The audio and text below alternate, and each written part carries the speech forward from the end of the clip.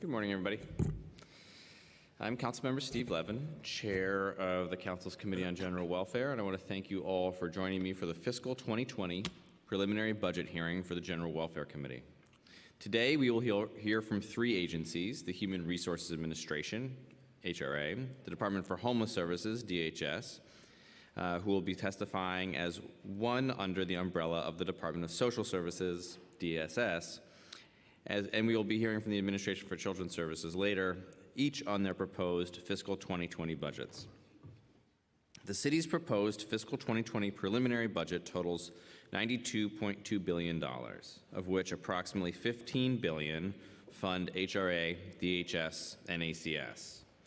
Funding for these agencies is a bit more than 16% of the city's total preliminary expense budget for fiscal 2020.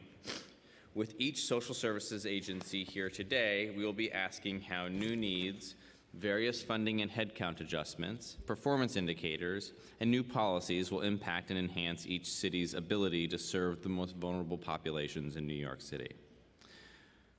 This morning, we will begin with the testimony from the Department of Social Services, which encompasses the Human Resources Administration and the Department of Homeless Services. As the largest social services agency in the country, HRA provides cash assistance, emergency food assistance and SNAP, HIV AIDS support services, also referred to as HASA, legal services, anti-eviction services, rental arrears, rental assistance through the FHEPS program, and many other public assistance programs to aid low-income New Yorkers and prevent homelessness. DHS provides transitional shelter for homeless single adults, adult families, and families with children in accordance with New York City's right to shelter mandate. DHS also helps clients to exit shelter and move into permanent and supportive housing. Since the adoption of the fiscal 2019 budget, HRA's fiscal 2020 preliminary budget has grown by $96.3 million, or approximately 1%, to $10.2 billion. Overall, HRA's proposed fiscal 2020 preliminary budget reflects a vision that shows a continued commitment to helping low-income New Yorkers and provide them with meaningful and impactful services. This administration and HRA's commissioner, Stephen Banks, or DSS's commissioner, Stephen Banks, uh, continue to tackle some of the city's most complex issues, including homelessness, support services, and housing. HRA's fiscal 2020 preliminary budget reflects a financial commitment to addressing these issues. New needs totaling $120 million in the agency's budget include bringing the allowance rate up to the 2016 fair market rent with 2% annual increase thereafter for HASA scatter site housing. Uh, implicit bias training for 17,000 HRA and DHS staff in response to the Jasmine Headley incident this past fall funding for the rollout of the Fair Fares program, which provides half-price Metro cards to low-income New Yorkers and was a priority of our Speaker, Corey Johnson, and the Council in last budget. And the Thrive funding to train staff and screen for mental health at NYCHA Job Plus program sites. Since the adoption of the fiscal 2019 budget, DHS's fiscal 2020 preliminary budget has grown by $44.2 million, or approximately 2% to $2.1 billion. Overall, DHS's proposed fiscal 2020 preliminary budget is largely comprised of the cost of providing shelter to the over 60,000 individuals a day that are in New York City's shelter system. One new need of $25 million was added to the DHS preliminary budget for the Street Solutions Program, which works with the, with the particularly vulnerable street homeless population. This funding will increase the number of safe haven beds and add two new drop-in centers as well. Even with these impactful investments, more can and should be done, and we need to think more deeply about where we can effectively allocate our city's resources. I'm especially concerned with the shelter census, that has continued to increase despite investments in preventive services, rental assistance vouchers, and aftercare services. There has been no meaningful decrease in the number of people in shelter each night, and in fact, it continues to rise, as does the average length of stay. Annually, DHS spends $376 million on shelter hotels and $65 million on cluster sites. But that money could and should be sent, spent on affordable housing to permanently move people out of shelter. This past fall, the LINK rental assistance programs were collapsed into the new FHEPS program, We, but we are concerned with the efficacy of this program and the ability of voucher holders to find and sustain housing placements. There are also potential funding cuts that are of concern. The state proposed a detrimental 10% cut in TANF funding that would reduce funding to DSS by $125 million, impacting shelter spending and cash assistance. If this proposed state cut were to be enacted, difficult decisions would have to be made at DSS on how to fill this budget gap, and we are concerned on how it could impact the services provided to the city's most vulnerable populations. In addition, HRA and DHS have a combined PEG target of $50 million, which would be reflected in, which will be reflected in the executive budget. We'd like to hear more about that today. Other areas of concern, uh, areas of concerns that we would like to discuss during this hearing include DHS's model budgeting, which has been slow and challenging for providers, leaving many with very delayed payments, and the city's dependency on commercial hotels and cluster sites. The need also for uh, more aftercare and preventive services, uh, and the lack of transparency in the DHS budget, which only has two unit of appropriations for a budget in excess of $2 billion. Lastly, I did want to point out the general difficulty that the Council has had with getting timely, meaningful reporting and responses to questions from DSS. Legally required reports are routinely issued well past their due dates in difficult to read formats, with the manner in which the data is displayed often changing from reporting period to reporting period. As part of last year's budget negotiations with the Council, DSS promised to provide a monitor's package report to the Council with each financial plan within two weeks of the plan being released. The first report related to the November plan was received on March 3rd after several requests, and reporting for the preliminary plan was sent to the Council this past Friday, March 22nd at 3:50 p.m., less than one business day before this hearing. Uh, obviously, we were unable to incorporate that information into the briefings for council members for this hearing. In order for the council to do our due diligence to analyze 16% of the city's total budget, we need this information in a timely manner and presented in such a way that is organized and easy to synthesize. We would like the agency to commit today on the record to provide this reporting going forward on time, complete, and in a mutually agreed upon, easily readable format. Additionally, we would like the agency to commit to be more reliably and expeditiously responsive to questions from the Council on matters relating to budget and program operations. Before I welcome the Commissioner and the administrators and staff, I would like to acknowledge my colleagues who are here today.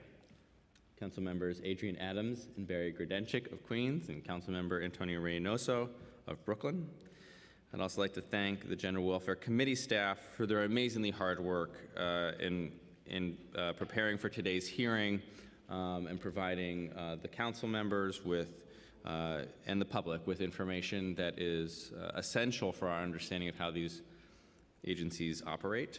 Uh, and and their, their work is really incredible, and I want to thank them.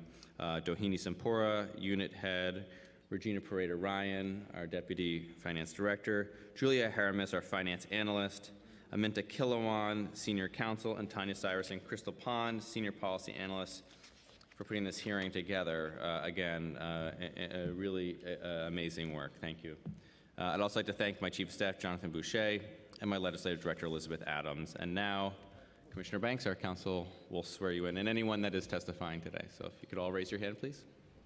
Do you affirm to tell the truth, the whole truth, and nothing but the truth before the committee today and to respond honestly to council member questions? Yes. You may begin.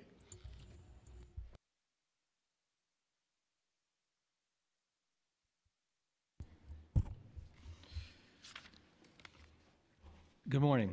I'd like to thank the City Council's General Welfare Committee and Chair Steve Levin for giving us this opportunity to testify today about the Department of Social Services fiscal year 2020 preliminary budget and our reforms to improve benefits and services for low-income New Yorkers. My name is Stephen Banks, and I'm the Commissioner of the New York City Department of Social Services. In this capacity, I oversee the Human Resources Administration and the Department of Homeless Services. Joining me today are the DSS First Deputy Commissioner Molly Murphy, HRA Administrator Grace Bonilla, DHS Administrator Joslyn Carter, uh, DSS Chief Program and Planning and Financial Management Officer Ellen Levine, and DSS Chief of Staff Scott French. The FY20 preliminary budget reflects the ongoing reforms and initiatives that we have been implementing over the last five years to address past policies that did uh, uh, uh, that for many years had not served our clients well.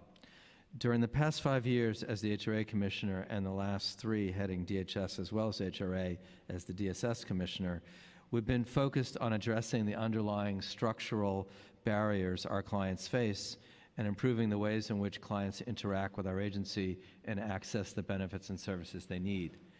The reforms and initiatives we are implementing are taking hold despite prior decades of underinvestment in affordable housing and ongoing affordability challenges in the recon, uh, rental market.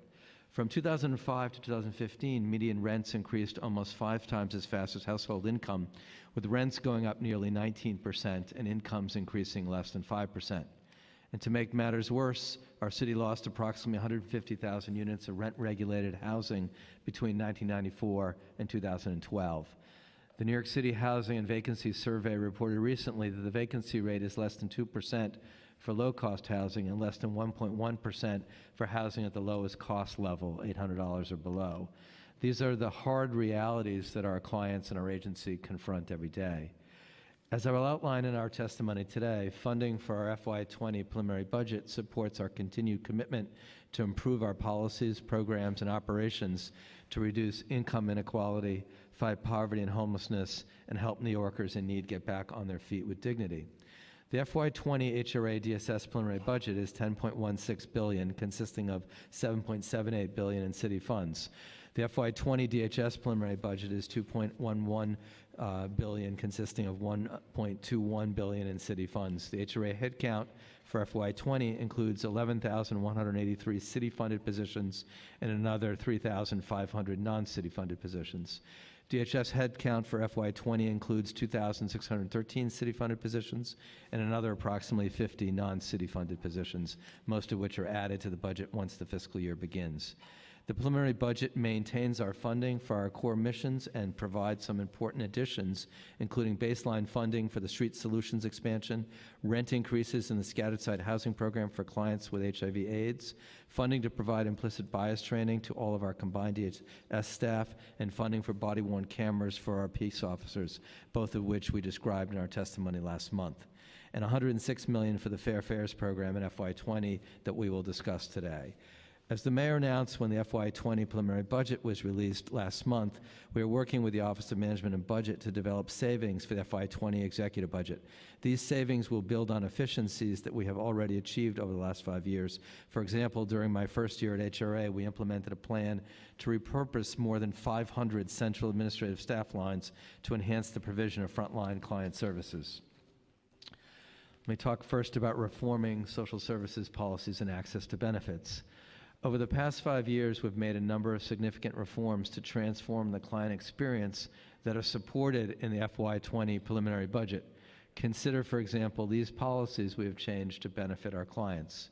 Clients used to have to work off their benefits in the Work Experience Program, or WEP, at city and not for profit agencies. We eliminated the WEP program and replaced it with new opportunities and subsidized jobs, more diverse internship and community service opportunities, and education and training programs to help clients move forward on a career pathway. Participation in four-year college was not permissible uh, employment activity for clients. We successfully advocated for a change in state law to permit clients to obtain college degrees that greatly enhance their ability to earn a living wage. Clients who are subjected to punitive sanctions for missing WEP assignments received appointments at the Intensive Services Center number 71, and if they missed those appointments, the entire family would be denied assistance. We closed Center 71. Clients used to be subjected to durational employment sanctions for cash assistance if they were charged with violating a program rule. We successfully advocated for a change in state law as applied to New York City to give clients an opportunity to cure a violation at any time and avert a durational sanction and we also successfully advocated for reduced state sanction period for SNAP food stamps. That means that people do not have to lose their housing, go hungry, or forego buying clothing for their children because of a durational sanction. As part of the transformation process for cash assistance to reduce unnecessary office visits, clients can now submit recertification questionnaires online and submit documents from a smartphone through Access HRA, uh, the Access HRA portal clients can open an account to gain access to over 100 case-specific points of information for cash assistance and SNAP in real time, including application and case statuses, upcoming appointments, account balances, documents requested for eligibility determinations, and clients can make changes to contact information, view eligibility notices electronically, request a budget letter, and opt into text messages and email alerts, all designed to avoid unnecessary visits to our offices. Clients used to be subjected to churning due to unnecessary case closings, which required clients to request state fair hearings to reopen their case. We put in place new protocols to prevent unnecessary case closings, and state hearing challenges decreased by more than 47%. As a result, clients have access to the benefits they need, and the city is no longer subject to a potential $10 million annual state financial penalty for unnecessary hearings. To prevent both unnecessary case closings and unnecessary sanctions and resulting unnecessary hearings, before an adverse action is taken, we make sure that all required client support services like childcare and card fare are in place, reasonable accommodations were honored, mailing addresses were correct, and notices were sent in the correct language. And now conciliation appointments are scheduled at Career Compass and Youth Pathways employment providers rather than at job centers so that we can re-engage clients immediately and avoid unnecessary extra appointments at our offices. Clients recertifying for cash assistance used to be forced to reapply if they failed to return a mail questionnaire or submit requested documentation. Missing paperwork shouldn't mean someone loses their benefits, and we now make it easier for clients to continue their assistance if they submit what is needed within 30 days of a case closing. All homeless clients used to have to travel to a single HRA job center in Queens. We stopped that practice, and homeless clients can now seek assistance at a job center in their home borough. All seniors used to have to go to a single HRA job center in Manhattan. We changed that, and now seniors can receive services at a job center in their home borough. Previously, clients only received a center ticket that did not list the purpose of their visit. In 2017, we worked with the Urban Justice Center's Safety Net project to implement the universal receipt, the confirmation of contact with your center form, to provide an individual who completes a visit to a job or SNAP center with a document that indicates the nature and date of the visit or contact, and a copy of the receipt is also available in Access HRA. This receipt process is now codified in local law as a result of legislation sponsored by Speaker Johnson. We improved uh, Access HRA with a client benefits portal so that SNAP applications, recertifications, and renewals can all be done online without having to go to an HRA SNAP office. Now, SNAP clients conduct 87% of these transactions online, and documents can be submitted via our mobile app on a smartphone. Clients used to have to conduct SNAP eligibility interviews by phone within a rigid four hour window. Now interviews are conducted at the client's convenience by phone, and the percentage of completed telephone eligibility interviews increased from 29% in 2013 to 95% in 2018. This change helps clients access the benefits they need to purchase food. Clients classified as able-bodied adults without dependents, or ABAWDs, were limited to SNAP food stamp benefits for only three out of 36 months if they could not find work for at least 80 hours a month because New York City refused to accept a federal waiver of this rule that every other county in New York State and most other states accepted. We reversed this policy and accepted the waiver that covers areas of New York City with high unemployment so that more clients can retain their SNAP benefits.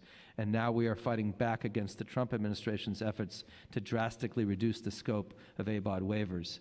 Rent arrears checks used to be processed at each individual HRA job center. We streamlined the system by instituting a centralized rent arrears processing unit to ensure that rent arrears payments are issued by the required due date. New York City Housing Authority rent payments used to be issued in paper checks. Now we have streamlined a system for making these rent payments electronically, and we're developing a similar payment system for private landlords. Moreover, using Access HRA, clients can confirm that the rent was paid to their landlords pursuant to reform now codified in state law to provide this information. This makes the process easier for clients and gives them one less thing to worry about as they pay their rent. In 2014, 90 clients per year received reasonable accommodations. In settling the 2005 Lovely H class action lawsuit, we began working with expert consultants to develop tools to assess whether clients need reasonable accommodations as a result of physical or mental disabilities. Now, 46,000 clients annually receive reasonable accommodations. Clients with HIV used to have to wait until they were diagnosed with AIDS to receive HASA assistance. Working with Speaker Johnson when he was a council member and Housing Works, we ended that counterproductive policy so that we can ensure that clients have the services and housing assistance they need. Let me now turn to reforming homeless policies and services. As we've reported previously, homelessness increased 115% in our city from 1994 to 2014, and we've implemented a comprehensive plan that broke this trajectory of growth. We know we have much more to do, but our initiatives are beginning to take hold, keeping the shel- shelter census flat over two years for the first time in a decade, doubling down on preventing homelessness. Evictions are down 37% since 2013 providing more permanent housing, enabling more than 109,000 children and adults to move out of shelter or avoid shelter altogether, bringing people off the streets and out of the subways. Since Homestat began in April 2016, our street teams have helped more than 2,000 people come off the streets and subways and remain off. And transforming the city's approach to shelter closing more than 180 substandard shelter sites and siting 42 new borough based shelters to offer help as close as possible to the anchors of life, like jobs, schools, healthcare, houses of worship, and family and support networks. Funding in the FY20 preliminary budget will support these four key pillars of the Mayor's Turn the Tide plan that was released just two, two years ago, with these results so far. First pillar, a prevention first approach progress, evictions down 37%. We've provided emergency rent arrears benefits to over 50,000 households each fiscal year since FY15, helping rent burdened New Yorkers at risk of eviction stay in their homes. We've extended, expanded free legal assistance for New Yorkers in danger of eviction, increasing funding for legal services for tenants exponentially from roughly 6 million to 166 million at full implementation in FY22. Evictions have dropped 37%, and more than 100,000 New Yorkers were able to stay in their homes from 2014 to 2018. We're phasing in over five years the funding necessary to provide universal access to legal services for all New York City tenants facing eviction in housing court or NYCHA termination of tenancy cases, a first in the nation initiative of the administration and the council that will benefit more than 400,000 New Yorkers annually at full implementation in FY22 with 166 million in annual funding for tenant legal services. Second pillar, rehousing to alleviate homelessness. Progress, more than 109,000 New Yorkers rehoused. In 2011, the city and state canceled the Advantage Rental Assistance Program, resulting in a 38% increase in homelessness in just three years between 2011 and 2014. We stepped in to fill the gap, creating new rental assistance programs as well as reinstating rehousing programs, which altogether have helped more than 109,000 children and adults move out of shelter or avoid shelter altogether since 2014, with the majority exiting shelter into housing. Third pillar transforming the approach to providing shelter, progress, shrinking DHS's shelter footprint by nearly 30%. Our plan calls for shrinking the DHS shelter footprint by 45% by ending the use of 360 cluster shelter and commercial hotel locations citywide while opening a smaller number of 90 borough based shelters across the five boroughs. Through these strategies, in just two years, we reduced the shelter footprint by nearly 30% citywide, getting out of more than 180 shelter sites that did not meet our standards, including our already ending use of 70% of the units in the Giuliani era cluster program. And to help us do so, early this month we announced the conversion of cluster units to permanent housing in 17 buildings that will enable 1,200 homeless children and adults to be permanently housed with rent stabilized leases and upgraded apartment conditions in buildings that will be owned by reputable nonprofit housing groups. As we phase out the old haphazard band aid approach to providing shelter that built up over the past 40 years, we've sited 42 new high quality borough based shelters 23 of which are already open, offering families and individuals the opportunity to get back on their feet closer to their support networks and the communities they called home. At the same time, while we have held the overall DHS census flat for the last two years for the first time in a decade, we've also made progress driving down the number of families experiencing homelessness and residing in shelter on any given night with the peak number of individuals across families declining by nearly 3,000 between 2014 and 2018, even as we provided shelter and services to more than 550 evacuees from Puerto Rico who the Trump administration abandoned. Fourth pillar, addressing street homelessness, progress, more than 2,000 New Yorkers off the streets. In 2016, we launched Homestat, the most comprehensive street outreach program in the nation, with outreach teams canvassing all five boroughs 24 7, 365 days of the year, engaging New Yorkers experiencing homelessness and encouraging them to accept services and transition indoors. Thanks to a doubling in our funding for and the size of those outreach teams, and doubling and soon to be tripling our safe haven and stabilization beds, our Homestat program has helped more than 2,000 individuals come off the streets and subways and into transitional and permanent settings and continue to remain off the streets and subways. New initiatives, Fair Fares NYC. In January, we officially launched Fair Fares NYC. The program will provide thousands of New Yorkers at or below the poverty level with access to affordable public transportation, ex- uh, easing the financial burden of commuting to work and a wide range of essential tasks that require travel. The Fair Fares NYC MetroCard allows uh, participants to purchase unlimited weekly and monthly passes at 50% discount at MTA vending machines. The city also worked with New York City Transit to phase in a pay per ride option, which was launched on March 15, 2019. Starting on the launch date, DSS HRA began contacting New Yorkers who are working and receive cash assistance and who do not already receive transportation assistance from HRA or New York City Transit to inform them of their eligibility and invite them to visit the nearest Fair Fares NYC location to pick up their Fair Fares Metro card.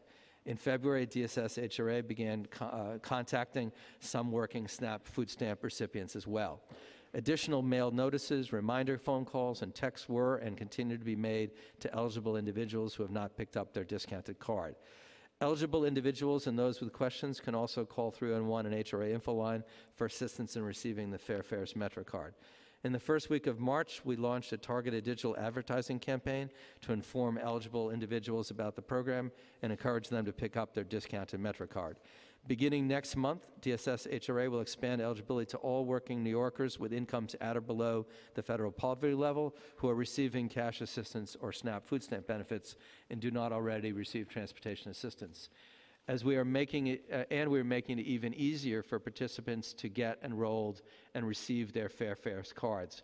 Next month, eligible clients will be able to enroll in the Fair Fares program online using Access HRA and receive their card through the mail without any need to come into an office.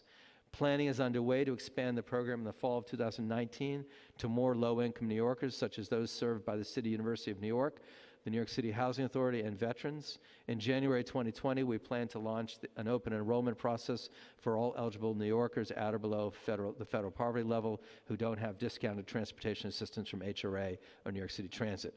In the preliminary budget, the Fair Fares program was funded 106 million in, in FY20, the second year of implementation. Future funding for the program is subject to budget discussion. We greatly appreciate the, leader speak, uh, the leadership of Speaker Johnson and the Council and Speaker Johnson's continued collaboration on this initiative as we continue to enroll more New Yorkers. State and federal landscape. Finally, our FY20 preliminary budget has been released against a background of significant challenges at the state and federal levels that imperil our progress and our reforms.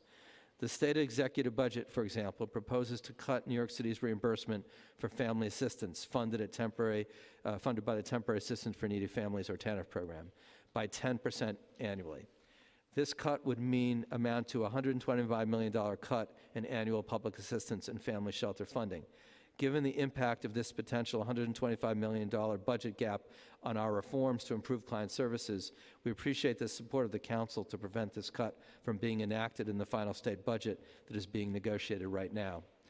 On the federal level, the Trump administration is using the regulatory process as an end run around the compromise reached by Congress in the 2018 Farm Bill. As described earlier in my testimony, in May 2014, New York City accepted the federal Able Bodied Adults Without Dependents ABAWD waiver, which provides individuals who are unemployed or underemployed with an exemption from the work requirement limitation so they can receive ongoing SNAP food stamps if they cannot find at least 80 hours of work per month. Otherwise, they would be limited to receiving SNAP benefits for only three months in any three year period unless they qualify for a different exemption or are able to find enough hours of work each month. In the 2018 reauthorization of the Farm Bill, Congress rejected the Trump administration's attempt to significantly roll back the availability of the ABAWD waiver. However, circumventing Congress's determination to limit the Trump administration's ABAWD waiver rollback, the U.S. Department of Agriculture has released a proposed rule that would restrict ABAWD waivers to areas where the unemployment rate is higher than the 7% compare, uh, uh, uh, than 7% compared to the current unemployment rate threshold for ABAWD waivers of 10%. This attack on unemployed and underemployed low-income single adults will exacerbate food insecurity. Should this rule be adopted, it will result in many New Yorkers losing their SNAP benefits if they are not able to find 80 hours of work in a month. We will be opposing this proposed rule, and we hope we can count on the support of the council to fight this draconian proposal. Thank you again for this opportunity to testify, and we will continue to work with the council to keep moving forward with our reforms of these important programs. We welcome any questions that you may have. Thank you very much, Commissioner. Uh, And I want to acknowledge uh, Councilmember Ben Kallos, who is here as well. Um, So I might jump around for a little bit, uh, so I apologize for that, but being that we have uh, both HRA and DHS here, um, uh, that's kind of to be expected. Um, So uh, the first issue I wanted to ask about was um, uh, kind of some housekeeping here, but around that monitor's report and getting timely data. Um, As I said in my opening remarks, um, uh, the council's finance staff uh, uh, was given information late um, and not within the agreed-upon timeframe of two weeks after the release of the financial plan, um, and that the data provided for that, that hearing, uh, this hearing, was provided um, for the January plan uh, just on Friday. And so when we were preparing for this hearing, we were relying on data that went up to October of last year, uh, and that's outdated. And then the format um, uh, was not conducive to any type of analysis and included very little budget information. Um, Obviously, this is not acceptable. Um, We are a co-equal branch of government, and we cannot effectively do oversight um, and represent the public's interest if we don't have clear information. So I was wondering if you could speak to uh, uh, that issue and um, uh, reiterate your agency's commitment to providing this council with timely information um, that is in an easily readable format uh, so that we can do our job. Our- That is our commitment. As you know, we, you and I meet quite frequently, and our, uh, your finance staff uh, works very hard and works together with OMB finance staff and the agency finance staff.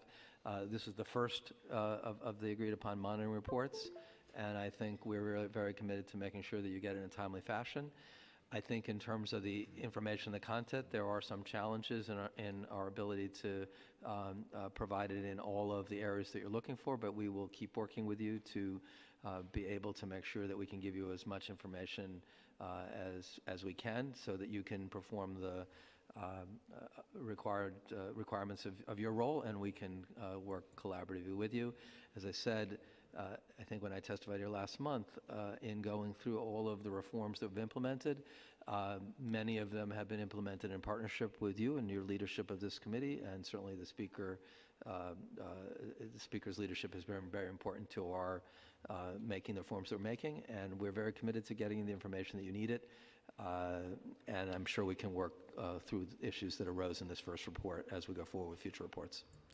Okay, it was, this was the, the second report, because the first one was the November plan, and the, and the first one, and the, and the, I- uh, the second one was the preliminary budget. I think, as you know, though, the November plan is a much more limited document than the preliminary budget, and uh, I know that we will continue to work with you to meet the, meet the timeframes that we agreed to. Uh, We want you to have information, and uh, we appreciate the collaboration with you. Okay, do we, I mean, uh, do we have to renegotiate the, I don't think we do. okay. Um, uh, I wanted to ask about um, uh, model budgets. Yep. Um, Our understanding is that 10 model budget amendments have been registered, and there are 48 that are pending. Um, Obviously, this has been going on for a long time. Can you speak a little bit about the process there and why there are so many that remain unregistered? Uh, I mean, how long has this taken? So I think it's important for the sake of the record to draw a distinction between registering contracts and the model budget process, which those are really two separate processes. Okay. Uh, The registration of contracts involves the ongoing registration of contracts. When I first uh, conducted 90-day reviews, there were, as you know, backlogs of registered contracts going back for a long period of time.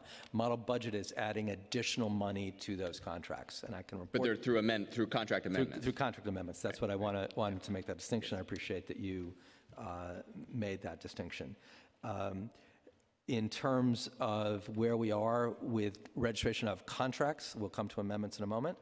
Uh, For FY uh, FY '19, uh, 98% of the FY '19 contracts are registered. There were uh, uh, three, uh, I'm sorry, there 98% of the FY '19 contracts for DHS are registered and active. Uh, There are six outstanding FY19 contracts, three of which are registered and pending provider budget submissions, and three of which are pending uh, registration. Uh, For HRA, 90% of the contracts are registered. There are nine outstanding legal services contracts that are currently at the Financial Control Board, and we expect to be able to move those through. I think that addresses the issue that first confronted us uh, when we integrated the agencies regarding uh, the simple registration of contracts, period. In terms of model budgeting, uh, there are currently, let me,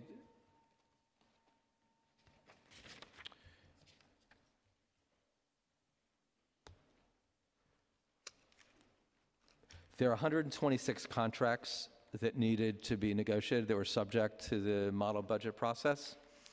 104 uh, of the providers submitted the information that we needed on time uh, or less than six months late. Uh, 22 providers submitted them uh, over six months later, or never submitted them at all.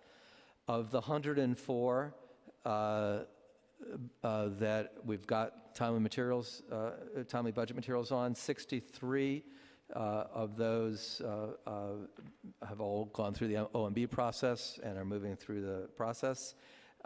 And the rest of them, we are working through with providers.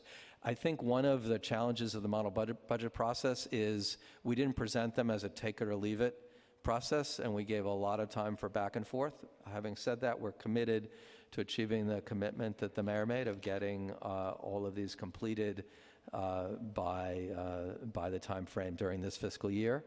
And uh, we're really to the point where uh, when negotiations have reached an impasse, we're going to have to proceed with the, with the amendment because we want to be able to deliver on our commitments to you and the commitments the mayor's made in terms of completing this process.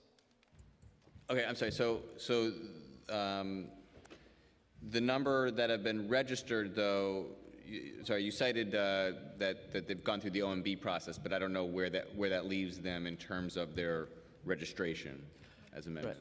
There are 12 that have been registered by the controller and another uh, 65 that are in state of the process that will be to the, con- I'm sorry, uh, 53, I did the math wrong, I apologize. Uh, 65, that's roughly 50% of the total number that we had, uh, are either registered or on their way to moving to be at the controller in a timely fashion so that they're registered during this fiscal year. Are they, okay, I'm sorry. So, so there are 53 that are, that are at the controller or en route to the On- controller? On the process, as you know, there are multiple oversights that contracts have to go through. What's after OMB and before controller? Uh, There are, uh, there's Financial Control Board, there's MOCS, there's the Law Department. Okay. Uh, I know that this has been the subject of a lot of conversation about the contracting process. Uh, But I want to again reiterate that the mayor made a commitment, not just for our agency, but for uh, contracts across multiple agencies, to get these amendments and processes completed uh, before the end of this fiscal year, and we're on track to do that. To get all, to get 100% of the contracts? No, there are 22 that are, were either submitted over six months late or never submitted. We're not going to be able to get those through. Uh, Okay. And we've got uh, How more many, than how many in total are there? I'm sorry? 126. We started off seeking to have 126 model budgets completed Okay. with providers. And 65, you said, be- are either registered or in the process of get- going to the controller. That leaves, and then there's 22 that submitted late, and that leaves a difference of, there's another, I don't know, No, 30. 40? th- 30, 30 to 40 in that. And what's the status of those? Uh, Those are ones where we're still trying to uh, come to some agreement with the providers. Uh, Uh-huh. The providers are, uh, are, have been great partners for us, uh, and we want to bring those conversations to a conclusion. Okay, and so the expectation is that for those 30 or 40 that didn't submit six months late, but are not on their way already to the controller's office, that those will be That's, that's, registered by the end of this fiscal year? that's what our, that's what our commitment is to achieve. Okay, because in order, okay, so how long does it, ta- I'm sorry, how long does it take between being approved by OMB to registered? So tho- those intermediate steps of the Financial Control Board, MOCS, controller, There are, as, as I know you know, uh, from the overall focus on the procurement process, there are a number of steps that, uh, let me just finish, Right, please. There are a number of steps in any particular contract that can, uh, uh, that vary.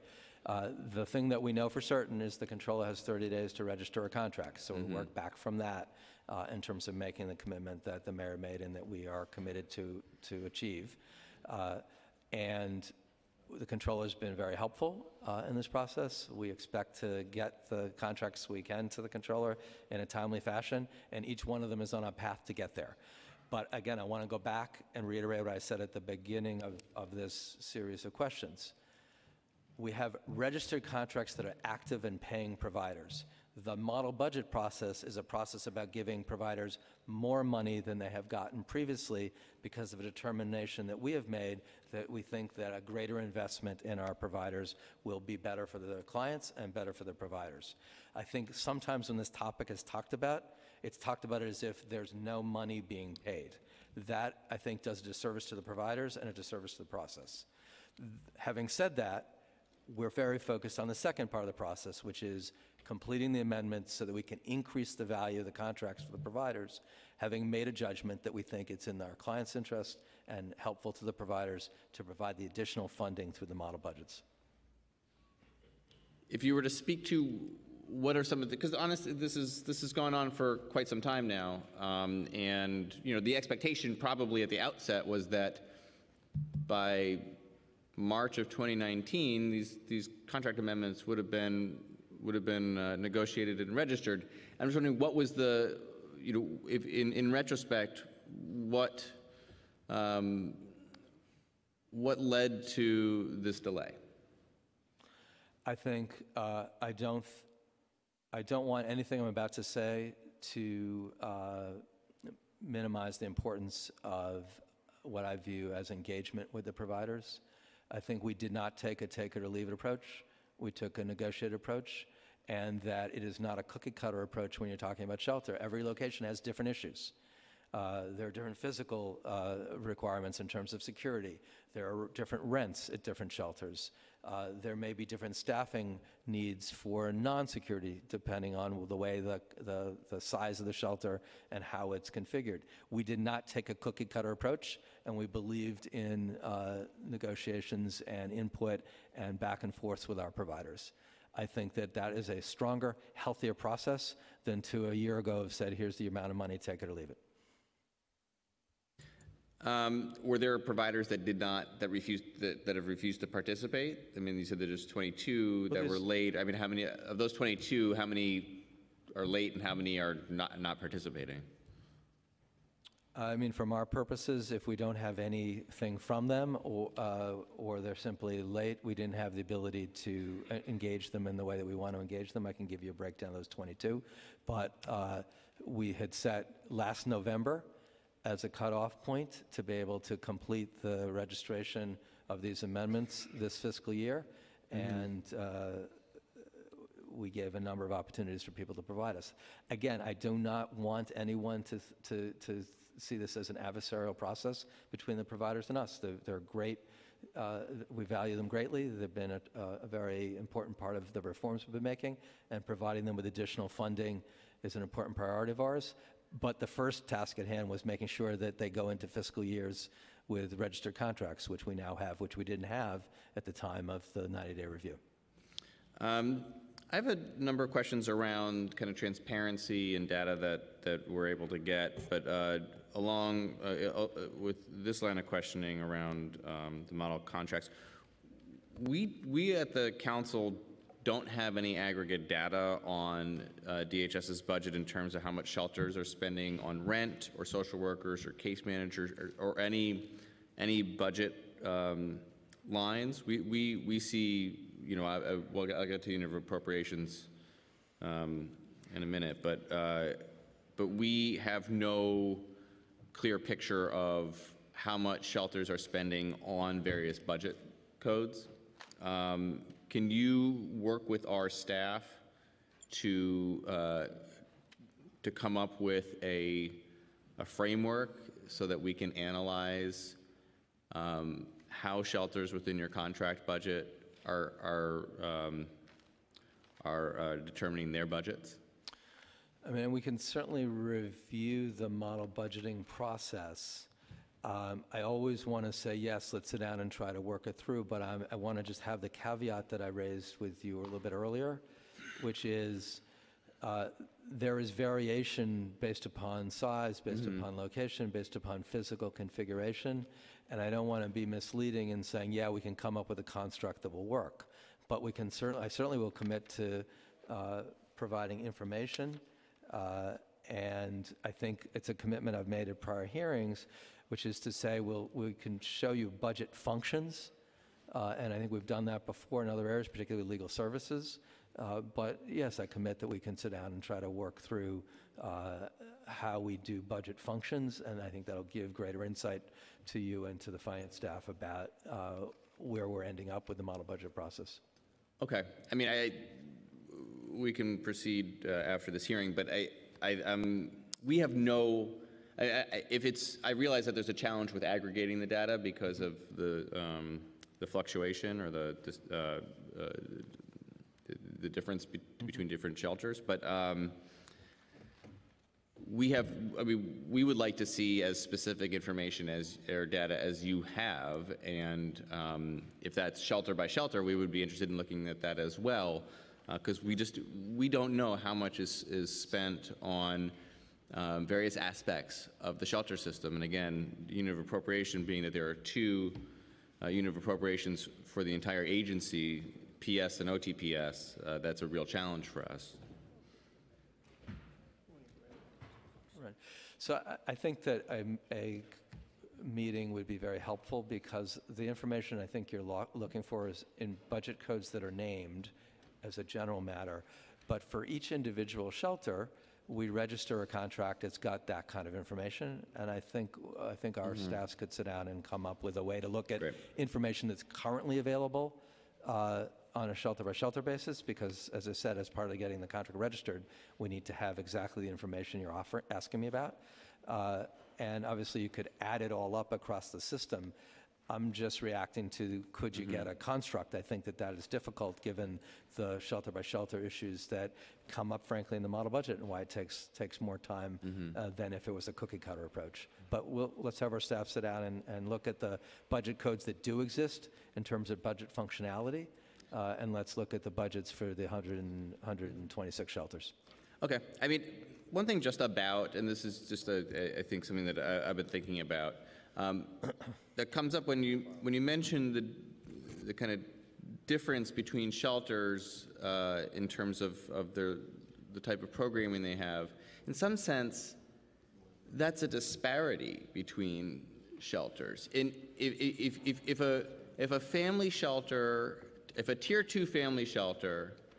Uh, can't be, is, is, is wildly different from another tier two family shelter, or then, then isn't, then, then is the, doesn't that indicate that there's not a standard level of service Yeah. that families are getting? Because if one shelter is negotiating for social workers and uh, other um, uh, staff lines that could support uh, families and children in shelter, and another one isn't, and negotiating more for rent, and saying, well, we're going to, you know, isn't that, um, Doesn't that, doesn't that indicate that there's some disparity within the system? If that were true, you would be correct, but that's actually not what the situation is. So, for example, social workers, we have a hun- we have a one to twenty-five ratio, uh, uh, and we have been been uh, funding that through this initiative. But uh, the model budget actually eliminates disparities. When I began the 90-day review, uh, shelter providers talked to me about how much you got paid depending on when you brought the shelter online. The model budgeting process eliminates that. What I was referring to is if you've got a four-story shelter versus a two-story shelter versus a five-story shelter, that has different implications for your staffing. That's not about service delivery. That's about being able to manage the size of your, the contours of your building. And that's why, again, it's not simply a cookie-cutter approach. Uh, And we certainly looked at, you know, mental health shelters, employment shelters, families with children shelters uh, versus single adult shelters. We- That's, that's what the model budget process did. It's brought rationality to budgeting that was missing for decades. But uh, you're, you're appropriately zeroing in on something I said that had to do with the configuration of the shelter, not the service delivery. Okay. And that's why it's, you can't have it be a cookie cutter approach. Again, rents could vary. The rent may be different for a shelter in, you know, where you or I, you and I live, than in a shelter in a different borough. In the past, that would have resulted in a rejection of the shelter budget because of the desire to have the lowest cost versus the value that we have in the Turn the Tide plan, which is to give people an opportunity to be connected to the anchors of life, like schools, jobs, uh, uh, healthcare, houses of worship, family and friends. That's going to mean rent will vary depending on where the shelter is sited. Depending upon the configuration, the security needs will be different. That's why it's not a cookie cutter. Um, Okay, I want to ask about unit appropriations. So we have two unit appropriations in DHS. Uh, The council has previously asked in, in prior budget years um, for a PS unit appropriation, OTPS unit appropriation for each of the DHS program areas as outlined in the budget function analysis. Um, We have gotten rebuffed from OMB numerous times on that. Um, It's very frustrating for us to be able to examine um, the budget when we can't, when there's, you know, essentially two unit of appropriations for a $2.1 billion budget. Right, I thought that we had come to agreement in the last budget process to look at budget function, uh, functions and functionality, uh, but obviously, in all processes, it's an ongoing discussion with you, uh, and we'll continue to work with you on what we think is a, a way that makes sense for us in the way we run the program, which is to look at budget functions. Again, I come back to the legal services discussion in which there was a request to say, hey, we'd like a special unit of appropriation. We said, actually, then you lose all the efficiencies and economies of scale of putting the uh, Office of Civil Justice within a large functioning agency so that personnel and legal and finan- finance management, all those services are coming from other units of appropriation. Uh, uh, and that let's work with you on uh, budget functionality, and we'll continue to work with you to give you the, the transparency that you're looking for uh, without giving up our ability to get efficiencies uh, and economies of scale uh, with these larger units of appropriation. Have you, as DHS's budget staff, been in conversations with OMB concerning the council's request on unit appropriations? I mean, OMB and our agency work closely together, as we do with council finance staff, and I'm sure there'll be ongoing discussions about what we can provide to you that makes sense for what you need and also makes sense for our ability to get economies of scale in a larger agency. If every piece of the agency is broken into its uh, small unit of appropriation, you lose the, the, the economy that you get by putting many parts of uh, complex service delivery systems into a large agency.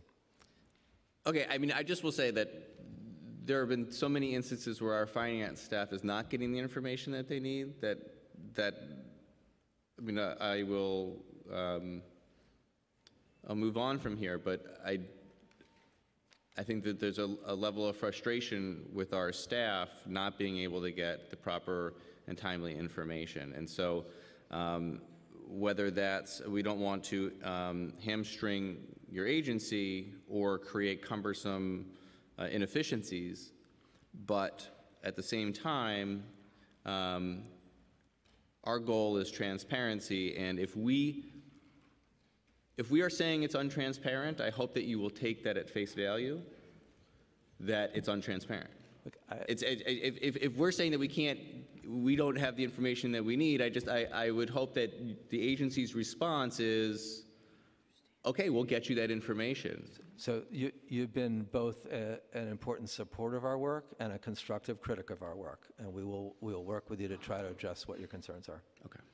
Um, I will turn it over to my colleagues for questions. First up, Councilmember Grodenchik. And we've also been joined by council members Mark Gjonaj of the Bronx and Brad Lander of Brooklyn, and I already mentioned Ben when you were out of the room. Thank you, uh, Chair Levin. Um, Good morning, everybody. Good morning. Good to see you as always. Commissioner, um, it bothers me um, that we are, the mayor's talked about three quarters of a billion dollars in uh, a PEG, a program to eliminate the gap.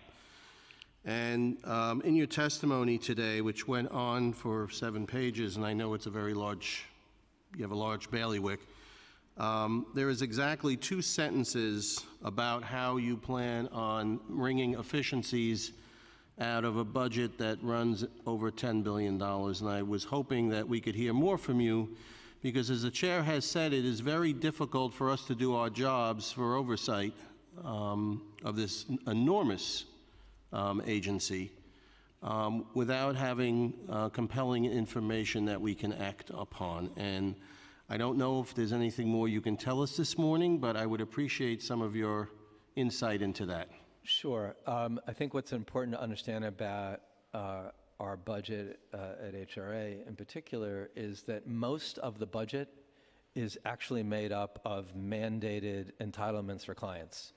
So Medicaid is the largest part of our expenditures, uh, cash assistance benefits, food, uh, uh, and other uh, and other benefits. If you look at our our pie chart, most of what our budget is is actual direct uh, mandated services for clients. Similarly, in DHS, shelter is a mandate.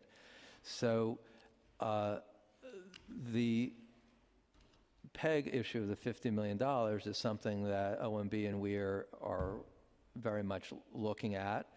I think I highlighted to you, as I've highlighted in prior testimony, when I first came to HRA, uh, we needed additional frontline client-facing staff, and we did that by repurposing five, more than 500 central administrative staff directly taking those lines. I, I appreciate what's happened in the past. I'm worried about what's going to happen tomorrow and the next day and the next day and the next day.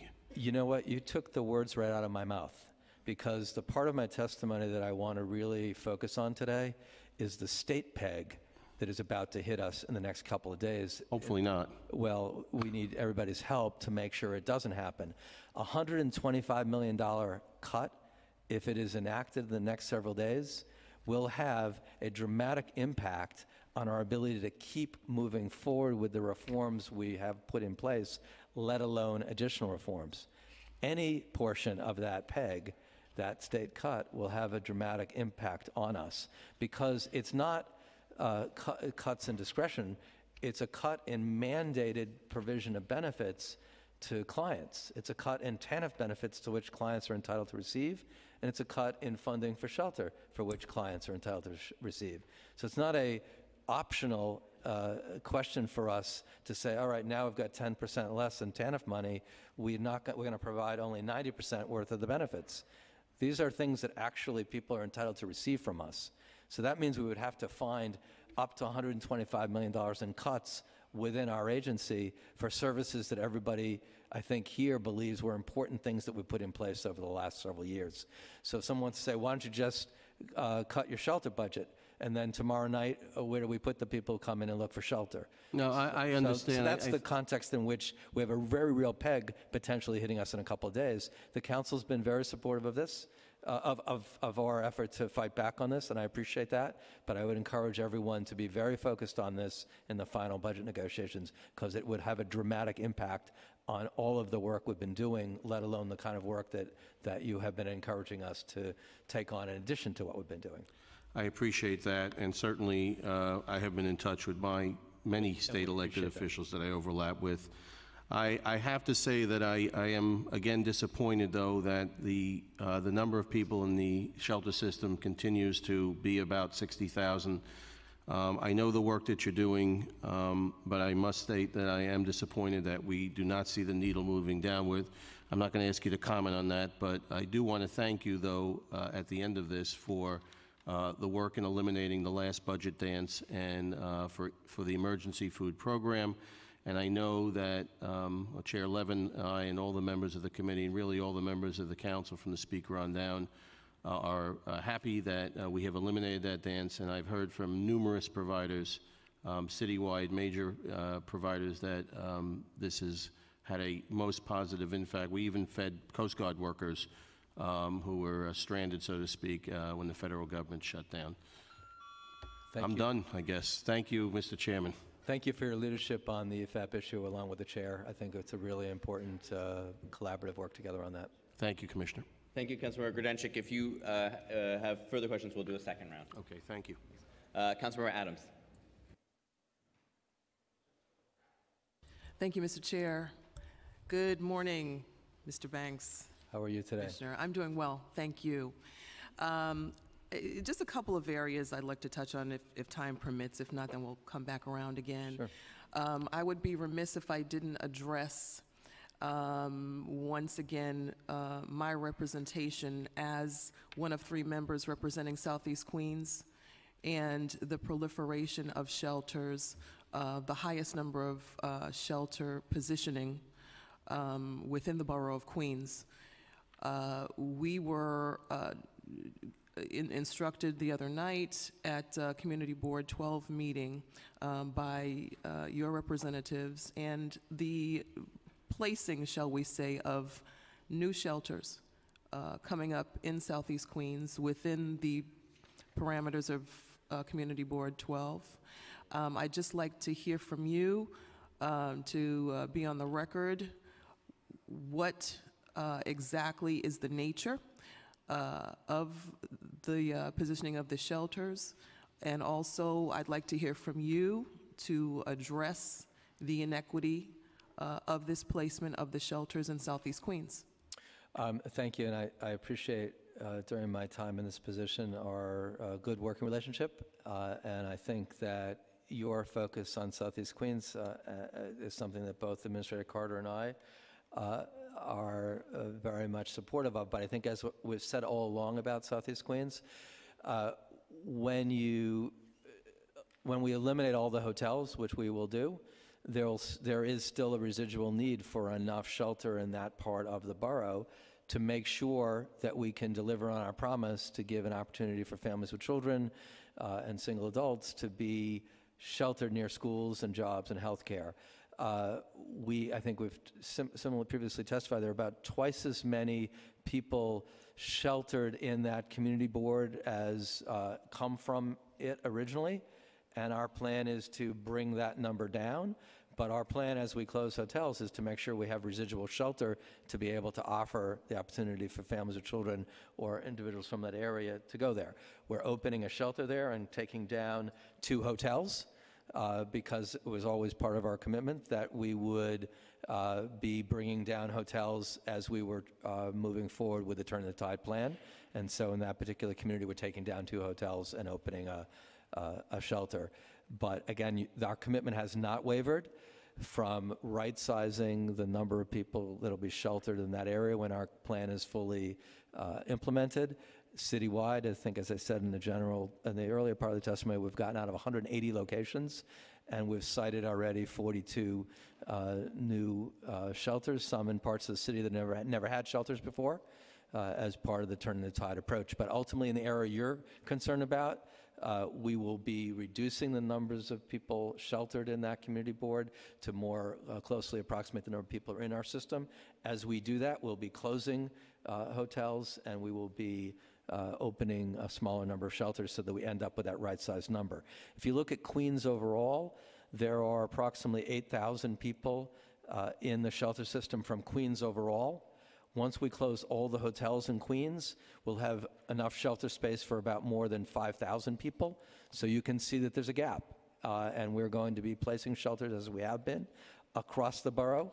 Uh, we've got shelters in parts of the borough where there hadn't been shelters before, uh, and we're committed to continue to do that.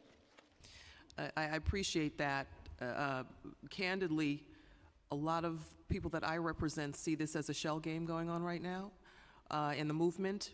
of displaced individuals from hotels into other facilities, other places, shelters, um, just moving them from one place to, to another. That said, what will happen to these hotels that these individuals are going to be moved out of? Will these hotels be closed? Do you have uh, relationships with these hotels? Are they going to be ghost hotels? What is going to go on with these hotels? I mean, I think that you're raising uh, an important issue. There have been a number of hotels that have opened in recent years, uh, and we've just making, been making it very clear that we're getting out of hotels, uh, and that this isn't a business model uh, that should be one in which someone says, "Oh, I'm going to have have homeless uh, New Yorkers housed in my hotel." We've been very clear we're getting out of hotels.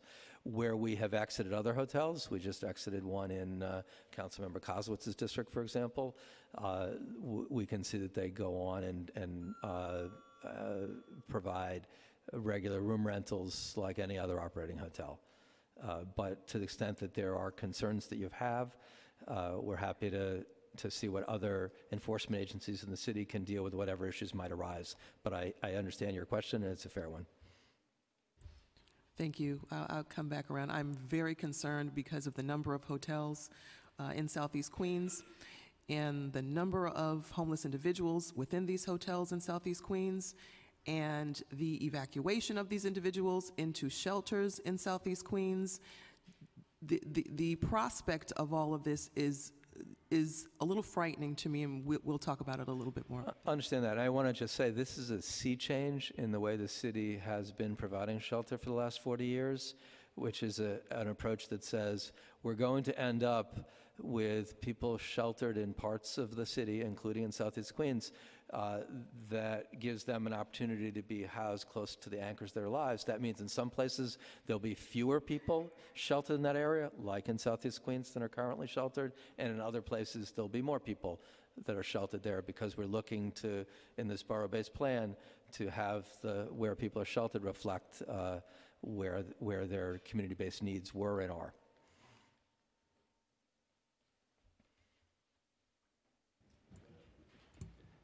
Thank you, Councilmember Adams. Uh, Councilmember Ben Kallos? Good morning. Uh, First, I want to start off with checking out nyc.gov slash homestat, and we're going to just pull that up right now. Uh, One question is, how is the daily canvas going? I'm concerned that, uh, I'm I'm curious whether or not you compare the the homestat numbers to the 311 calls and have any quality control to see whether or not folks are, your canvassers are actually reaching folks, because when I check out the Homestat, sometimes I'm surprised to see some of the regulars in my community not being, uh, not showing up. Uh, And the reason we pulled this up in part is because it isn't working. Uh, So if you scroll down on that page, if you can scroll down,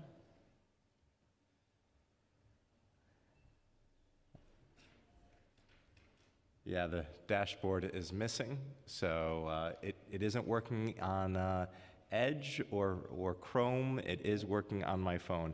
Uh, the next piece I want to touch on is Excuse me, Councilmember, so your, your question is you, it's able to work on your mobile app, but not on the, on the, uh, is not working. I just want to make sure I'm understanding what the question is. We'll certainly look into it. I think, uh, uh, I think the piece that I'm most interested in is comparing the canvassers to 311 calls and doing quality assurance that folks are doing the proactive outreach. Uh, The next Did I- question. Did I answer that question? Let me, let me stack on the, the two additional questions, if I Okay. may. In terms of families with children, there are 12,418 as of 322, which was uh, Friday. How- What is the average size of those families? How large of of an apartment do they need? Do they need two bedrooms, three bedrooms, four bedrooms, five bedrooms? And where are we on the mayor's plan for housing? And how many has been built? And can we just say that the next 12,000 apartments that we're going to build will go exclusively to formerly homeless families, period? Uh, And along those lines, the large number is total individuals as of uh, the 22nd is 60,315 in our shelters, but when you talk about, it, you're really talking about 12,418 families, uh, and then 2,515 adult families, and between those two, that accounts for 43,000 people, and then the, the individuals are such much smaller piece. So, how can we prioritize to make sure? And, and last but not least, uh, as I hear from my colleagues in other parts of the city, uh, where is the, the 20 or 50 or however many hundreds of millions of dollars are necessary for land acquisition costs on the Upper East Side? And uh, what, what, how much money do you have or are you willing to ask for to build uh, supportive housing and purpose-built shelters in my district on the Upper East Side? And will you do ULURPs to get it done? A lot of questions in a lot of different areas. Let me, let me do my best to try to answer them. So in terms of uh, street outreach, again, I know you, you have great respect for the not-for-profits that do the street outreach. Uh, and I think we've, we've, we've talked about this before. It takes on average of about five months to build someone's trust to help bring someone uh, off the street. Uh, there are other people that have been on the street for whom it's much more difficult to build trust. So I don't want you to be frustrated by the work of our not-for-profit partners if uh, you continue to see somebody that they are working with and trying to build that, that road off the streets. The 2,000 people who have come off the streets and remained off the streets since the time uh, when Home- Homestat began in April 2016, I think is testament to the hard work of, of those not-for-profit providers.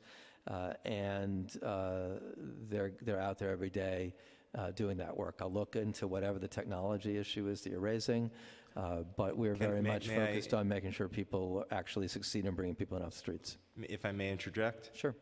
If I'm making a 311 call, um, which, which you know I do frequently because every time it doesn't end up being satisfactory, you get an email from me. I I haven't imagine. gotten one lately, so I'm surprised about your question today. Uh, in, in all honesty, it's because we're trying to work with individuals in the community, particularly around the Q station right near my district office, and we're putting in the requests, and for whatever reason, the provider is unable to find the person, even though I can look out my window and see them, and we keep getting the not finding. So I, in all honesty, kind of gave up a little bit. But I'm hoping that if there's a person that there's an ongoing working relationship, that they would be showing up on the Canvas results every single day. So we're very concerned with quality control. It's the reason why we've had success with 2,000 human beings, and we don't use a metric of bringing you off the street if you're going to go back on. It's off the street to remain off the street. I'd be interested, and we'll have someone follow up with you or your staff about those particular facts, so we can see what went wrong and make sure that uh, we can uh, deliver on our everyday work to bring people in off the streets. You asked me uh, a number of other questions about housing. I know there's an HPD hearing on Friday in which they testified with regard to their budget. I'm going to defer to, to their testimony regarding uh, their funding and, and their programs. We're very focused on the social services programs that we operate. Uh, and uh, I, I want to defer to, to their testimony on Friday. For the 12,000 families, what size units do they need? Is it studios, one bedrooms? Because we keep building those. Well, I think the average family size is three. Uh, It's an adult and two, two children. That's the typical family size. I would point out, as I did in the primary part of the testimony, that for families with children, the number, the peak census in 2014 versus the peak census currently is about 3,000 fewer people in families with children. And we're going to keep uh, moving forward with our initiatives to move people out of shelter. You've been a supporter of supportive housing. You've been a supporter of shelter. I know we were at a groundbreaking for a supportive housing facility in your district, and uh, I know that you've been talking to me about a few uh, locations in your district, and we're going to keep that keep those conversations going. And is there money in the budget to build the shelters in my district? If you can identify a site to open, uh, we will be able to proceed. I think there's a misunderstanding a little bit about how shelters open. Shelters operate through reimbursement, particularly families with children shelters, reimbursement from the state and the federal government. Uh, That would be jeopardized by the $125 million cut that I raised earlier. We'd be getting only a 90% reimbursement rather than 100% reimbursement. So Uh, I want to just reiterate again the point I made earlier. We have a PEG coming at us from Albany in the next couple of days, and I want to make sure all hands are on deck to, to help us with that. Thank you, Councilmember Kallos. Uh, Councilmember Gjonaj. Thank you, Chair. Uh, Good to see you again, Commissioner. It just feels like deja vu all over again. Um, Same rhetoric. Uh, Chasing our tails is basically what we're doing. From scatter sites to um, hotels, to the amount of money that we're spending on finding shelter for our homeless and not addressing the real issues, which is keeping New Yorkers in their homes before they become hopeless, stop the bleeding, and let's find permanent housing solutions. Uh, I keep reiterating this uh, time and get, time and time again. Borough of the Bronx, 2016 Fair Share Report, 41% more uh, supportive housing units than Brooklyn, 13% more than Manhattan, 99% more than Staten Island, and 100% more than Queens. The borough of the Bronx is continually dumped on, inundated, uh, and we truly want to bear our share of the responsibility. But we don't get the resources that are needed to accommodate these families that truly need more. Um, the number of homeless children in our schools is beyond comprehension, and we don't have the supportive services for them, for their families, to help them get back on their feet. From healthcare, education, policing, um, job training, and it's a continuous merry-go-round that we go through. Um, peg cuts. Do you have you been in discussions with this administration where your $50 million in peg cuts are going to be? Uh, We're certainly in discussions with OMB about that $50 million cut, but I want to encourage you, particularly uh, with your former colleagues in Albany, to focus on the $125 million state cut that is coming towards us, which is going to make it very hard to continue the work that we're doing and the work you want us to do. So I appreciate it. thank you, Commissioner, but I'm worried about your peg cuts of 50 million That's before I 100 worry about the states. This is go- being handed down to you by your administration, this administration, and I'd like to know if you're partaking in dialogue with this administration on where those cuts are going to take place. And if so, we'd like to know. But We're in dialogue about how to implement a $50 million PEG cut, but I, with respect, $125 million cut is potentially going to hit us in a couple of days. That will imperil all of the reforms that we've implemented and the things you would like us to do. So I'm going to urge you to reach out to your former colleagues to try to head that off. I'm Then reaching out to you to ask about your 50 million before I ask my colleagues in Albany about the 125 that may be coming down a pipeline. And if we're going to get progressive on the issue, let's talk about a looming recession that's going to slow the economy down where we're all going to have a world of trouble ahead of us. But on the $50 million pay cuts that your agency is facing, have you, can you give us any insight on where that will take place? It's, we're in discussions about how to, how to implement it, and it'll be part of the executive budget. Uh, We announced that we were going, that that was the amount of money that we're responsible for coming up with savings, and we're working on a number of uh, potential uh, initiatives with OMB, and it'll be part of the executive budget. But I do want to say that if the state cut goes into effect in the next couple of days, when the budget is finalized, that's 125 million plus 50 million, it's 175 million dollars worth of cuts. $93 billion budget. That's about $4 billion more than last year's budget. And yet we're looking at cuts and we're about 125 million. That's besides the point. A recent uh, report came out today in the New York Post how unaffordable New York City is and the um, rising rents and the cost of living. Uh, for example, New Yorkers get the privilege of paying 42% more than the national average for milk. 47% more than the national average for bread, 55% more for eggs. And when it comes to the luxuries of car ownership, 12.5% more for fuel than the national average. And according to that report, it's because of real estate taxes. In this budget alone, we're looking at a $1.8 billion increase in real estate taxes, which is going to make rents less, more less affordable for New Yorkers. And I can't help but bring up my TRIE bill. The only way we're going to stop the bleeding and the triage is by slowing down the number of families that are being forced out into the streets, and a, the tenant rent increase exemption program will help the most vulnerable of New Yorkers, those earning under $50,000, keeping them in their homes, not allowing them to be subjected to any more rent increases. We need to become proactive and not reactive, and if you want to answer that, I'm going to stick around for the second round as well. Thank you, Chair. I, I couldn't agree with you more that prevention is a, a high priority. That's why we've invested so much and been able to reduce evictions in New York City by 37%. Uh, that means 100,000 people have remained in their homes over these last five years because of the joint initiatives of the administration and the council to make uh, tenant lawyers available.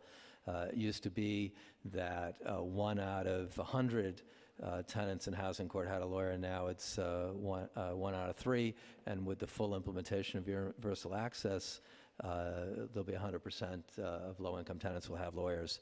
And you can see the, the metrics already of a 37% drop in evictions. So I couldn't agree with you more about the importance of prevention.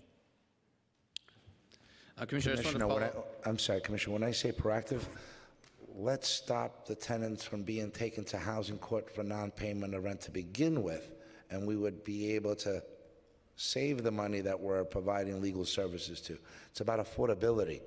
Right, I agree. That's why we think it's so important to get the Krueger-Hevesi bill passed, uh, which would give us the ability to pay additional rental assistance to people uh, to help them stay in their homes and avoid evictions. I agree with that. Uh, Commissioner, I just wanted to follow up on the, on the PEG question. Um, Uh, I'm sorry? The, the PEG questions. Um, Actually, well, well, about the state cut. Uh, Has OMB indicated to uh, you or the agency uh, that they are or are not willing to backfill uh, any state cut that comes down to TANF, if it's 125 or if it's something less? Um, uh, Has, O- have you had discussions with OMB about this? And have they indicated one way or another whether they are willing to uh, authorize the city to allocate city tax levy to backfill? uh, Because that's, that's, that cuts into direct service for clients. Both OMB and we feel very strongly that the state shouldn't be transferring state obligations to us. And in the remaining days, we're 100% focused on that. Okay, so I guess we'll talk about that at exec if it goes through. Uh, I know, I know you've been involved with this. I'm going to be in Albany tomorrow, uh, and I would encourage everyone to be very much focused on preventing this from happening so we don't have to discuss it at exec. I don't want to be here testifying at the executive budget hearing about the impact of that cut and the services that our clients need. Um, With regard to the city's PEG, so just, just for the record, um, we haven't had a, a round of PEGs with uh, this administration yet, but I was here for uh, the previous administration that did do PEGs, and my recollection is that we, they laid out PEGs in the preliminary budget so that uh, there was an opportunity uh, for the council and the administration, as much as we didn't like those PEGs, uh, that we could have a full uh, airing of them uh, and uh, preliminary and executive budget hearings to go through those.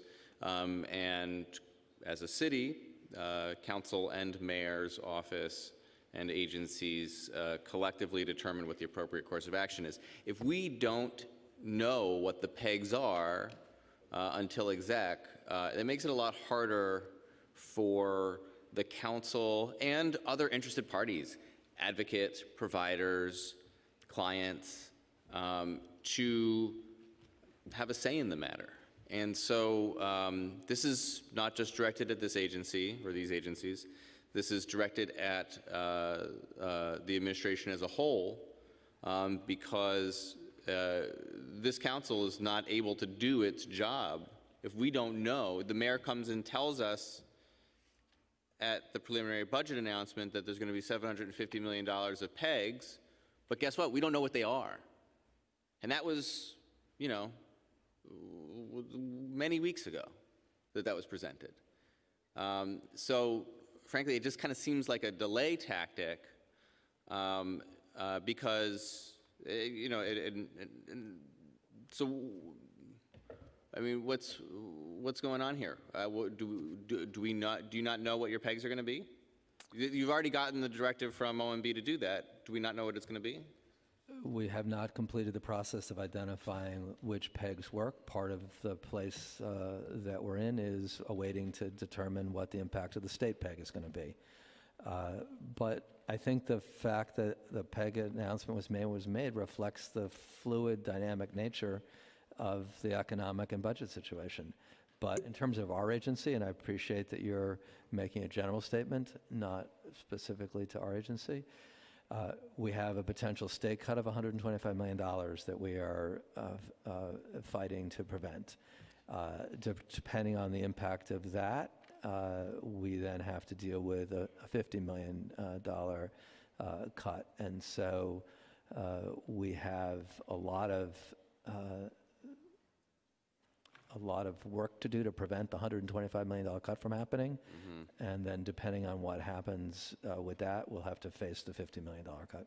Um, How was the percentage determined um, for it to be 50, $50 million uh, from these agencies? Because I, I- you know, I, the, the agency that's going to be testifying after you, ACS is looking at a 7% cut uh, in their CTL.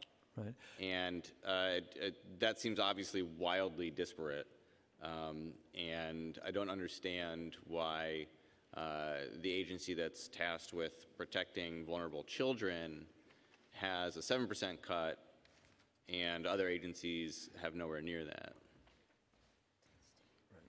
I mean, part of the challenge here is that Medicaid in our budget is ex- is exempt. That's part of the process. And I think the other part of the process is that we have already, uh, had already imposed limited hiring in parts of our agency previously as part of other efficiencies that we were seeking.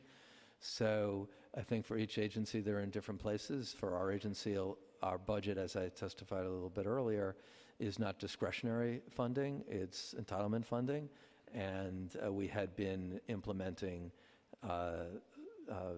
staffing, uh, uh, we- we've been implementing controls and filling positions previously.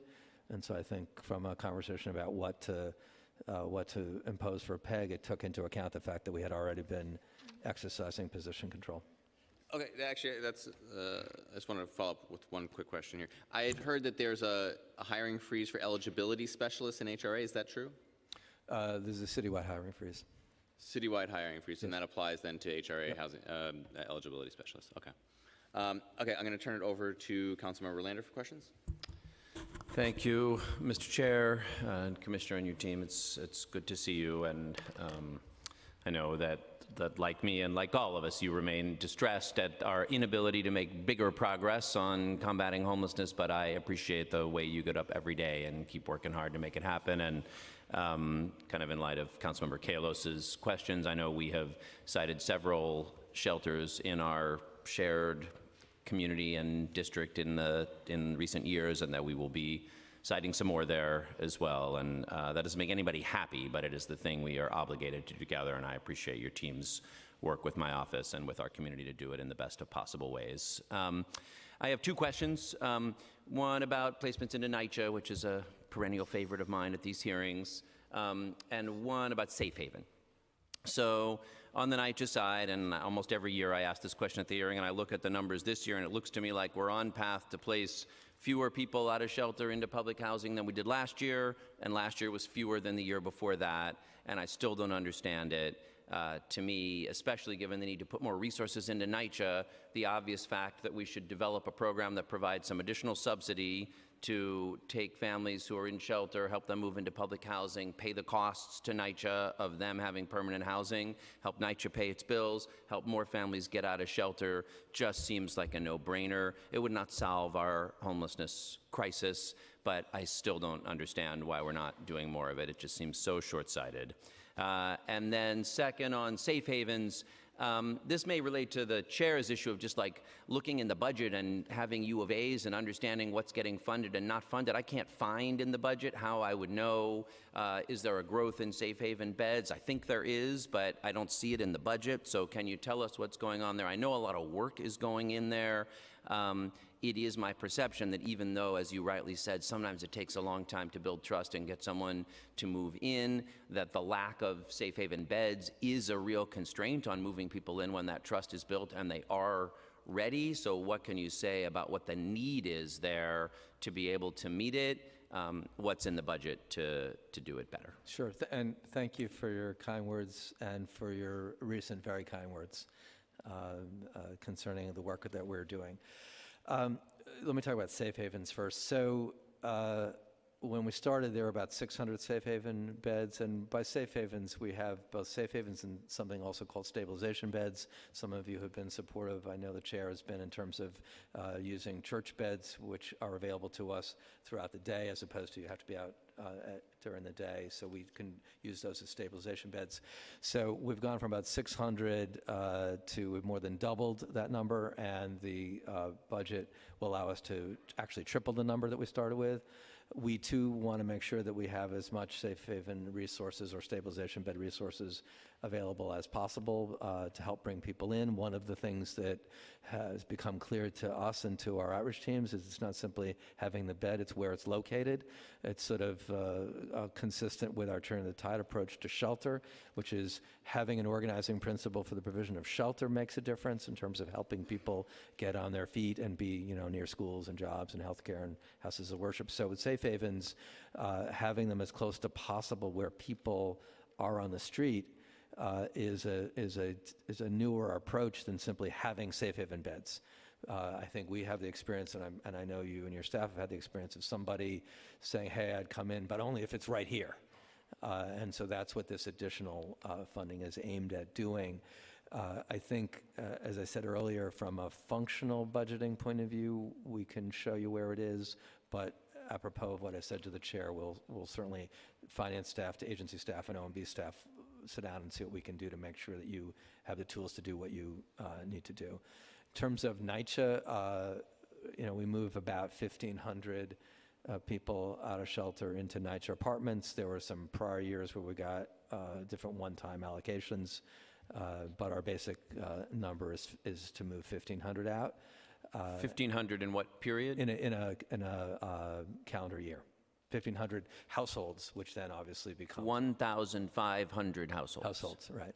That's our target for how many people will move out of shelter into public housing. Right. The total How many vacancies are there a The year? total turnover is about 3,300 uh, in NYCHA, so that's, and then on top of it, you have people in other groups, uh, and plus the waiting list, so it's 1,500 out of about 3,300. And you're satisfied with that? You know, you asked me this question when I went from legal aid to become uh, a commissioner. You were really unsatisfied with it back then. No, I, I actually had a different, different take on what I was going to say, and I'll say it again. Um, I was there for 33 years, so, a, so I must be an optimist by nature, right? And then I became the HRA commissioner, and now I'm the commissioner of both HRA and DHS, so I must continue to be an optimist by nature. So I'm optimistic that any housing resource we can get, we can make use of. Uh, and that's one of the reasons why we created all these rental assistance programs. Uh, and we reinstated the NYCHA priority. It helps us get 109,000 people housed. Uh, and every last apartment we can get and find, uh, we can put to use. Thank you. Thank you, Mr. Chair. Thank you, Councilmember Lander. Uh, Councilmember Helen Rosenthal. Thank you so much, Chair. Great to see you, Commissioner. I just want to start my communications uh, staff is reminding me that um, last week in the Daily News, I was misquoted uh, completely about homelessness, and um, I did not say what they said. And instead, what I meant to say, or what I did say, was that um, the ongoing levels of homelessness in New York City is tragic. Uh, I think your handling, if the Daily News is watching me now, uh, of the crisis has been spectacular. I think you lean in every day and you have a great staff who's working so hard. I certainly see that in my district. So I appreciate all the work that you and your agency is doing around uh, to address the homelessness crisis. I'm asking questions about three different areas. First, about domestic viol- uh, shelters and how we're uh, taking care of survivors of domestic violence. I have a few questions about the human service contracts. And lastly, just a little bit about um, follow-up from the uh, Jazmine Headley uh, situation and implicit bias. So first of all, I I see here that, um, hang on, last year, I think the DV, uh, you took in a certain number of DV cases. I think it was 800 individuals. Um, yeah, it's roughly 800, could be a little bit more, but between your shelters. And I'm wondering what the wait list is like, number one.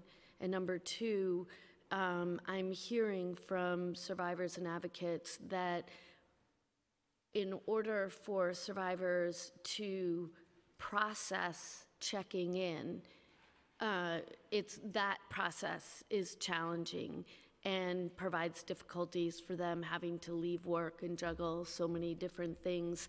Whether or not you guys could try to ease that, and similarly, whether or not um, the funding at the shelters provides uh, funds for childcare.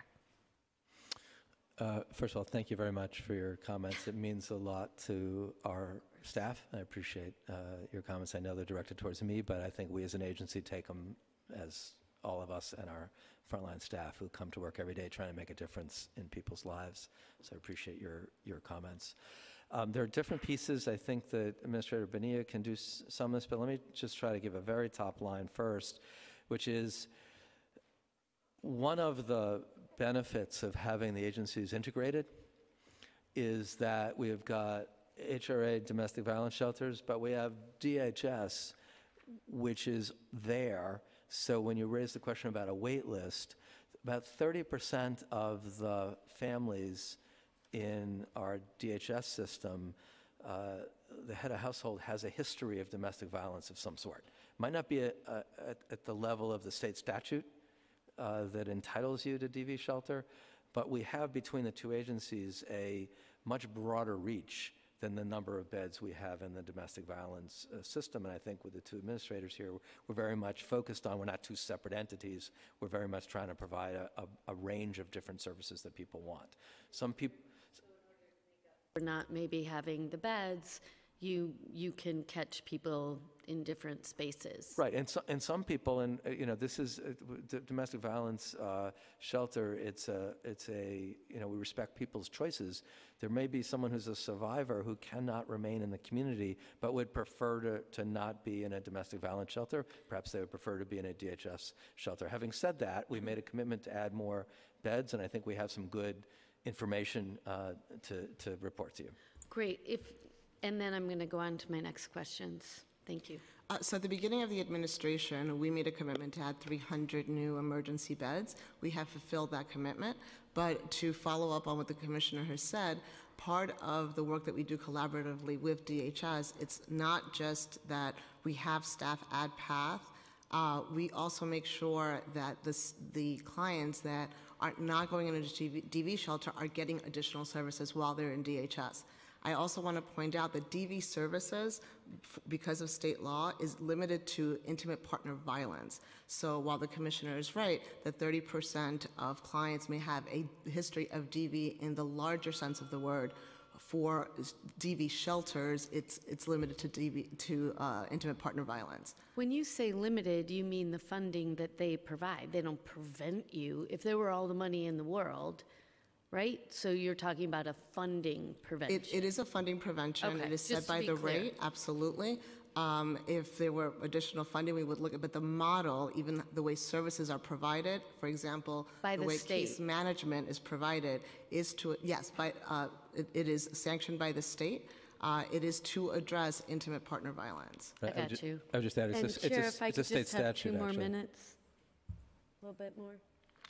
Thank you. It- It's a state statute, as Mr. Urbania says, that defines who's entitled to domestic violence shelter. It's one of the reasons why in our Department of Homeless Services shelter system, we have a broader conception so that we can have a, a safety net that we think is commensurate with what uh, the, the need is. Okay, so that's disturbing. I, I appreciate you. Sorry, let me clarify. I understood what you meant. The state Statute.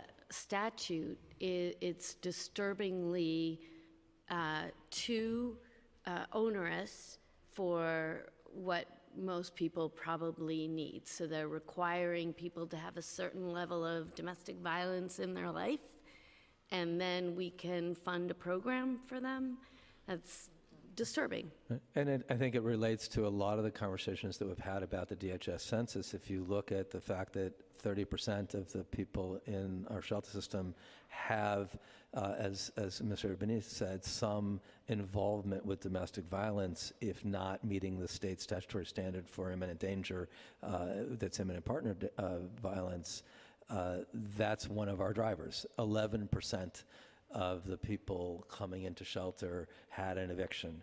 That's because of, I think, all of the great work we've all done to drive down that number, but 30% are coming in because of, uh, uh, with, a, with a history of And domestic then, violence. uh, Not right now, but if you could get back to me about making the process easier for, for DV survivors, I'd appreciate that. Interested, as always, in sitting down or, or ha- or having a phone conversation about what exactly you're seeing so that we can try to make improvements. Are you getting funding again from the state uh, to address the issue of um, um, employee overtime and uh, the fact that if you're high management, you're not paid overtime?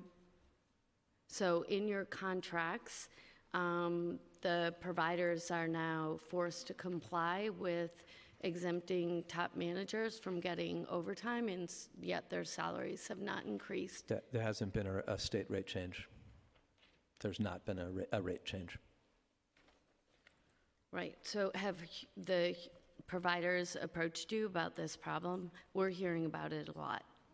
So if we're talking about DV providers, we've actually, uh, I'm very proud to say that we have worked aggressively to make sure that we have an open line of communication with providers on a number of issues. Uh, Happy to sit down with you to see what, what we're missing, uh, but we have not heard this from providers. It's not just DV, it's um, any human service contract, no. And the Legal Aid Society is asking for additional funds for the work that they do in their contracts. Their caseload is high, they're doing a lot of work, and they feel they're not being paid at the level commensurate with the work that they're doing. Is that something you're exploring? Which, uh, which contracts in particular? Any contract you have with a legal aid provider? Um, I mean, in terms of the immigration legal services funding, we've made a pretty significant increase from about $3 million to uh, more than $30 million for the field. Right, but I would always ask, is that because of increased demand for services, or is the Actually- contract richer? Yeah, I so I was going to actually come to, come to that as well. And then in terms of uh, tenant representation, we went from 6 million to 166 million full implementation. Right, Uh, We always want to hear from our providers about what, what their challenges are. I know that there was testimony just last week uh, from the Legal Aid Society about their request for additional immigration funding. We've just, you know, now heard the testimony. We're going to look at it. I know that there's other testimony about their criminal uh, defense funding. Uh, f- uh, I'm just going to Let's say. move uh, on. I, it's the same question as we discussed last year, um, at this exact same time, that the legal service providers are in the same shoes as the human service providers, and they're just routinely being underfunded. Lastly, um, I noted in the budget that um, implicit bias uh, mitigation is in the budget for uh, 1.3 million growing to 2.9 million. Um, Is there any jeopardy those, that money will be uh, pegged away? I mean, I committed to do those things under oath to address a very serious situation. Uh, And just, you know, for the record, for body worn cameras, it's 300,000 is in our fiscal year 19 budget. It's a one-time expenditure. And then uh, in order to maintain the operation of body worn cameras for our peace officers, it's $54,000. That's, that's in, in the um, preliminary budget plan. For implicit bias, it's a million dollars in our FY19 budget, 2.2 in our FY20 budget, and then a million in the out years.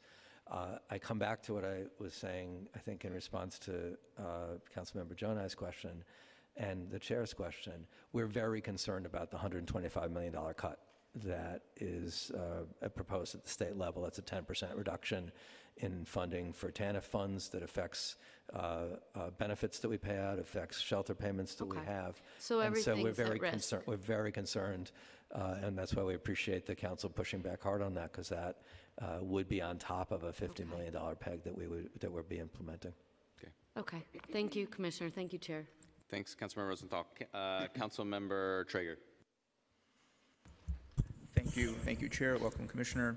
How are you? Um, On uh, November 17, uh, 2018, uh, my legislation to provide families with, uh, with free diapers, um, Intro 0380, 2018, was enacted.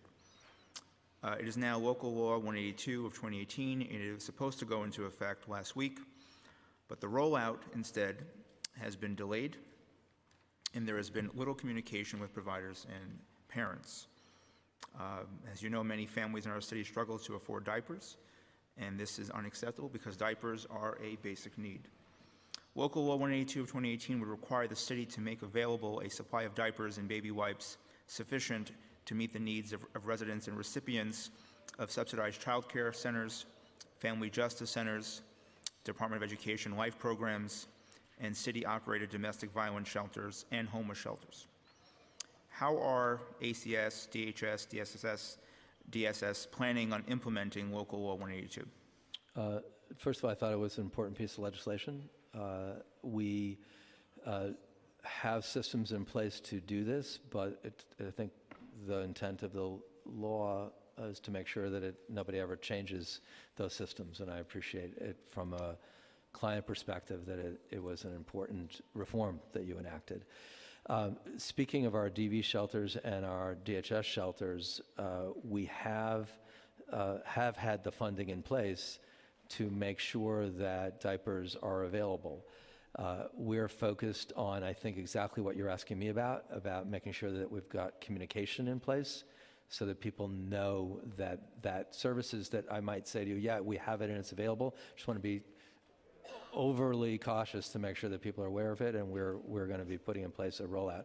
We do use the New York uh, State uh, uh, Industries uh, for the Disabled as our supplier of uh, diapers. Under the state finance law, they have a right of first refusal on many goods, and so have been using them as a supplier. We think it works well, but we're obviously going to take a, you know, the look that you would like us to take to make sure that the implementation is working. Uh, As I see it, I think our, our focus needs to be in moving forward is making sure the communication is right for the families so that they know that which we've been funding is available to them. But are you aware of any family that has requested uh, diapers for their children uh, have been denied? Uh, Not aware of that. If you have information, I'd be, I'd be unhappy to know about it, but let me know about it so that we can address what, what went wrong. Yeah, what I'm hearing directly is that there's vir- virtually no communication going on with folks about, about the enactment of this law. Um, And so it's maybe not an intentional denial, but their are services being denied one way or, or the other because folks just don't know about it. Okay, but as I said, one of the things that I think you're right on is we will make sure that we're, have, we'll make sure that there aren't families that aren't aware of that this is available to them. It's something that's been available to them. The law gives an opportunity to reinforce that it must be provided to people because that's what's required by the law.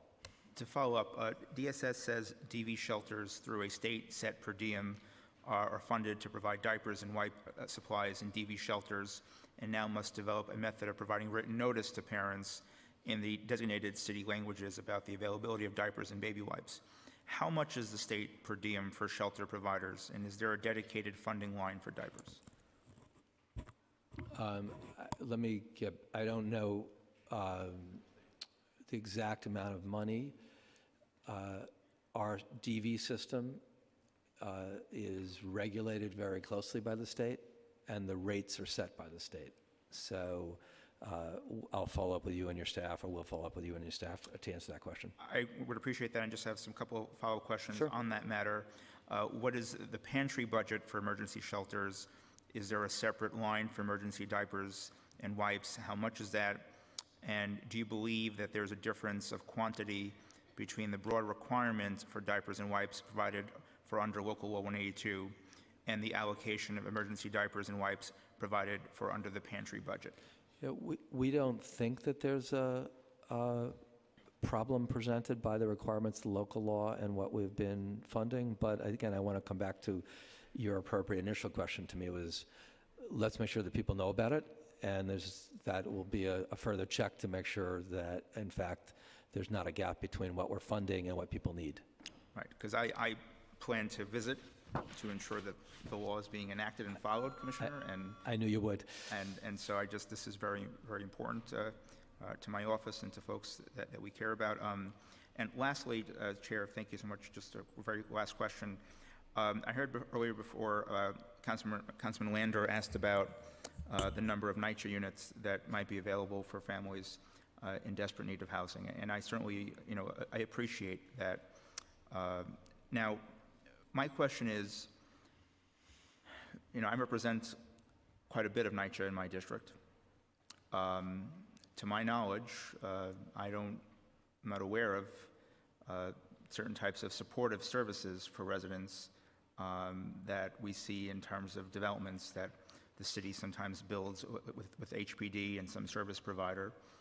Um, There have been instances in my district where um, folks who came out of the shelter system were, were given a NYCHA apartment, and one instance, almost a week later, there was a shooting involved with that person because that person had an, was battling an addiction, and that addiction and the troubles that come with addiction traveled with that person to that apartment, and the shooting occurred right during graduation time, which traumatized many of children in my community and district, and who were going to celebrate what's supposed to be a happy occasion, they had to see a crime scene tape um, in their building and, and uh, uh, on Surf Avenue.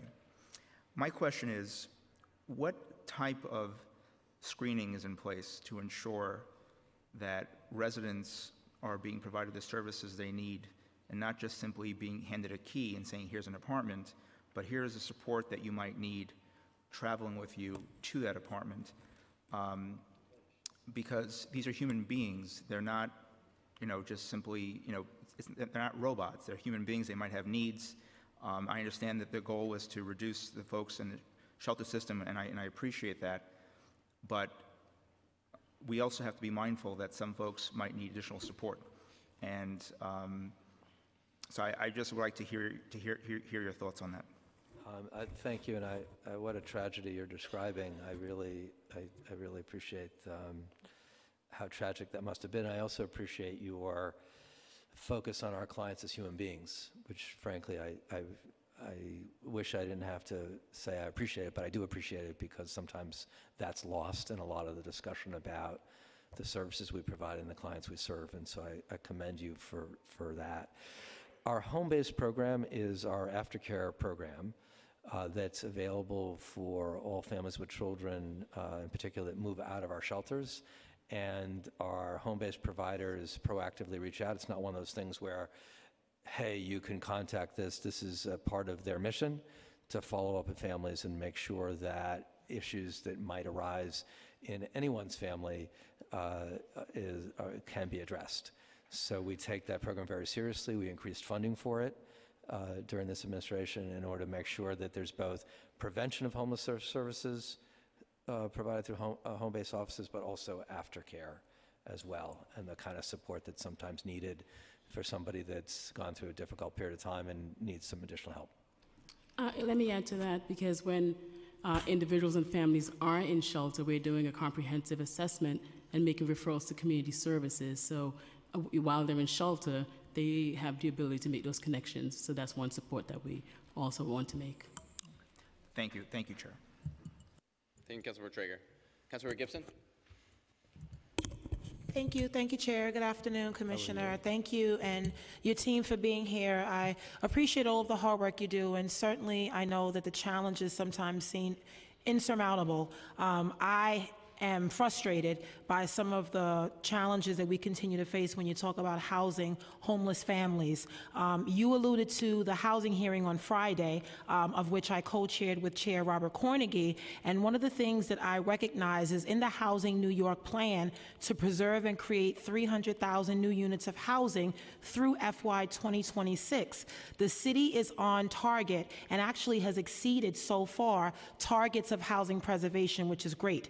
Um, new construction, we have not met our target, specifically in the category of New Yorkers that are at extremely low income. And so I guess my question is there is a very ambitious campaign, uh, Housing Our Future, where the advocates and many housing campaign folks want the mayor to commit 30,000 units of housing set aside for formerly homeless families, homeless New Yorkers. And I guess I wanted to understand the partnership that DSS has with HPD as they create all of this new housing. So we're building new housing for every different income level, middle, high income, low income, but extremely low income, we are falling far short. The majority of the families that are living in our shelters are in that particular category. So, are there things that we could be doing more of where we can really get through the challenges of addressing the housing needs for the New Yorkers that are at the lowest end of the spectrum? So first of all, thank you for uh, all the important work you're doing in your district and citywide. You've been uh, a, a supporter of what we're trying to do, and I appreciate that. Sometimes I know uh, it's challenging. Uh, you know, from our agency's point of view, we've got a, a very um, complex and broad mission. And I know that HPD is very focused on what they've been charged to do uh, in the city. Uh, for us, they've been helpful. Uh, for example, helping us gain access to 421A units. Uh, we've gotten about 600 families moved out of our shelters, 600 households moved out of our shelters into those units. That was something that didn't exist before. That's helping us. HPD has been helpful to us in our efforts to convert clusters. So you know, we have a large mission, they have a large mission, and they've been helpful to us. I'm cognizant that there are larger issues involved here, and that you and I see Councilmember Salamanca here as well are very much focused on, on some of these larger uh, questions. Uh, and I know that, that there was that there's going to be dialogue following the hearing on Friday uh, with HPD about uh, their plans and, and, and what your concerns are. Right. So they're on target to achieve the numbers by FY 2026. But the reality is, is we need more housing um, to be expedited before 2026. So the frustration that many of us feel, particularly in the Bronx, when you look at all of the sitings of new shelters, they are all saturated in the same communities of color. And no disrespect to any of my colleagues, but certainly I have every right as a representative of District 16 who has housed not only my homeless families, but many other homeless families that are sometimes not even housed in their own ori- original community. And so when you talk about new construction, we have been working extremely hard with developers to understand the need for set asides for homeless families coming directly from the shelter, raising the threshold from minimum of 10% to as high as 30%. Councilmember Salamanca will talk about that. But even with all the things that we're still doing, it's honestly not enough. Um, I wanted to ask a question about cluster, which you brought up, because most of the cluster housing, again, saturated in the Bronx, and the city is on the cusp of a new agreement to acquire 17 buildings, 13 of which are in the Bronx. Valued at $174 million. Now, that's $30 million over the city's appraised value. And my concern is we talked about eminent domain when you made the announcement in the Bronx with potentially taking over ownership of these distressed buildings and allowing not for profits to run them. But my concern is the $174 million that we're going to spend to acquire these buildings from landlords have numerous violations. We know renovations will need to be done. And on Friday, I asked HPD, does that 174 million include any money to renovate these units? And I was told no. So my concern is why are we paying $30 million more than the appraised value? And what types of estimates can we get that will determine these buildings and the real work that's going to be required to acquire them over, you know, the next few months as we discuss this. Um, th- Thank you for your uh, focus on this issue. I know that for both you and me, it's been important to try to capture the cluster units uh, and keep them in the affordable housing stock. This Giuliani-era program uh, was a program that took units off the market uh, and uh, didn't serve the clients well, didn't serve the community well. And with this transaction, we will have uh, gotten, we would have ended the use of 70% of the units. Uh, we have 30% still to go. And we announced, you're, you're, I appreciate you, you referencing this, we announced last December that we were going to use a new tool, eminent domain, to try to convert as many units as possible uh, to uh, affordable permanent housing. In these 17 buildings, there are uh, uh permanent tenants as well as Right, uh, they need help. that need help. There's 468 units were involved in the cluster program, uh, and um, uh, about 261 units uh, are, uh, were permanent tenants. So let me, I- I don't, I don't mean to, to bog us down this, but I think it's important to understand what, what the eminent domain proceedings are and what the valuation of the properties would be in an eminent domain proceeding. So in an eminent domain proceeding, it takes three years uh, in order to gain uh, city ownership of the building, uh, buildings, and a court determines uh, what the value, the highest and best use of the of the property would be, and then the landlord's entitled to interest for the amount of time that the case was in court. So let's using imaginary money, the landlord, uh, the court determines that the property is worth $100. That means at the end of that three-year period, whatever interest the landlord could have gotten by using that money, the court awards that to the landlord. In addition, the court awards attorney's fees to the landlord. Uh, and the owner is always going to say the building is worth a lot more than what a city appraiser might say. So you have a litigation risk of paying a lot more money than what an appraiser says. And then you have a really human issue, which is there's 1,200 children and adults in these 17 buildings now that will be in limbo for three years, whether or not they're going to get to keep their apartments. And by resolving this out of court, uh, taking into account the litigation risks and what the costs would be from an eminent domain proceeding, uh, that's why this is a, a fair price to pay. In addition, uh, it's important to, and I think HPD might have said this, but I want to say it again for the record here. The median price of a uh, rent stabilized unit in the Bronx without renovation costs is $220,000. The median uh, uh, price for a rent stabilized unit in Brooklyn is $280,000. Uh, We're, the city's financing uh, a, a, a cost of $237,000. You're right to point out that that doesn't include the cost of upgrading, but there's one difference between what the median price is in the open market and this situation, which is why it was so important to be able to capture these units back. If we simply took, with, with that $220,000 median price for a rent stabilized apartment in the Bronx, the $280,000 uh, median price for a rent stabilized unit in Brooklyn, those assume tenants in those units.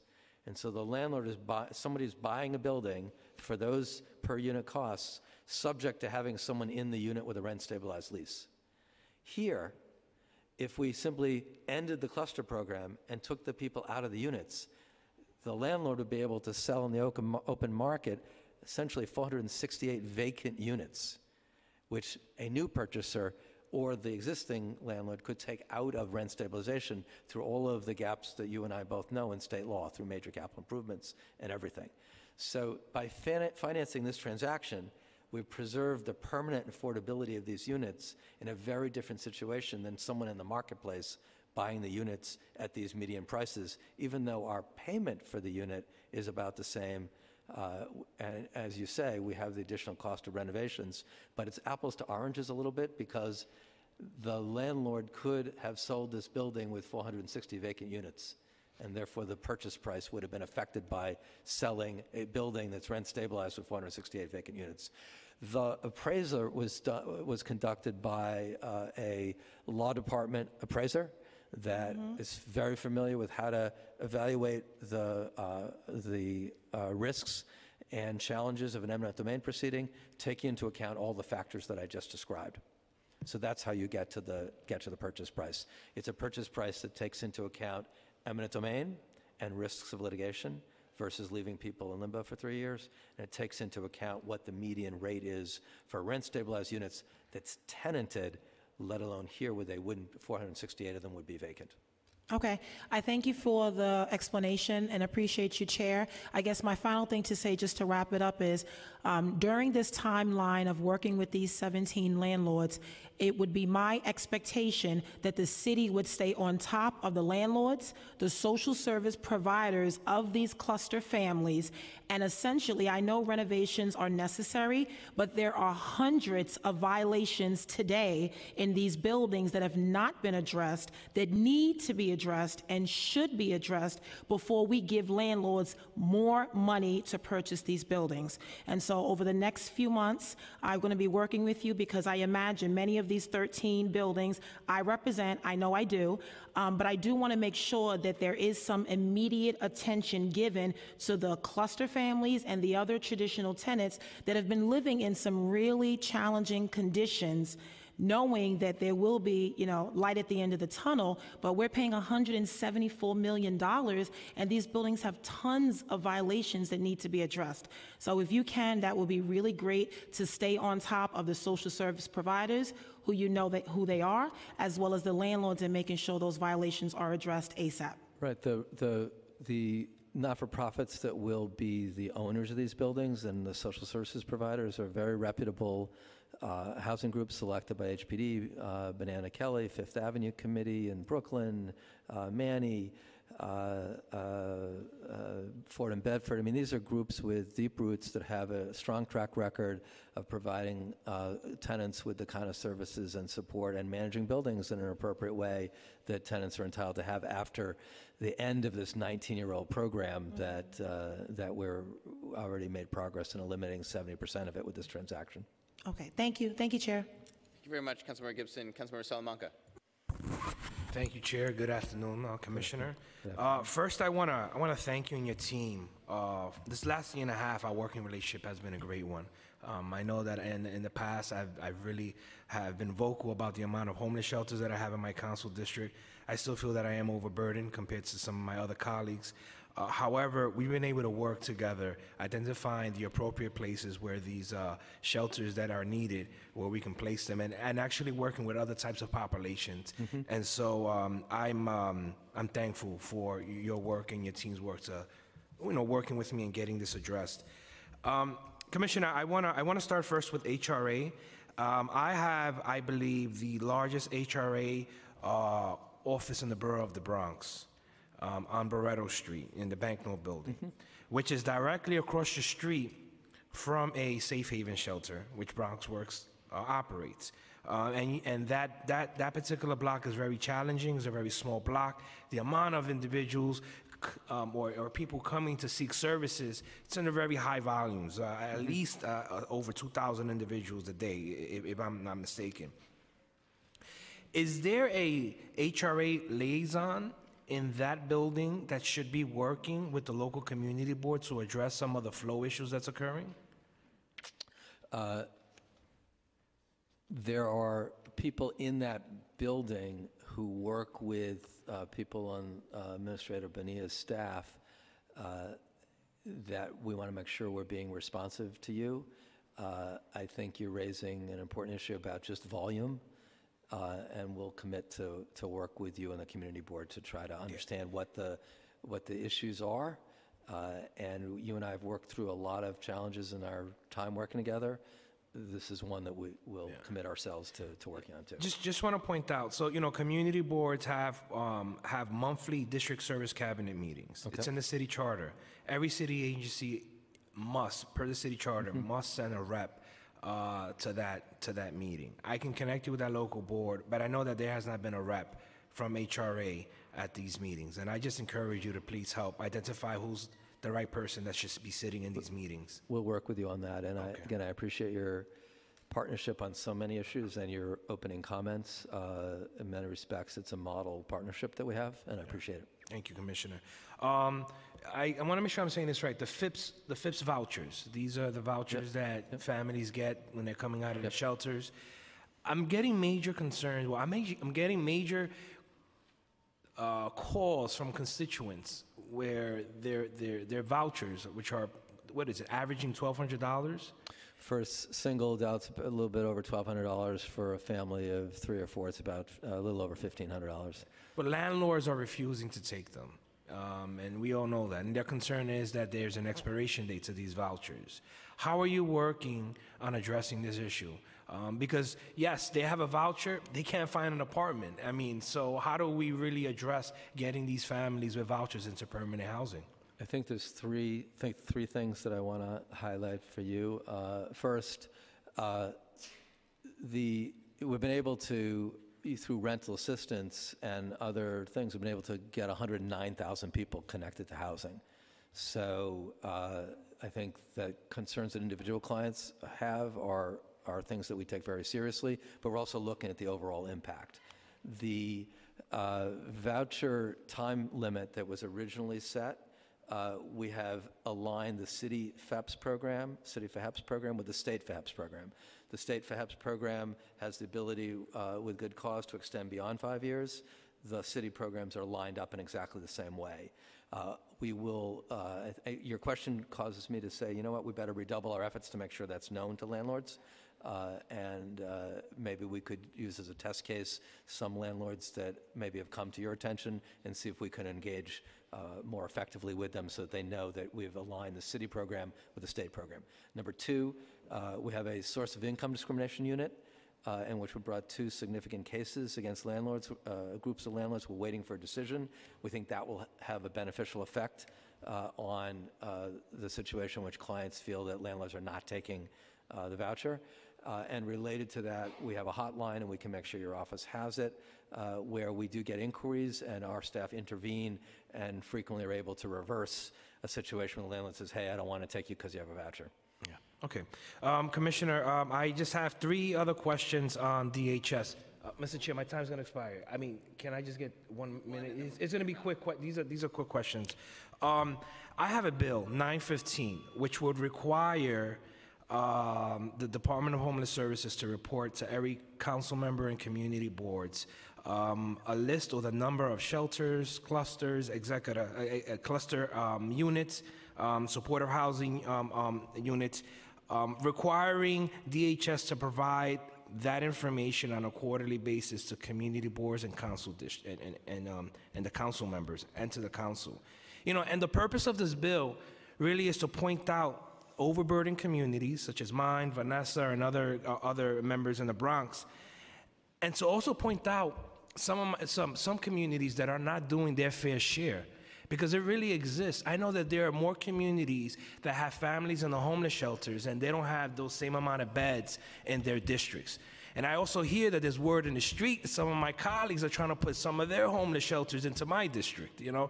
But so, um, Commissioner, my, my question here is, are you supportive of, of this reporting mechanism, which I think will serve, uh, it, it will help you in, in really bringing in shelters to those communities that are not doing their fair share? Right, we certainly, uh, and and we've had conversations about it, support the in- intent of it. I think there are some issues we've got about uh, uh, some unintended consequences, like with so many things, that we'd be happy to sit down with you and try to negotiate it through.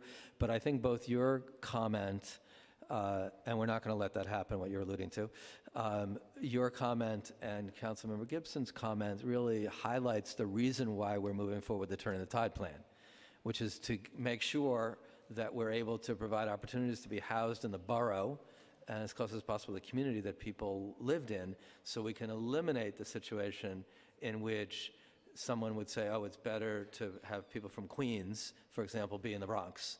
Uh, and we want to continue to work with you and Councilmember Gibson and other members as well, because that approach is going to end what's gone on for 40 years, which is no organizing principle of shelter, families with children placed all over the place, and then certain communities having more shelters than, uh, than is, is appropriate given what the need is.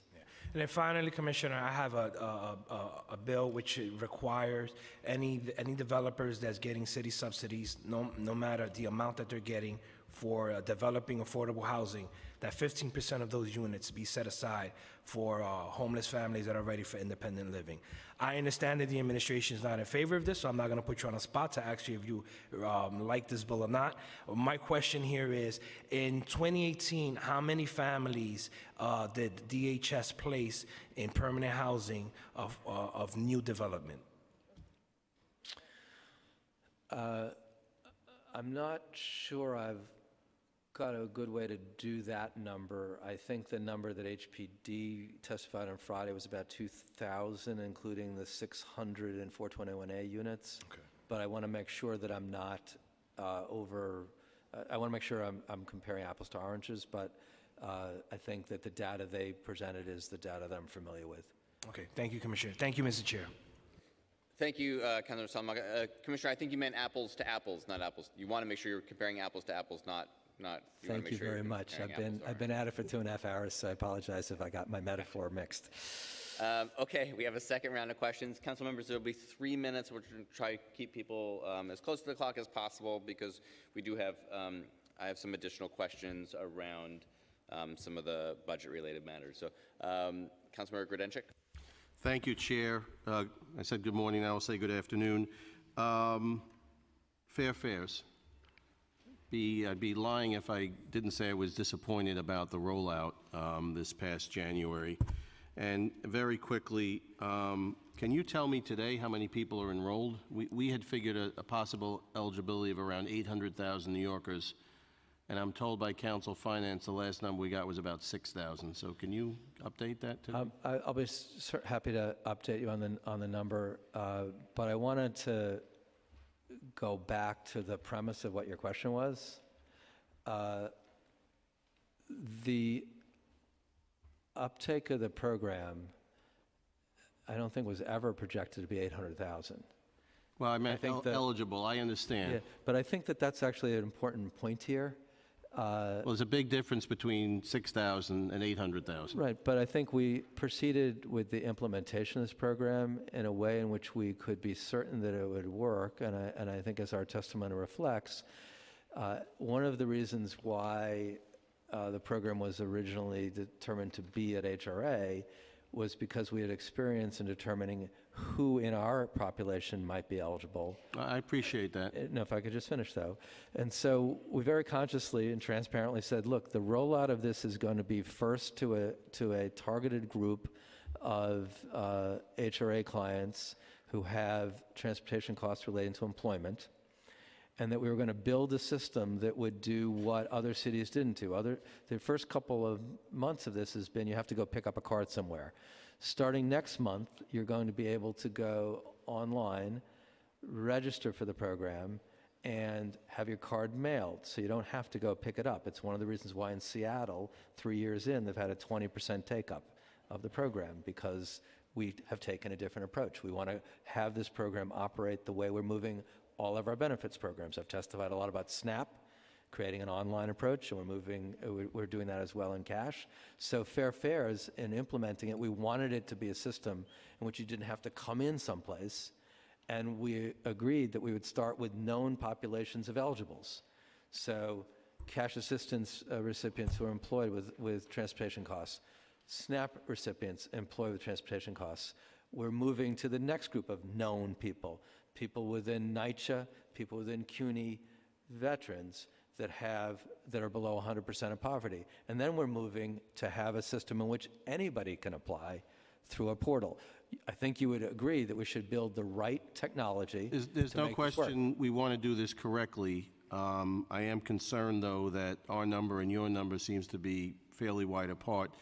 The last question, because I don't have much time, we had budgeted the city, we agreed uh, $106 million, and we are now almost halfway between uh, the the first of the year and the end of the fiscal year. And do you have an estimate on how much money we'll actually spend and how much will not be spent, more importantly? I, I think the, the commitment was to budget that amount of money and, and amounts that were not expended would be able to be used in the following year. I think we're going to have to wait until we do the rollout next month to have a sense of what the expenditures would be uh, uh, with respect to being able to register online and being able to get your card mailed to you. So the answer is you can't give me an answer? Is that what you're telling me? No, I think you're talking about, you're talking about we created a brand-new benefits program. I, I understand that, and, And if I could finish, okay, we had always said the real impact will be able to be felt when you can deliver something to somebody where they don't have to go someplace else to get it. And they, all they have to do is go online and get it mailed to them. I Then we'll have a appreciate better that. sense of what the uptake's going to really I appreciate it. I look forward to getting an updated answer at the executive budget hearing. Uh, Thank that you, would- That'll be Commissioner. a good time, because we'll Okay. know more then. Thank you, Mr. Chairman. Thank you, Councilor Grodenchik. Uh, Commissioner, I just had a follow-up about that. So, uh, in effect, right now, um, since uh, the only people that are currently uh, uh, being communicated with or being invited to enroll are those on cash assistance that are working and those that are on SNAP benefits and working.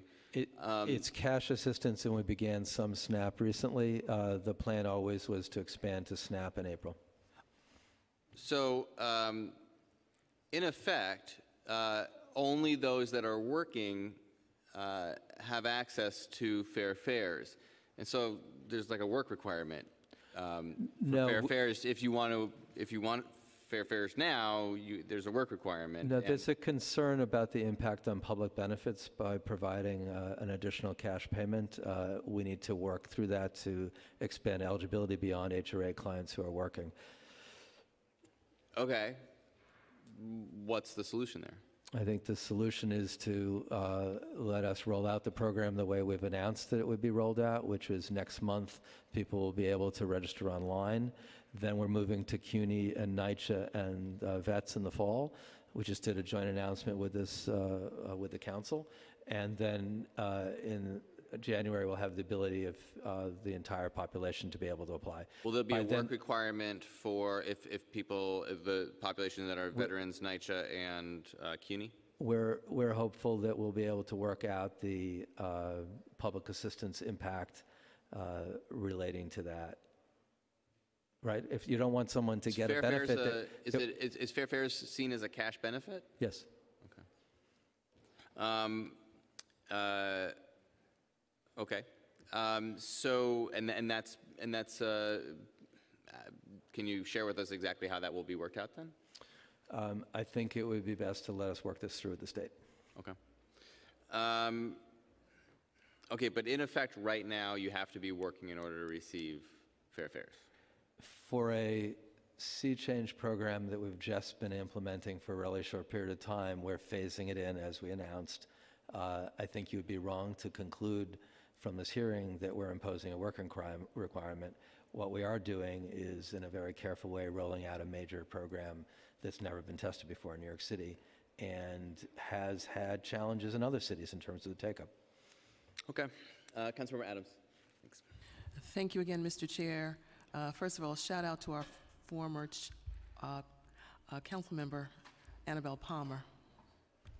Um, Commissioner, I, I, I really want to follow up on something. This is just for my own personal ed- edification. Um, I've been following the CBS story uh, on the SOTA program, um, the um, Special One-Time Assistance Program, and I would really like an update uh, on what is happening to those families that were placed in deplorable living consi- uh, conditions uh, in homes outside of state, outside of New York.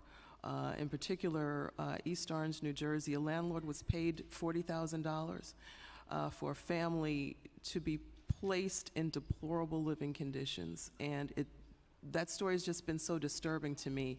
Um, I really would like to know, uh, number one, why were these homes not properly inspected or vetted um, to realize these horrible conditions? We're talking vermin, mold, no heat, broken fixtures uh, where babies uh, were placed. And where does the money, where does the funding come from outside of, you know, within the budget? Which pot does that $40,000 for this horrible slumlord to be paid uh, to place families, or this particular family, or families? Uh, So I guess I've just got a number of questions, but I really would like an update Sure. on, you know, on what's happening right now. I understand that DHS has not been in court with that particular landlord at all, I understand that. Uh, But please give us an update and how this happened. Sure. Uh, Let me give you the context of the program overall, and then what we're doing to address the kinds of issues that you're raising. And again, as always, uh, you know, you and I have worked together on many issues, and I appreciate the spirit in which you're asking uh, that question. So, uh, clients in our shelter system uh, come to us with many different kinds of uh, opportunities and challenges taking advantage of those opportunities. Uh, we have clients who are working and have uh, income sources that would enable them to pay the rent but need a sort of a helping hand to, to get started. And they're not going to be eligible for any of our public assistance based rental assistance programs. There isn't enough Section 8 out there for them. And so we created a program in September of 2017 to enable clients who have a source of income, have the ability to pay rent, are employed, uh, have uh, uh, sources of other sources of income, uh, or were going to be obtaining employment to enable them to pay rent. And you know, our clients are uh, like many New Yorkers, they want the ability to choose where they're going to live. Uh, since September 2017, about 3,500 uh, households have participated in this program. About 70 have returned to the shelter system in that period of time. Uh, more than a third of the families have relocated to apartments in New York City, and uh, about 10% in uh, New York State, and the rest out of the uh, out of the city. Uh, uh, but this is a program that sort of has its roots in something that Ed Koch uh, developed in the 1980s called Project Reconnect. I think, as you may remember, I was a critic of many things that Ed Koch did. This was actually something I didn't criticize him about because the ability to give a family a helping hand to relocate, uh, uh, I think, is part of what we're there to do to meet clients where they are and when they make a choice that they want to relocate to see what we can do to support them to do so. Of course, there's a right to travel uh, established by the Supreme Court that gives people the right to travel. Uh, when we stood up this program, we gave the ability of families to move in with a promise to fix. Uh, family really wanted to move, they moved in with a promise to fix if there were issues that arose. Uh, that resulted in a situation in which both families and the city was taken, were taken advantage of by one or more unscrupulous people uh, in northern New Jersey. Uh, we've refer- referred the matter to law enforcement, uh, and we're assisting in uh, the follow up there. Uh, the fact that the particular individual or individuals are in court, that's going to take its course, but we're uh, providing the assistance that we do for an appropriate investigation of, of these individuals. Uh, we also changed the program to be aligned with our regular rental assistance programs. When we streamlined all of our rental assistance programs last October, We took a look at uh, what the processes were for reviewing all apartments, whether they were through the old LINK program or SEPS or the old FEPS program uh, or uh, SOTA. And we created a, uh, a, a more intensive review process for apartments before people could move into them in New York City and in the metropolitan area if someone was going to move out through the SOTA program. And part of the streamlining was to align the city programs with the old state FEPS program. Some of you know that program came out of the Jiggetts lawsuit. FEPS uh, was, was the name the state had, and we wanted to have our inspection processes be aligned with the state processes, and we added to the state processes. And so SOTA was improved by adding this additional apartment review uh, in the, uh, in the, the surrounding counties surround, uh, metropolitan area. And we eliminated the ability to uh, move in with a promise to fix. Uh, we also uh, took steps to prevent someone from claiming that they were the owner of property when they weren't the owner of, property.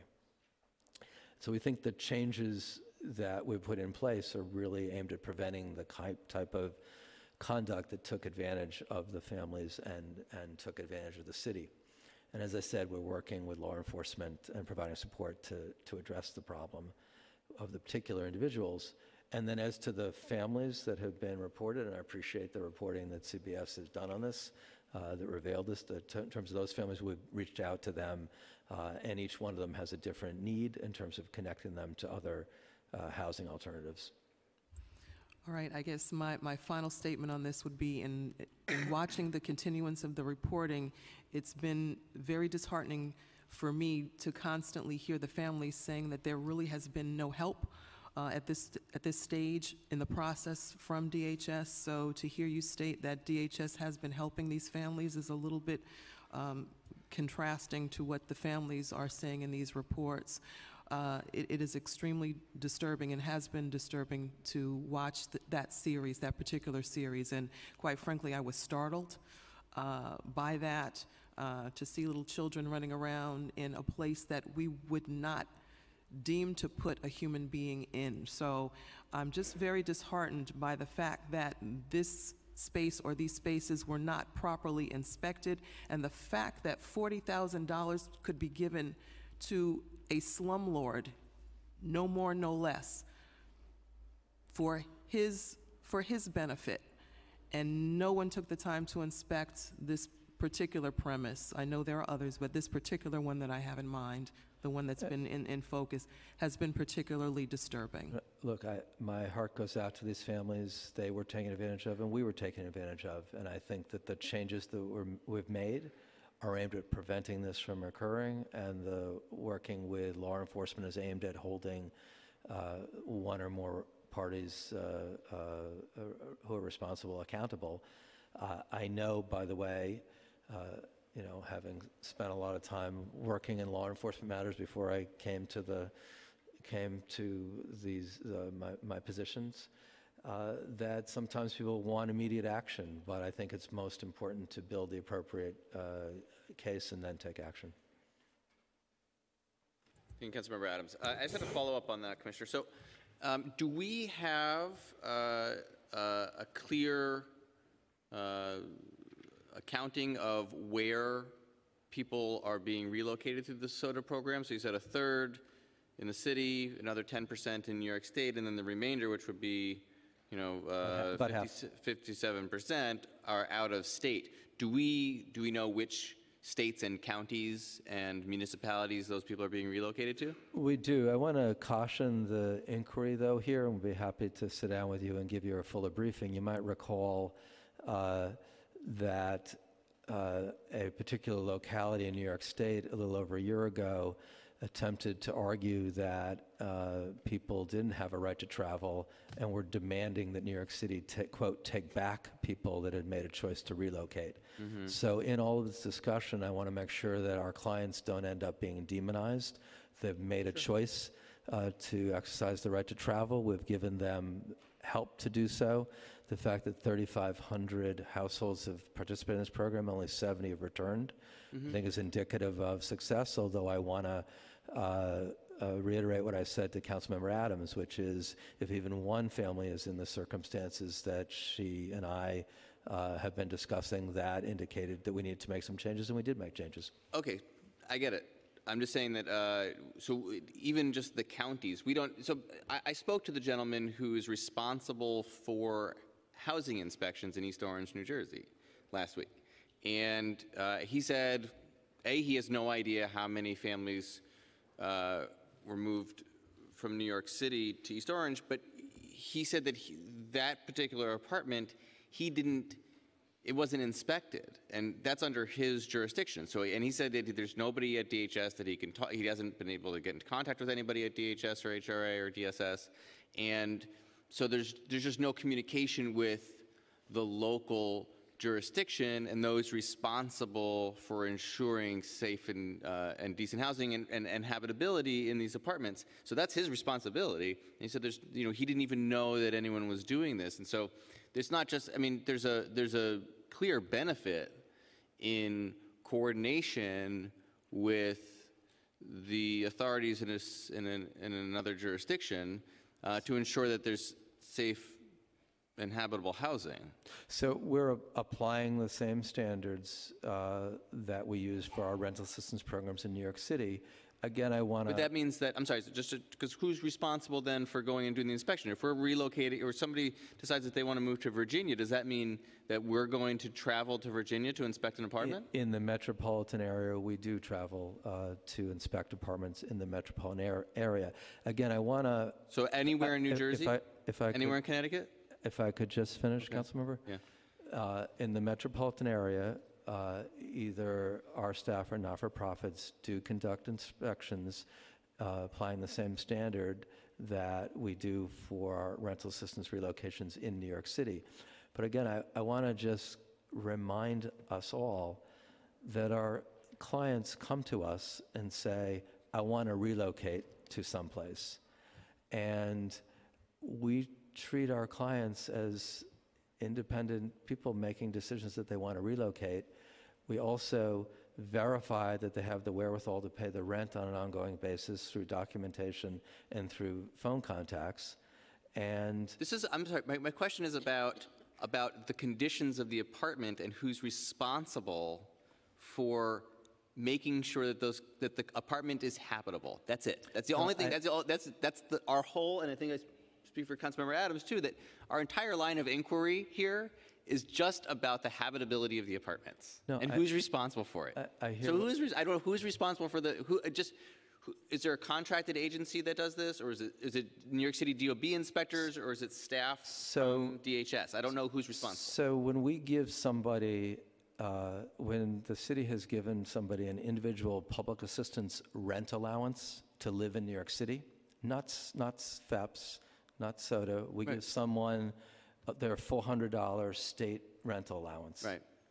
That is a benefit that they're entitled to get, and we don't tell them, you can't spend your shelter allowance in this apartment, you can spend it in that apartment. That's been the, But, but the difference, there's a difference. In New York City, there's a sister agency to HR, or to D- DHS, DSS, the Department of Buildings, that is responsible for ensuring, the the Department of Buildings and HPD for responsi, for ensuring the habitability of apartments in New York City, any apartment. But, but, and, and we, but when we go to a separate jurisdiction, there, we have to ensure that there's some level of accountability for at least the safety of these apartments. Other, I, I just, I don't, You- You're not suggesting, though, that if a client applies for public assistance and part of their grant is a $400 rent allowance, that we should tell the client that they can't use that rent allowance in their apartment, and that the Department of Buildings and Department of HPD should have something to say about that? I mean, we're giving people grants to make Well, decisions about, if I could that- just well, finish. I'm sorry- We're sorry, but- giving people grants. I don't want to demonize our clients and have, have it be that they can't make independent sorry, choices. Commissioner, that's a mischaracterization. We do, in fact, we do, in fact, if we, if somebody gets a FHEPS voucher, do we not inspect that, the apartment? For a FHEPS vet- voucher, we do do that, uh, but it's the same standard that we use for SOTA within the five counties. But if somebody wants to move out of New York City, Yeah. uh, we want to give them the wherewithal to do that, which is what we're doing. Right, okay, but we, with a FHEPS voucher, we uh, require that the apartment be inspected because we are providing city resources to that landlord to house the family, and we have the expectation that, that the apartment will be habitable. That standard ought to apply to those moving out of state through the SOTA program. Right. Considering, just, just also, I mean, just, just to be clear, the number of people moving out through SOTA is, is, is, is a very large number when you look through the various uh, programs that are rehousing people out of shelter. It's not an insignificant number of people, especially since it's only really been in existence for a couple of years now. And so I just, I just am not sure that I'm getting from this testimony or the answers to my questions that there is an accountability mechanism for the habitability of apartments that is the same mechanism that we are using for the other move-outs, the other, the other mechanisms for move-outs, so city FHEPS and FHEPS and Section 8 and TBRA and NYCHA, obviously. So all those have a certain mechanism for accountability to ensure the habitability of an apartment. And I just wanted, I just, who's responsible? Actually, just, that's the question. Who's responsible for the habitability? Right. We think there are mechanisms to address the problem that arose in northern Jersey. We think that was obviously a deplorable situation, and we're happy to sit down with you and give you a fuller briefing Who does the inspection? on the program. That's all I want to ask. But again, are you, I, I think you're not saying this. If somebody wants to move out of New York City, not to the metropolitan area, are you saying we shouldn't give them support to help them do that? Okay, I'm asking the question, who is, res- who is doing the inspections? Right. To move out of New York City, out of the, out of the metropolitan area, our clients are exercising independent choice to decide they want to move. So who's doing the inspections? Commissioner, I'm sorry, I can't move past this point without an answer. Who's doing the inspections? For people who are not moving within New York City or the five counties, we rely upon our clients to make independent choices about where they want to live and that they're moving into apartments that are appropriate for them. In northern Jersey, our clients and we were taken advantage of by a group of bad actors, or one or more bad actors.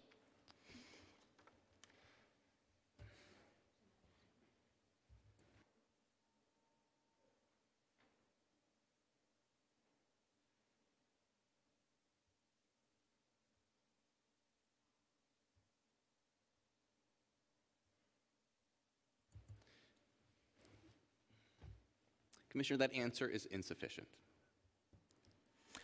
Councilmember, we're dealing in a world in which there's no regional planning, in which uh, our ability to get the Krueger-Hevesi bill, which would give our clients the ability to move, move around the state, uh, is hanging in the balance. Uh, we're dealing in a world in which clients come to us and they want to live in New York City or they want to move out of New York City, and we're trying to give them a helping hand to do so. We had a horrible situation that happened with a, with a number of families in northern Jersey.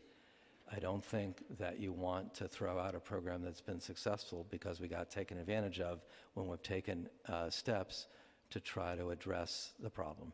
Neither I nor Councilmember Adams suggested eliminating the program. I don't know enough about the program to suggest eliminating it, frankly. Be happy to happy to give you a fuller briefing on it. But I, well, I think we could start by talking about who is who is doing the inspections. I, don't, but I don't. I I'm sorry. Somebody. so nobody. You don't is, like is the answer nobody? I, you don't like my answer, but our clients. You didn't answer. Uh, who, who is doing the inspections? I, did answer the question, council member. So when you rent an apartment, you look at the apartment and you determine whether you want to rent it. I think our clients have the same ability that you do. I don't think our clients have less ability than you do. So the family in East Orange identified the apartment themselves? Uh, That isn't what I've said. You asked me a question. I already answered the, the, the metropolitan area. You asked me about Virginia. You asked me about places outside the five. I- I- And you've informed me that, I guess, it's, it's just the metropolitan area, and that's helpful. But I just don't know who is doing, who, I mean, who, who's identifying the apartments then? I mean, is it- The, the family in East Orange identified the apartment themselves? I Don't, don't put words into my mouth, council member.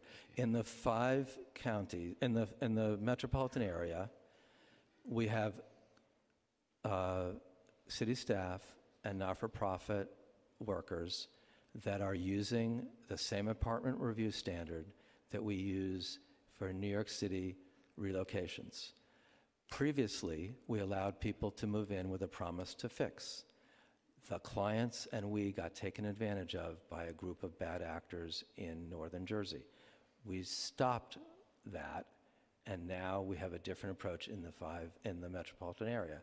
You were asking me before about what happens outside of the metropolitan area, and I said to you, our clients make choices there about wanting to rent an apartment, just like you might. In the metropolitan area, then, who is I responsible for answered that. inspecting the apartment? City staff and not, or not-for-profit staff trained to use the same exact standard But that what we use. city staff?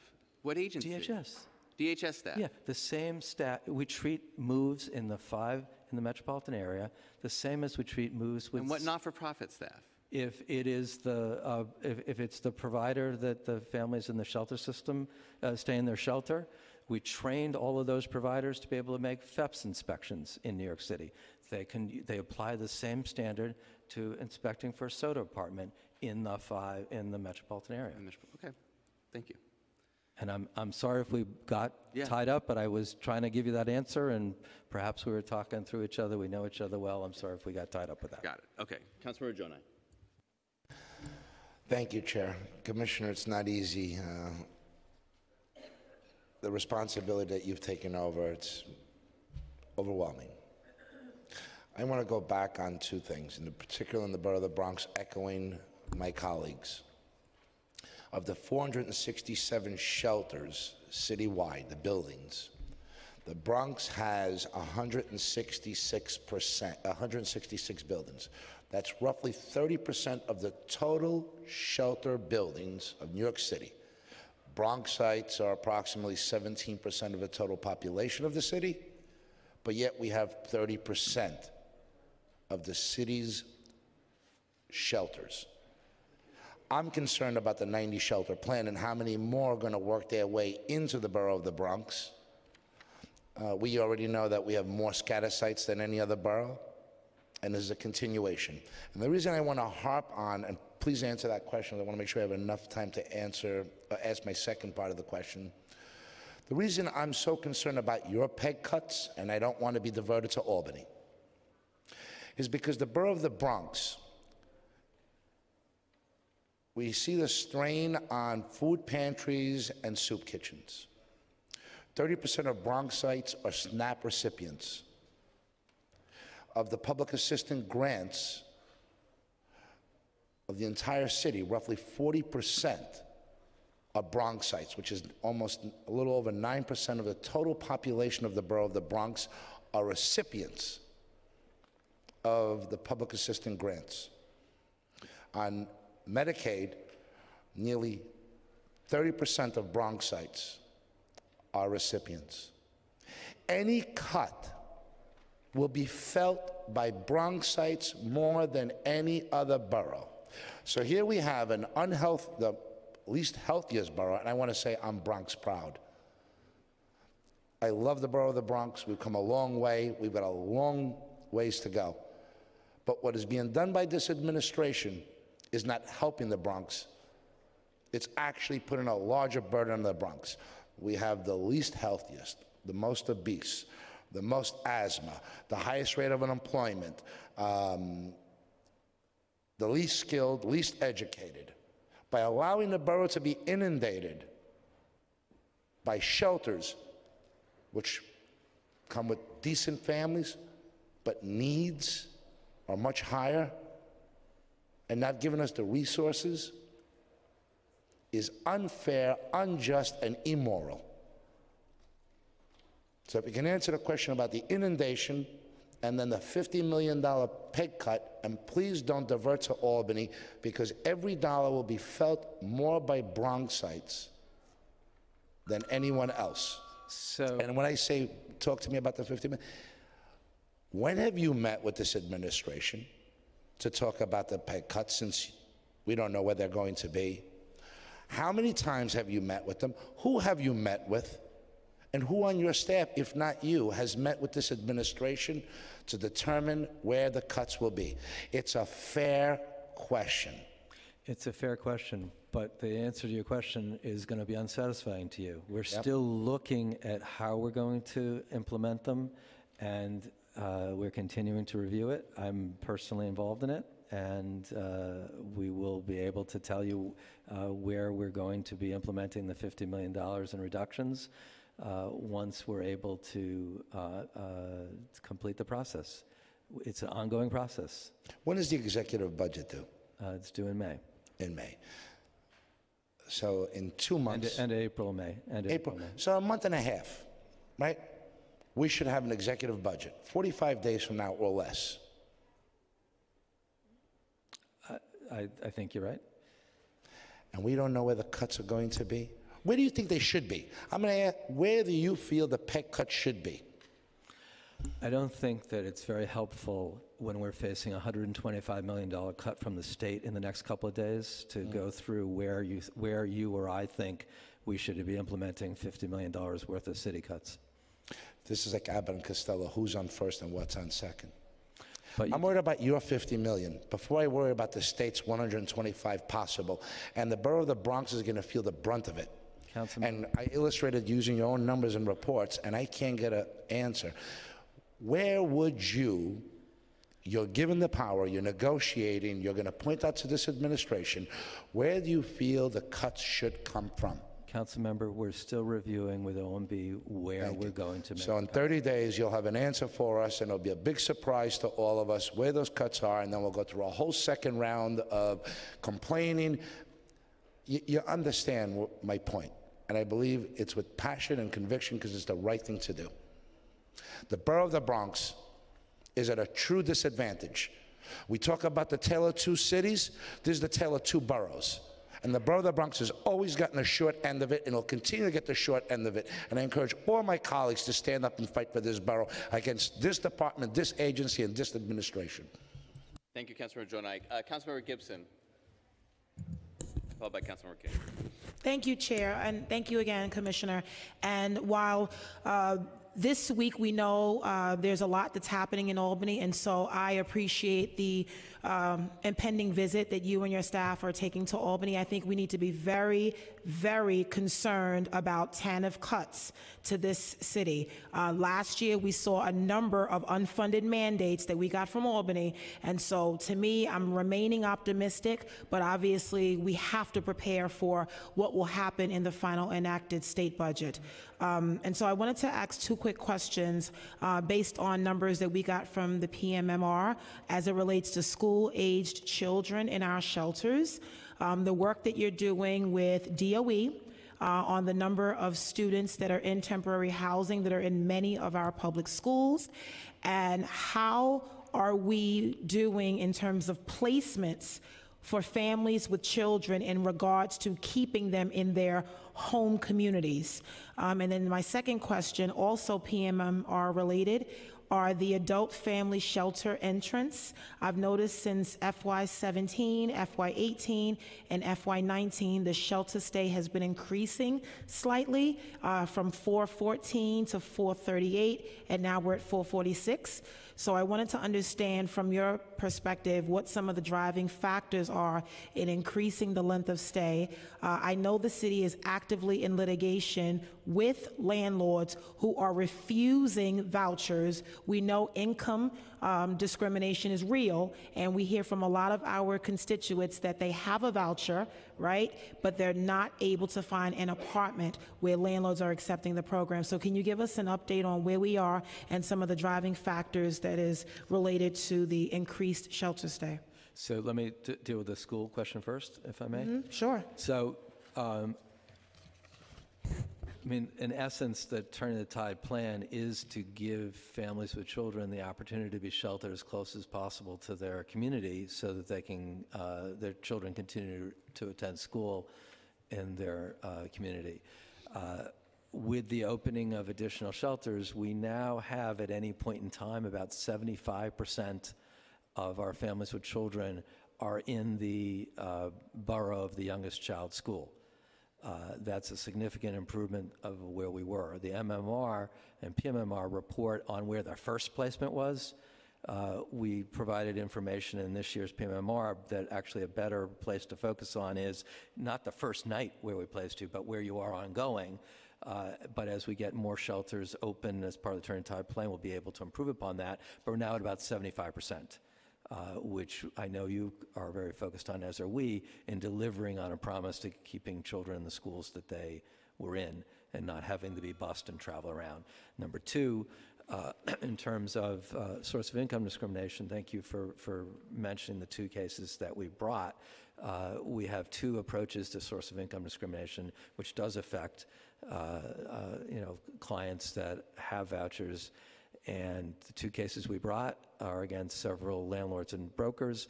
We think that the determination in those uh, cases will have an impact uh, on other uh, individuals, and we're hopeful that we'll have favorable decisions. In the meantime, we do take inquiries, and our source of income staff do intervene, and we're able to turn no's into yeses. And again, we would encourage you and your staff and clients to call our hotline so that we can intervene and, and help people. Thank you, Councilmember Gibson. Councilmember King? Thank you, Chair Levin, and Commissioners, good to see you as always. Good to see you, too. Um, I'll be brief, and I'm just, just be as concise as I can with my questions, as opposed to our answers as well. Um, I hear loud and clear my colleague, Councilmember Gjonaj, and his concerns in regards of budget cuts and how it has an impact on the, on the Boogie Down Bronx. So I would ask you this. We go through this budget session ourselves where we try to allocate funding to different groups and we look at what we have in our youth pot, our senior pot now, and so forth. And what we end up doing, we look at some of our groups who are getting large amount of monies, and then when we have to try to downscale and cut it, we look at those who can't afford the cuts.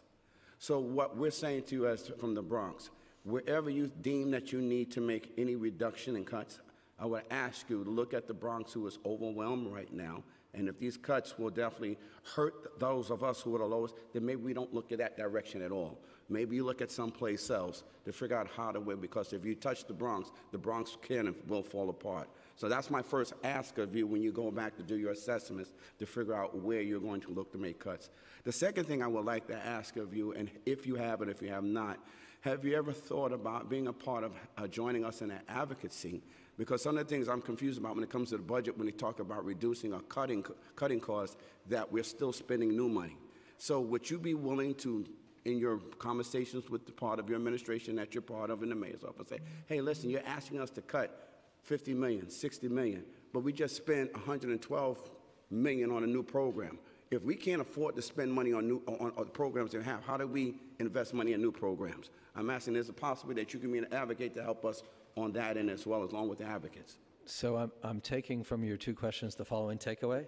Uh, One, you want to make sure that we're very focused on trying to minimize harm to people. Uh, And you're pointing out the Bronx in particular, given the, the numbers of people that need our help. Uh, You have my commitment that we're going to try to minimize harm to people, and we'll certainly take into account, uh, you know, where, the, the, needs of our clients across the city, but I understand what the needs are in the Bronx. In terms of new programs versus old programs, sometimes new programs are better than the old programs. So I, I would, I would want to make sure that we all have the flexibility to say, you know, that program's been around for a while, it's actually not working as well, could it be changed?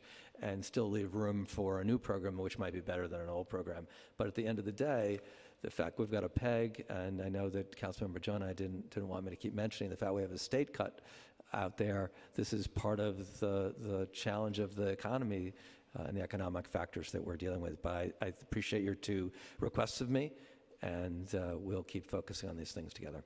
And I, and I appreciate that because if there's an old program that's not working, then that has to be clearly explained to us here on the committee so we can work in sync with you to say, you gave us some metrics you were using for a program that's been ineffective, but we want to do this new program. So if we have to downsize it, then we can all be on board. And then my final question would be to you Do you have any programs, or are you working on any programs, or, and if you are, what would be that cost of that program that allows you to work with families to engage in self promoting behavior that never ever brings them into your system? I think we have uh, a number of programs designed to do that. One of them you and I were at, uh, the Homebase program, which is designed to keep people from coming into our, our system and to connect people to employment uh, as well. I think your point's very well taken, that we got to always be focused on essentially prevention. Uh, uh, and we will keep being focused on prevention, uh, and I appreciate your perspective on that. Thank you, Mr. Chair. Thank you. Thank you, Councilmember King, and we'll be seeing you momentarily, co-chairing the second part of this hearing. Um, Commissioner, I just have a, a few more questions here um, that I think are important to get to. Um, the first is there are a number of issues in, um, as we were going through and preparing for this uh, hearing, of uh, issues within the MMR uh, where there's not sufficient information. Um, issues around shelter facility counts and capacity, um, issues around uh, safe havens. Um, I don't want to go through all of them right now, uh, but can we follow up and have a discussion around indicators that are presented in the MMR? Because there are several that are actually either not uh, you know, they're, they're seen as not available in the MMR, or they're, they're not actually categories in the MMR themselves, and, and, but these are pieces of information that we think are important. Uh, Of course. Um,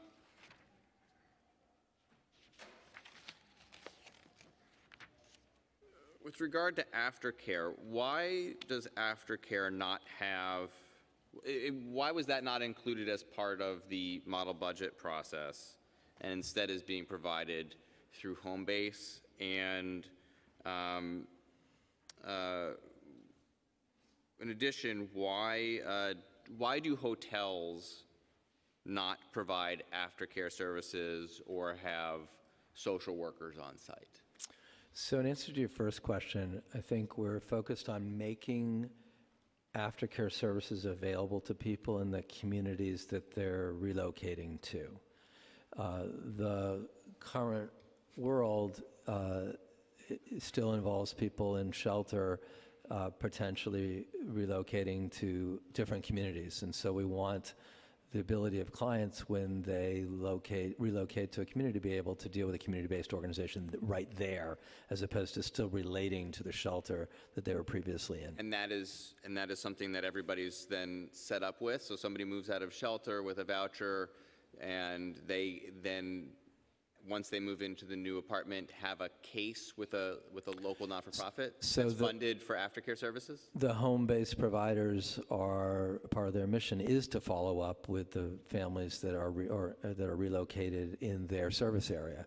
And so this is a, a topic of conversation that we have with our Homebase providers about their follow-up. I mean, you might want to reach out to Henry Street Settlement House, which, uh, through the council's initiative, the funding that we provide, does aftercare services for people that move out of Henry Street, wherever they may go. They could go to the Bronx, but they still have a case management aftercare uh, with Henry Street, and uh, they seem to have a lot of success with that. Right, I think Henry Street runs, runs terrific programs overall. Uh, We'll certainly look at their aftercare program, but again, I think that it is an important principle to have services available in the communities to which people are relocating. But having said that, I But all I have a re- 109,000 people that have moved out of shelter have an aftercare case?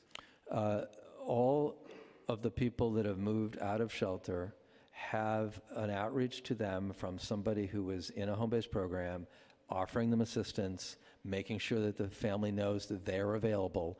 That doesn't mean that the family is required to follow up with them. It just means that the family now knows that there's someplace that they can get help and there's somebody there who can intervene and help them if they should need it. How long does a case typically last as an aftercare case? It depends on whether or not the family wants to avail themselves of those services. For example, uh, landlord mediation is one of the services that's provided. That could arise when there's a need for landlord mediation, or it may never arise. So it really depends on what the individual's family's issue is. So what's the budget for aftercare?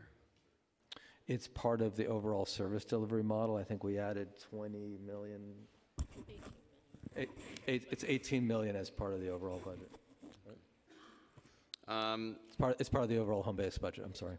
Okay, I mean, I'm, I think that that's, uh, I mean, I imagine that Homebase staff have enough to do with trying to prevent people from going into the shelter system in the first place. That's normally what people traditionally have thought of as the, the role of Homebase for the last 14 years that Homebase has been in existence. Right, Um, and so I just, I'm wondering whether that's the best service delivery model, but that's something we can talk about in the future. Right, but just again, for context, the total Homebase budget is 59 million, and Mm-hmm. 18 million of that is allocated for aftercare.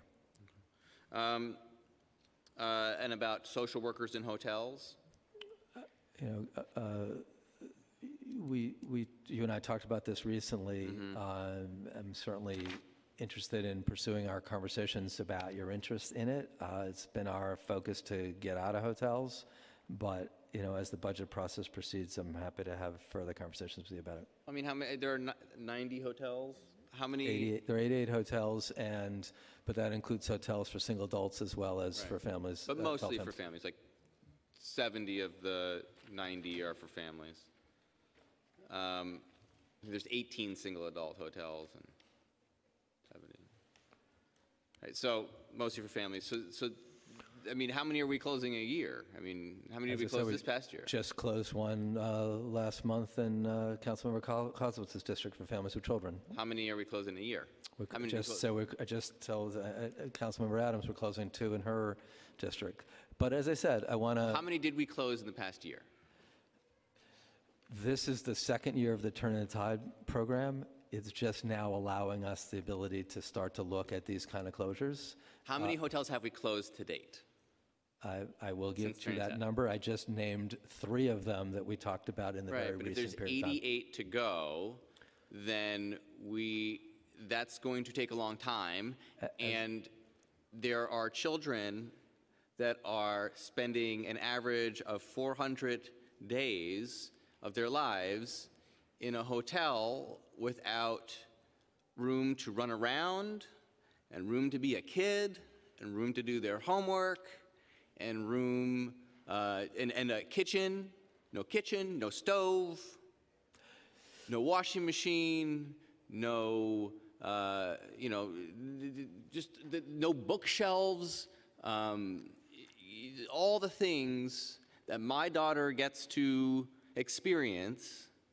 Children that are living in hotels don't, and they, they sit in a, they're in a room that is the size of a shoebox, and they don't get to eat hot meals. They're, they're, they're, they're, they're uh, heated up, you know, microwavable meals. Um, and they're not getting nutrition. And there's no social workers for them. And there's nobody to help them. And so the very, and there's 88 of these left. And if we're closing, you know, one a month, it's going to be like another, that's like another six years or seven years before we close all of these things. And, and that's, that's long past, both of us are probably going to be in these positions. And we don't, we don't have social workers for these kids. It's just, it, we have to. We, it, is, it is like the least that we could do as a city is provide something for these children. So, as I said to you when we met just a couple of days ago, happy to talk through with you uh, this issue. There are a number of things in your comments I think are, I just have to correct for the, for the record. Uh, we are not closing hotels over the life of the plan at the pace that we have been up to this point. We prioritize getting out of clusters first, which is the reason why we're 70% of the way there now. Uh, and I know you have been supportive in your district, but the quicker we can get families with children shelters up and running around the city, uh, will be able to deliver on the clusters as well as the hotel closures. Uh, There are services as part of the service delivery that we've got in hotels. Uh, And we will continue to work with you and look at the issue you're raising uh, with respect to, respect to social workers. But just to be clear, every, every tier two has a social worker.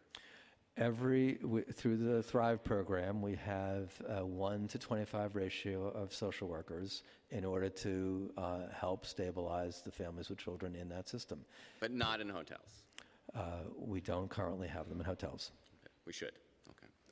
Um, Okay, with that, I'm going to turn it over to Councilmember Rosenthal, and there, I, I'll, I'll leave my questions at that. We, I do have a, a number of other questions that I didn't get to, so we're going to have to follow up uh, in happy to do writing. Is that okay? Happy to do that. Great, thank you. Thank you so much. I appreciate the second round of questions. I want to ask again about um, some DV, domestic vi- Sure. violence funding. Uh, A new need was added to HRA's budget in the preliminary plan in November, 4.5 million for um, domestic and gender-based violence prevention. Um, Has that money been spent in fiscal year 19, and do you know what that's for? Right, that, that is money that is for the um, NDV, th- that we simply are the uh, conduit agency for those dollars. Those, that's for, we, we provide the budget for the domestic, city's domestic violence office um, in terms of the operation of that program. That's distinct from what uh, Administrator Benny and I have been talking about, which is we actually provide direct services ourselves, but we are the funding mechanism for the citywide Office for Domestic Violence. So is that like staff? Because it's ongoing. So it's a baseline number. So again, is that staff? Is it contracts? We're going to have to get back to you on that. It's, I believe it's for contracts. I believe it's for contracts for that office. The former mayor's office to combat domestic No, violence. I'm very familiar with it. Why wouldn't it be in the mayor? I don't understand why Because it's that- there and. how Because it's- that's part of what we talked about before in terms of economies of scale. So rather than have separate personnel offices and separate contracting processes and all that, we're, we're the, Fiscal agent Yeah, for contracts. yeah, yeah. Okay, if you And- And could, for operations. For their, confirm op- we're the- that. we're the fiscal, we're the provider of the financing for that office through our budget. okay, if you could confirm that, I- it would be helpful to know. Sure. Um, I think I see what you're saying. Um, Okay, I wanted to ask about HASA. Um, There was an increase in the average number of days between the application submission and housing benefits issued by nearly two days.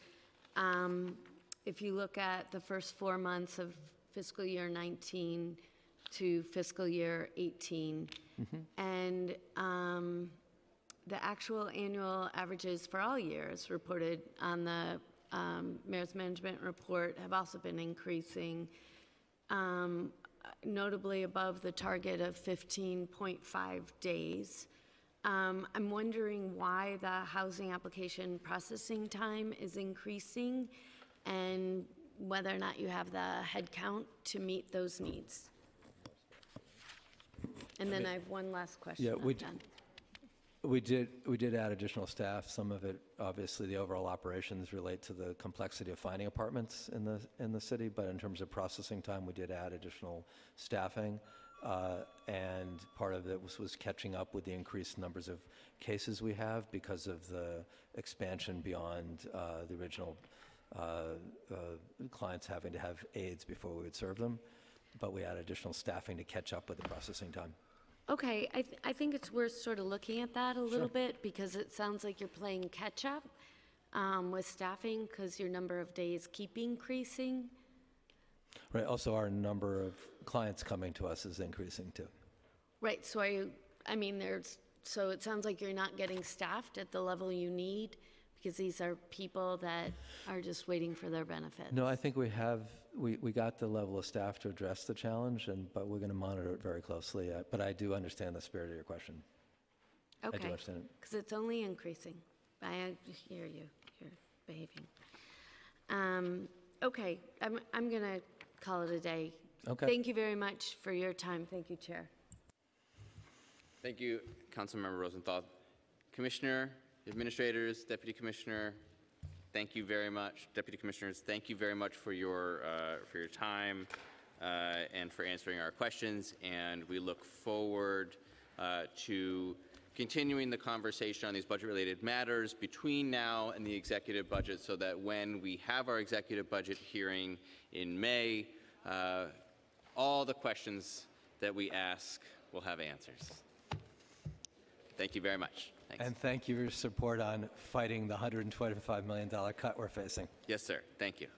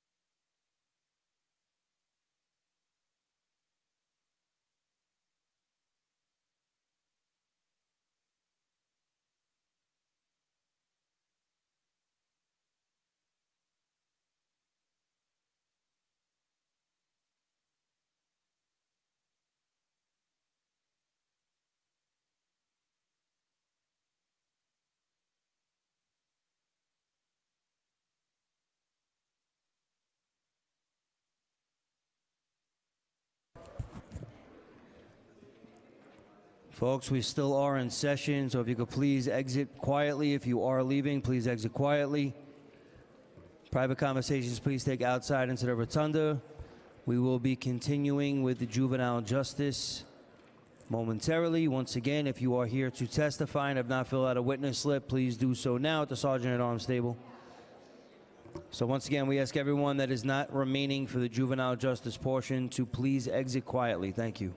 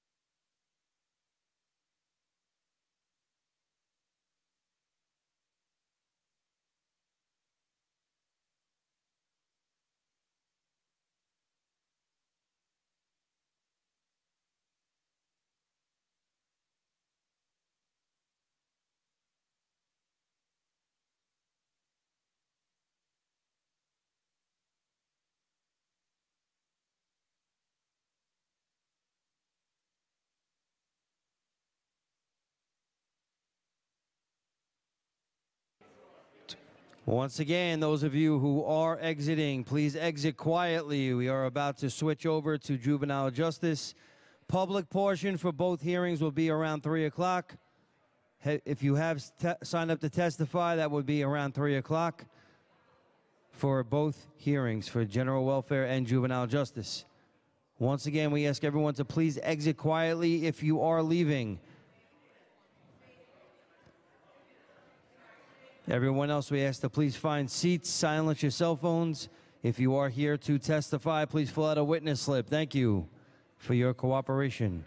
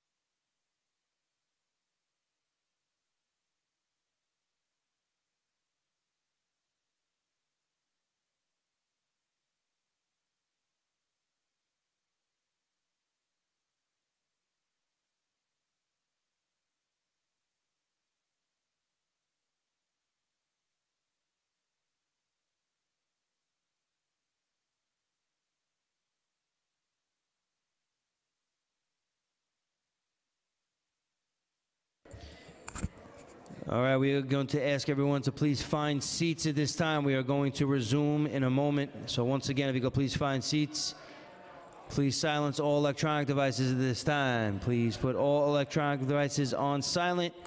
Any private conversations, please take outside of the chambers throughout the hearing. Thank you.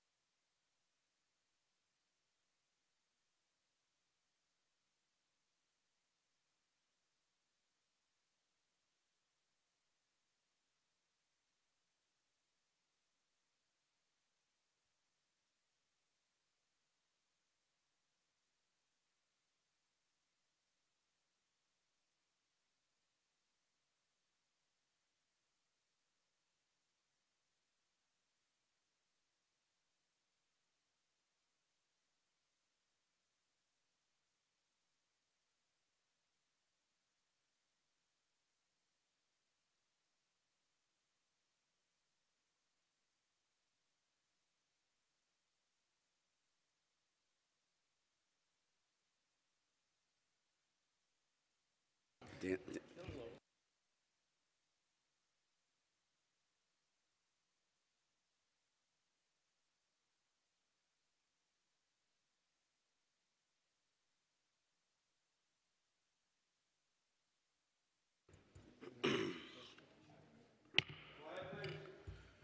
afternoon, good afternoon.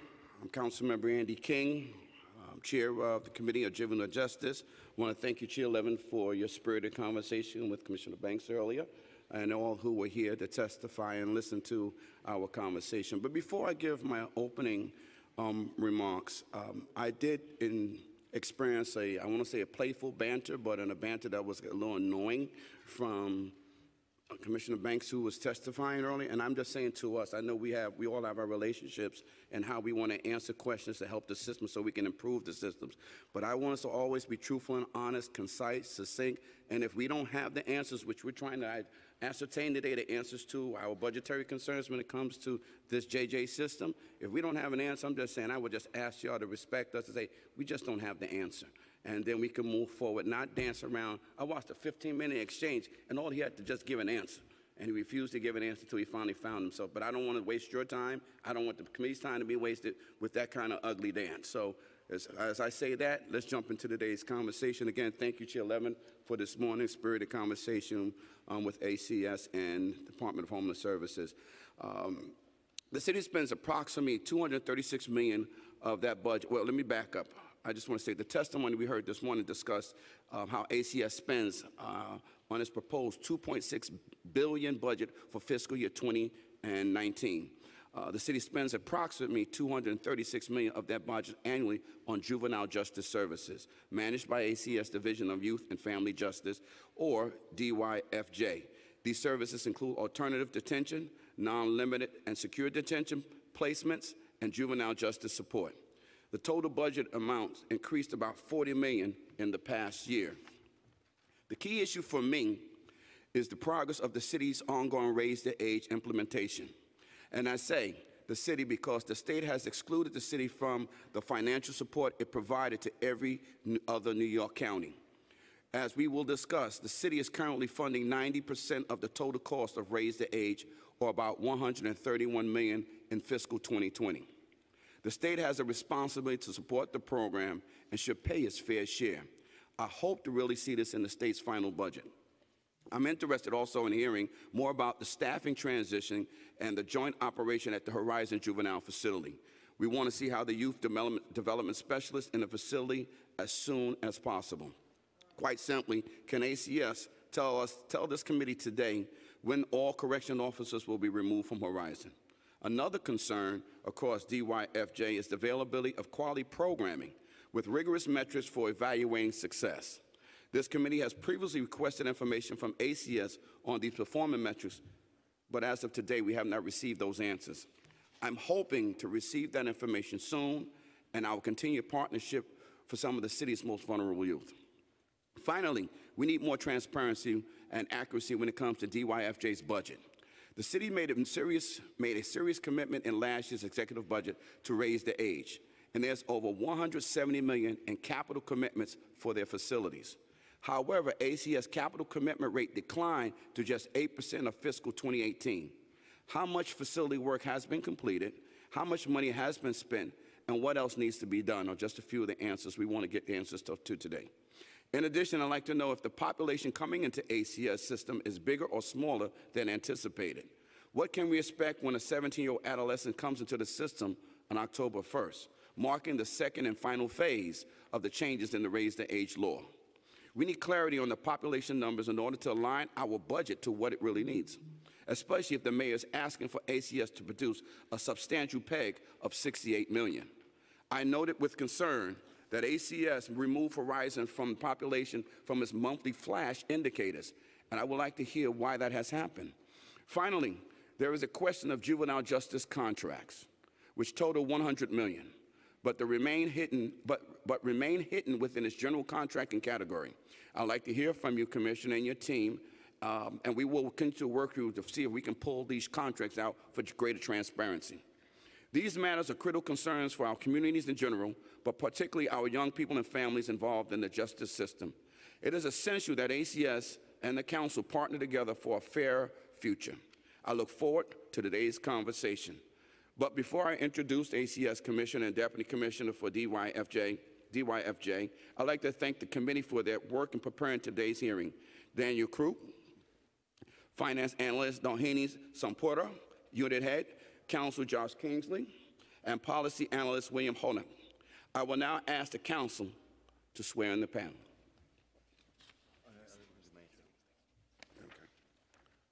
Um, Before we do that, I'm going to defer to my colleague, Chair Levin, to make a statement. Um, Thank you. Thank you, Chair King. Uh, Good afternoon, everybody. I'm Councilmember Steve Levin, Chair of the Committee on General Welfare here at the Council, and I'm glad to be joined by my committee colleague as well, Chair Andy King, and members of the Committee on Juvenile Justice. Um, I want to acknowledge Councilmember Barry Grodenchik and Councilmember Robert Holden, uh, who are with us right now. Um, Welcome once again to the fiscal 2020 preliminary budget hearing for the Committee on General Welfare.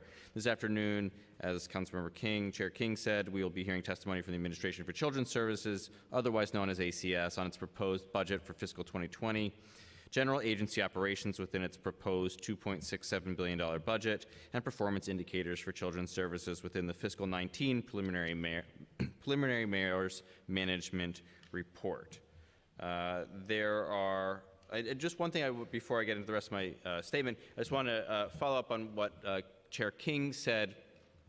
We, uh, across uh, budget areas covered by the General Welfare Committee, are seeing drastic state cuts and shifts of responsibility to the city uh, for funding of, uh, of essential programming from the state, whether that's in ACS or in homeless services.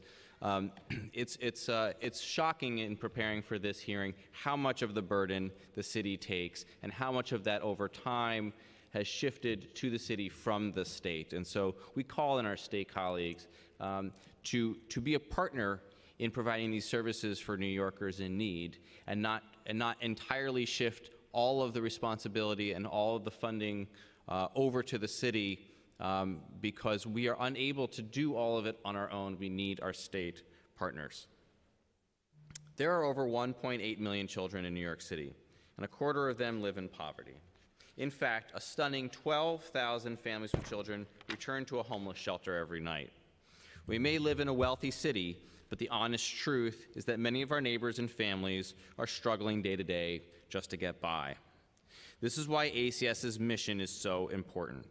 With the transfer of Early Learn to the Department of Education, ACS renews its focus on child welfare and family well being.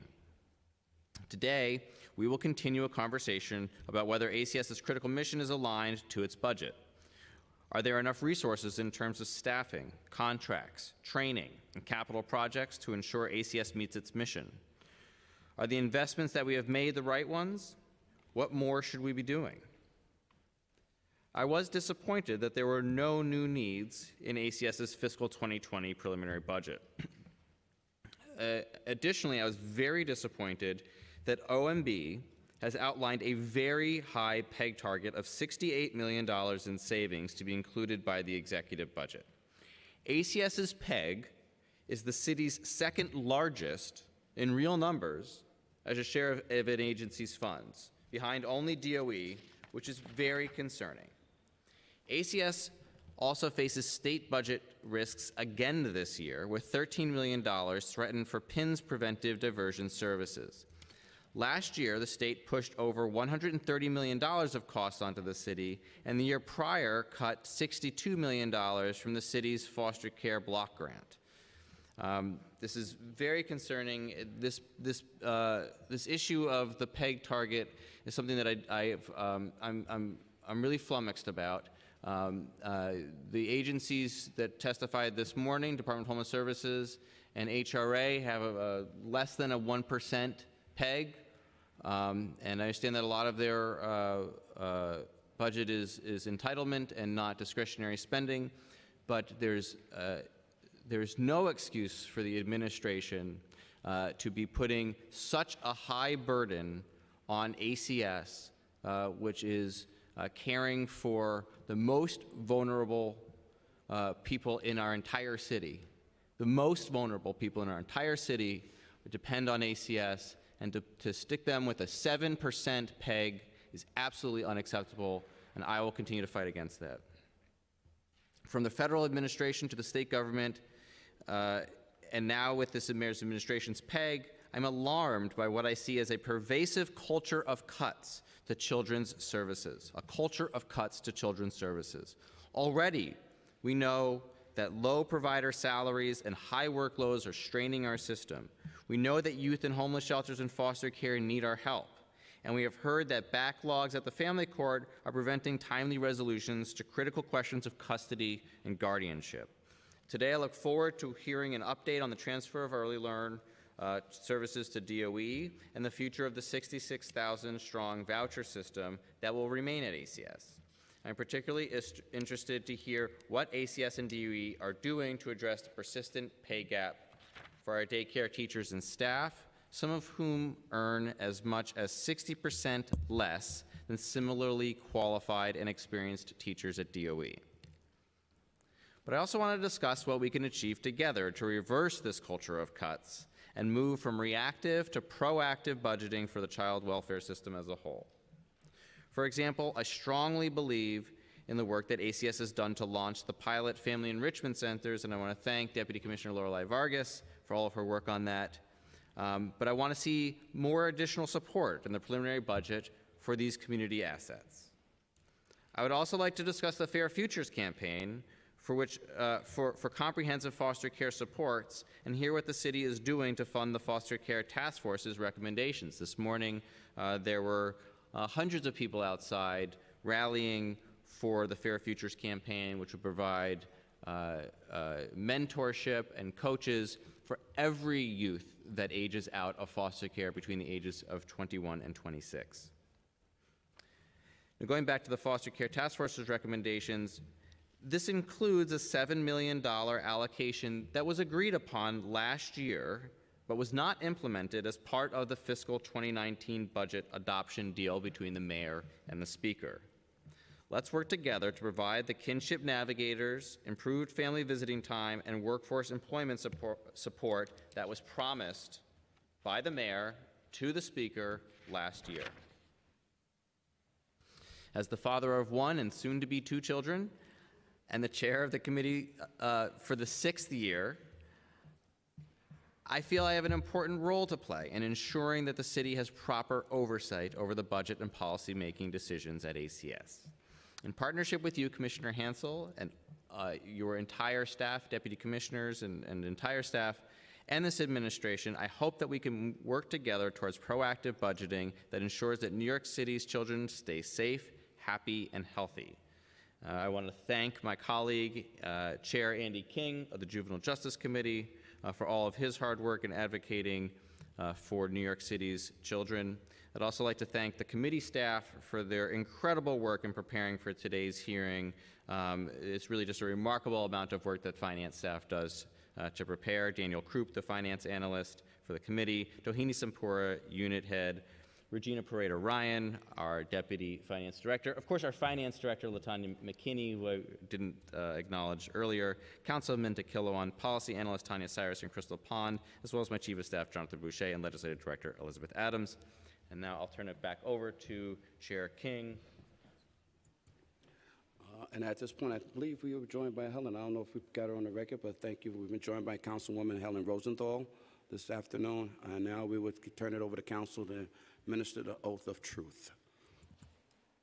Uh, Please raise your right hand. Uh, Do you firmly tell the truth, the whole truth, and nothing but the truth in your testimony before this committee and to answer honestly to council member questions? I do. Please state your name for your record before speaking. Thank you. Thank you. Good afternoon, uh, Chair King, Chair Levin, members of the Juvenile Justice and General Welfare Committees. I am David Hansell, Commissioner of the New York City Administration for Children's Services. Uh, with me at the table today are, starting on my far left, Felipe Franco, who is Deputy Commissioner of our Division of Youth and Family Justice, Dr. Jacqueline Martin, who is Deputy Commissioner of our Division of Prevention Services, Julie Farber, who is Deputy Commissioner of our Division of Family Permanency Services, and Jose Mercado, who is our Chief Finance Officer. We very much appreciate the opportunity to discuss the ACS fiscal year 2020 preliminary budget and the many ways that we've been working to protect and promote the safety and well-being of New York City's children, youth, and families. There are, and I completely agree with both of you, there are few missions that are more important than that of Children's Services, and I am deeply honored to have led the agency in this mission for just over two years now. Throughout my tenure, I've taken every opportunity to share with the Council, with our many stakeholders, and with the families and the communities that we serve the work we're doing, our successes and our challenges, and the steps we are taking to build the strongest possible child and family servicing agency. Our work is critically important, and I believe that all New Yorkers have the right to understand what we are doing, how we do it, and why we do it the way we do. So, in that spirit, I'd like to take this opportunity to share with you the ways in which we are strengthening child safety, capitalizing on data and technology, and working to build better support systems for our children's families, our city's families and communities, which I truly believe puts New York City at the forefront of child welfare and juvenile justice work across the country. We've charted and we are pursuing a course that is strengthening all aspects of our work and enhancing our ability to keep children safe and support families. While we continually strive to improve our work, I'm proud of the following compl- accomplishments in particular. We have reinforced our child protective process, the front end of our system for keeping children safe. Most significantly, we've reduced caseloads for our child protective specialists, provided more advanced tools and technology to support their work, enhanced training and skill development, and tightened our quality assurance and oversight mechanisms. We have decreased the number of New York City children in foster care to the lowest level in decades. At the end of calendar year 2018, there were approximately 8,200 children in our foster care system, representing a continued decline over the past two years in the face of foster care increases nationally. And through implementation of our foster care strategic blueprint and the recommendations of the Interagency Foster Care Task Force, we are improving services and outcomes for young people in foster care and we are keeping children safely at home with their parents through our prevention programs. On any given day, we're serving nearly 25,000 children and their families in one of our community based prevention programs. Our evidence based prevention programs continue to draw national attention as the new federal Family First law pushes child well programs nationally in the direction which New York City began to move years ago. We've also launched a new preventive initiative to serve families for whom we might previously have sought court ordered supervision to ensure child safety. I'd like to describe these accomplishments in greater detail, and then we'll turn to juvenile justice as well. ACS remains committed to maintaining one of the lowest CPS caseloads in the country, and we put in place measures to help drive those caseloads down. Over the last two years, we've hired over 1,100 new CPS. With more frontline staff on board, we've been able to reduce the average investigative caseload to 10.1 cases per caseworker during the first four months of fiscal year 2019, well below the nationally recognized standard of 12 and lower than almost every other jurisdiction in New York State. We've also added supports to increase staff retention and reduce staff turnover, such as extension of training time and revision of the curriculum, enhanced supervision and coaching in field offices, and wellness and staff appreciation programs. Our child protective staff are out every day throughout the five boroughs, visiting homes, schools, doctor's offices, shelters, and other locations to investigate allegations and interview witnesses. As part of this work, they must take note of interviews with parents, teachers, doctors, and others. They must track active cases and access a family's prior child welfare history. All of our frontline child protective staff now have portable tablets that allow workers to conduct clearances, obtain case history, and access other critical information in real time while out in the field. The tablets also enable CPS to enter their case notes from locations such as courthouses or waiting rooms rather than having to return from the field to their desks for that purpose. We've also launched new software called the Safe Measures Dashboard, which gives caseworkers, supervisors, and other staff a greater ability to manage their caseloads and prioritize their work through a streamlined overview of case details. Safe Measures provides a calendar of tasks and deadlines in their cases, tracks casework contacts, prioritizes workloads, and allows supervisors to monitor caseworkers' workload and progress. This is a major step towards automating what have previously been manual and burdensome processes, and we'll be making this valuable tool available to our provider agencies as well over the coming months. Getting to homes quickly for an initial visit is key to securing children's safety. So ACS has implemented a multifaceted transportation approach that includes access to Zipcar local motion technology that enables child protection staff to quickly reserve city vehicles online at any time before traveling to a home visit and dramatically reducing CPS response times in the field. Thanks to, I'm sorry, the, the job of our frontline staff is among the most difficult in the city, and it's imperative that they receive the specialized training they need to do their complex work. This year, ACS will begin construction on two new training sites, one in Queens and one in Harlem, which will offer simulated on the job training to frontline child welfare and youth justice staff.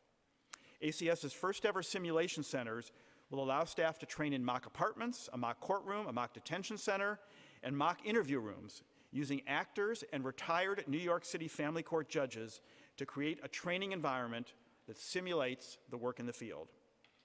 Our Division of Child Protection is tasked with the enormous responsibility of reducing risk and ensuring safety and well-being for children and families throughout the city. So it's crucial that we monitor the quality of our work and identify the areas where we need to improve. One of the first reforms I made as ACS Commissioner was to revamp our ChildStat model to strengthen the agency's focus on performance accountability around child protection. Since the relaunch of ChildStat in May 2017, we've held more than 100 review sessions, resulting in scores of recommendations for zone-based and system-wide improvement. As issues have been flagged in ChildStat, we've identified and implemented reforms that have enhanced our investigative work, have increased the efficiency of key administrative processes and business functions, have reduced, reduced delays in initiating services for families, and have streamlined required casework documentation. And thanks to focused ChildStat attention and other enhancements, our CPS units have significantly improved the quality and timely submission of required safety assessments and have instituted solutions to enhance supervisory and managerial oversight within CPS units. In our prevention area, we contract with community-based organizations to provide prevention services to promote family stability and prevent maltreatment. We work with our provider partners to steadily increase the availability of evidence-based preventive programs that are shown to reduce rates of maltreatment and improve child and family well-being. And that has positioned ACS at the forefront nationally in providing evidence-based prevention programs to support families. We've strengthened both our support and our oversight of contracted providers to make sure that families receive high quality services and that safety risks are flagged and addressed quickly. Our continuum of prevention services provides about 20,000 families and more than 44,000 children a year with the support and the services that they need to address challenges and has allowed ACS to safely reduce the number of children in foster care year after year. For families with very high service needs, particularly those under court ordered supervision or at risk of court intervention, we added 960 new prevention services slots in late 2018, including evidence based clinical models. With this as our foundation, we are launching a new vision for prevention work in New York City through an upcoming request for proposals. The Prevention Services RFP will be released later this year with new contracts to begin on July 1st, 2020. In anticipation of this procurement, we released a concept paper for public comment to solicit feedbacks from providers and from the community at large. Our new vision for prevention services in New York City focuses more heavily on evidence-based models relying on what we know works and better allocating service models across the city in a way that aligns with and advances the continued reform and innovation in the city's child welfare system. This will also prepare ACS and our providers well for the implementation of the Federal Family First Prevention Services Act starting in September 2021. The comment period for the concept paper started on February 8th and it ends today. So I encourage anyone interested in commenting to visit our website and submit your feedback immediately. This is a very exciting moment for child welfare prevention services in New York City, and we look forward to incorporating your collective voices as we bring the next generation of prevention services to life. Our deep commitment to supporting and strengthening families has allowed the city to reduce the number of children in foster care to a historic low. There were nearly 50,000 New York City children in foster care 25 years ago, 17,000 a decade ago, just over 9,000 two years ago when I started as commissioner, and by the end of last year, we'd reduced the number of children in care to about 8,200. The decline in our foster care population has continued even as the number of children in foster care in other states and cities nationwide has increased since 2012. We believe that children should only be placed in foster care when it is absolutely necessary for their safety, and then for the shortest amount of time possible. Protecting children's safety while in foster care and after they reunify with their families is a top priority for us, and we've launched major new programs to enhance safety, including a $6 million initiative that we launched last year targeted to keeping children safe when they transition home to their families from foster care. We've also launched new investments in family time and visitation. ACS has invested in a campaign to increase the recruitment of quality foster parents and increase the use of kinship homes for foster care that's produced significant results. I'll talk about those in more detail in a minute. While maltreatment in foster care is rare, any maltreatment in foster care is concerning, and we monitor it very closely. In addition to the new initiatives I've just mentioned, we're taking steps to raise safety standards across the board, including conducting a close review of cases of maltreatment and a thorough review of provider programs. In the longer term, we are also rebidding our entire foster care system, and we'll use that process to ensure that providers are protecting the safety of children. As you know, we, we contract with private nonprofit organizations to provide foster care services for children who are not safely able to remain at home. And during the next two years, we will reprocure our contracts for delivering family based foster care and residential foster care services. We see this too as an opportunity for ACS to build on the success, successes of our existing services for children and families and to design a shared framework across foster care and prevention services, as well as to implement new strategies to improve safety, permanency, and well being outcomes for New York City children and families. We very much appreciate the City Council's shared commitment to improving those outcomes for youth and families in foster care.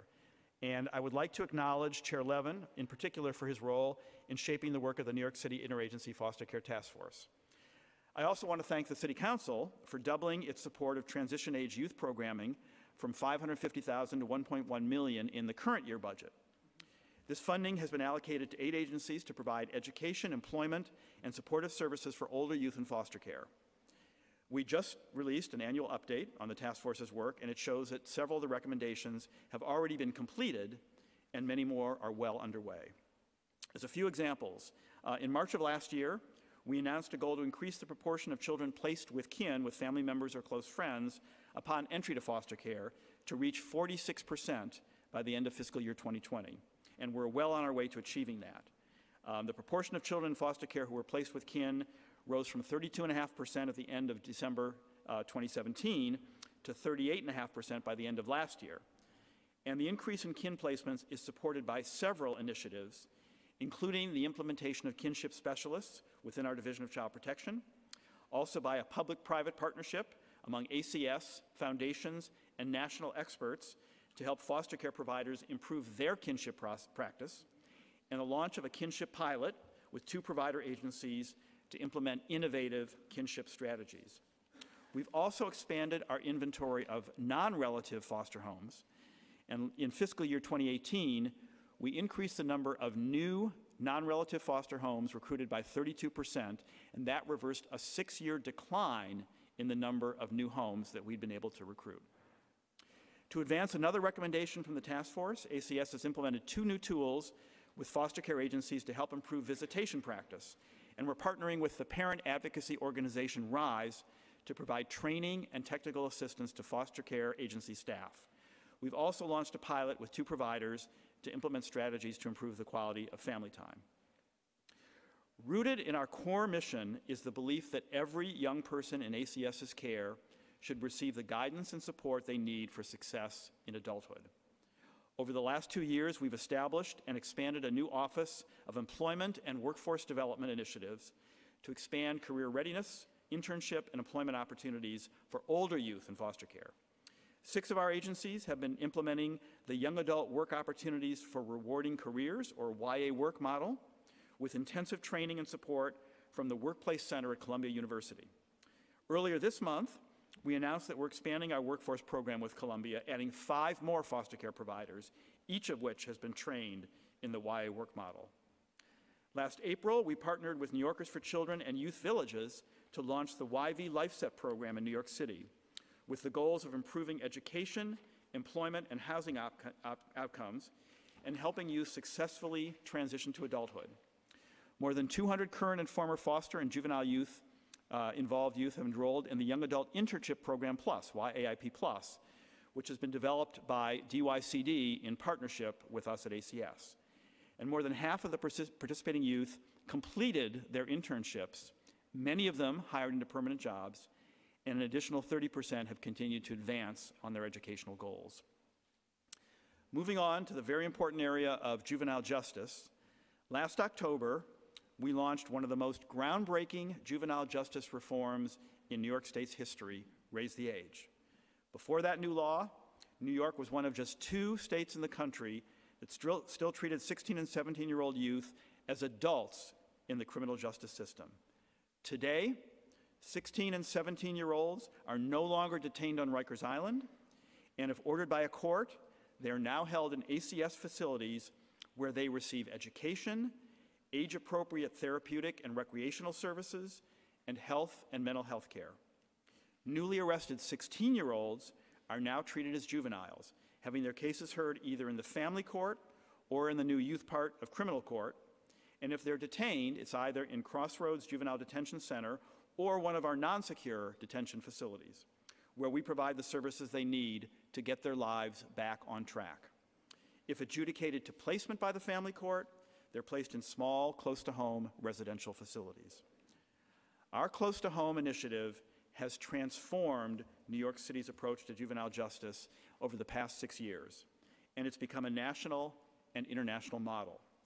Last month, the Columbia Justice Lab issued a report noting that close to home can and should serve as a roadmap for other jurisdictions to emulate.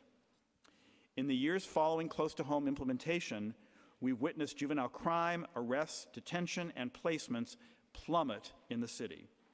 From 2008 to 2017, the number of juvenile arrests decreased 70%, from 13,564 to 4,080.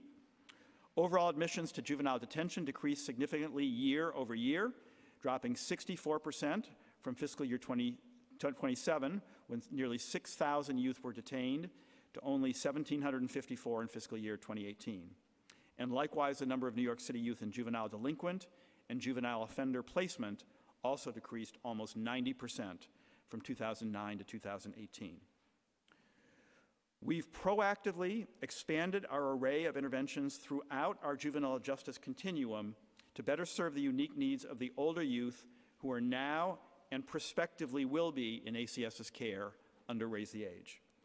At Crossroads Juvenile Center, we provide a robust menu of therapeutic, recreational, and vocational services and programming for our young people. And we work with our partners at the Department of Education to provide uninterrupted educational services for every young person. When young people are placed in close to home residential care, a provider is assigned to each individual youth, and those providers now remain with that youth throughout the duration of that young person's placement, including their time on aftercare. This enables providers to develop deeper assessments of youth and family needs and allows providers to create more streamlined service plans based upon those individualized assessments. As you know, ACS partners with the Department of Correction, as the state law requires, to supervise the youth who have transferred from Rikers Island to Horizon, as well as newly arrested 17 year olds for whom the law does not take effect until October 1st, 2019. While the initial transition had some challenges, the facility is now stable and secure, and youth are attending school, receiving health and mental health services, and participating in a wide array of recreational, vocational, and arts programming. You may also recall that ACS launched an aggressive hiring plan last summer to hire some 700 youth development specialists over two years to work in our secure detention facilities.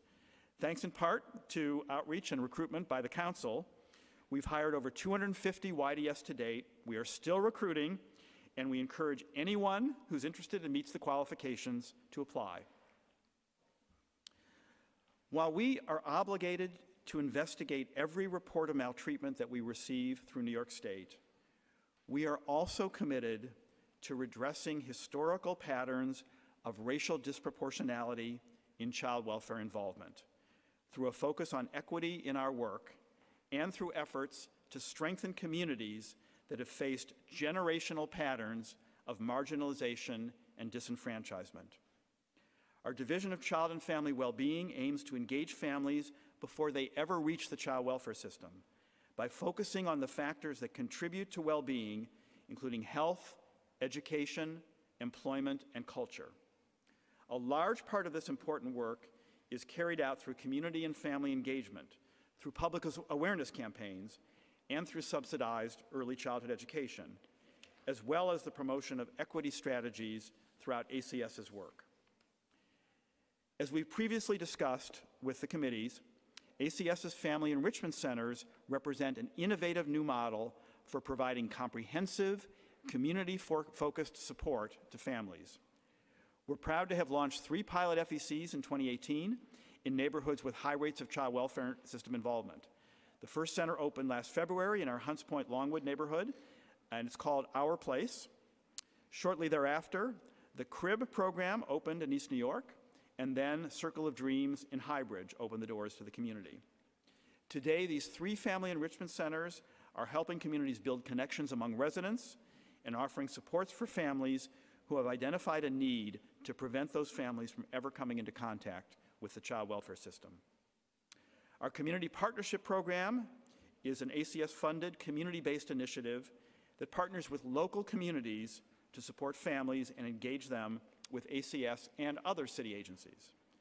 Through coordinated service referrals, through community-led programs, and through community awareness efforts, the CPPs serve as ambassadors to the community, as ad advocates for families, and help to ensure that the work we do at ACS is equitable and culturally competent.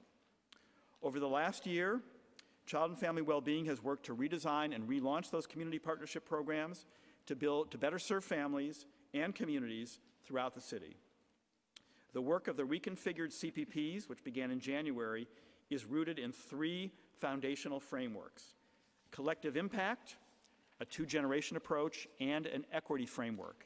And it gives local organizations the space to network with each other, to share critical information and resources, uh, and provides resources that help families support their children. In the fall of 2017, we launched a citywide safe medication campaign to provide families with tools to help ensure that medications and potentially dangerous household items are stored out of children's reach. As part of the campaign, we partnered with the Department of Health and Mental Hygiene to develop informational palm cards and promotional posters to raise awareness of the dangers of unsafe medication storage. And our Child Protective Frontline staff distributes medication lockboxes and bags to families engaged with ACS as needed to help keep medication out of children's reach. And we've also supplied lockboxes to our provider partners to distribute to other families in need. Tragically, a significant proportion of child fatalities in New York City, about 50 a year, are attributed to unsafe sleep practices. To help prevent sleep-related injuries, ACS is partnering with New York City Health and Hospitals to put safe sleep information directly into the hands of new parents.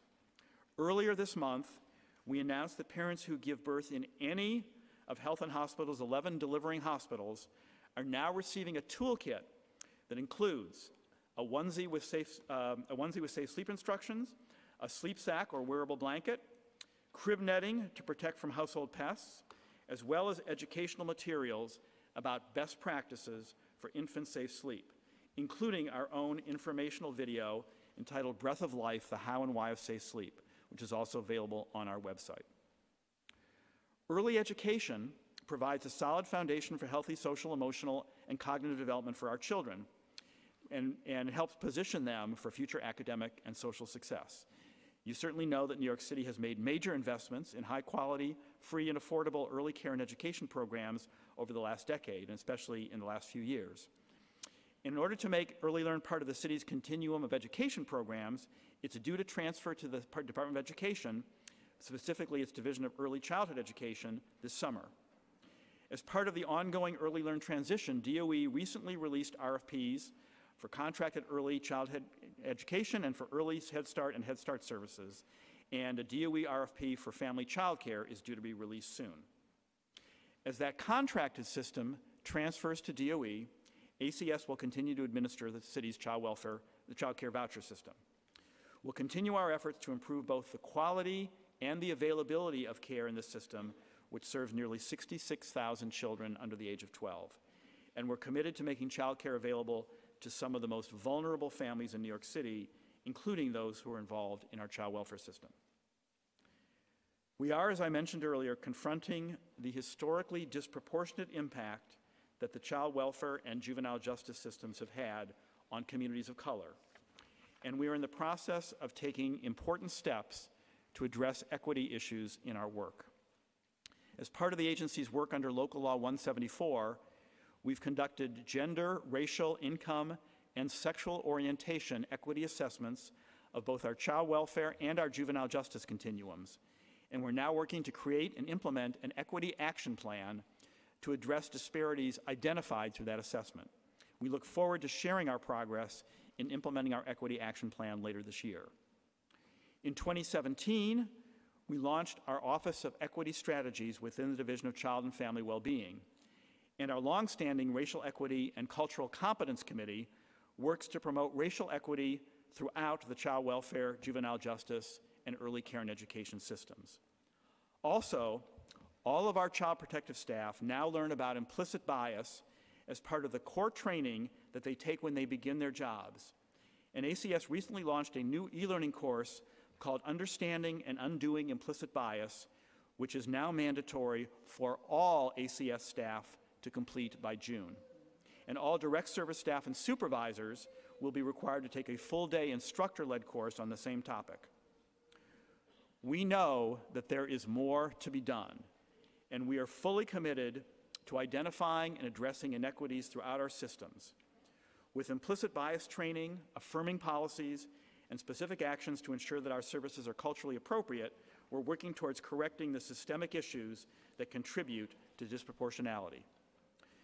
So, as I hope I've explained today, we have strengthened our ability to meet the needs of New York City families, to protect New York City children, and to support our staff. And we're constantly identifying more ways to improve. While we meet the challenges of today, we have also committed to a long term vision for transforming child welfare to serve our cities, families, and communities. And we are leading an effort to implement that vision nationally. In doing this, we're focusing on what I think are the five key areas of the effort. First, we're using evidence as our North Star. We're not making policy decisions based on hunches or on what we've always done, but on what we know works and achieves demonstrable results. And then we measure progress in order to constantly improve. Second, in keeping children and youth safe, we are not solely focused on just preventing repeat maltreatment. We are working with a primary prevention lens to reduce maltreatment and juvenile justice involvement, working with and within communities.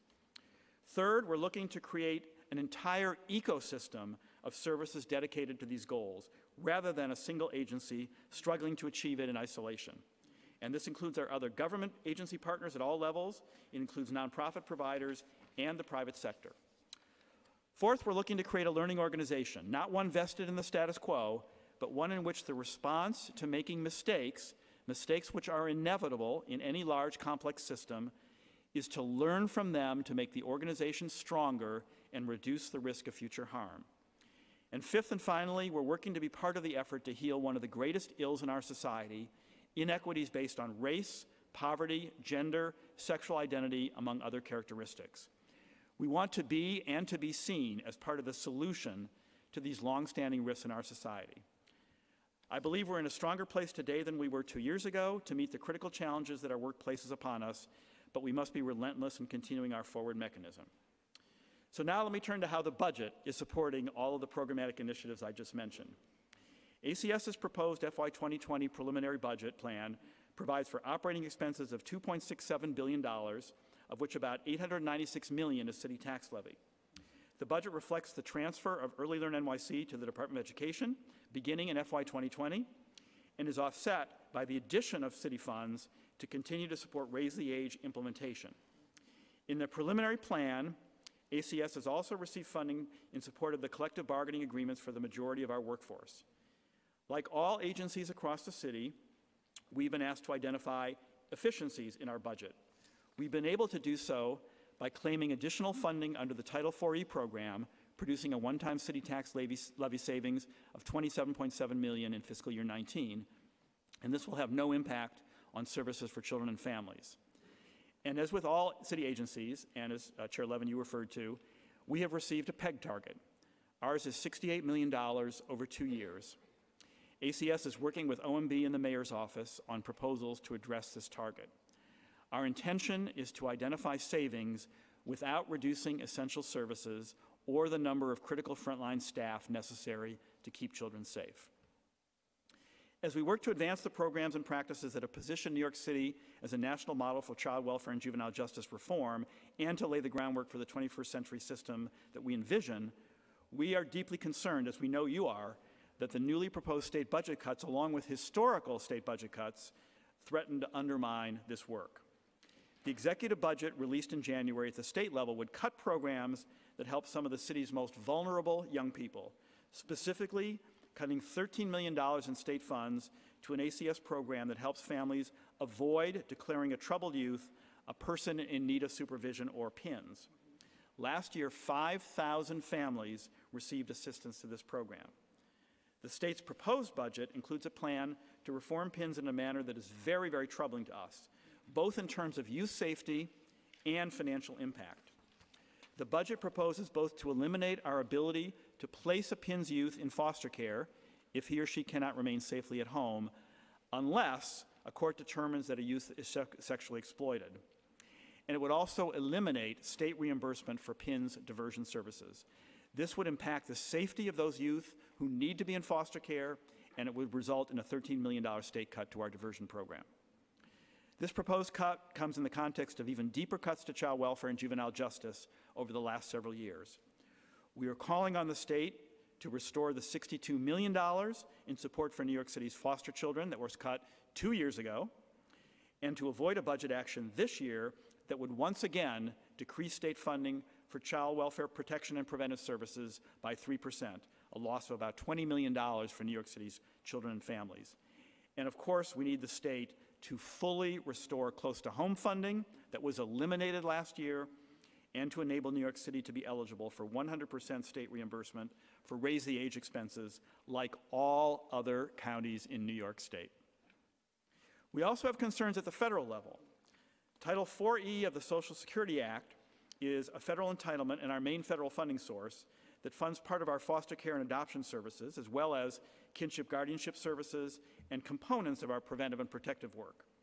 We currently have a 4E waiver which allows the city to use 4E resources to support an innovative, flexible funding model for family foster care and evidence-based and evidence-informed interventions designed to improve outcomes for children and families.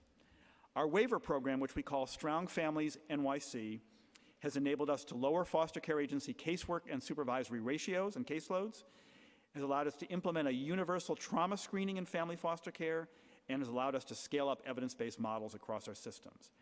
A preliminary evaluation shows that the waiver has led to shorter foster care lengths of stay, to lower foster care reentry rates for babies, and to improvements in placement stability.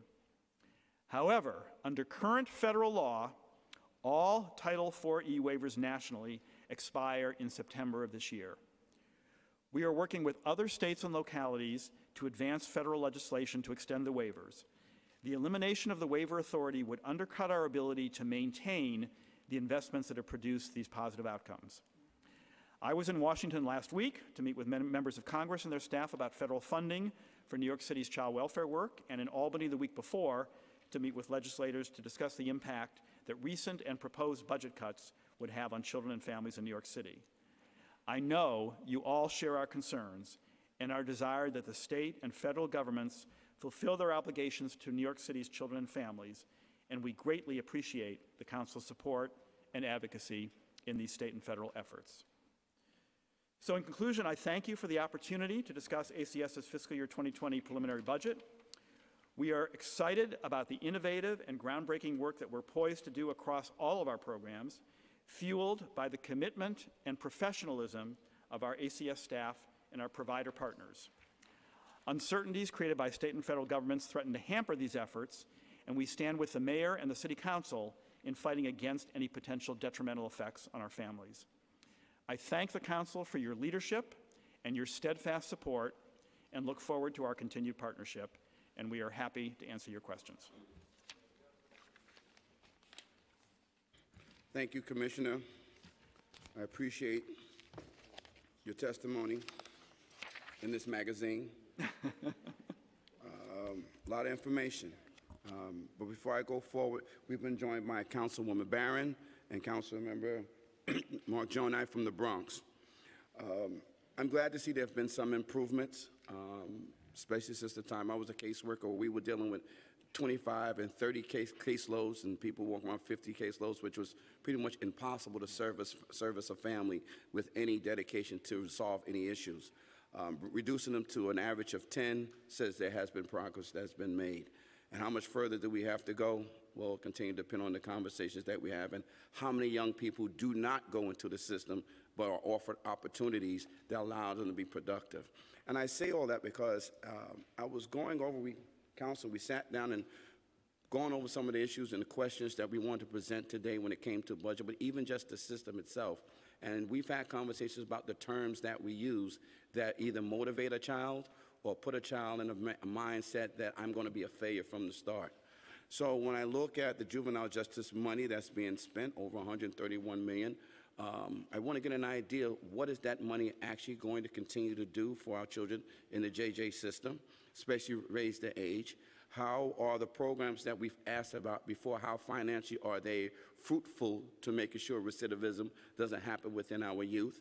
Um, and I also want to know, just to start off, what, how we're being engaged to advocate, um, whether it's towards the governor or within the system itself, um, message of prevention that doesn't even bring a child into the system, i.e., alternative to incarceration, is the term is telling a 14-year-old when you sit with them that their path is in incarceration or path to detention, as opposed to how do we have a program for you to be a successful entrepreneur. The thinking of when a child is going through something at 14 or 15, how do we change that? Have a new dialogue with them so they think more of themselves, so they never think about misbehaving so they come back into a system because no matter how much money we throw at a system if we don't change the mindsets of the individuals that we're trying to serve they're doomed to repeat the same behavior so that's where i want to start today's conversation if you can answer those first three questions and then i want to open up to my colleagues for, for the rest of this conversation Yeah, uh, thank you, Chair King. So, yeah, you raised a number of important issues there. Let me just say a couple of things, and I'll turn it over to Deputy Commissioner Franco to, uh,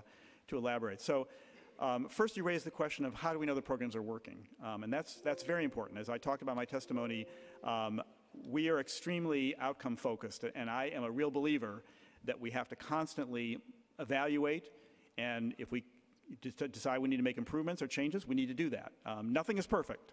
And our responsibility, especially as a steward of public funds and as responsibility for some uh, of the most vulnerable young people in our city, we have a responsibility to make sure we are doing the best we possibly can by them. With regard, so with regard to that, I'll say, uh, first of all, what we do know, if we look at the system as a whole, and I talked about this a little bit in my testimony, um, we can see that we are achieving positive results uh, at sort of the macro level in terms of our entire juvenile justice system. We are seeing juvenile arrests decrease year after year, juvenile admissions to detention decrease year after year, uh, juvenile admissions to our close to home program uh, are going down, um, and recidivism is going down. So, big picture, we are keeping more young people out of the juvenile justice system. But we also have to look below that, look at our individual programs and make sure they're working. Some of these are programs that we operate directly within ACS. Some of them are programs we operate uh, jointly with our city partners like uh, DYCD and Department of Education. Um, and so uh, let me turn it over to Deputy Commissioner Franco to talk a little bit about how we monitor our providers to make sure that they are delivering quality services to young people. Thank you, Commissioner, and thank you, Council Member King, for opening the question regarding where we use our resources. And, and I think you heard loud and clear from the Commissioner in his testimony that, for example, placements in close to home has gone down by 90%. I think it's important for us to contextualize that back before 2012, there were more than 460 New York City young people in the custody of OCFS at a cost of $285,000 per year. The fact that actually we have now less than 100 young people in New York City on the custody of ACS, close to their families and close to home, is a testament of what the city has done so well. And following up on your question in regard how we make sure that young people are getting the services that they need. First of all, as the commissioner said, our North Star is doing what works. Close to home is based in what is called evidence-based policies. We know that having young people and their families close to each other allow us to work with the young person and the family as part of our therapeutic approach to the work. Um, in addition to that, all of the close to home providers actually have to be evidence-based or evidence-based informed. And I think you and I have this conversation before. If you were to go to any one of the close to home providers, they're either following national standards under ITM, the Missouri Youth Services Institutes, Sanctuary, and other programs that actually have shown to work elsewhere. And more important than anything, it's not just what we expect, it's what we inspect. So Close to Home, Close to Home has a very, very robust system of oversight and monitoring. We actually are in the Close to Home, my team, every month. We actually are in those close, close to home sites at nights and on weekends just to make sure that they're not just abiding by the best standards, but actually we check that those standards are being implemented consistently. Thank you. Um, we may bounce around going from close to home and raised age because they kind of correlate with one another. One has an impact on the other. So since you were talking about close to home, I know in fiscal year 2018 there was 1,754 admissions, and at that point there was you were spending $1,688 per person that was in your system. I'd like to know what does that number look like for fiscal year 19 going into 20, and what are we getting for whatever that number is? So your question is the number of admissions for 2018? Cost per person. Now, in, se- in 2018, that number was 1688. So in fiscal year 19, per person that's in placement with you, mm-hmm. whether raised the age or close to home, what is that number? And what does that actually get that individual for that number? Yeah, I mean, our contracts with close to home, and, and Jose, I'm hoping that he can actually chime in, are actually preset per diem rates. So actually, provider get the provider gets paid as part of the contracting and RFP process a rate per day per youth. So that's actually that's standard. That should be the same it was this year to the last year, um, if that's the answer that you want. So I mean, there's a Well, per I'm- diem let me rate. back up- Let me back a little bit. So now, if you have a child and you say to hold a child in placement, it costs you $2,000. I'm just throwing out a number. Y'all know what the number Mm-hmm. is. Give us that number. What, uh, what is that, that one person getting? Does that include meals, housing? Oh, Does good it- point, Does that good point. include Yeah. union costs? What are we getting? Because $131 million is a lot of money. Yeah. So if you tell me there's only 80 people in placement, that's a lot of money. So I would like to get an idea, what are we getting for that money? Okay, I mean, I, I thi- I'm gonna open up with the programmatic elements, which I know really well. I mean, we're taking care of young people 24/7. That includes fully, as you said, waking up in the morning, making sure they're taken care uh, at a very low ratio, because actually we achieve public safety by a lot of supervision from our staff to the young person. Uh, immediate includes education, you know, within the Department of Education, includes all the healthcare and medical needs of that young person, and more importantly, includes, as I mentioned before, a very thoughtful way of thinking about changing that person's way of looking at life and developing new skills that would ensure us that they actually, when they go back to the community, they don't come back. There's actually a significant amount of work that happens with the family in close to home, you know, being in the community. We don't make decisions on behalf of young people without including their parents or guardians. And through a very well-known and uh, proven practice of family team conferencing, we ensure that every decision, when things are going well or when things are not going well, are actually done by bringing the whole team together consistently.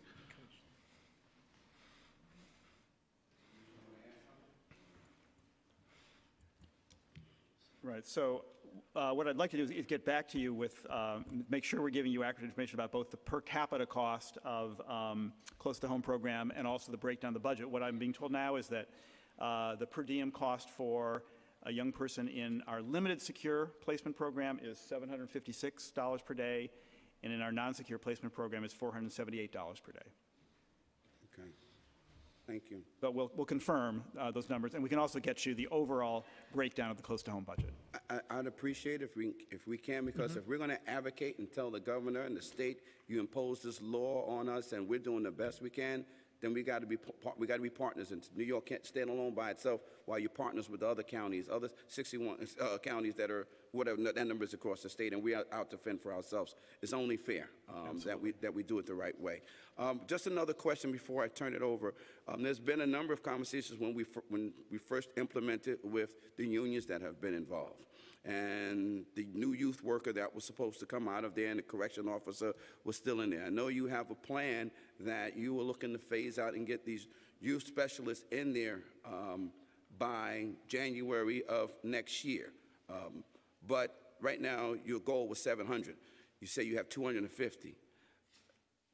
January's coming around really fast. I'd like to know, what is your plan actually to meet that goal? And do you really think you are going to meet that goal? Sure.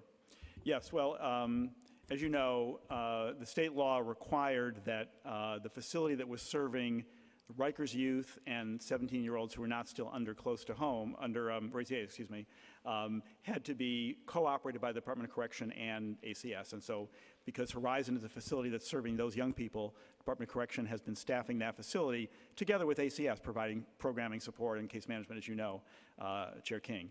Um, Our plan has been, and, and we are on track, we believe, to achieving this, that we will begin to transition some youth development specialists into Horizon next month.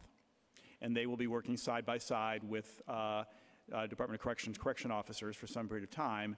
And then uh, our goal and our expectation is that we will be able to take over um, full management of Horizon by early next year. We hope by January, February of next year. Um, we have hired thus far about 250 um, YDS. In fact, uh, just today, uh, I spoke at the orientation of a new class of 50 new youth development specialists, which was great.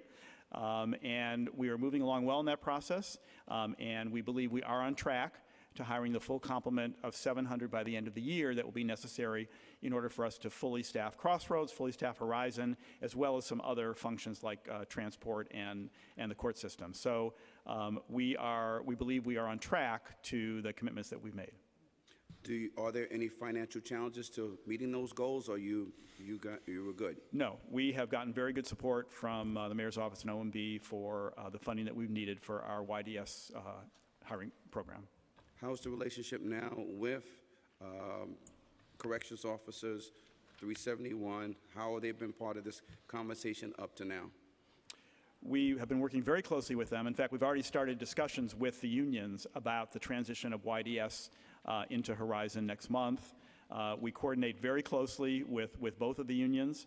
Um, and, uh, I, and certainly our, our, working relationship, I'll let uh, Deputy Commissioner Franco speak to this in more detail, but um, our working relationship, certainly at the agency level between us and corrections leadership, has been very good. Um, and I believe on the ground that uh, the work of the correction officers uh, in relationship to our program counselors and case managers at Horizon has also been very good. But the Deputy Commissioner can speak to this in more Yes, thank you, Commissioner, for reminding everyone that actually we have been actually working shoulder to shoulder with the Department of Corrections since day one, actually before October 1st. We have a significant footprint of case managers and program counselors. Actually, the number of program counselors recently actually expanded to make sure that actually we were supporting the Department of Corrections and engaging young people in activities, and that's actually going really well. So there's actually in every one of the living units at Horizons, there's actually a footprint of ACS staff as we speak, and that will grow, as the Commissioner said, when we start bringing in the YDSs. Okay, um, thank you. I'm gonna- one more question, then I'm going to open up to the committee to share questions. Now, you heard early on in my opening statement in regards to the flash indicators and that ACS removed Horizons off of that list, even though DOC reports that there was an average daily population of 16, 17 year olds in their custody from October, December in 2018 of about 80. Can you confirm that? But why did y'all take them off that list anyway? Horizons off the list, please. Yeah, no, I, I think we want to make clear that actually the reporting of horizons is the obligation of the Department of Corrections, so they actually are reporting those statistics under their reports. But actually, my understanding is in the most recent quarterly report, we actually took the information from the Department of Corrections and made it available in that report. So even though the Department of Corrections has their own set of metrics, we actually now taking that information, which is a little different than the way we do it, and making it available in our our report. Okay, and I think w- once we get clarity, then we can actually get a break that goes back to the earlier question. How much are we spending per person who is under your care? Um, Because if they're not on your report, we can't even judge it in a budget report. So thank you for that. Thank you for that answer, and we look forward to getting more information later on. Um, Right now, I want to open it up um, to my colleagues on the committee. First up is from Queens, Barry Grodenchik. Thank you, uh, Chair King. Uh, Born in the Bronx, though, full disclosure, I just want to make that clear. Um, Commissioner, um, just want to ask you a question. I'm delighted to see that uh, the city has hired 1,100 new uh, Child Protective Services employees over the last two years, um, and that um, the caseload is down to just over 10 uh, per caseworker, which is really uh, quite something.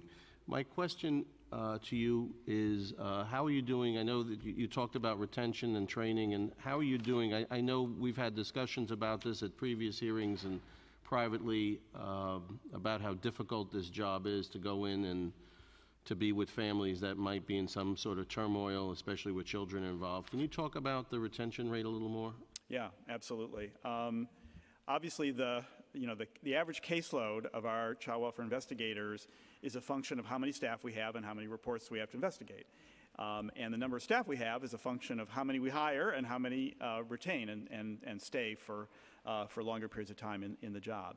And uh, it was uh, a great concern of mine when I started two years ago uh, that I felt we were losing too many uh, child protective specialists too early um, in their, in their term of service. And that was bad from a number, number of perspectives, obviously. It was not good that staff were not staying. It was not good that we were retaining staff with the experience to do the work. Um, and uh, I was concerned that it, it would have an impact on the quality of the work. So we launched a number of initiatives to try to address uh, the attrition rate.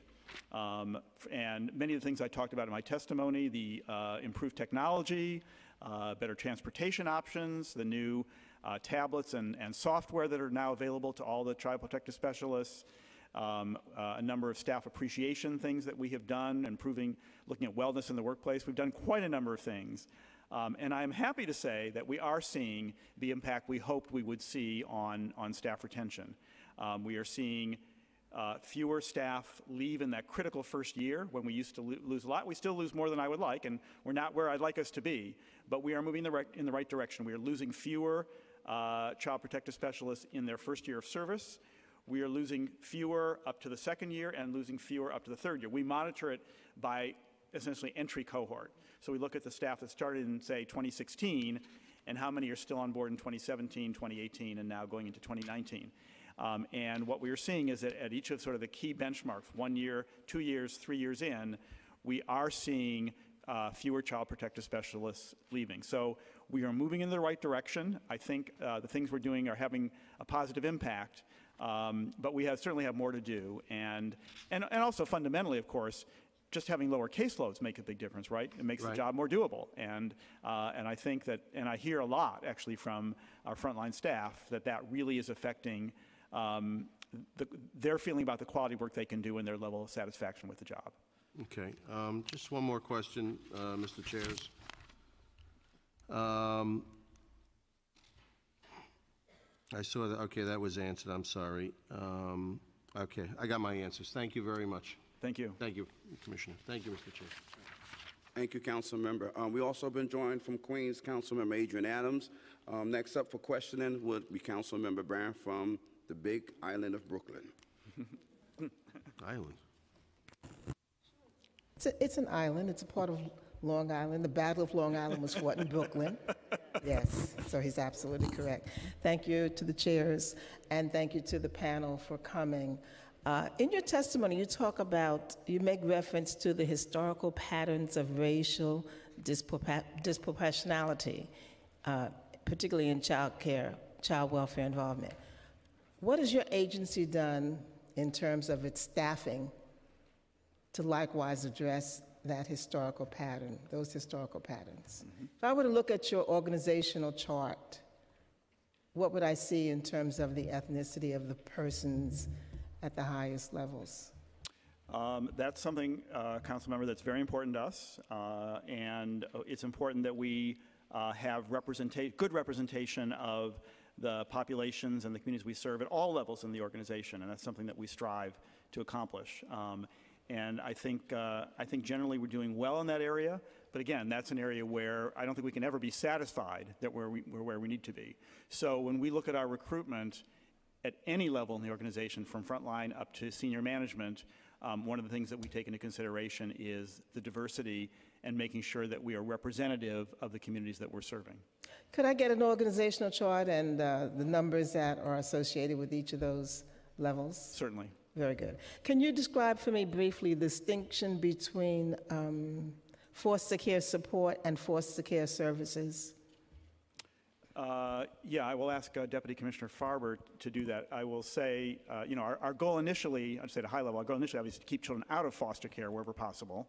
Um, And um, that's why we're happy to see that the, the number of children in foster care in New York City has continued to Okay. decline. But when children are in foster care, um, our goal is, first of all, to make sure that they're getting all the services that they need, and then also that they can return to their families or achieve a permanent family uh, situation as quickly as possible. And so, So what's the difference between the services, which is at 569, and the support, which is at 51 million? uh, I'm going to ask uh, our Chief Finance Officer, Mr. Mercado, to I mean, they're two distinct categories. I Yes. wanted to know what's different. From a budget perspective, I, I appreciate your question. Yeah, hi. Um, the support services include family, like, uh, our, uh, policy, um, excuse me, I'm a little nervous. First, That's okay, welcome. Policy- This your first time? Yes. Oh, we'll, Speaking. we'll be back again. Thank, thank you. Our, our foster care support actually is our support staff, staff, specifically our lawyers, our, pro, our policy Okay. program, uh, budget people, audit Okay. people, things of that nature. Okay, I'm on the clock, so thank you for that. Can you briefly tell me about your adoption services program? What, how do we try to encourage parents to adopt children? Thank you, Jackie. I'm Julie Farber, Deputy Commissioner for Family Permanency Services. So, I mean, our, our first goal typically um, is for children to be able to be reunified with their families. And then when that's not possible, we look at alternative options for permanency. And we look at both kinship guardianship, because there is now a, you know, a kin gap option. Um, uh, where you can become a permanent guardian and, and receive financial support and all of that. Um, and then there's also the option of adoption. And so all of those options are presented to foster parents and to, and to parents um, and to families. Um, and So what would be the attraction for a person who has a foster child to um, be incentivized to go all the way th- to adoption? Well, I think, um, you know, a, a primary incentive of most of our foster parents is, is wanting to care for a child, whether it's a, you know, a relative um, and, and it's, they're caring for another family member, um, or even if it's a non-relative, that they're, they're looking to provide a loving home for a child in need.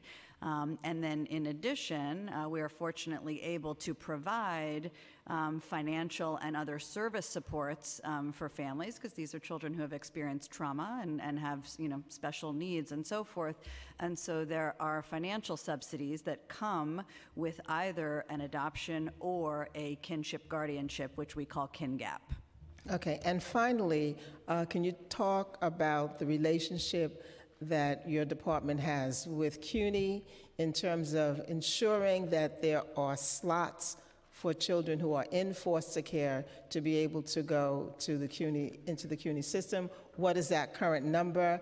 How do we make sure that all children in foster care and their families know about it, and how can we increase that number? Um, thank you for asking that question. Um, that's something uh, that we've been doing uh, a lot of work on um, in great partnership um, with CUNY. So there are several hundred kids in foster care who are in college, either in CUNY or elsewhere. Um, you know, elsewhere around the state. Some of them are out of state, um, which is great. With CUNY, we have a particular uh, and very special partnership that we call the DORM program or the Fostering College Success Initiative. And right now, there's about 120 young people in that program, and they are residing in dorms on campus. And getting special supports, including tutoring and social support and um, just sort of a sense of community um, that is built around them through a partnership with CUNY and, uh, and the New York Foundling. Those students also um, are benefiting from a mentorship program that we have in partnership with Goldman Sachs, um, in which Goldman Sachs employees are providing mentoring to the young people. And how many, what are your plans to expand this program? What numbers are you looking to increase over the time? So the program started, um, had just about 40 young people in its first year at Queens College. Um, I think it grew to 93 uh, youth in the next year. Uh, and then currently, um, the program is at about 122 youth. So do you have a number that you're annually looking to increase the program? So we're, we're in the process of sort of analyzing that now. And most importantly, thank you, Mr. Chair, how are we making sure that children and their families know about this program? Because I've spoken to families and they don't know that it exists. We know they perhaps can't all get in at this point. Of course, when, when we're successful and we get CUNY to be- be back as tuition free, it won't be an issue. But until we reach that point, how are we making sure that families know about this option to Um, apply? Well, just to clarify, for the kids in foster care, that tuition is covered. Correct. Um, And once we get tuition free, it'll be open to everybody, so it won't be an issue. Okay. Yes. Um, but but so so there's a tremendous amount of outreach that happens um, to our foster care agencies. We have monthly meetings with the education specialists at all of the foster care agencies, where they are informed about not only the CUNY dorm program but the many many other um, education initiatives that we have.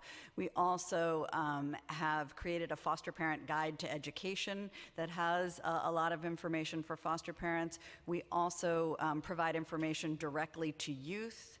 We, we try and use, there's many different venues um, uh, through which we try to share this information um, so that young people are aware and, and so that their case planners are aware. Great, thank you. Thank you, Mr. Chair. Thank you. And before um, we go to Holden, I just want to add, you, you mentioned in regards to what information is being shared with young people in the system to know they can go to college. You know, there are, I talked about earlier about certain terms and advertisements that we use. You know, there's been a conversation I've been having for the last three years. We passed in the City Council about what the Constitution stated with the three-fifth clause compromise, where it established a system of inequities from their male white counterparts who created the system to the black slave in the system. Today, we still have those same inequities based in a system that created a rule, and conversations and agendas move like that. So when you have the conversation always talking about from school to prison pipeline, we should be advocating if you have a foster care program to college, we should know about that freely, just like the advertising and marketing of from schools to prison pipeline conversations that people have across. As a chair, I get a number of conversations about the juvenile foster care system is a pipeline to the juvenile system, which is a pipeline to the adult jail system. So this is the mentality of what I talked about uh, alternative to detentions and incarceration. ACS, we're counting on you to have a paradigm shift in your conversation when it comes to our children, to tell them how great they are. And it doesn't start when they're 14. It starts when that child is three and four and five. So as you partner up or how you partner with the Department of Education, that there's better messaging with the kid or the child early on so they never even come into your system. Then we don't even have these stressful conversations why you haven't taken care of communities of color. Because when I hear black males make up 5%, teens make up 5% of New York City system, but they make up over 43% of the juvenile justice system, something is wrong.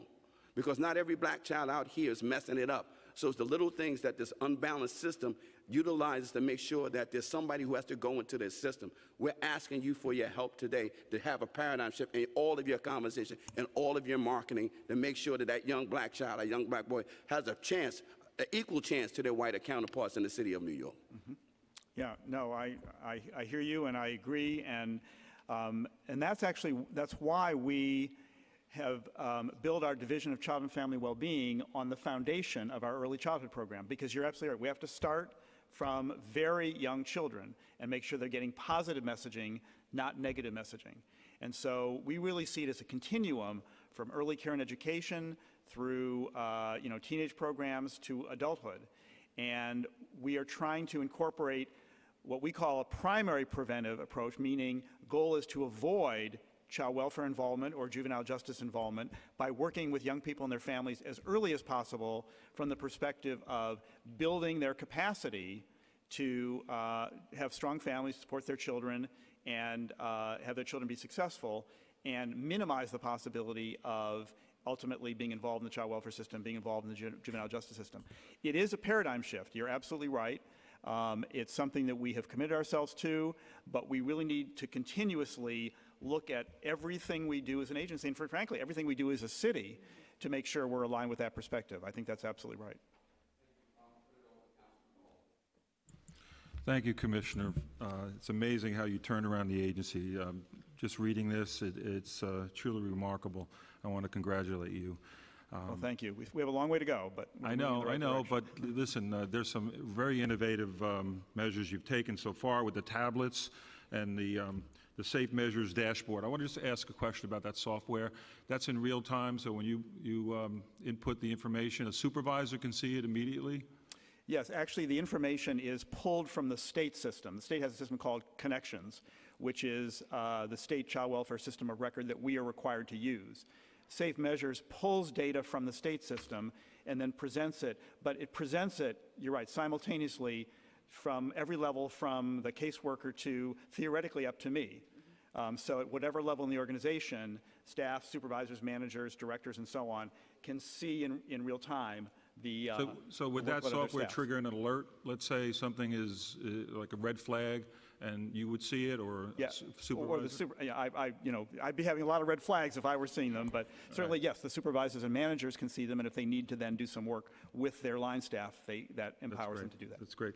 Uh, and These enhanced training sites, um, did they exist before you're opening up two, or you did open them? They, the simulation sites, we've never had them uh, at ACS. We, of Uh-huh. course, have done training, uh, but it's been classroom training. We have done mock interviews, we've done mock court proceedings, but we've never actually had a facility that truly replicates what it's like to walk into a family's home, to walk into a courtroom. And now with the simulation sites, we will have those. Yeah, and that's so valuable, we were talking about in criminal justice too, to have that, that atmosphere of, of a real working, you know, location. Uh, So I- I like and- that. And it will uh, include detention centers as well, so Yeah, just, just another, I'm trying to beat the clock here.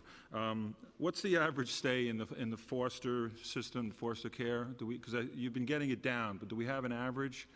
So Most children return home to their families, um, and, and for those that don't, um, the majority are um, adopted or, or go home to kinship guardianship. Fortunately, the numbers of kids who age out has been coming down and down and down. We've had, I think, and my colleague Andrew White will correct me, but I think it's somewhere around a 38% reduction in the numbers of kids in care who have been in care for two years or more over the last four or five years. That's great, that's great. Um, Six years, Andrew tells me. Okay, great. Uh, We, we had some trouble at Horizons and Crossroads initially. Um, I know about Horizons, I don't know much about Crossroads. We're going, we're going to visit, I think, in, in, in April. Um, What was done at Crossroads to improve the situation, and, and tell me how it's improved? Is just hiring a specialist, or? Uh, Well, no, there are a number of things, and I'll let Deputy Commissioner Franco speak to the details. But the challenge, you know, the challenges at Horizon, I think you're more familiar with, and there was a lot more public Right. discussion about. Um, The challenges at Crossroads had to do with the fact that because we had dedicated Horizon to the Rikers youth and the 17-year-old youth, that meant that we had to manage all of the other populations in the juvenile justice system within one other secure detention facility, Crossroads. So we had multiple groups of kids with, of different statuses, um, and of course, the population was larger than it had been prior to the implementation of Raise the Age. So both the population and the range of populations we were managing created challenges, but there's a lot that we've done to address that, and I'll let Dep- Deputy Commissioner Franco to speak to that. Yeah, and I think you mentioned both facilities. Um, Horizons, which you're familiar, and you went to visit with some of your colleagues. Um, things are actually getting much better. I think actually the Department of Correction has reported uh, like more than a 50% reductions in the use of force. Crossroads, we had our challenges too. I mean, we were suddenly moving every young person from every neighborhood in New York City into a smaller facility. And on top of that, Raise to Age created a new category called, called adolescent offenders, who actually had to be managed just on their own, separate from juvenile delinquents and juvenile offenders. So imagine suddenly having the most challenging 16-year-olds in New York City, all of them having to live within the same living unit. So it was rocky at the beginning. Uh, our trends are actually getting much better. The number of incidents continues to go down, and as we implement some of our therapeutic approaches to help young people learn how to regulate their emotions and behavior, as we get YDSs that are amazingly good at connecting to young people, though we're turning the curve and things are getting much better. Things will get even better when on October 1st, 2019, the system is a juvenile justice system, and we can recalibrate and move ki- kids easier in 2020 between the two facilities. All right, just um, one question, Commissioner. Um, There's, in CPS, there's been, um, uh, I think, a high turnover rate in the, um, in the supervisors, um, because they don't get overtime, is that, and some of their subordinates might get more becau- with overtime? N- Supervisors do get overtime. They do get over- Managers, the managers, we have, our hierarchy is um, child protective specialist, supervisor level one, supervisor level two, and then child protective managers. Um, The managers, managers, because they're managerial, uh, do not. Um, We actually have not had, I, I would say, sig- I don't think significant uh, turnover. Actually, we've had more stability at the more senior levels. The issue of managers not getting overtime is an issue, I think, for managers No, no, it's, the it's- board. I, I understand that, but we Uh, have the notes that are, it says differently, but then we'll, we'll check on that. Okay, Uh, we, well, we yeah. can confirm that, we can Yeah, discuss all that right, with you at okay. staff level, but I, I don't, I don't believe that's a significant issue for Okay, thank you so much, thank you. Thank you, Councilman Holden. We'll turn it over to Chair Levin right now. Thank you very much, Chair King. Um, Commissioner, thank you very much for your testimony. So I, I have a, a few questions that I'd, I'd like to uh, go through. Um, first off, I, I think just as a, a general question here, um, we are seeing this large peg uh, coming from OMB. Um, I mean, did they consult with ACS um, before arriving at a, a number of seven percent? Which and, and how did they arrive at that number? Because as I said in my in my opening statement, um, HRA and, and, and DHS have like a you know one percent or less than one percent peg, and um, you know this this puts a huge huge burden on ACS. Yeah, no, I very much appreciate your concern, uh, Chair Levin. Um, No, O- OMB did not consult with us, or to my knowledge, other city agencies in establishing the amounts of the pegs. We are working with, O- with OMB on determining how we're going to meet the peg, um, and we're in active uh, discussions with them right now, and uh, the goal is, and I think actually um, the OMB director spoke to this a couple weeks ago when she testified, um, ACS, like some of the other human services agencies, have access to a number of state and federal revenue streams. And so um, our hope is, as much as we're able to do that, to utilize that revenue to meet the PEG target so that we don't have to um, have an impact on, on programming. And certainly there's a commitment that there will not be an impact on our frontline, you know, uh, sort of core safety responsibilities. But that's Um, not um, that's not uh, state and federal dollars currently going towards programming. No, uh, we have, we have some revenues that we've been able to, actually, as as we already done to meet our savings target. Uh, It's basically unexpended state or federal revenues that we can put towards meeting these, these targets. Okay. Um, okay. I, I'm I'm very concerned, but you have not been able. You have have you identified what your pegs are going to be, or Not, not specifically yet. We're still working with OMB on that. Okay, and I said this to um, Commissioner Banks as well. You know, there's a there's a institutional issue here, uh, not directed just at ACS or or DSS, but um, the administration as a whole. In the past, uh, when we had pegs under the Bloomberg administration, um, my recollection is that we, uh, those pegs were put forward in the preliminary budget so that we were able to discuss it at the preliminary budget, work through the issues uh, throughout the budget process. Um, for uh, the administration to announce that they were going to do pegs at the preliminary budget, uh, $750 million, 12% of that's coming from ACS, and then and then wait and, and then and then uh, wait until the executive budget to put those forward puts uh, the public, the council, advocates, clients, recipients of, of services um, kind of on their heels a little bit when these pegs come forward uh, because there's going to be less time to react to them. So that's just a something. If you could take that back to OMB, that would be very helpful because um, uh, there's a lot of frustration on our end Um, uh, and I can tell you, you know, the speaker is particularly incensed about the peg to ACS being so disproportionately high. Okay, I appreciate that. And I I'll am too. certainly, I will certainly take it back to OMB. Okay. Um, uh, There was a a question about um, last year's uh, uh, uh, budget agreement for FY19. As you can see, um, uh, we were informed, and this is, you know, the speaker, our finance director, and our chief of staff, um, from the mayor, that there would be about eight million, $7.8 million uh, to implement foster care recommendations. That's 3.3 for kinship navigators, 2.8 for family visiting uh, services, and 1.7 for workplace workforce employment uh, to support foster care agencies preparing youth for the workforce. These were all, we were very excited. Uh, the speaker came back, to, I'm on the budget negotiating team. It was like at the last minute, he says they agreed to $7.8 million for some of the foster task force recommendations. And obviously, to date, um, you know, less than a million of that has been spent, and I just, you know, I'm a little frustrated with that, and um, uh, was wondering what the story is there. Yeah, um, well, I, I know we've had some discussion at the staff level about this. Mhm. Um, it appears there was some miscommunication. All, uh, what, all we know is we at ACS were never informed uh, by OMB after budget adoption that we were expected to self-fund at that, at that level. Um, if we had been, I have to say, I'm not sure how we would have done it because we would have had to take money from other uh, programmatic initiatives. But anyway, we, we weren't. Um, what we were uh, told was that we um, had the authority if we wanted to initiate uh, pilot programs, which is what we did at, at the budget level that we were able to identify um, funding to do. And so we launched them in the two areas, as you know, of kinship and family visitation, uh, and then also in the, in the area of transition age youth, but the, that's where the council had put additional money into the budget. So, So as far we- as I'm, oh, go ahead. Sorry, so all I say is we, we did what we, uh, basically, ba- what what was communicated to us uh, after the budget was adopted. So as, as far as I'm concerned, uh, uh, OMB owes ACS about $7 million for FY19.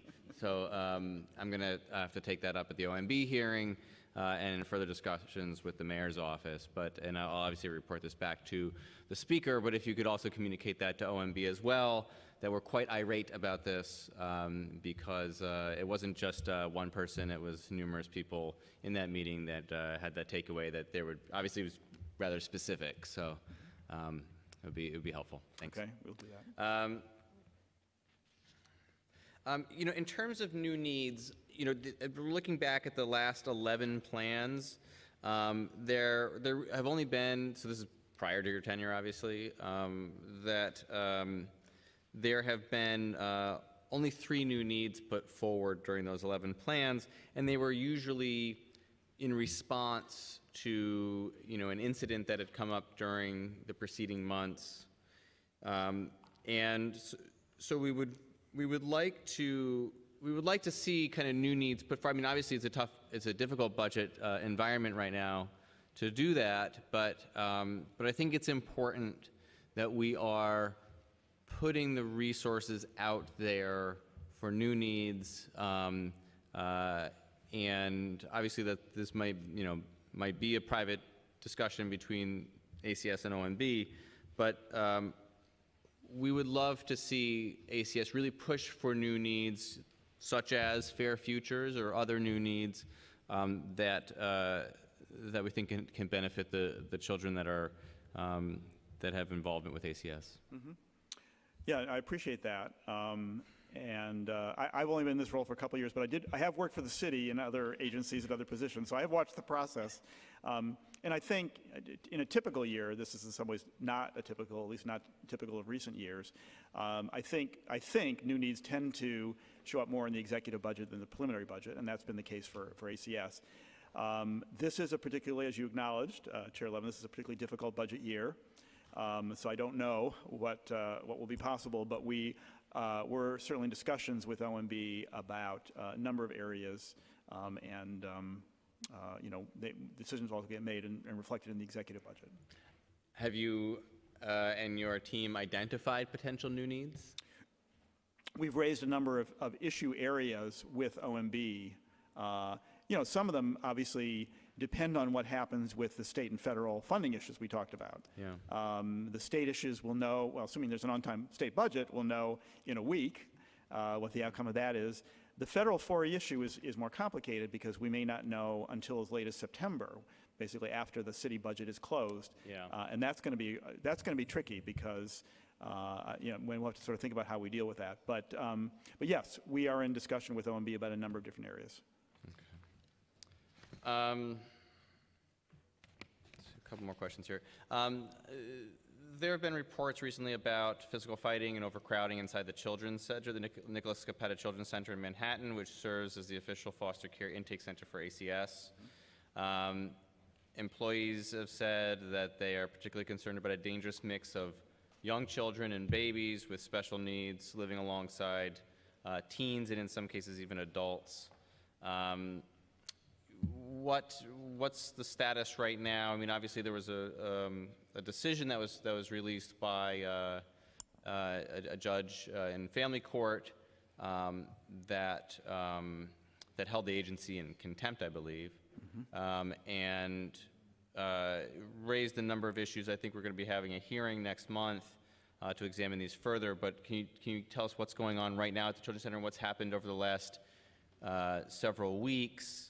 Um, and uh, is there, I mean, is there an additional, um, is there an additional budgetary need here um, that we should be looking at? Um, No, I appreciate you raising that. It is an area that has been uh, a major focus for, for all of us, and, and particularly for me, um, in recent weeks and months. Um, The Children's Center uh, is actually our only directly operated ACS facility um, for young people who, um, when they are removed from a home because they are uh, at risk of, of serious harm, um, and we don't have an immediate foster care placement for them, the Children's Center is the facility um, that, uh, that we use as a temporary residence. Most young people are there for a very short period of time, usually less than 72 hours.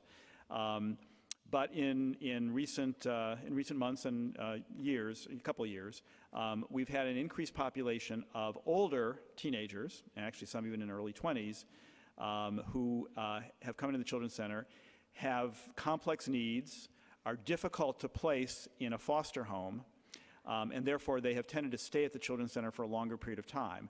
And that has resulted, as you said, in the overall census, the overall number of children or, or, or young people at the Children's Center uh, going up. Um, and then uh, you alluded to the incident that I know got a lot of, uh, of media coverage in the last couple of weeks. And while I can't talk to the details of that, and they're confidential, but I can say uh, it was very concerning.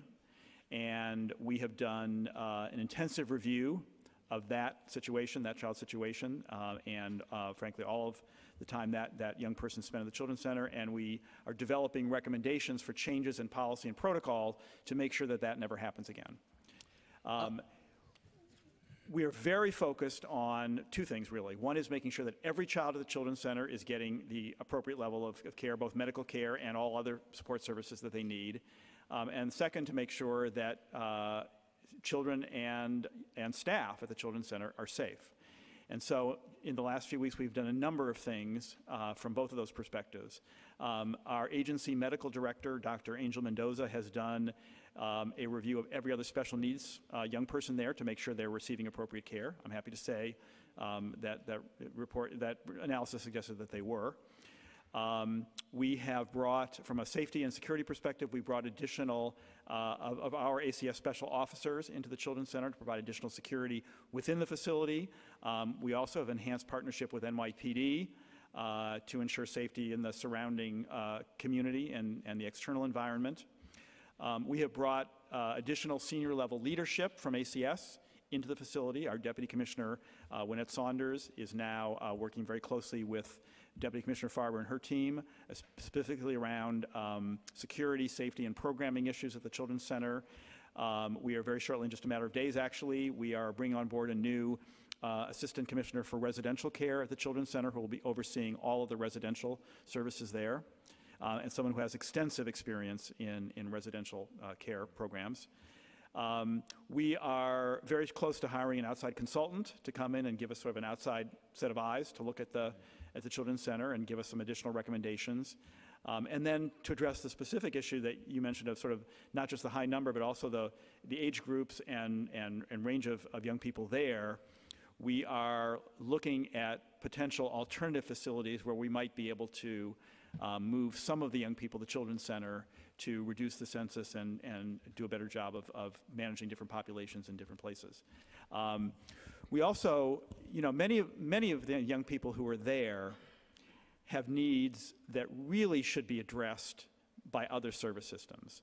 Um, some of them have severe mental health or behavioral needs and really ought to be served in programs operated by the State Office of Mental Health. There are some young people there, and actually uh, throughout our foster care system, who have developmental disabilities, uh, who at the age of 21 um, are supposed to be the responsibility of the State Office of People with Developmental Disabilities. We've historically had a difficult time, frankly, getting those state agencies to take responsibility for young people that really should be served in their systems and not ours. Um, but more recently, and actually with OPWD, we've been in litigation with them for a number of years about that exact issue. Um, with regard to the Office of Mental Health, we actually are, now en engaged in an intensive process with them and with the State Office of Children and Family Services to design uh, some new service systems for young people with uh, serious and complicated mental health and behavioral health issues. Um, and we're hoping that too will provide some additional resources. So there are many things that we're doing to address this. It is a very important priority. Um, and making sure that the young people that are there, our staff that are there are safe, and that the young people are receiving the best quality of care is uh, absolutely critical to us. And so, what specifically has changed, like in the last in the last week or two? Um, additional leadership support, um, additional uh, special officers for security purposes.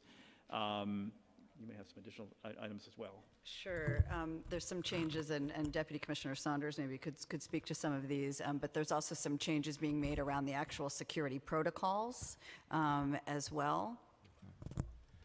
Um, and then, uh, kind of from a from a, a, a step, taking a step further back and looking at the kind of longer trajectory of the Children's Center, um, there's over time the census has increased um, from a few years ago. So, what what is different about um, what's different about the overall picture that would lead to an increase in the census of the children's center when you know the number of uh, youth in foster care continues to decline, uh, the number of preventive services continues to go up, um, uh, uh, uh, you know, particularly uh, evidence-based uh, preventive slots continues to increase. Um, our investment continues to increase in preventive services.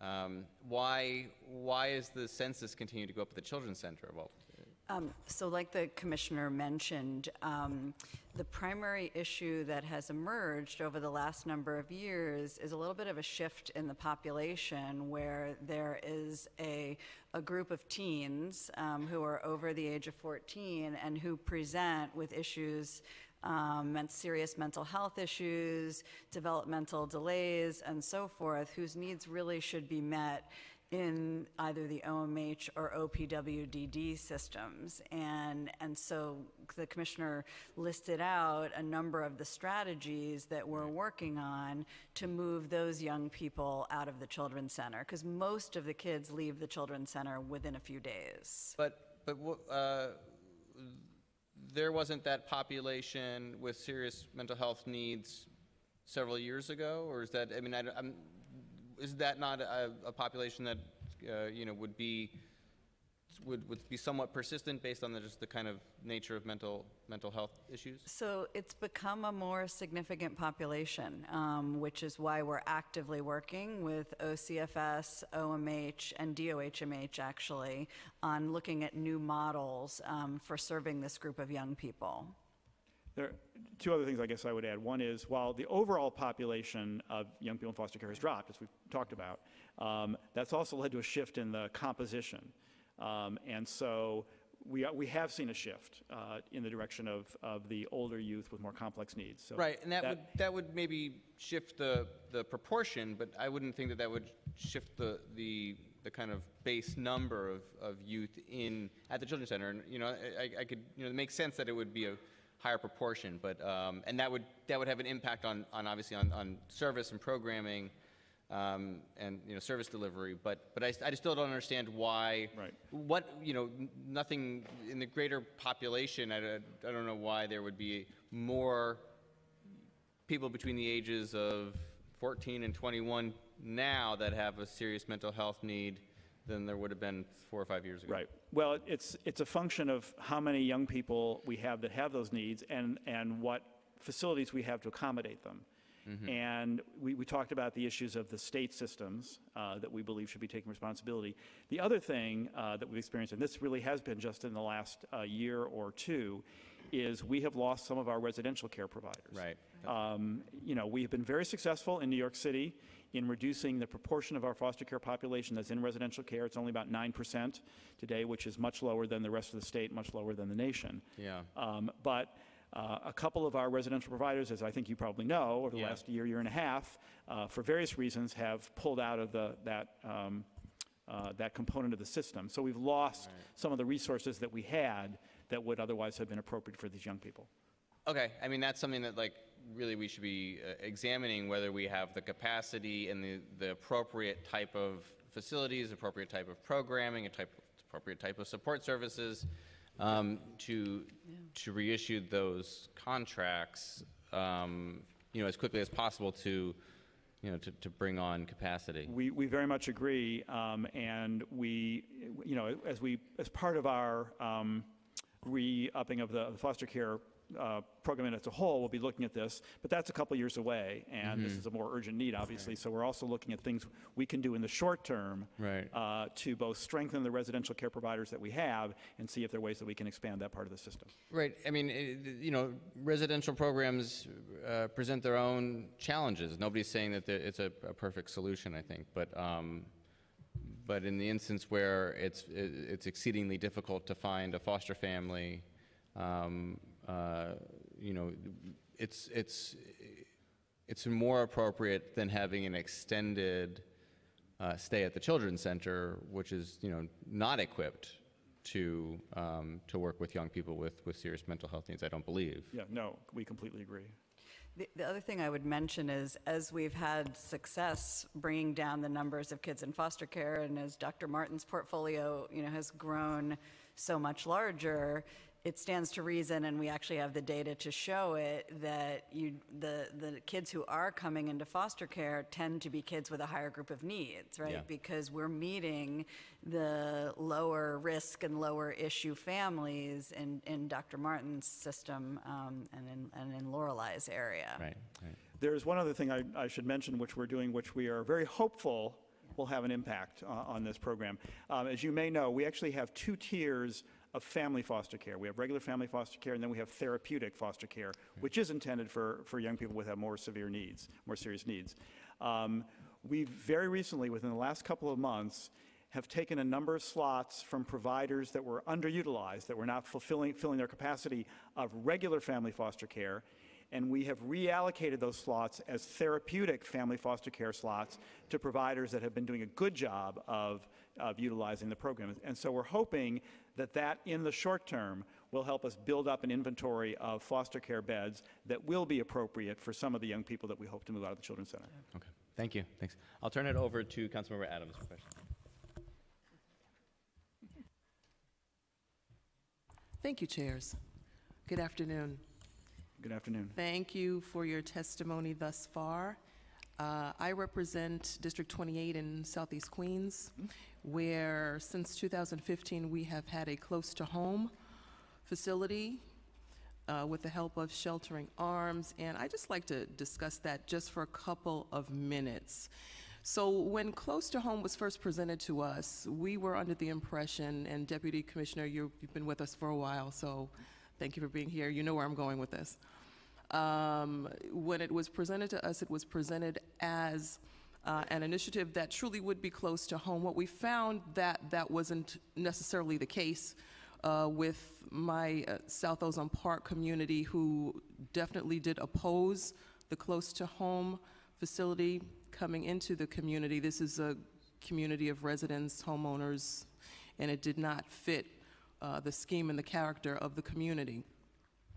So, what we've experienced over the past year or so have been two incidents of uh, AWOL uh, with youth escaping the facility. Uh, the first one was in April 2018, the second one was in December 2018, where we realized that after consecutive meetings um, with uh, your team and others, the facility itself does not really have a capacity or a high level of detainees in this particular facility. And Deputy Commissioner, if you can help me out and just let me know how many youth right now are in the close to home facility in uh, South Ozone Park? I- I don't have the number in front of me, but I know that actually we haven't gone above 12 ever. So I mean, um, kind of testament to what the commissioner and I mentioned before. You know, c- uh, close to home actually being reduced by 90% in terms of placements since they opened in 2012. Mhm. So we've never gone uh, over 12 in South Ozone Park, and at both incidents where we've had youth go AWOL, I dare say no more than four or five, if I'm not mistaken, were residents in that facility at any given time. Now, I am hard pressed to uh, to con- continue to justify the existence of this close to home uh, to my community that opposed it vehemently since 2015. Uh, and if you can help me today to justify the existence of this particular facility existing and continuing to maintain a contract with Sheltering Arms in this community where we have had a two-year-old terrorized because a youth jumped the fence in April, where in December a youth pulled the, the fire uh, the fire alarm and was able to escape very simply uh, with minimal effort from people that were supposed to be watching out for his safety and for the safety of my district. So, again, if you can let me know how I can possibly justify the continued existence of this particular facility in South Ozone Park, uh, I would greatly welcome your assistance. So, um, I mean, close to home was premised under the concept that young people should be close to their families. And actually, the law requires that young people should be in, in New York City or within 40 miles of New York City. And we, you know, we meet the standards and actually do above that. Uh, in terms of our uh, understanding of where young people are placed, we look at their special needs first, and then we look to proximity to home. So at any one moment, uh, the majority of young people in Ozone Park are actually young people that are, their families reside in Queens. But as you and I have discussed in the past, there may be young people from Brooklyn or other boroughs in that facility in Queens, uh, within the limited secure facility. I think to the context of why do we need the facility is, be- again, we only have two limited secure facilities for young males, one in Queens, one in Brooklyn. Um, we need that capacity, particularly in preparation for the young people who are coming into us now. Um, the other factor I think is important to mention, I think we open up in the testimony talking about how proud we are that close to home placement have gone down by 90%. One of the things that actually I'm particularly proud is that actually since 2012, particularly after 2012, 2013, under the new, new administration, AWOLs have gone down by 87%. The likelihood of a young pe- person to go AWOL from close to home is lower than have ever, ever been. And as you and I have talked about, it's unacceptable that actually that, that actually happened twice in your district. And the provider and us, we have been as responsive as we can. Both young people were apprehended within a matter of days. And we actually have been particularly tough and uh, on those on that provider, even though it's a very good and responsive provider, to make sure that that doesn't happen again. I mean, I know all the neighbors of Ozone Park by name right now, and you and I have consistently meet with them. Uh, I know their feelings about the facility.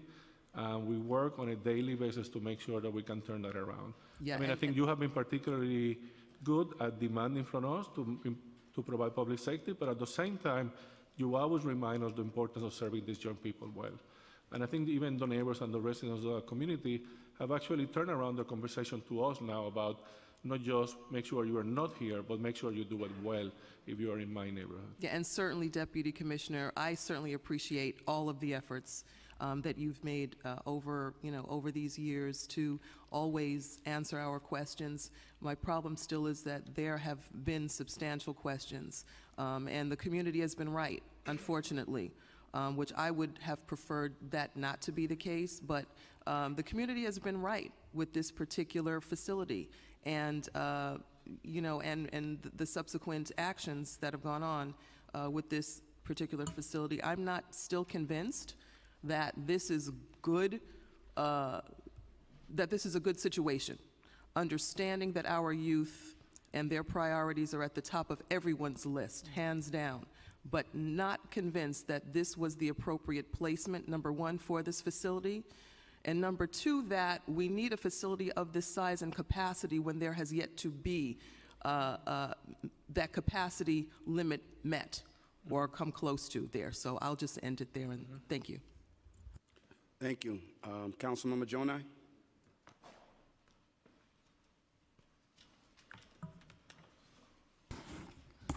Thank you, chairs.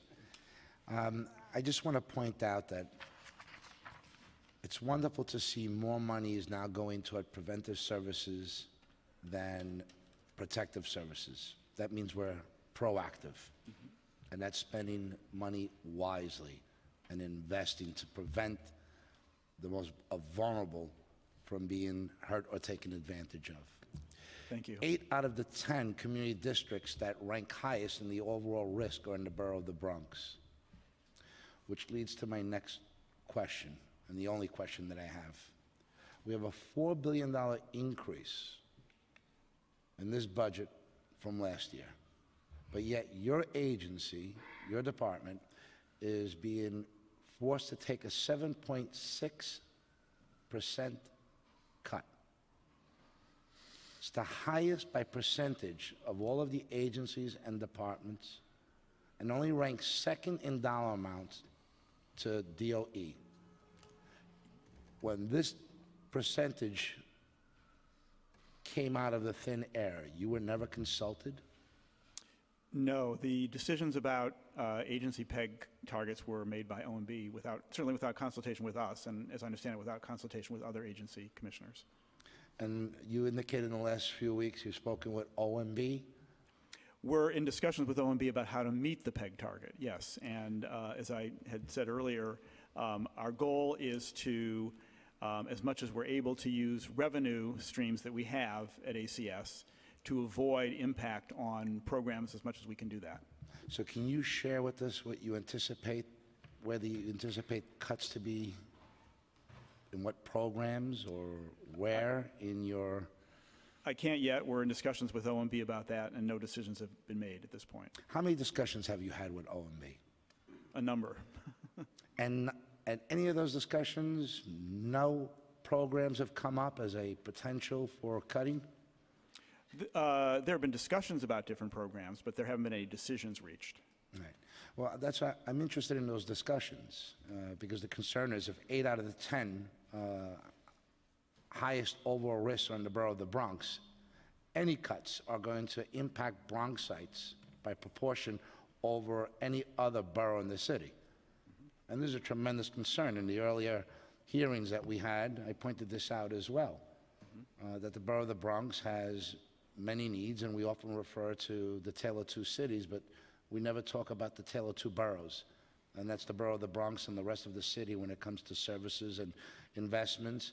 But we are first in many other areas, from obesity and health concern and unemployment, and the dumping grounds for the rest of the city when it comes proportion to supportive housing and shelters.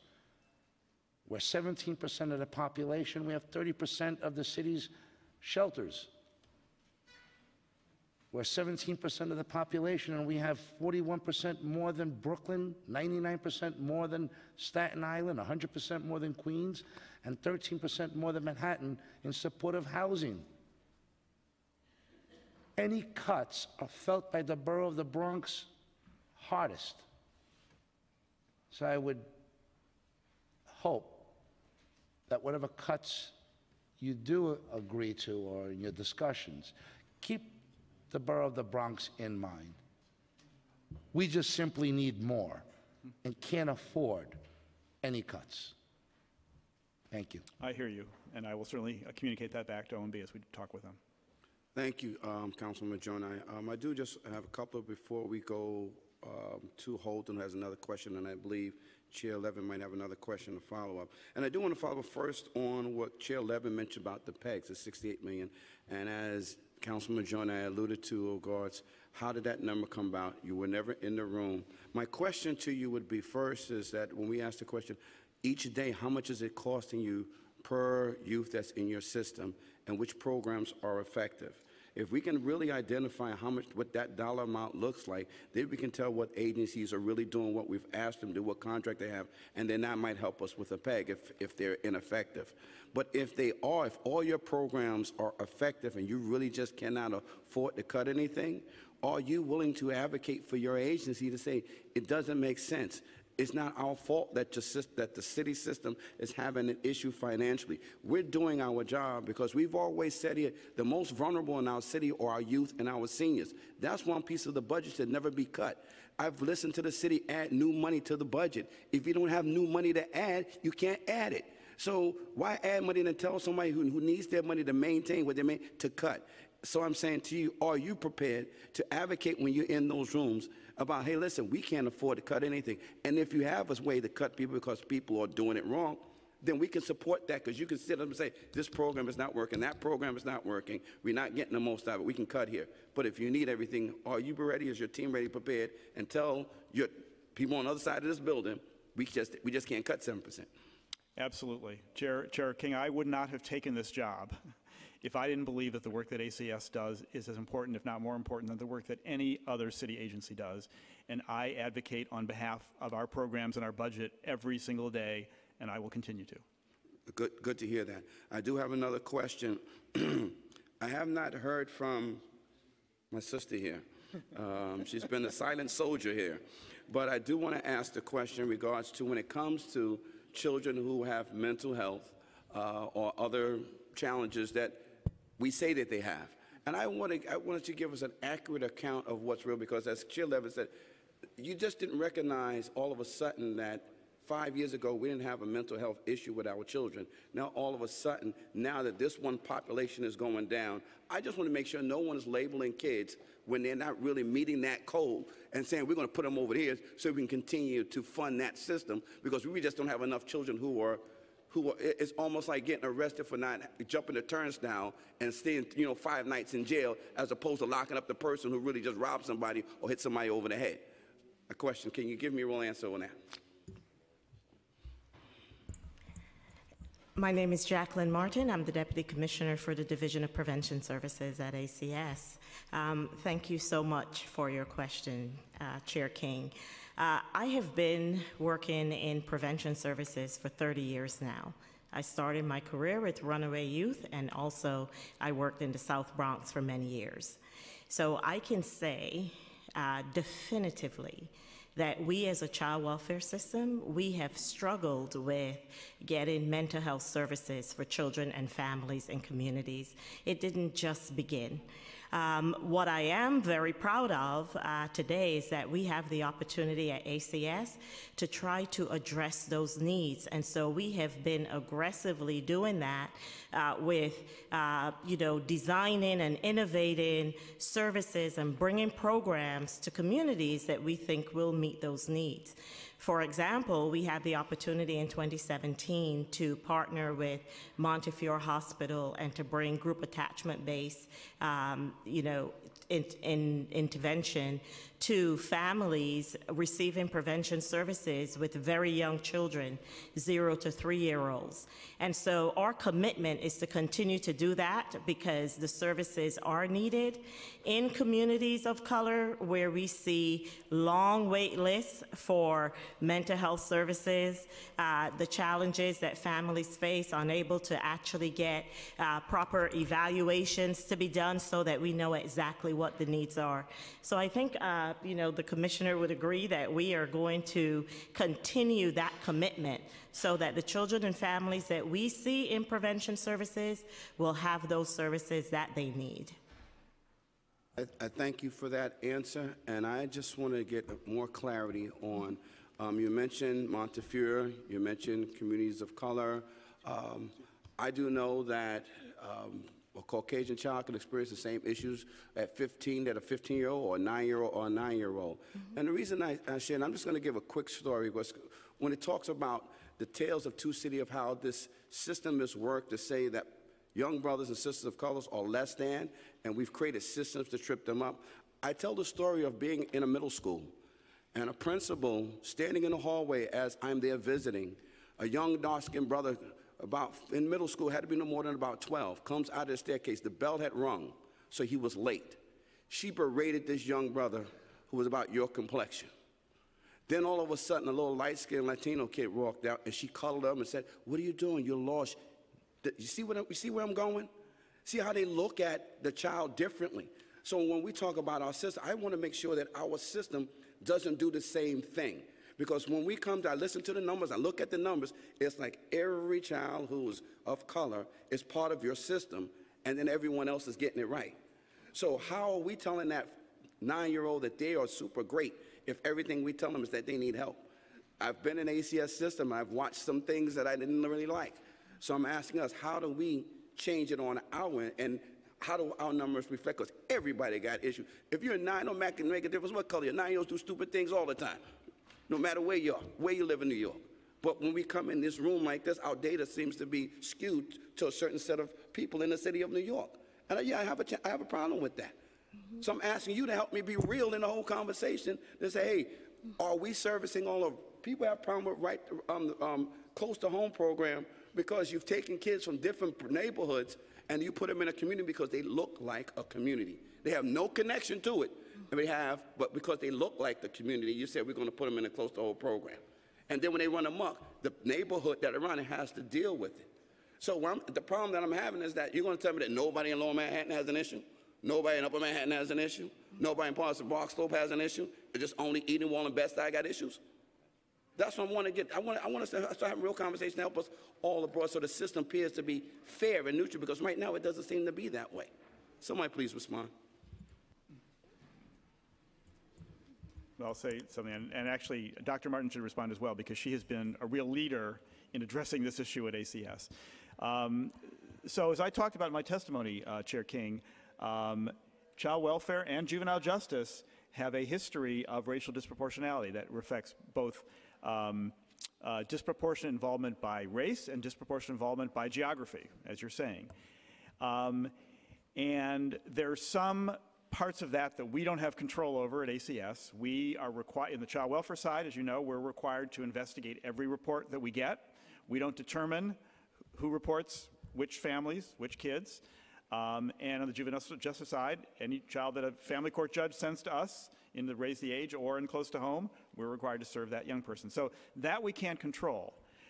But we do think that there are things that we can do to address the underlying issue of racial disproportionality and geographic disproportionality that you're referring to. And primarily, there are two things. One is we can try to intervene in a positive way in those communities before kids get involved in the juvenile justice system or the child welfare system. And then we can make sure that we, as an organization, when we're working with families, are not reinforcing those patterns. And so those are the two things that we're focused on.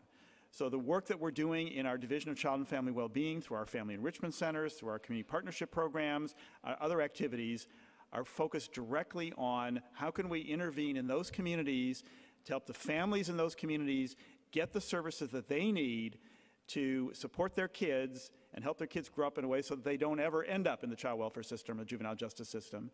And the work we're doing around uh, implicit bias and the equity assessments that we're doing um, similarly are focused on how we within ACS can hold ourselves accountable for making sure that we are dealing with every single family that comes through our doors in the same way, regardless of race, regardless of geography, regardless of other factors that shouldn't have any impact on, on our interaction with them. Those are not easy goals to achieve. Those are, as, you, as you're pointing out, these are deep-seated problems in our society. Um, and we know that there are some parts of it that we can only respond to, but there's some parts of it that we think we can proactively intervene with, and that's what we're trying to do. So um, my next question goes to your 21st century new bill system, which you just talked about inequity, said you're looking to challenge. Um, my first question is that um, how much do you, how much uh, does a system like that you think cost? And as you create a system like that, what responsibilities will you, will this system have in holding other systems accountable for their, for their discriminatory practices that puts a more burden on your system? That's, those are both very good questions. Um, on the, I mean, I, on the first one, I can't attach a price tag to it. And actually, I think I would say it's less about more resources. It's more about how we use the resources that we have. Are we using them in positive ways? Um, so I think the first thing we have to do is make sure that all of our programs and all of the ways we're using our resources currently are aligned with this perspective and this way of doing things. Um, on the other, uh, that's a very good question. Um, you know, we are one of, I don't remember exactly how many city agencies, but we are one of the city agencies under local law 174 that was required to do an equity assessment. Um, we are working, and actually there is a, uh, I'm not sure if it's exactly a task force, but there's a group of those agencies that are, is overseeing that process with the mayor's office of operations. And um, part of the reason for that structure is to make sure that we're not each individually um, moving in this direction, but that we all, as a, an entire city government, that we are moving in this direction. So I think, I think that's very important. I think if it doesn't happen across the board, it won't be effective. And my final question before I turn it back over to, uh, turn it over to Holden, who has a follow-up question. Um, First, I want to thank you for your answers. Um, As we continue to talk more about the budget and we wrap up with budget, um, I hope in your conversation of this 21st century that you will have the ability and the guts to call another commissioner out if they're doing something wrong that's imposing and having an impact on your system. I- That's the only way we get it right. We can sit up here and say, but when y'all sitting in the room trying to figure out the next plan for the next this, you got to call them out if you see something they're doing that's really just discriminatory, just not right, that's having an impact on how you got to spend more money or get more, you're more stressed out, or your staff is more overworked while they're creating a scenario for you. Mm-hmm. Hope that can happen. Mm-hmm. And second thing, I want to move into capital money that you've been spending for the facilities, whether it's Horizon Crossroads, Coast Home, whatever. That, those millions of dollars that you've, that you have, that you've been building these facilities, want to know if that gym is ready at Horizons. Um, and then also, if all the money that you have, you spend it all, is all your facilities ready? And if not, do you need more money or do you have anything left over? What's your status? Mhm. Well, we need more money from the state, that's for sure. Um, We have, uh, we have spent a significant amount of capital money, um, and I think you have those numbers, but if not, we can certainly get them to you. Um, You know, we, uh, the two facility, the two detention facilities, Crossroads and Horizon, um, are about 25 years old, and um, so they required quite a bit of renovation work ju- uh, just on, on really basic systems. Um, And so that work had to be done before October, because we had to make sure that they were safe for the increased population of young people that we're going to put there. Um, With regard to the recreational facilities, we've been working not just the, just the gym, but of course the outdoor space, which is also a big concern. Um, I'm happy to say, actually, we understand that just today, the construction work on the, the outdoor basketball court has started. Okay. Um, and the Department of Design and Construction is overseeing that, and I know they're working as quickly as they can.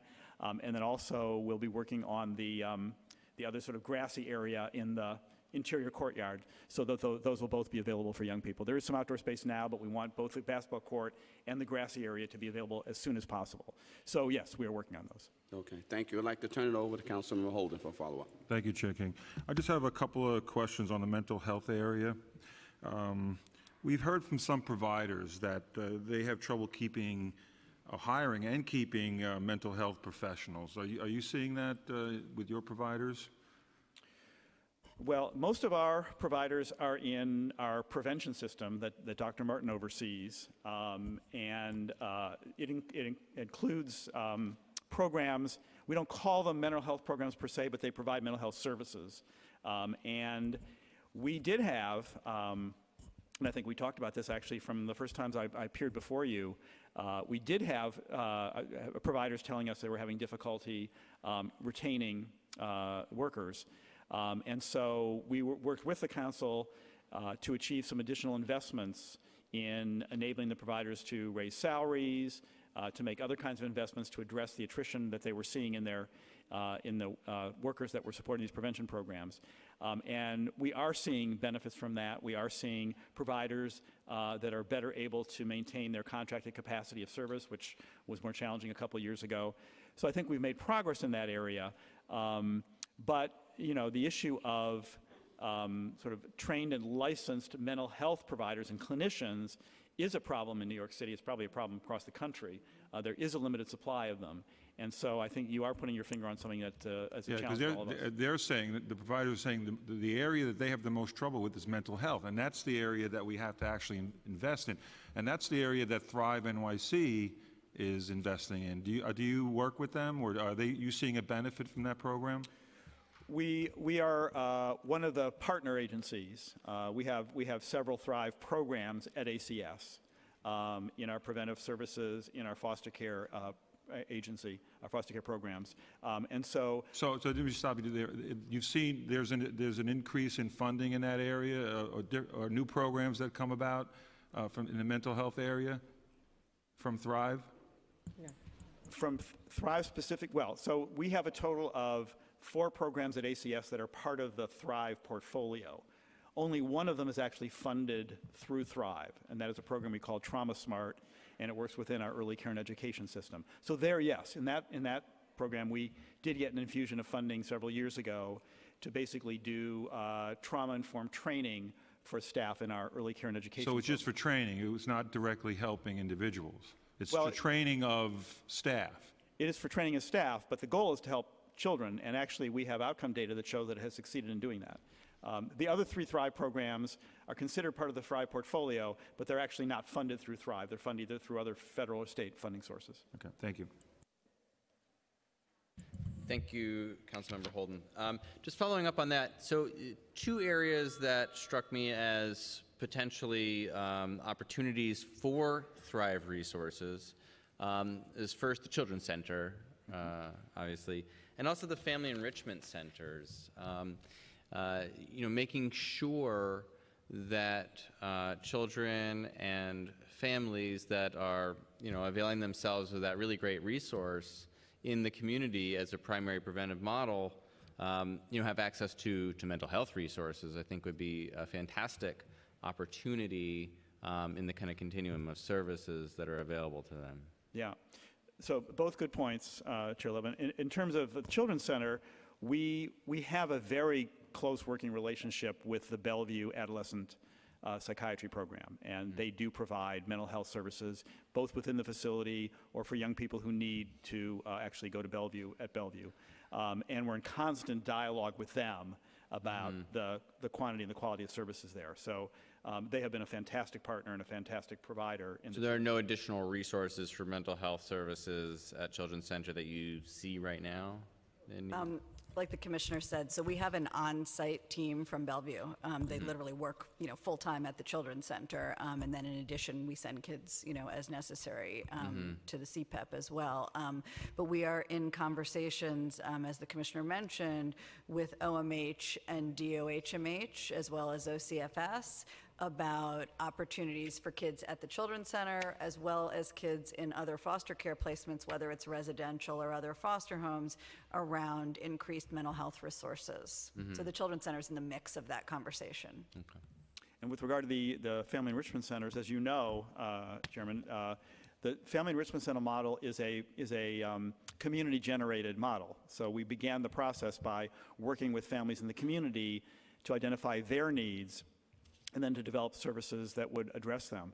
Um, I was just asking Deputy Commissioner Vargas, and of the three, thus far, none of those three communities have identified mental health services as a priority that they want the family enrichment centers to address. But if they did, we would uh, we would respond to that. Okay.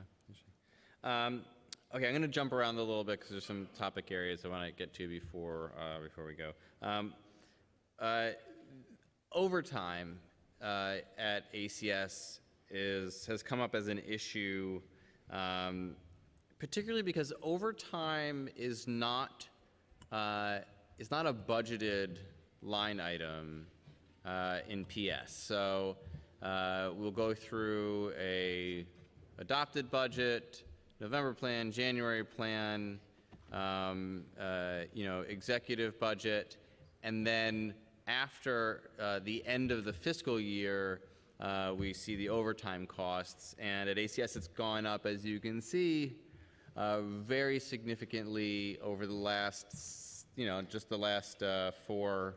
It's a very nice neat uh, trajectory, as you can see, um, and it's going in one direction. Um, and, you know, I understand that, A, the work needs to get done, and we want people to be doing the work, um, uh, you know, effectively, um, and that the costs associated with increased headcount include ever escalating fringe costs, and that is expensive in and of itself. But um, at least with the increased headcount, we're you know adhering to our you know negotiated budget, or at least a budget put forward during uh, during the November or January plans. So, um, can you speak a little bit to this you know rapidly increasing um, uh, uh, overtime? You know, 254% over budgeted amount on on uh, on personnel. Yeah, this is something we're taking a very close look at. Um, the two major areas where we have seen um, uh, significant overtime increases in the last two years have been our child protective specialists and youth development specialists. Um, and there are different reasons for those two. We, we actually have talked about them uh, this afternoon. On the child protective specialist side, um, until fairly recently, um, we still had caseloads that were significantly higher than they are today. And when the caseloads are higher, that means obviously more work involved and more overtime that goes into that. Um, on the youth development specialist side, we are still in the hiring ramp-up period. We have 250 out of the 700. Um, so that means we're, you know, still currently managing with less than our ideal complement of YDS. And so that means the YDS we have are working more overtime. Both of those should be largely resolved, right? Our, our at least now, our, our child protective specialist caseloads uh, are significantly lower, which should mean we should be able to control our overtime. And by the end of this year, we expect to have hired up to our full complement of youth development specialists. And so there too, there should be less need uh, for those YDS to work overtime. So as we address those issues in those two, you know, core frontline areas, we expect to be able to really get uh, more of a handle on it and be able to monitor our, monitor our overtime costs um, in a, a better way than we've been able to for the last couple of years, where we've been dealing with you know particular concerns. So our FY19, we should we should be less than 254% over uh, our budgeted amount. I would certainly hope so. Okay. Um, so uh, uh, moving over for a second here. So uh, recently, I had the opportunity with with uh, you and uh, your team to visit a CPS uh, office and meet with CPS uh, uh, staff and uh, supervisors and managers, and it was a really uh, great experience. Uh, I had a lot of takeaways from it. I won't go into all of them right now. One of them, by the way, was that at 5:30 when I left, almost the every CPS was still working, Right. um, and so I'm assuming that they were working overtime. Um, uh, I mean, like literally, like the whole office was still there. I said, "When do you guys leave?" I said, "Well, you know, we we work late. We might, you know, go exercise and then come back." I was like, "Okay, you know." That's a lot of hours. Um, it's a, it's it's a lot of work, and obviously the work they do is incredibly serious and um, uh, difficult. Um, but spoke to the spoke to the overtime issue, I believe. Um, the other is that um, one thing that was recommended as I was talking to them, as you recall, I'm sure, um, around implicit bias was that uh, they go through an im- implicit bias training uh, by ACS, and so they're um, uh, doing everything that they can um, to recognize the disparate impact of the child welfare system on children of color. And um, that is, that's a, that's a, a tremendous undertaking. What they recommended was that mandated reporters also do some type of implicit bias training. Now, that is a very wide swath of New Yorkers. There are many, many uh, mandated reporters uh, throughout our society and our city. Um, but if the cases, if they're being called, you know, if, if, if, uh, if a CPS is, if a case is called in, a CPS has, has no choice but to go knock on that door. And um, this is something to kind of just think about, and I don't know, I mean, obviously would, there would be some, some budget implications to this. Ha- Have we looked at this issue of, of, of mandated, of just the bias of mandated reporters? Because that, that is the, that is the genesis of, of the disparate impact that we're seeing on children of color in New York City, which is very real. And the, C- I mean, to hear the CPS uh, uh, worker speak up to it uh, so passionately and eloquently was, um, you know, a real eye opener for me. Yeah, no, I remember that conversation very well when you were there. Um, I, I- think it's a very interesting question. Um, the mandated reporter system is overseen by the state, actually. Um, and in fact, there have been, and I think, I think actually, even in this session of the state legislature, I think there are uh, some legislative proposals around training of mandated reporters. So this is an issue I think is interesting. I'm happy to, uh, to raise it with the state and see if it's something that uh, would be interesting. But I think ultimately, uh, obviously, you know, the organizations that mandated reporters work for could voluntarily decide to do it. Right. But to do it sort of as a system-wide initiative, I think would require state legislation. Um, Mhm. But that's something we could certainly discuss with the state. Sure, absolutely. And I think maybe it's a conversation to have with, with, with the union as well, because the- I think, you know, obviously CPS are, are union members, and, you know, and I think that it, it I think it, it, um, something that they uh, have to wrestle, you know, wrestle with, and it's a, it's a difficult, it's difficult for them. The stress that they take home with them every night when they go home to their families has got to be uh, incredibly uh, wearing on them and intense. And, uh, and so this is something I think that we should explore, and maybe with the family enrichment centers as an opportunity to engage with the, the local, their local schools and their, and, and their local um, pediatricians and, and so on and so forth. I think might be an opportunity. Yeah, um, or actually, really, with the community partnership programs, which are really, their job is to sort of create those networks of, providers within communities. So that might be an appropriate place to introduce the conversation. Um, and being sensitive to the time, I have two more issues that I, I I need to address.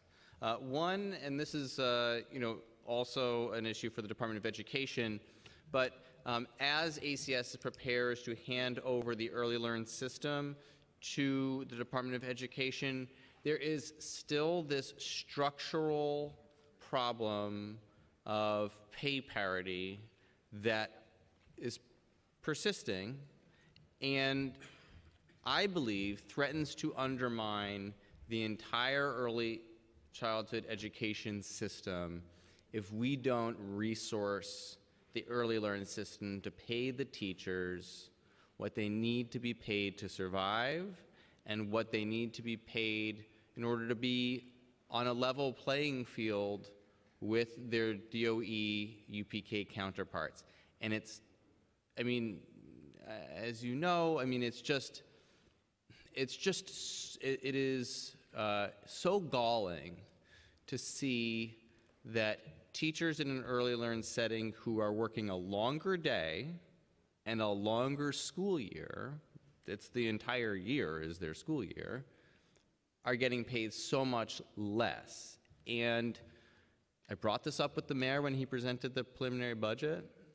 I did not get a good answer about uh, how we're going to address this. And I got kind of a, well, maybe we need to look at the whole system. I don't know what that meant. I don't know whether they, whether that meant that we were going to stop doing early learn, but we can't stop doing early learn.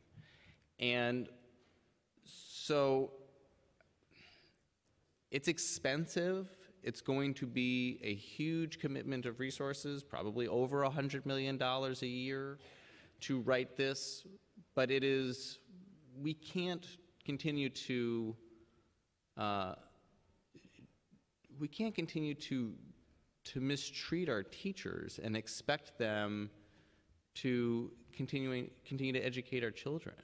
And I, and I, this has to be resolved. And I hope that it's part of the process of the handoff to the Department of Education, but it just has to be resolved. It cannot continue to persist. Um, Yeah, Chairman, I appreciate your concern very much. Um, Obviously, having qualified teachers who are appropriately constant- uh, compensated is critical to um, making sure that children are getting the quality of services that they need and that they deserve in the uh, early learn system. What we've been doing at ACS, uh, and we've talked about this in previous hearings, is implementing the agreement that was reached between the administration and the daycare council and the union in 2016, which was to raise salaries for community-based uh, teachers over a four-year period. And we have been implementing that in stages over that period of time. Um, the issue of the disparity between community-based salaries and DOE salaries obviously is an issue that will be for DOE to address um, as we hand the program over to them. We will certainly do whatever we can to support them as they, uh, you know, uh, figure out how they can address that issue. Right. I mean, the daycare council only had the resources that they were given by the city to be able to, uh, to compensate the teachers. So it just, you know, I mean, when we're at the rallies, daycare council is there with us, Mhm. asking the city to make the commitment to fully fund the programs so that the teachers can make a, uh, you know, a, an adequate salary. And so just, just, it's just something that we have, we have to do before we do any new big uh, initiatives, before we are, you know, uh, uh, before we do 3K, we need to pay our teachers in early learn. Really, we need to do that. Um, There's a, f- a few questions around the R- RFP um, that I think I'm going to have to follow up with in writing, just Okay. in the interest of time here. And, and um, my last question is about Fair Futures, which is this, uh, this new initiative. Um, So this is a program to have coaching or mentorship for uh, youth uh, in the continuum of, of, of uh, as they're uh, in adolescence and into uh, aging out of the foster care system, uh, particularly those that are not, you know, being adopted but are, are aging out to their own, um, you know, into their own cognizance. And um, have, have, has ACS examined this proposal to see what the fiscal impact would be? Because presumably, um, based on programming that is now done, I think that's either self-funded by some of the not-for-profits or foundation-funded by the not-for-profits. Um, they're able to show, they have data that shows uh, how effective it is. Have we been able to extrapolate from that data what the fiscal impact would be of something like this? Um, that's interesting. So let me start by saying um, that the, the issue of making sure that we are adequately preparing young people who are aging out of foster care to enter the workforce is a critical issue for us. And um, talked about in my testimony, we now have a dedicated office under Deputy Commissioner Farber that focuses on exactly that. We've invested in a number of programs that I, we, we talked about today, the YA WORC program, the Fostering College Success program, and others. So we are very focused on the issue. Um, we've had, uh, and you know, in addition to things we're doing, we're always looking for other other programs or other interventions that we think would be uh, appropriate additions to the services that we have in place. Um, we've had discussions with the providers and the advocates and Fair Futures. Um, I don't know that we have looked specifically at the financial sort of modeling or estimates. Um, with that, So I know that's very do that. compelling to, to First Deputy Mayor Fuleihan. Uh-huh. Uh, is, I Uh-huh. mean, that's somewhat facetiously, no, he's, I mean, but he would, you know, that's the kind of thing I've talked to him before about, um, you know, the long-term fiscal impacts of, of different types of programming, nurse family partnership, and when he was budget director, and, and, um, you know, that's just something to examine if it's a, you know, as, Yeah, a- as, uh, we can certainly do that. yeah, yeah. Um, okay, I would strongly encourage that. And do you, do you have it, have you, have you developed an opinion on it, or, or have you examined it to, um, uh, to see if you think it would be impactful? Um, Not specifically on the program itself yet, but we're continuing to have dialogue with the providers around it. And also, you know, as part of the many discussions we're having with OMB in the development of the executive budget, we're looking at a range of options, uh, including options in the area of um, uh, additional support for older youth aging out of foster care. Because those, I mean, you have seen, though, the impact that it has had on youth uh, in the programs that do do it, right? It's a very small percentage of programs that, of youth that are, that age out that actually have a, a mentorship or a coach. I think it's like 10% or 12%. Um, but, uh, but you've seen the impact of, of, of the programs that do. We have, and as, as you know very well, this was a subject of uh, considerable discussion in the foster care task force. So we've looked at a, a number of different models in this area, and, you know, we're Okay. very interested in what, in addition to what we're currently doing, would make sense. Okay, because we do have this new needs uh, opportunity coming up in the executive budget, so it would be a great time, in addition to making sure that those commitments that OMB made to uh, our finance director and our speaker last year, that they also uh, uh, fund uh, Fair Futures as part of a new needs. It would be great to see that. Um, and then, sorry, my last uh, question is around um, uh, non-mandated vouchers. Um, so I just want to reiterate, as I've reiterated many times, that the number of vouchers that were in place, my understanding is that the administration had commit, has committed to making sure that there's not a decrease in the number of vouchers year over year that than what was uh, there in in 2014 when they started. And so if we can continue to have a conversation to make sure that as we're budgeting for 2020, that, uh, that we can continue to, to, to fund uh, non-mandated vouchers so that they're, um, so that they're uh, um, uh, staying at the, the same level that they have been over the last five and a half years. Um, Uh, Yes, I mean, as you know, um, we've now baselined something over $27 million uh, in this area. Um, This has been a conversation every budget year. I assume it will be a conversation again this year. Um, I can say from, from our perspective at ACS, um, we have, uh, you know, we have committed all the funds that have been available to us. The SCCF vouchers are, are fully committed and will continue to be. And uh, to the extent that, that funds are made available to us for the non-mandated vouchers, we will make sure that they're made available to provide childcare for young people that need them. Great. And lastly, this may be my last question. Final, final, final? Final question.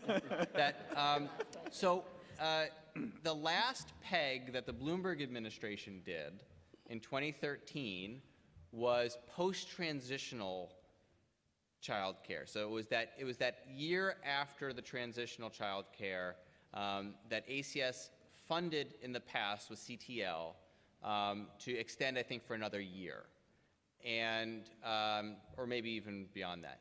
It was around at the time. It was around 13 million dollars, I believe, and that was the peg. Um, this is something that could help a lot of families as they get back to work and uh, are not receiving public assistance any longer, um, but still have a need for childcare. So I think of Jazmine Headley's case actually as very instructive. Here, she, it's not exactly, she wasn't there, uh, post-transitional childcare would not necessarily have kept her from having to go in that day. But here's a young mother who uh, went back to work, was no longer receiving public assistance, and that, and she lost her child care as a result. Now, she was supposed to get that, that, uh, that transitional child care for the next 12 months. But in thinking about families that rely on child care in order to stay working, that post-transitional child care is very important. And it was cut during a time when, you know, we were kind of having our austerity in New York City, and it's something that has not been restored yet. And I think that it's something to, to re-examine. So I would hope that uh, ACS could look ag- again at that. Yeah, we can certainly do that, and we can talk with OMB about that. It's, I mean, we're unfortunately in a period of austerity again. I'm not sure how it compares to 2013, um, but yes, it's certainly something we can take back and have discussions with OMB about. Great. Thank you, Commissioner. And I want to thank uh, your entire team here. Thank you very much. I'll turn it back to my co-chair. Thank you, Chair Levin. Um, And I want to thank you all. Uh, We don't have any more questions. We just want to say thank you for your time today, but I do have a- a closing comment, just to use the phrase, piggyback off my co-chair. And when it does come to looking at our young people as opposed to having them age out at 21, I think there is some precedent that when you know, the federal government decided to move health care, you stayed on your, your parents' health care to the age of 26, then you know when the city takes the responsibility to say that the parents no longer can handle a child and you're going to have a child for the duration of their teen years into the early, early 20s, then yeah, you might want to consider continue the care for them. So, because what's happening is that if they're not stable, either they go into the world of homelessness or they end up in being locked up and then they go into another adult system that's not designed to help them get themselves together but designed just to have them there so if we're going to do it right let's figure out how to do it right and then and finally any criteria that we have like the sister who had to go in there and it became a whole fiasco because she lost her child care services maybe you might want to start looking at a parameter of gray area. So even though the bottom line is that if you make 2750 and if you're at 29, that doesn't change your whole existence. You know, and that's what the system looks at, those hard numbers, as opposed to having a gray up and down place, play space, knowing that because I'm a dollar over doesn't mean that I'm able to, I, I get it all together. But the system is really kind of unfair, and it goes back to how, how biased is our system towards certain people in the system. So I'm asking you to please take a look at that, see if you can find some fairness and equity amongst all the people sitting at the table. And yes, someone mentioned diversity a little earlier maybe our, team needs to look more diverse as we do this work as well, so that compassion can be right there at the table. So again, thank you for your conversation, and anything you need to get to us, to any question, I'm asking you get it to us in a timely manner so that we can review it, and that you we can be and have a conversation as opposed to two hours before a meeting or a day before a meeting trying to assess what what our today's conversation looked like. So we can be responsible in the conversation, and then you you know we'll be all good. We're on the same page. All right. So I appreciate you. Thank y'all. God bless you. Be well. I know we have a public conversation. We have a couple of people who have signed, up from the, from the public to say a few words. I want to thank you all for your patience today who have sat and listened to today's conversation. I know we've all learned something that we didn't know when we woke up this morning. Um, so as the administration proceeds to exit, or even if you want to sit back and listen to listen to some of the testimony of the public who sat and endured our conversation for the last four hours. Maybe we want to show them a little love and sit back and listen a little something.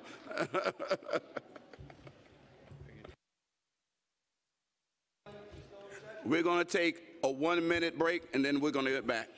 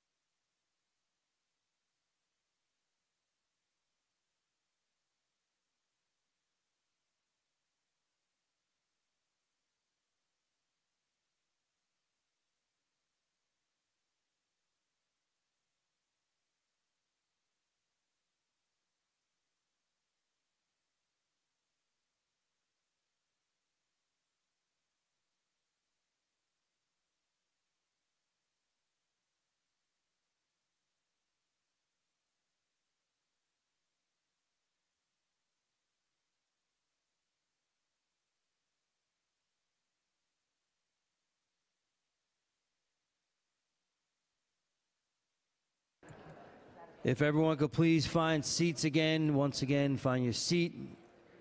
We're going to start with public testimony momentarily.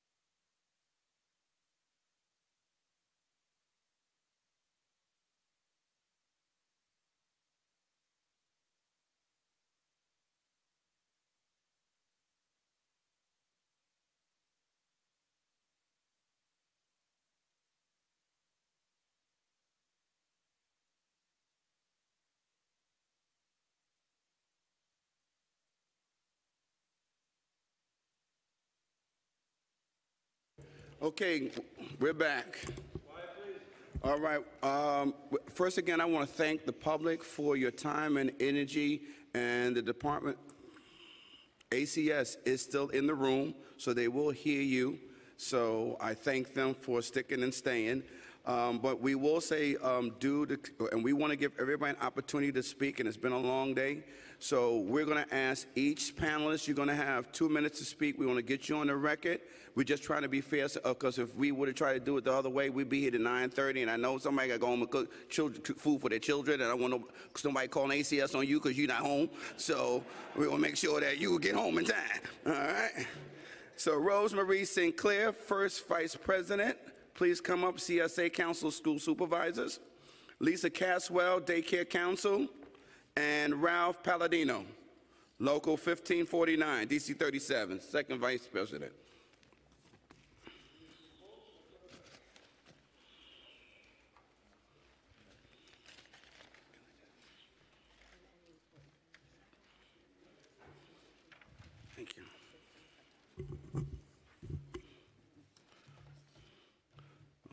Okay, we can start left to right, right to left. We'll leave it in your capable hands. Just identify yourself for the recording. Go.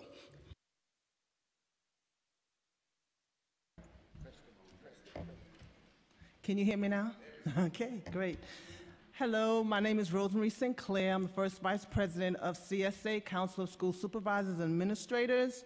Uh, we have over 16,000 members serving uh, supervisors and administrators in the Department of Education and directors in city-funded early childhood centers. So, good afternoon, Chairman King and Chairman Levin, and the distinguished members. We want to thank you for this opportunity and also for passing the Resolution 358, which supports pay parity. This includes equal pay for our directors and assistant directors as their counterparts in Department of Education. We are proud of this resolution. However, we still see that our members continue to live close to poverty line. Even though they are supervisors, they support, supervise, observe, and evaluate teachers. Most of our directors are making 11% less than a beginning teacher in the Department of Education. And again, our directors, as, long, as well as our teachers, work long days and they have a longer year.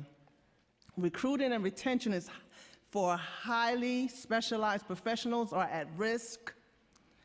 Our members are losing teachers at the centers.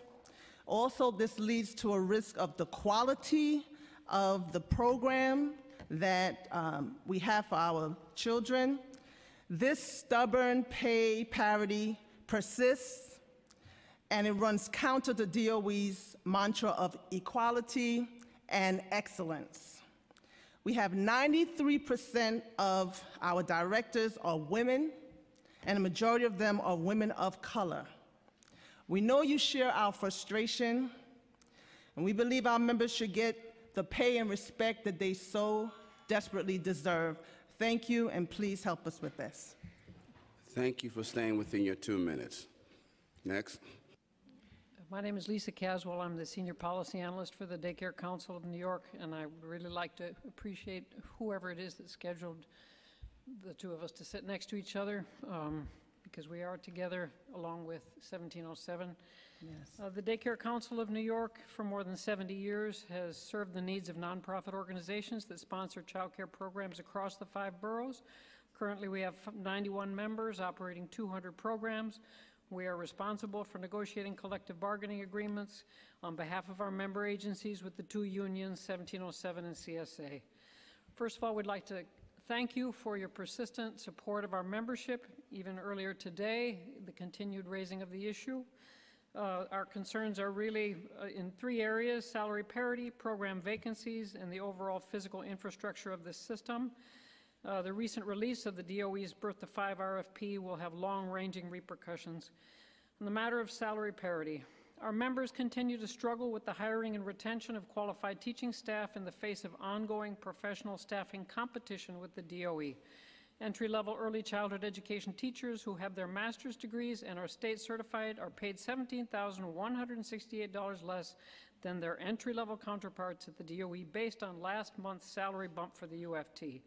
For more than a year, the Daycare Council has been engaged in complex, complex research on salary parity to determine the fiscal impact. Our goal is salary parity for all staff. However, we are starting the analysis by focusing on CBO directors and master's and bachelor's level certified teachers for two reasons. Our members have repeatedly discussed the difficulty in hiring management and state certified teaching staff for their agencies, and Article 47 of the New York City Department of Health and Mental Hygiene's regulations require this staffing for all early childhood programs. Our calculations are based on the UFT's collective bargaining agreement salary scales with specific attention, excuse me for going over, with specific attention to cost of living adjustments and longevity increases. In calculating the funding amount, consideration has been given to the current employee benefit structure, which includes salary, FICA, a pension, and health insurance. Salary parity is the only path forward for an integrated early ed system, and we are committed to laying a proper foundation for long-term stability. We will be releasing our research findings very shortly and are preparing for a city council briefing as well. I'm just going to summarize our concerns related to our, the RFP and program vacancies. Right now, the average provider would not be able to get their full funding if they were going to be paid within the pending formulas with the DOE. And we've spoken with the DOE about how they came to their decisions. Um, right now, what they're going to be doing is uh, the, the RFP states that programs with enrollment rates at 58 percent or less will receive 65% of their monthly contract value. Programs with an enrollment rate between 58 and 93 will receive funding for their monthly enrollment plus 7 and program 7% and programs enrolled at 93% or higher will receive 100%. The issue is this. They've centralized the enrollment process for UPK already. They've done well with Head Start recently. They have made changes to be able to try to accommodate the nonprofits. We are not saying that they are um, unaware of the problem of children going to the school system instead of staying in the CBOs. But right now, there's a new formula that risks underfunding for the nonprofit sector, and it is not necessarily going to be working for us. Finally, physical infrastructure. Many of our programs are in NYCHA. You're aware of the problems there. At this point, we have parent testimonies that they're choosing school-based settings over CBOs located in NYCHA settings. Um, so that's our final concern. Um, we must see, as, as Councilmember Levin has said, we, this has to change. It, it, it isn't right, and um, we can't make it. And we're doing better than the school-based settings academically. So uh, we want to thank you. And that's it. Yeah. Good day. I'm Ralph Palladino, Second Vice President, Local 1549, Clerical Administrative Employees, uh, representing the uh, eligibility specialist in the food stamp and uh, the SNAP program, and also Medicaid recertifications. Re uh, and clerical associates working in HRA and ACS. Um, there are, if you see what's going on uh, with the staffing numbers that I have provided, you will see that there are 400 less clerical associates in the last four years in, um, in HRA. There are 400 less eligibility specialists in HRA than there were four years ago. Eligibility specialists are key and critical and the determining factor in, in determining eligibility for people in SNAP and Medicaid research. 400 less is almost a 20% uh, reduction in staff the last four years. If you do not hire the people rather than have them attrited, as, as the city has done in the last four years when there were surpluses, and even under bad times, there's been surpluses at the end of the year, we all know, uh, then you will, not, you will continue to have the lines, you will continue to have the waits, especially in Medicaid, but also in the SNAP areas and on the phone lines because the workers are doing double duty. Our staff, the ESs, are, uh, have been uh, hounded. They have been disrespected by management at work. They have been followed to the bathroom. They have been timed to go to the bathroom, all because the city decided that they, an HRA decided to attrit those positions. And they are the ones who are responsible for signing up all those people when Trump shut the government down, all the SNAP people. They had to work forced overtime. Many of them did it because they wanted to, but forced overtime. They need to get, get find the money to hire those people and fill those lines. And the clerical associates are being replaced by other titles, higher titles, non-competitive titles, and that includes an ACS, costing the city money, subverting civil service. So asking you to look at both of those things as well as the language issues which I've out- outlined here. One last thing, if you don't mind. They talked about the loss of centers in the Bronx in the last hearing that I testified at, which I have a copy of here. I attached to our, my, my testimony. I think you need to look at what happened under the Bloomberg administration when he cut, had every single agency cut 10% of its uh, budget dealing with rents. And when they started doing that, they started closing and consolidating centers. And we argued that they should not do that. They should be expanding them into the community. And if they did that, then the Bronx would not be underserved the way it is now. Thank you. Thank you for your testimony. Thank you all uh, to this panel. I we very much appreciate all the work that your membership does uh, in serving uh, all New Yorkers. Thank you. Uh, Next panel, uh, uh, Dominique Dillon Tatum. Tat- Tat- um, Michael Leake. Sophia Gurley. And Kevin Nicholson. Yes, okay.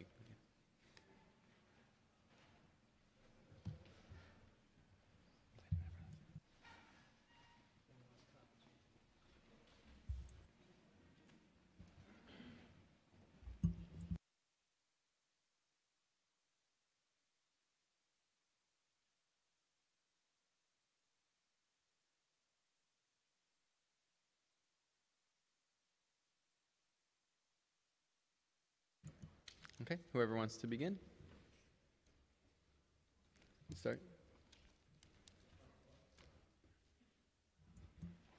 Hi, my name is Sophia Gurley, and I have been, um, I am one of the individuals who was speaking out against the homelessness, the Department of ACS, and so forth.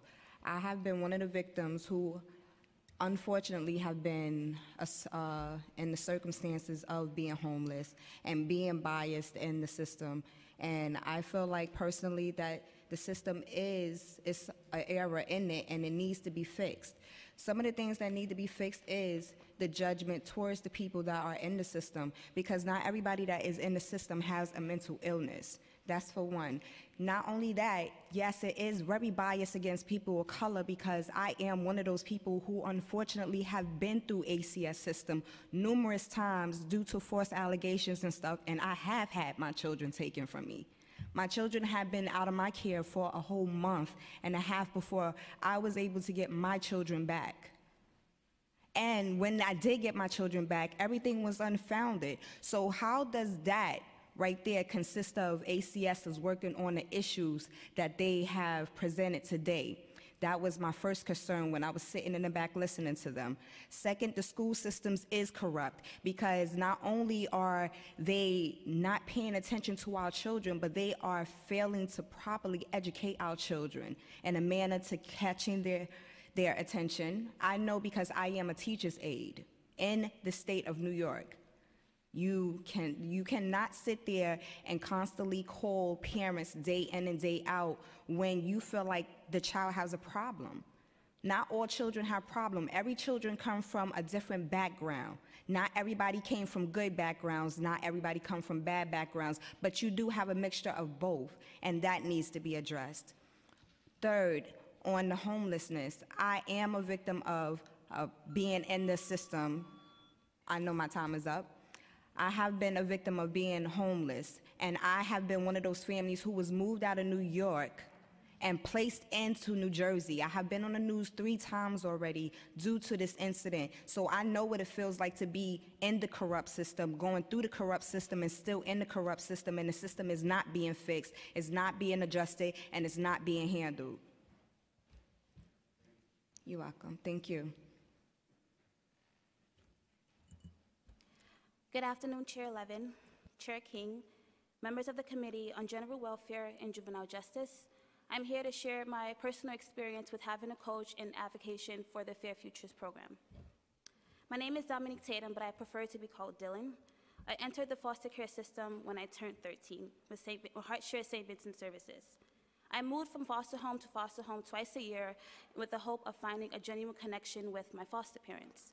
Unfortunately, that was unsuccessful. Adapting to being in foster care, where I was separated from the only family I knew, was an emotional journey for me, and at one point reflected in my poor academics performance. I quickly realized that I had to change because I knew that my circumstance wasn't, and then, as a result, I graduated from high school on time. If you would have asked me seven years ago if college was an option, I would have quickly replied by saying no.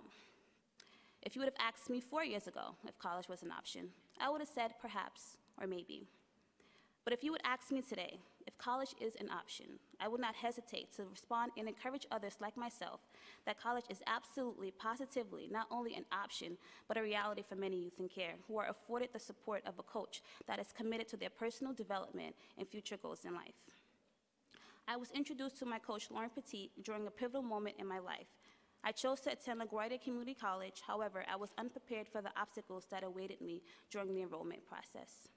I lacked the knowledge of this process because no one I lived with went to college or cared to assist. I was guided through the extensive process because being a youth in care meant that there was additional paperwork to handle. Lauren eagerly advocated on my behalf to obtain the necessary documents that my enrollment status was contingent upon. In the end, I not only was successfully enrolled, but Lauren made it a priority to connect me to resources on campus that were fundamental to the college experience. It is safe to say that without the support of my avid coach, I would have struggled with registration and the motivation. I'm You can sorry, keep I'm going. over. You can keep Thank going. you. To remain in school. I graduated from LaGuardia Community College in June 2017 and currently attend John Jay College of Criminal Justice. Attending college is something to feel good about. Yet staying in school and making the firm decision to continue and pursue higher education expands one's access to opportunities. To my coach, the options are endless. College is an option, but so is vocational training. Entrepreneurship is attainable because there is no limit. To my coach, I am a valuable person with a unique skill set. I am not just a case number. To my coach, the entirety of youth welfare matters, which means that a plethora of service are provided to benefit successful youth development. Throughout the course of our relationship, I have been surprised with care packages, provided a shoulder to cry on when my grandmother passed on, given mental stimulation, and access to job opportunities. I have been rewarded for my accomplishments and encouraged to persevere during the most difficult yet pertinent times in my life. Gratefully, I have been paired with a coach who possessed the personal experience with the goal I have of attending law school, and she has demonstrated 100% commitment towards ensuring that this goal becomes materialized. Youth in care need people to look up to that they can emulate. It is important for youth to have someone in their corner that is dedicated to changing the narrative for them. I urge you all to think about the many 13 year olds that you came or will come across at some point, and to then take a look at what we know about precedent outcomes of these youths when they age out. The trajectory of their lives depend on the implementation of programs designed to address the needs of youth in care. There is no one who has done life alone, and we certainly cannot expect vulnerable youth to do so either. It is prominent that we ensure that every foster youth has a fair future, a fair shot, and a fair opportunity to transform into the best versions of themselves because every kid deserves a chance. Thank you. Thank you. Thank you, Dylan. Um, hello, everyone. My name is Sade Collington. Um, I am one of the forgotten families that's been on the CBS 2 News. Today, I'm here just to advocate for my family and let you guys know that in June 2018, my family moved into unlivable conditions through DHS, and now we're back in the same predicament. We're back in the shelter system, going through everything all over again. Um, I'm really here just to reach out and wish that certain programs change, such as the SOTA voucher. I wish that DHS took the opportunity to really understand that cutting a check and dumping your problem onto another state is not fixing the problem. It's only making the problem worse, and it's only making things worse for our families. I have an eight-year-old and a two-year-old who's chronically asthmatic, and during our stay, we have endured conditions that are unspeakable. Um, so I just really wish that everyone is able to help our family and really be there to vouch for us and understand that things aren't black and white. There are definitely gray areas. Um, DHS has not helped my family as of yet, and I'm hoping that by speaking out today, they are willing to at least come to us and apologize for the lack of communication between themselves and other states and really just shake our hands and be willing to work with us for future endeavors. Thank you. Good afternoon. My name is Kevin Nicholson. Um, I'm a husband to Shadi Collington and a father to Kevin Nicholson Jr., right there, the eight year old. And I have a two year old, Katie Nicholson. Um, I was one of the families on the news. My family was the first to get the news eye to our situation, what led other families to get onto it. Um, the first night we were dropped off to our apartment in New Jersey, they dropped us off. The workers were still working on the house, so they told us, why did DHS send you guys? So the first three nights we got there, me and my family stayed outside. We slept outside the first three nights, As soon as we got there because the workers wasn't done on the house. So we stayed there outside. From there on, it has been it has been like downhill, declining. Raining inside of the house, over the stove, over beds, over couches. My son was sleeping in negative 12 degree temperature would cause him to go to the hospital, anemic and everything. We stood in the hospital for two weeks for my son and his asthma. It was just the worst experience that I ever felt. And um, Steven Banks, I watched him over the um, news say that we had choices and choices. No, we didn't have no choice of anything. We was forced it. If we deny housing more than twice or three times, then they saying now we denying it and we got to leave the hotel or the shelter and go back to path and start over. So we have to take these options. Whatever choice they're giving us, we have to take it. It's no choice it's no. So we took it. And right now we're back in this hotel. Nothing's happening. We've been here for three to four months. If it wasn't for me and my wife sticking together, it would be the worst thing. So I'm just reaching out and asking for help and in the midst of just apologies and understanding because I don't think that um, Steven Banks and other people that's in the DHS chairs understand what we're going through.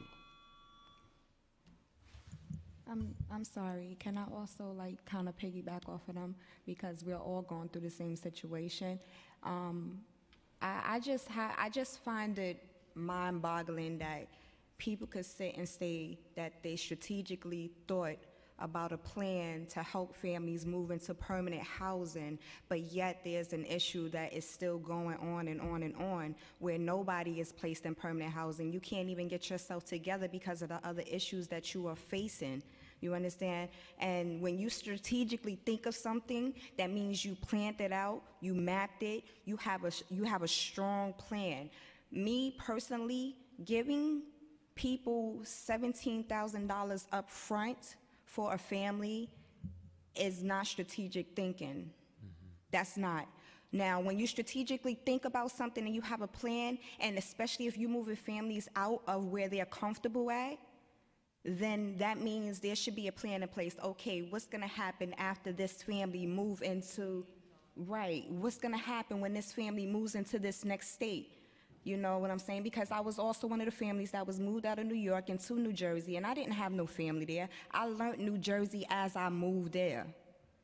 Where, where in New Jersey, by the way? I, I'm in Newark, New Jersey. And I was also one of those families as well. When I saw their story, that's what prompted me to speak up as well. And about the, the, the, sh- uh, the, the foster care, my children was placed in five different homes within a month and a half time frame. Five different homes. So right now, I could relate to everybody on this table, and I really do have way more that I could speak on, but I know we don't have that type of time today. But I just wanted to piggyback off of them and let y'all know that this is a major problem that has to be that has to be addressed. Not only that, the mayor of New Jersey is calling for the mayor of New York and the commissioner to come and meet with him because of this. And no one has reached out to our families or nothing like that yet. Mm. Not the commissioner, not DHS, not the mayor, nobody. And I do have a meeting with the mayor coming up soon Okay. because of this, because I also now have a DCP case in Jersey because of my living arrangements, which is ACS in Jersey. Thank, yeah, thank you. Thank you. Um, And just one question um, uh, for Sade and Kevin. Did, did you choose the apartment? You did not choose the apartment? No, right? we didn't choose it. Like I said, we, we seen two apartments before that prior to it, which was messed up. The third one, we were told, if we don't choose this one, we're denying housing. Yeah. So we would have to have to go back to path, yeah. We'd go back to path and start all over again. And so it was like, you know what, let's just go here. And then yeah. we went, they told us in two weeks, be ready. They knocked on the door of the hotel, they packed all of our stuff up. They took us there, dropped the bags off, the workers was there. They said, why did DHS send you guys? It's not ready. First three nights, me, me and my kids and wife stood outside the first three nights. Everything was done through DHS. Everything's done The- through DHS. The Yeah, van run, taking us everything. to, Yeah. taking us there to the actual property. Um, From my knowledge, they were supposed to conduct some sort of inspection and ensure that everything was done. Obviously, they Nothing- didn't. Nothing, they did nothing nothing. was We done. went back to the hotel to show them pictures like two weeks after we got there. They threatened to call They the said that we're trespassing, so they can't do nothing right now because we're no longer tenants now. We reached out and made several 311 complaints. Um, The only thing I received was someone from the ombudsman office. Her name was Miss Singleton. She told me that we had the right to go back to PATH, but they were not going to do anything for us until the SOTA voucher ended, which is in June. And as of right now, that's what it seemed like it's, it's happening. We have to wait because we haven't even received a voucher. I want to thank you for, um, for uh, ca- uh, calling a lot of public attention to this program, and uh, we're, we're looking at it um, in depth, um, but it- I don't think that, that wouldn't have happened without, without um, your story coming to light, and I just want to wish you and your family well, um, and, uh, and, you know, urge you to, to um, keep up, uh, you know, um, advocating and, um, and, uh, and working for your family. Thanks. Thank you. Thank you. Um, And then, uh, Dylan, I just want to thank you. You did an amazing job at the rally earlier, um, and, uh, uh, you know, inspired, I think, uh, everybody that was there, all hundreds, you know, hundreds of people. And, um, and I want to, uh, you know, wish you the, the best at John Jay. And I know you said you wanted to go to law school afterwards. Um, So I, I, I want you uh, to, to keep on with it, because you're, uh, you're doing an amazing job. I want to thank you. Thank you. Thanks. Councilmember King, Okay. Thank you so much to this panel. Have a great day. Thank you.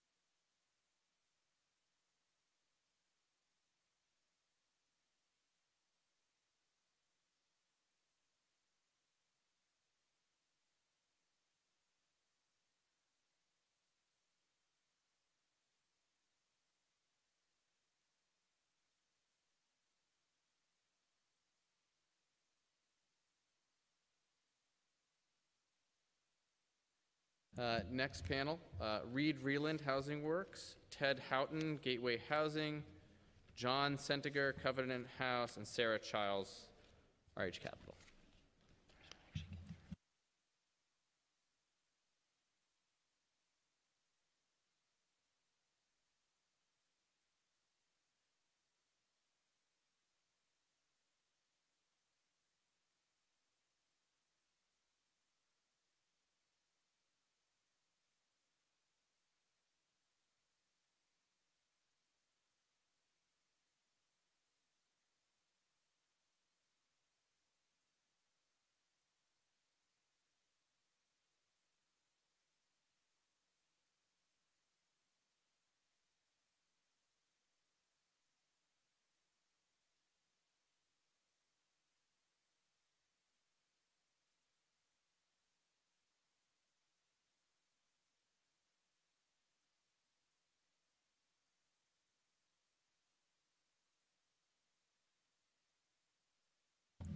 Thank you all. Uh, whoever wants to begin. Sorry, make sure that the light is on. Sorry. You. Can you hear me? Good evening. My name is Sarah Childs, and I'm the Executive Director of the Redlich Horwitz Foundation. We're a philanthropy dedicated to improving the foster care system in New York. In recent years, we have granted close to $1.5 million to ACS for technical assistance and over $4 million to New York City foster care agencies. Thank you to Chairperson Levin for your unwavering commitment to children in foster care and to the members of the General Welfare Committee for your leadership in creating the Interagency Foster Care Task Force. With Commissioner Hansell's leadership and his exceptional management team, ACS has increased permanency rates and also increased placements of children with relatives. We congratulate ACS and its provider community on these successes, all of which were major recommendations of the task force. We know that if this administration sets its mind to something, it gets it done. The task force also recommends providing services to ensure older foster youth can meet their education and career goals. The Fair Futures campaign launched this year to do just that. With over 80 organizations signed on to the coalition, we urge ACS and the city to support our older youth to meet their potential.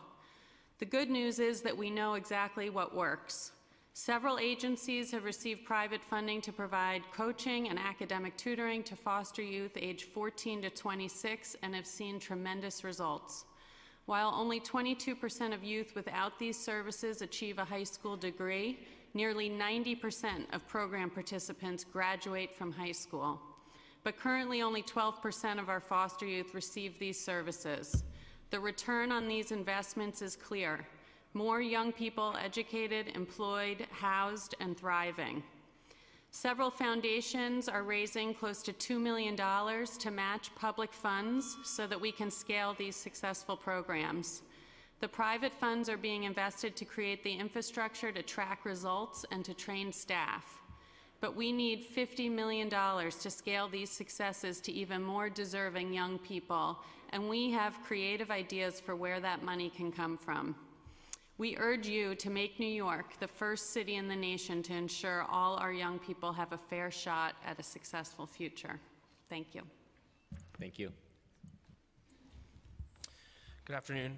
My name is John Sentigar, and I'm a member of the advocacy team at Covenant House New York, where we serve runaway and homeless youth ages 16 to 24. I'd like to thank the Committee on General Welfare and Council Chair Levin for the opportunity to testify today. Um, in 2018, Covenant House served over 2,000 young people in our residential programs, including pregnant women and mothers with their children, LGBTQ youth, and commercially sexually exploited youth and trafficking survivors. Many of our youth have experienced abuse or neglect at the hands of parents or their caregivers, and a disproportionately high percentage of our youth struggle with pervasive impacts of trauma, mental health issues, and substance abuse. We provide young people with food, shelter, clothing, medical care, mental health and substance abuse services, legal services, high school equivalency classes, and other educational programs, including job training programs. I just wanted to highlight um, some of the initiatives that we are applying for discretionary funding for this fiscal year, and these include LGBTQ youth mental health. We're requesting $50,000 to improve and expand our mental health offerings at Covenant House New York, specifically as they relate to LGBTQ young people. Um, we're also requesting money to support our homeless students initiative and job training and placement initiative. Education and employment is extremely important, especially for our young people at Covenant House, and we want to be able to provide more of that. Um, finally, I'm also requesting, um, on behalf of Covenant House, expanded um, funding for our MetroCard program. We really applaud the city's effort in um, rolling out fair fares. Um, unfortunately, for our young people, though, fair fares would not cut it for them. We need to be able to provide full subsidized Metro cards for them to be able to get to job interviews, medical appointments, and the like. So I urge you to consider those requests on behalf of Covenant House New York. Thank you very much. Good afternoon, Chair Levin, Chair King, and members of the General Welfare Committee. Uh, thank you for the opportunity to testify today. My name is Brendan Cheney. I'm an Associate Director at Gateway Housing, a nonprofit organization that works to improve the shelter system by helping to create model nonprofit owned, purpose built transitional residences with innovative financing methods and uh, evidence based practices.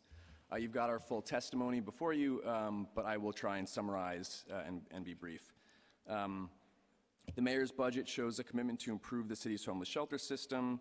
We support the Turning the Tide plan, um, and we support the model budget process, though we think the process should be improved to allow some more flexibility with providers during negotiations. Um, and now we want to talk about some of the concerns we have in the, in the budget. Uh, we think the City Council should work to preserve Thrive NYC funding. Um, the Thrive NYC is a large, ambitious program that spans many agencies, causing some to criticize it as unfocused and lacking metrics.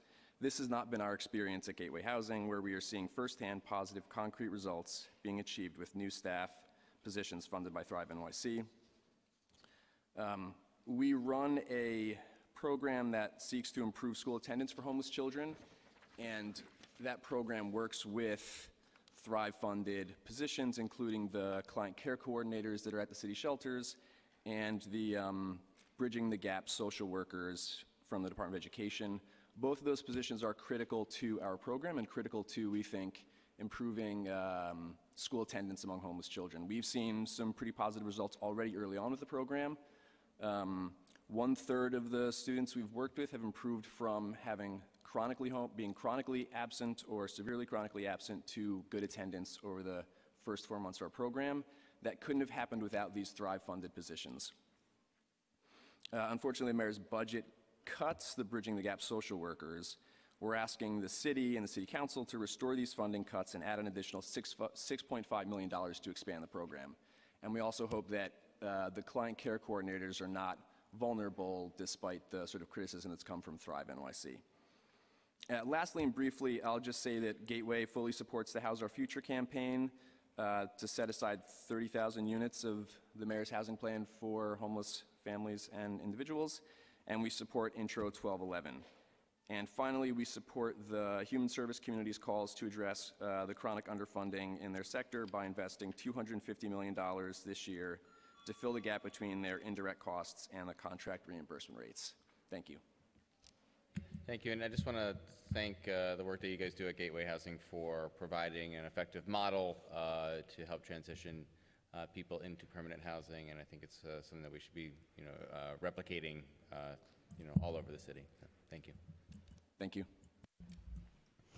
Uh, hello, thank you, Chairs Levin and King, for hearing our testimony today. My name is Reed Vreeland, um, and I'm with Housing Works, uh, one of the largest uh, HIV/AIDS community-based HIV/AIDS services organizations in the city.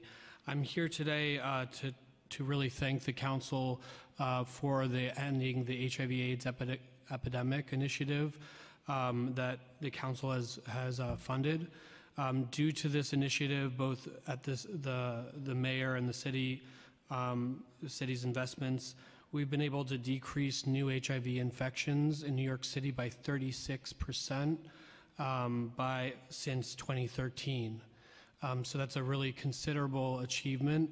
Um, I'm here today to specifically talk about um, the HASA Healthcare Integration Pilot Project.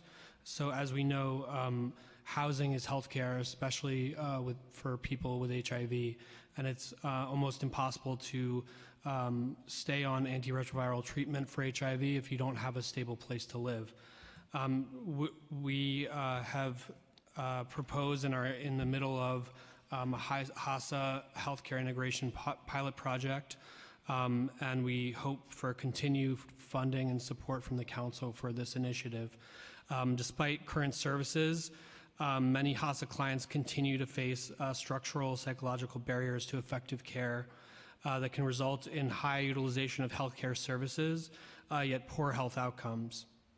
Since 2016, uh, working groups composed of staff from HASA, New York City Department of Health and Mental Hygiene, and Healthix, and community-based organizations and healthcare providers um, have worked together to develop demonstration projects to improve outcomes and uh, health opportunities of people uh, within, living with HIV who are part of HASA.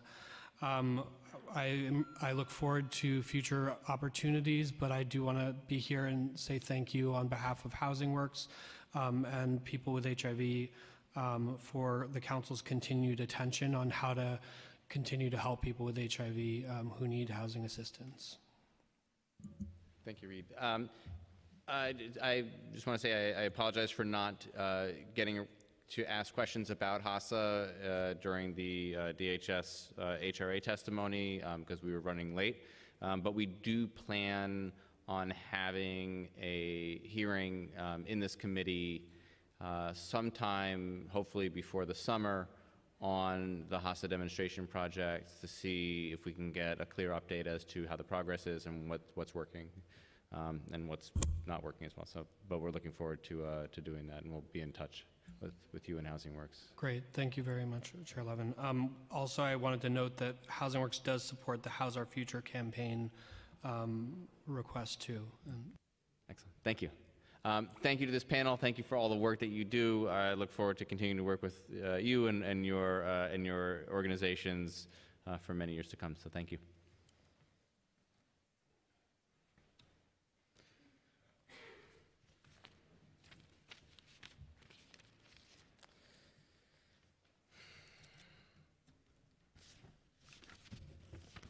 Next panel, Chelsea Goldinger, LGBT Center, Ariel Savransky, UJA Federation, Michelle Jackson, Human Services Council, Gregory Brender, United Neighborhood Houses, Catherine Trapani, Homeless Services United, Michelle Yanche, Good Shepherd Services, and Christina Coleman, Children's Village.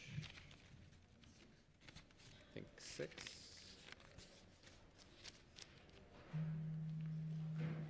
And I apologize to everybody whose name I did not call yet. Um, we're doing this in somewhat random fashion, so um, you know, I, I appreciate everybody's patience uh, with this annual uh, marathon that we do here at the General Welfare Committee.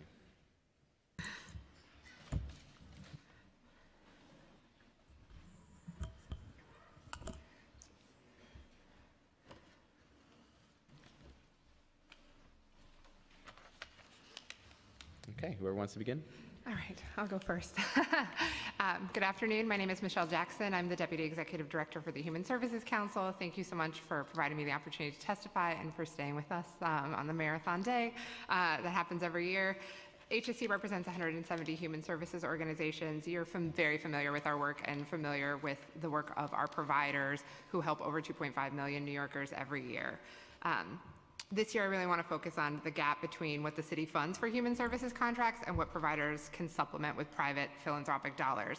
That gap has grown too large, and our ask this year, which you've heard a couple of people testify already, is $250 million for indirect funding. The Nonprofit Resiliency Committee has put together an indirect manual uh, that does not contain funding to actually pay nonprofits' real indirect rate. While a not very sexy issue, um, what a lot of people testified about today and the questions that you had really do come down to how providers are paid for their work or not paid for their work and their ability to provide quality services. There's a lot of work that needs to be done in that area from program design involving providers. We're seeing RFPs, whether it's Compass and SONYC or caregiver RFPs that are coming out that don't uh, fund the full costs and don't um, take a lot of the qualities that we've seen the Nonprofit Resiliency Committee put forward. Um, they're not implementing them as we see new RFPs roll out. So there are a number of issues, but one issue we know we can focus on this year is the indirect funding initiative. Uh, providers need to be able to pay their staff, they need to be able to track outcomes, they need to be able to budget better. Uh, the city knows that when they pay providers, they're not covering the real indirect expenses, and that leads to some of the issues that we're talking about, about how providers can better serve um, people in our communities and make sure that the quality programs that New Yorkers deserve and that you're hearing from today are, are really implemented in the right way. So thank you very much. Thank you. Um, thank you, Chair Levin and, and Chair King, for the opportunity to testify. My name is Gregory Brender. I'm here on behalf of United Neighborhood Houses. Wow, that was quick. Uh, we are New York City's Federation of Settlement Houses, and I wanted to talk today specifically about um, early childhood um, and the RFPs that are now coming out. Um, most of the issues, or actually, I think all of the issues that I'm going to talk about, are things that this committee has been uh, fighting for for many years. Um, DOE has now released two requests for proposals to replace programs that are currently run through ACS under Early Learn, the Birth to Five RFP and the Head Start RFP. Um, And in both these RFPs, we found uh, five major issues that um, are so severe that many providers who've been longstanding providers are actually questioning whether they can apply or if they can apply to serve the same number of children. Uh, the first of these is around the salary disparities, which um, I know you've heard about from uh, earlier from folks in the union as well as the daycare council. Um, truly uh, stark disparities that are leading to turnover in the programs. Uh, secondly, it's the failure of these uh, contracts, which are eight-year contracts, to include any provision for cost escalators. Um, it's reasonable to expect that rent and other expenses would increase over eight years, and there's not even a method within, within the RFP for future budgets to include that funding. Uh, thirdly, as uh, Michelle mentioned, uh, these RFPs do not fund indirect costs. Um, fourth, the um, program brings back the pay for enrollment system, uh, which had actually been phased out by ACS, um, started in the Bloomberg administration over the um, objections of then Councilmember de Blasio and phased out. So it's been, it's really surprising and disappointing to see it return in the Birth to Five RFP. And finally, um, in the Birth to Five RFP, they create a new, DOE creates a new distinction between um, program, the extended day programs between the pre-K hours and the hours that are not covered by pre-K, splitting them into what they're calling core and non-core hours. Uh, this, this goes away from a model of early childhood education that, um, that uses the understanding that children are learning all the time, that there's not a separation between learning and recreation in early childhood. Uh, thank you for the opportunity to testify and um, look forward to working with on it. Thank you.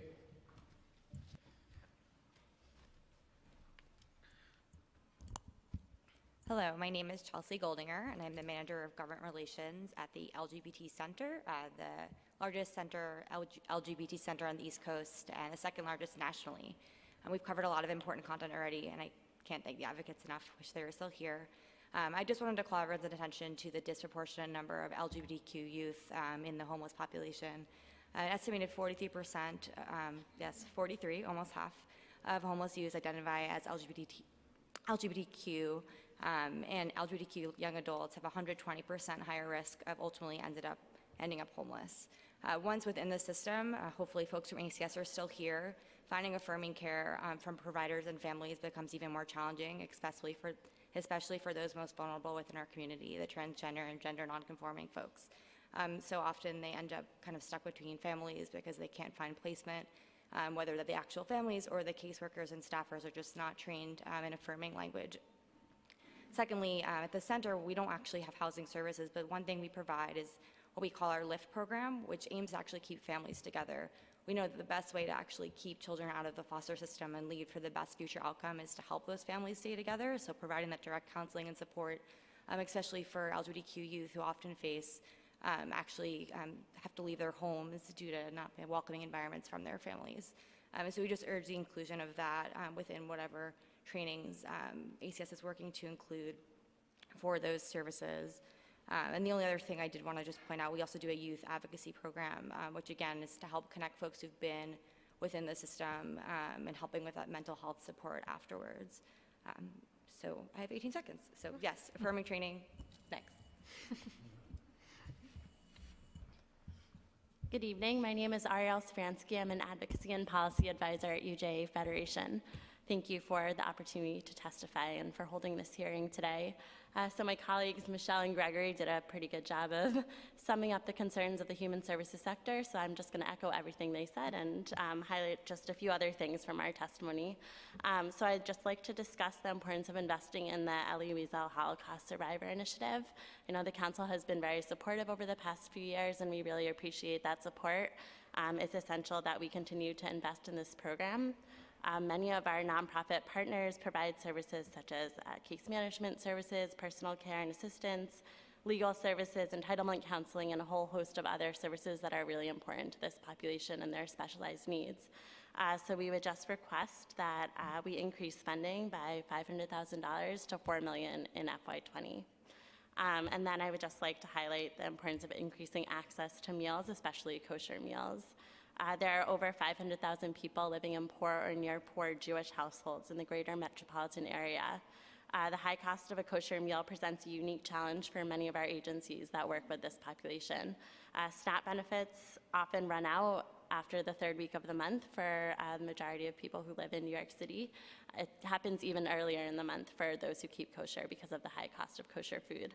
Um, so it's essential that the city invests resources in ensuring that food pantries are equipped with enough food to serve their clients, especially culturally competent foods such as kosher and halal.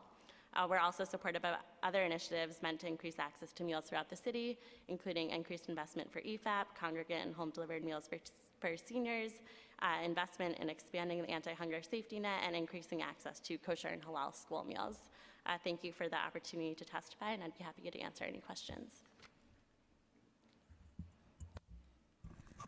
Hi, good evening, uh, Chair Levin, Chair King. I'm Catherine Trapani. I'm the Executive Director of Homeless Services United.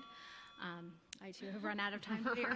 Um, I'm going to speak on a couple different areas of the budget. HSU represents uh, the nonprofit providers of both prevention, um, so under the HRA umbrella, as well as shelter and aftercare on the DHS side. So before I get into the specifics, I want to echo um, certainly we're all human services providers, um, and I echo the request for increases to the indirect rate um, so that the full operations of our program could be funded.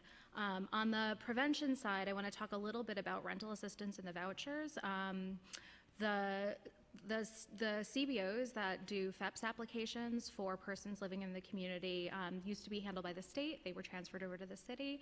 The city is now considering eliminating that $3 million program um, where the CBOs uh, facilitate applications for rental assistance. Um, they do much more than just push paper and applications. They actually have a tremendous role in preserving housing for people in our community. So we would urge HRA to continue funding the FHEPS CBOs. Um, we also would urge uh, the city to finally extend rental assistance eligibility to DYCD shel- uh, shelter residents. Um, I know you know this, Chair Levin. Um, that has not uh, been uh, explicit in the budget, um, and we would also request enhanced support for the all-important walkthroughs. We heard from families the devastating consequences when uh, walkthroughs are not fully uh, funded and people aren't held accountable for that. The nonprofits that are doing those walkthroughs need the resources to do them correctly, uh, to dedicate staff time. So we need enhancements on the prevention and on the shelter side to do those walkthroughs. Um, I also want to touch briefly on services and shelter. You mentioned earlier um, when you were questioning Commissioner Banks that um, there are not social workers for children and families in hotels. We would like to see client care coordinators under the Thrive Initiative assigned for families with children sh- uh, shelters. We would also like to see the Bridging the Gap social workers funded in the schools for homeless children. So all of these speak to wellness um, for children and families. And then the, the last thing I want to say is that um, for the Street Solutions portfolio, we would really like to see a rate adjustment because those uh, providers were left out of the model budget. And I think that doesn't get talked about enough, that um, drop-ins and safe havens have not seen any rate increases since the inception of those programs. Um, In addition, we need uh, assistance for uh, opioid treatment in those programs with those uh, with those clients. So clearly I have a lot to say. Uh, You have my written testimony with all the different program areas, but we just want to thank you for your advocacy.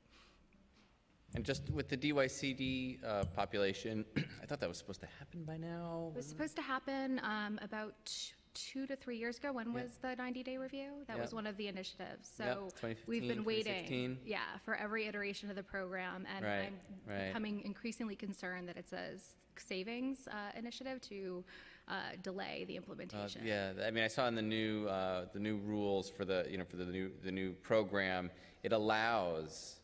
For, for a referral from DYCD, but I don't know whether it actually uh, It- Yeah, I'm told they're facilitates close. such a I'm thing. told they're close. Um, So that was November 2018. Um, I've Mhm. been talking with DYCD. I know they intend to, to, to do this and that they almost have regulations, but we're, we're all still waiting. Yeah, really frustrating, uh, totally unacceptable at this point, so, thank you.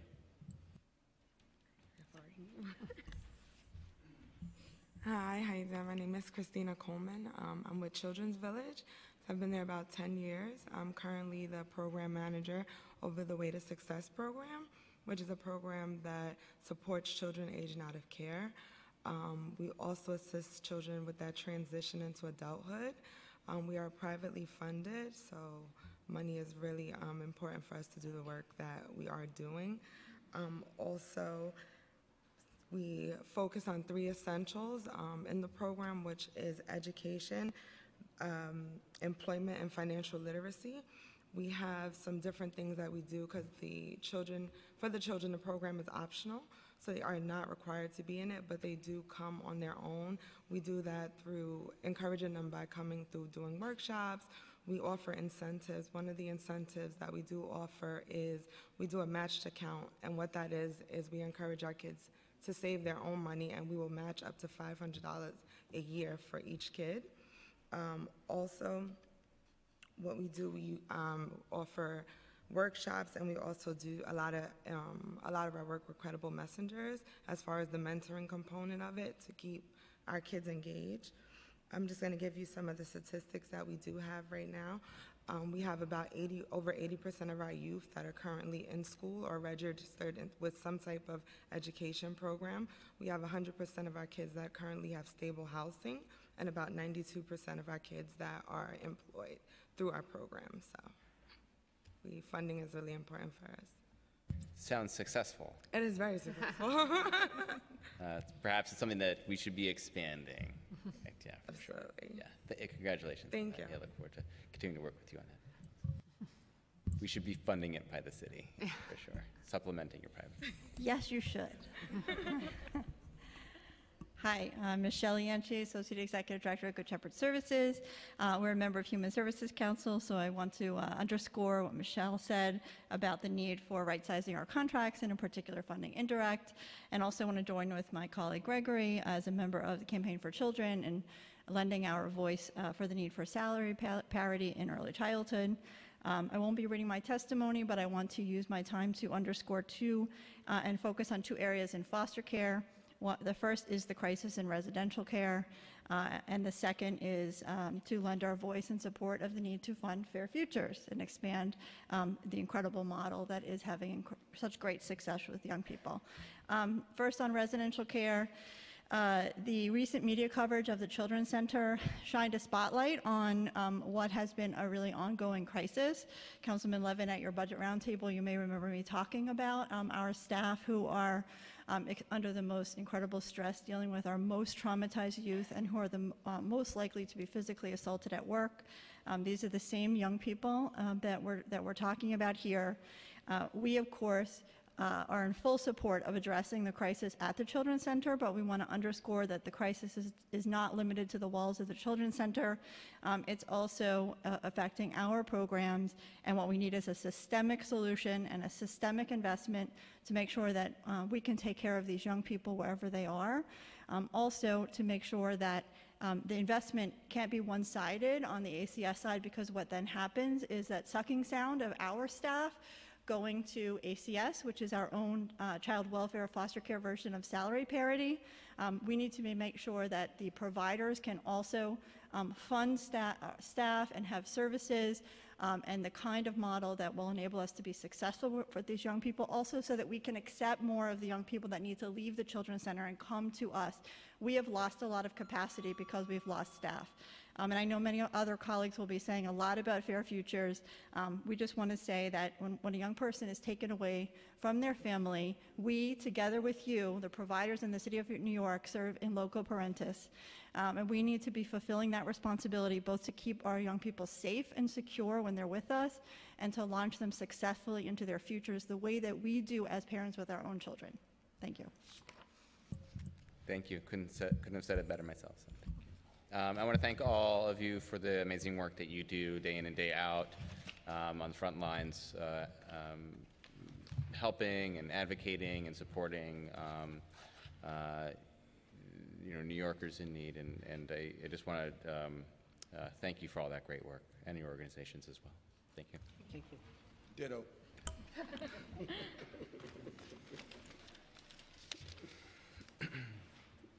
I just want to uh, let everybody know that um, there is at 6 p.m. scheduled to be a Charter Revision Commission uh, hearing in the chambers, so I think we might have to move next door if we, if we go past 6, but just right there into the committee room. Okay, next panel, Georgia Booth, Children's Aid. Danielle Fuller, Forestdale. Don O'Toole, Forestdale. Dawn Saffayeh, HeartShare St. Vincent. Jess Danhauser, Graham Wyndham. and Raisa Rodriguez, Citizens Committee for Children.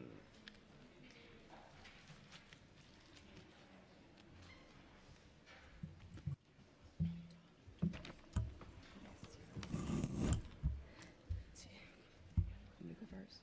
You wanna come here? I can.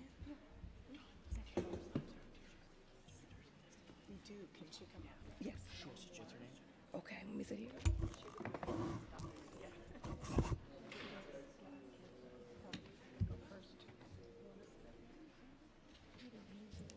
And one more, Dareth Ogle.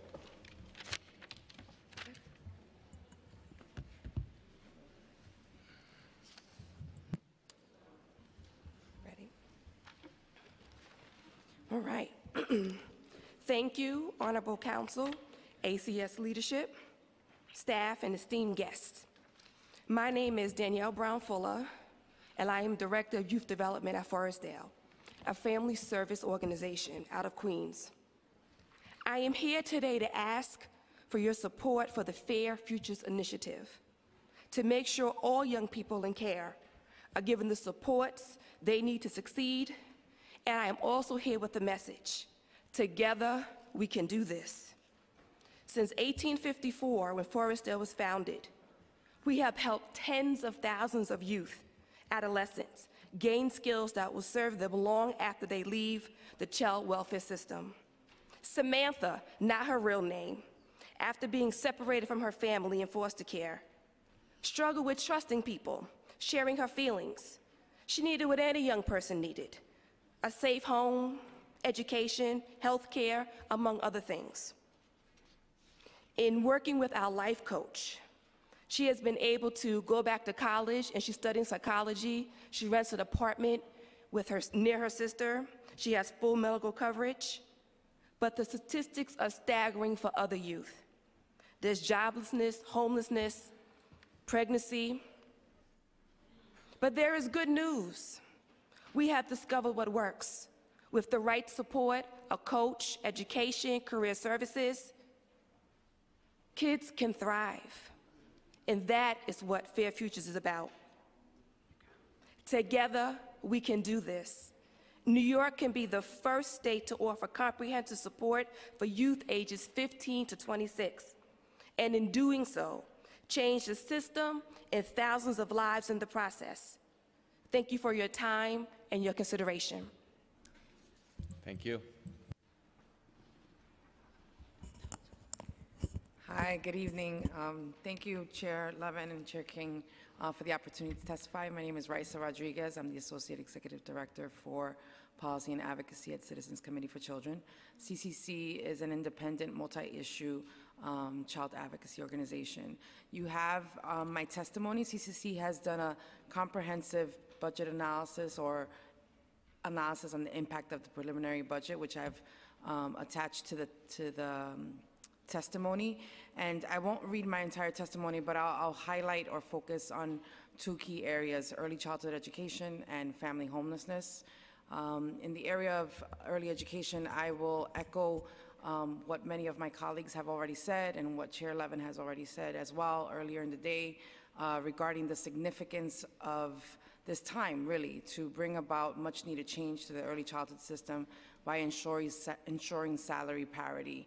Um, I don't have to tell you the impact this is having on programs, but there is a real challenge to attract and retain, and retain uh, quality teachers, right? And so if we want equity in education, we have to start early on.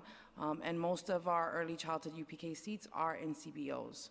Um, in the area of family homelessness, uh, I want to echo again um, the key critical services that are needed for homeless students.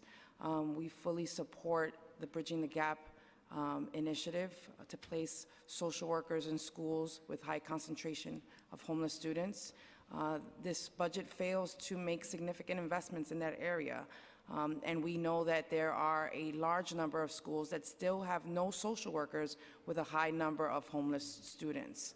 Um, and so we urge the council to, to continue its, its relentless push to make sure that this funding is made available to restore the 13.9 and also expand to reach the 100, which was last year's goal. Um, I'll also end with two other points. Um, Thank you, Chair Levin, for bringing greater attention on the need of children in, that are staying in hotels. Um, While the city is, is phasing out hotels as a uh, temporary placement, there still continues to be a lot of children there that, as you mentioned earlier in the day, don't have access to much-needed services. So please continue to shed a light on that. And then lastly, the need for prevention. Um, We know, we continue to hear Homebase um, is a resource for communities, but we know that it's not doing all that it can um, to prevent entry into shelters. Thank you.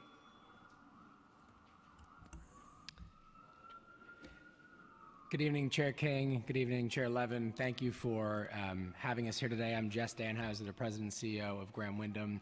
You've heard a lot about Fair Futures already. You're going to hear a little bit more. Um, but I, I want to echo um, something you said earlier, Chair King, that we can decide to do something about this now, or our young people are going to end up in other systems. We've been talking about this issue forever.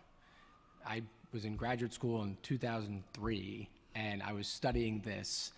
Um, I've been working in this city in around these issues for 15 years, and we've been talking about it and talking about it. Now is the time to do something. It seems like an awfully noisy time in our system, lots of new ideas, lots of um, great ideas, a lot of priorities. But we cannot go another year and let down our kids again. We have to see them through one of the hardest transitions of their life. Kids who have families with resources don't have to make the choices our kids have to make. And I just appreciate your leadership on this issue. I appreciate you starting the morning and finishing your day on this issue, Chair Levin. Um, ACS um, says the right things. They are committed to these kids. They've done a lot of good things. But we can't get away from the reality that only about 12% of the kids um, are getting this type of service post foster care because philanthropy has stepped up. It's time for the city to step up and show the country how this can be done well. You know the stats. At Graham Wyndham, we started a program five years ago. We're coaching 400 kids now. 92% of the kids who reach aging out have graduated from high school. It is doable. We have stopped blaming the kids. We act like those stats are their fault. It's not, it's the adults. Um, and I just want to ask you to try to clear out the noise and, for once and for all, help us compel the city to do something by these kids. Thank you very much.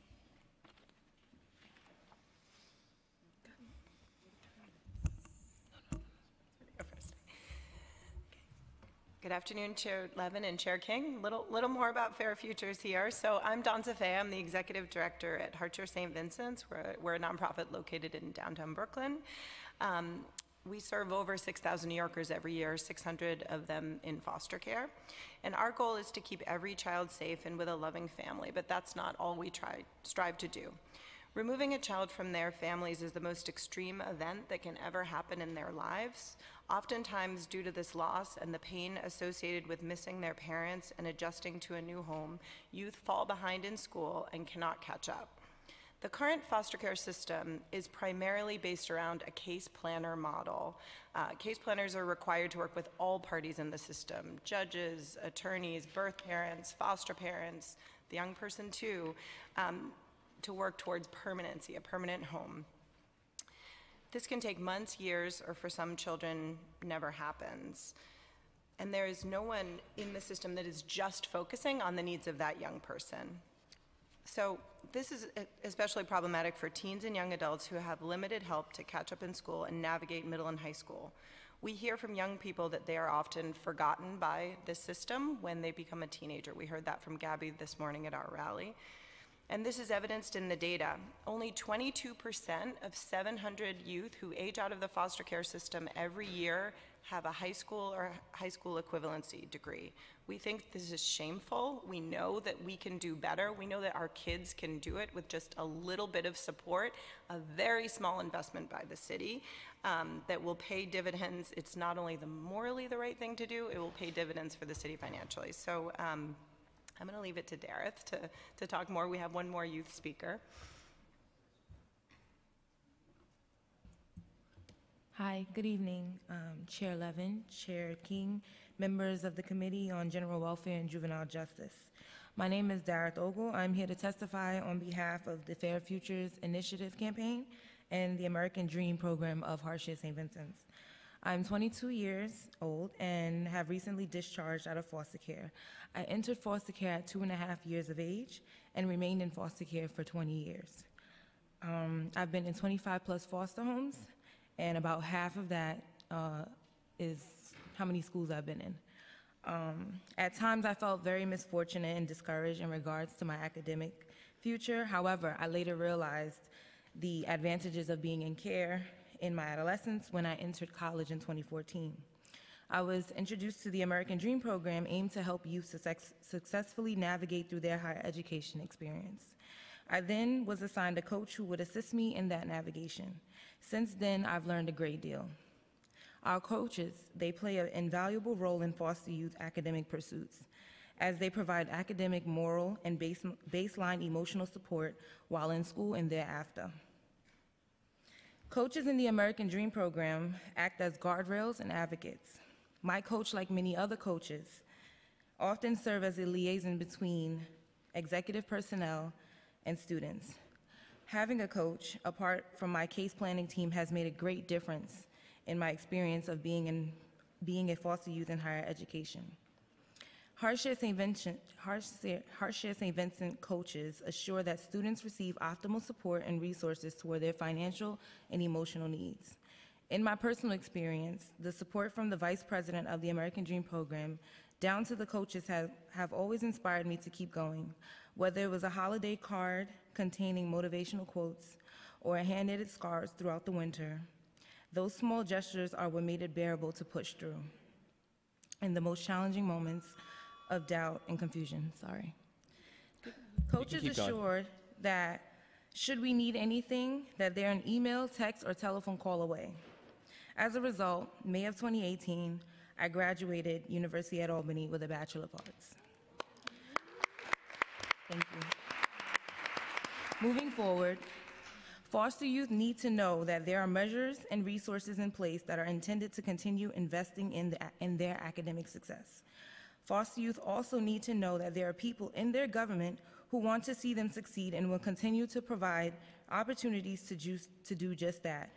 Programs like the American Dream, like the American Dream, allow foster youth that, that chance as well as the opportunity to break many generational cycles of formerly uneducated working class families. Allocating the proper resources and funding for programs relative to the academic success of foster youth is vital to society as well as the upholding of the mission and values of human service organizations throughout New York State. Thank you for allowing me the opportunity to testify before you. Thank you very much. Thank you.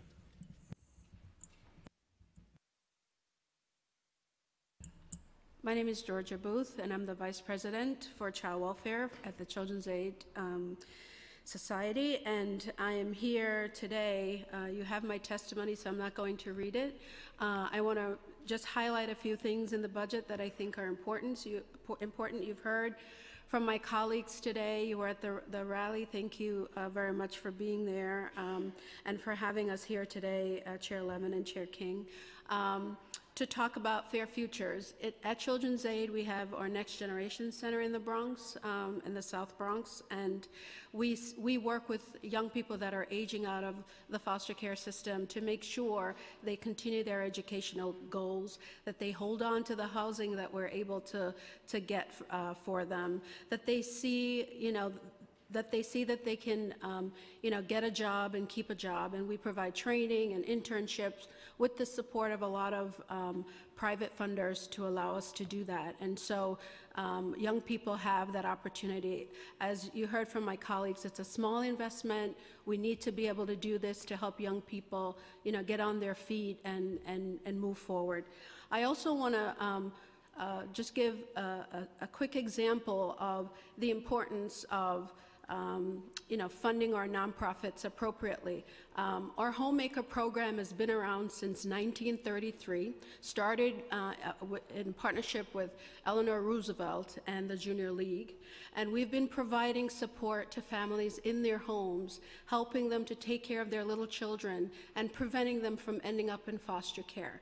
We've not had a COLA increase in that funding since 2011. Actually, we had one COLA increase since 2011. Um, And we're at the point now where every year we're subsidizing a $300,000 deficit on that contract because it's not appropriately funded. And we're at the point as a nonprofit, as you've heard through the Human Service uh, Council, that we can't continue to operate these contracts um, without the support and resources that we need. And so, you know, that's an important thing uh, to mention. And just one final point that I want to make. I know ACS, uh, where all of us uh, going through the uh, RFP process for our preventive programs. Uh, we know preventive programs work. Uh, you've heard about that in terms of the lower amount of kids coming into foster care and how many families we're, we're supporting. As we we work to implement Family First at the federal level in New York City. One of the things I, I just want to highlight as we're implementing more evidence-based models into our preventive um, portfolio is the need for support for our child welfare work, uh, workforce. You've heard about parity in, in, um, in childcare and in other uh, areas. This is desperately needed in our child welfare workforce. We can't keep kids safe. We can't um, do the work that we need to do if we don't have the right staff that's trained and that's being compensated well. And so as we're moving through this process, I would ask you all to keep that in mind in terms of making sure that these contracts and the budget models support nonprofits to pay our staff well so we can do the work um, that's needed for the city. Thank you.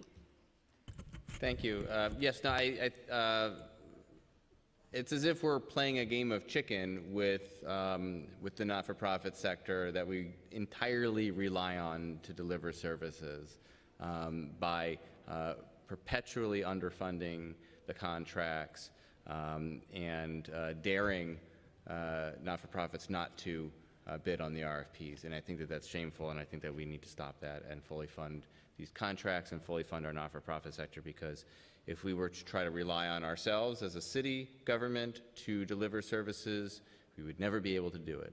Um, and you have the expertise and, uh, and the passion and the, the ties to the community, uh, all of these agencies to do it, and, um, and we rely on you. So I want to thank you, um, and, and I want to thank you very much for your amazing testimony um, and for, uh, for being here today and for continuing to advocate. Thank you very much.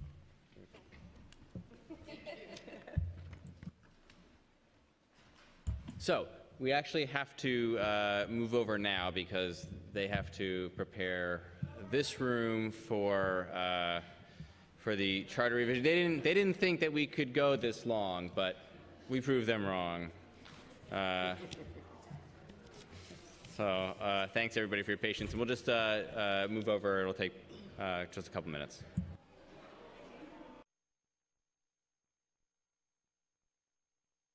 Okay, welcome back, everybody.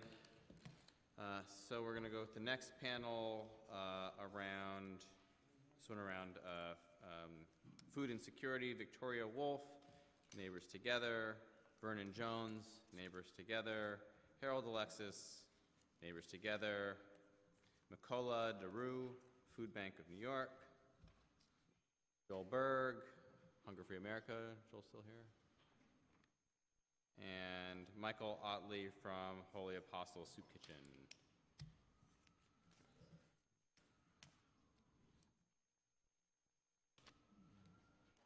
All right. I think we've lost. Okay. Okay. Well, we'll, we'll call some more folks then. That's five people, so it would complete the panel. Okay, so Greg Walt, Walt, Waltman? All right. Tawaki Komatsu. Lisa Gittleson. Clark Wheeler. Joanne Yu. Rachel Eicher and Louis Sawi. That, yeah. Uh, okay, Mr. Sawi, we'll put you on the next panel.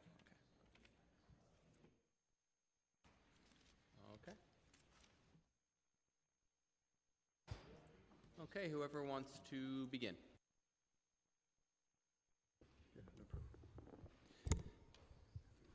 Good afternoon, Greg Waltman.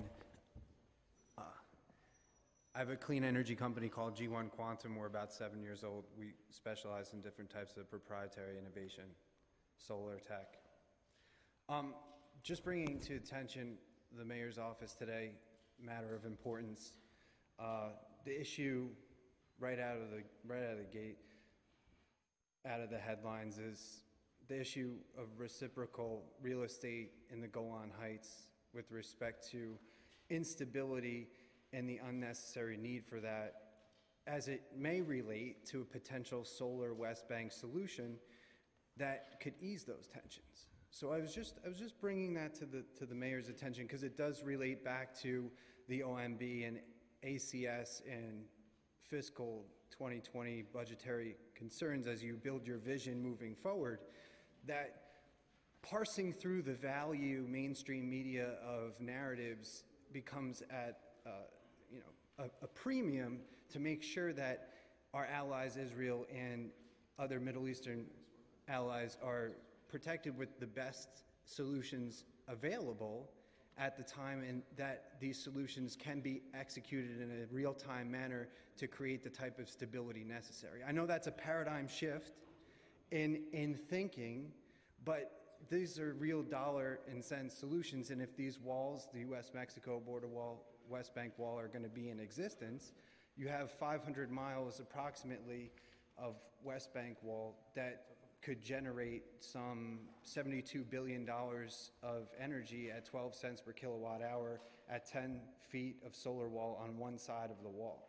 And when you're able to create energy price stability, you can create reciprocity. And when you do that in reapplication to potentially uh, legislated contracts out of New York as it pertains to the US Mexico border wall, you're able to reshape and redistribute different types of funds within the state of New York to different types of Section 8 NYCHA related housing so you can supplement the federal budget with different types of um, proprietary innovations and, and, different types of needs um, where these issues can be addressed and, and reach finality. Thank you. Thank you. Good evening, Chairpersons Levin and King. I'm Lisa Goodelson. I'm the Associate Executive Director of COFCCA. We represent 52 child welfare agencies in New York City. I really appreciate the opportunity to speak on behalf of our members, the staff, and the families that we serve. First, with regard to Fair Futures, I want to thank everybody who participated today. It was really incredible. Thank you, uh, Councilperson Levin, for being there. I want to just say three quick things about Fair Futures. It's about fairness for the youth, it's about fairness fiscally for the city, but even more, it's about fairness for all the members of New York City. Because when any single member of our community doesn't reach their full potential, all of us are not reaching our full potential. And to fully invest in the people of our city is to fully invest in all of us in the future for our city. In addition to supporting Fair Futures, I just want to briefly touch on some of the other areas my colleagues have talked about today, all of whom have spoken extraordinarily well, so I just want to do a few more quick things.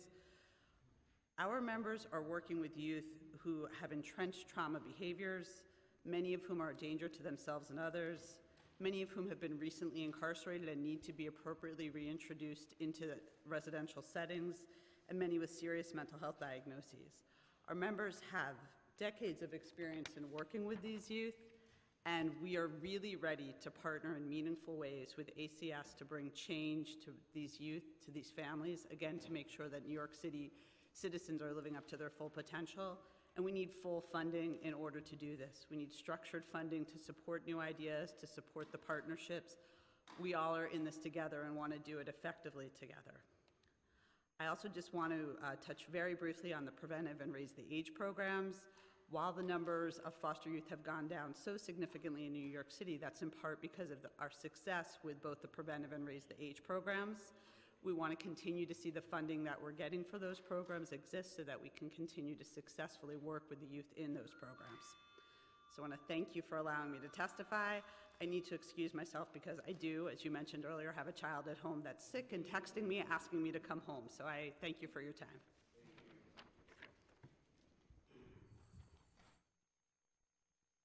Good evening. Uh, I'm Mikola Daru, uh, Vice President for Public Affairs at Food Bank for New York City, the city's major hunger relief organization throughout the five boroughs. I want to thank the City Council, this committee, in particular Chairs Levin and King, Councilmember Grodenchik, and Speaker Johnson for your leadership and for your investment in programs that work to address hunger in New York City.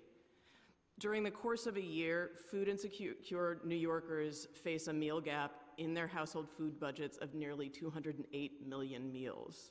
These people, our neighbors, rely on a diverse network of services to put food on the table.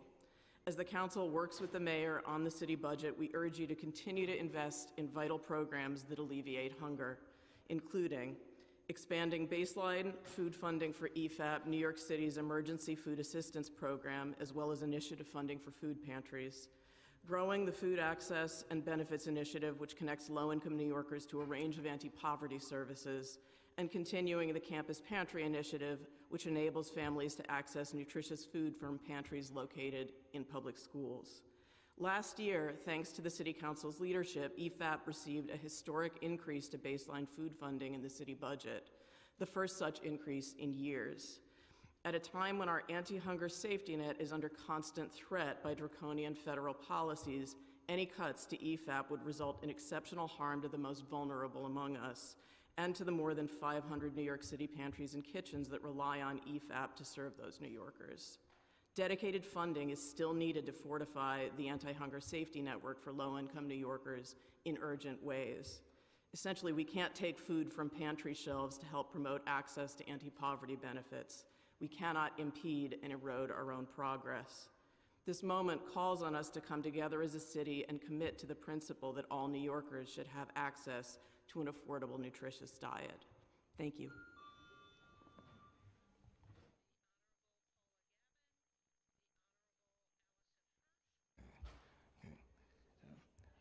Good afternoon, um, members, uh, leaders. I'm uh, Harold Alexis from Neighbors Together.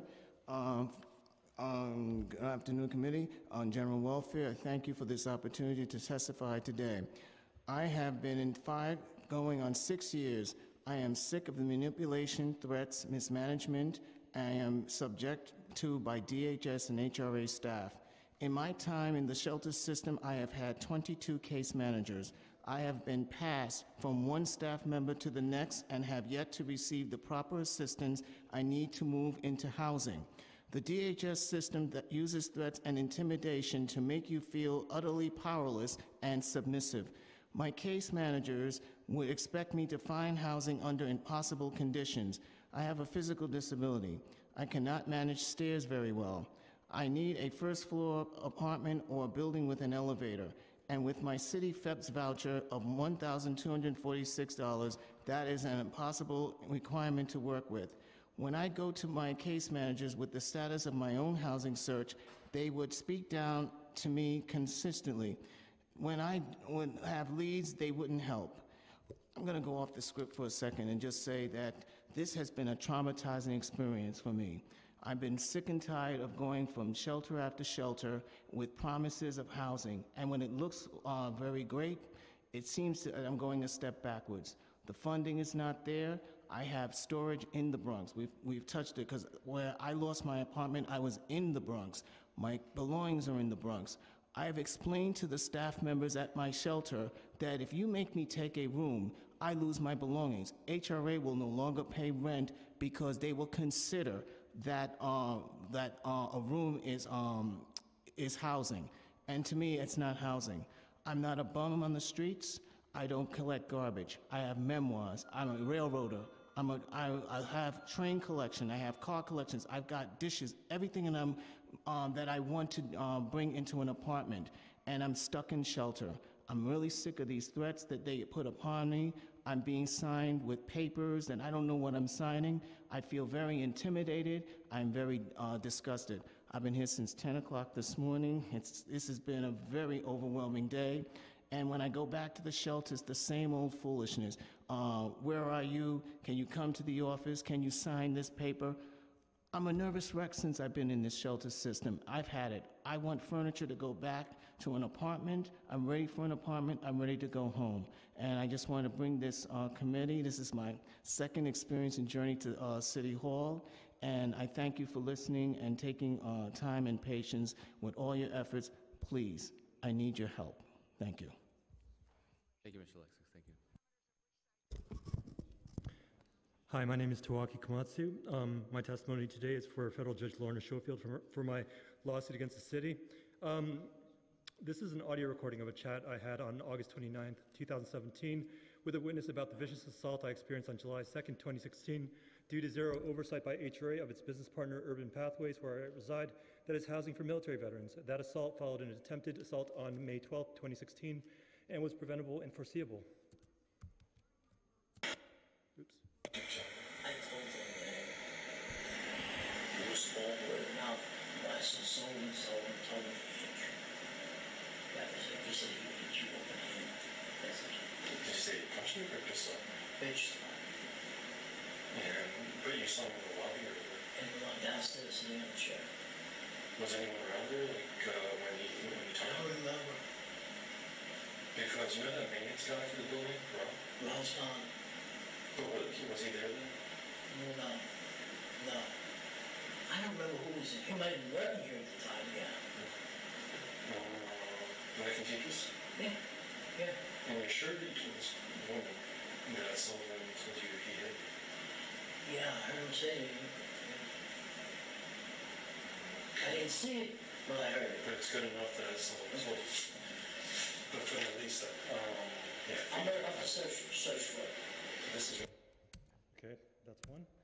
Um, the next audio recording I'm going to play for your benefit is a face-to-face conversation with, that I had with fraud uh, HRA uh, Steven Banks on December 18th of last year in regards to a FOIL request that I submitted to him and my federal lawsuit. And last question pertains to FOIL requests. Um, I was assaulted in the building where I reside. I submitted FOIL request to HRA to find out after I reported to HRA back in, I think, March of 2016, uh, my complaints against Urban Pathways, like what action they took in regards to my complaints. Um, HRA had refused to comply with those FOIL requests that I have a uh, First Amendment right to. So you've raised this with us before, and HRA made a determination. If you don't agree with it, you can go to a legal services provider, you can go to the City Bar Association, and you can challenge it. Uh, we don't agree with your conclusion. In three days, I have to be in housing court. I need a defense. I submitted FOIL requests to HRA to try to ascertain what corrective action, if any, it took in response to my complaints against Urban Pathways. So you're the chairman of this, of this committee. There's also a public hearing about proposed contracts. HRA is illegally preventing me from examining, examining those proposed contracts in its offices. Um, again, you're the chairman of this committee that is supposed to have oversight of HRA. What can you do about that? Certainly, the contract budget is within the purview of the, of the budget uh, as a whole, and so, you know, there's, we actually dis- discussed that we, earlier in the hearing today, around um, uh, desire to have clearer picture of unit appropriations, because it's, it's not. uh, That's not the issue. He's, HRA is making proposed contracts available for draft inspe- for inspection at Four World Trade to every other member of the public. When I make that request to go there to see those contracts, their position is, we're not going to let you in the building to our offices to see those with the- your own two eyes. Um, and Certainly, if you could uh, send over the FOIL request to me as well, I'll, I'll, I'll do what I can to ensure that it is, it's a public document, that it be made public. Court hearing is in three days. Can you get that turnaround within three days? I don't know if I can do that, but s- send me an email tomorrow and we'll, we'll see what we can do. I sent one yesterday, didn't get a response. We'll, we'll, we'll see what we can do.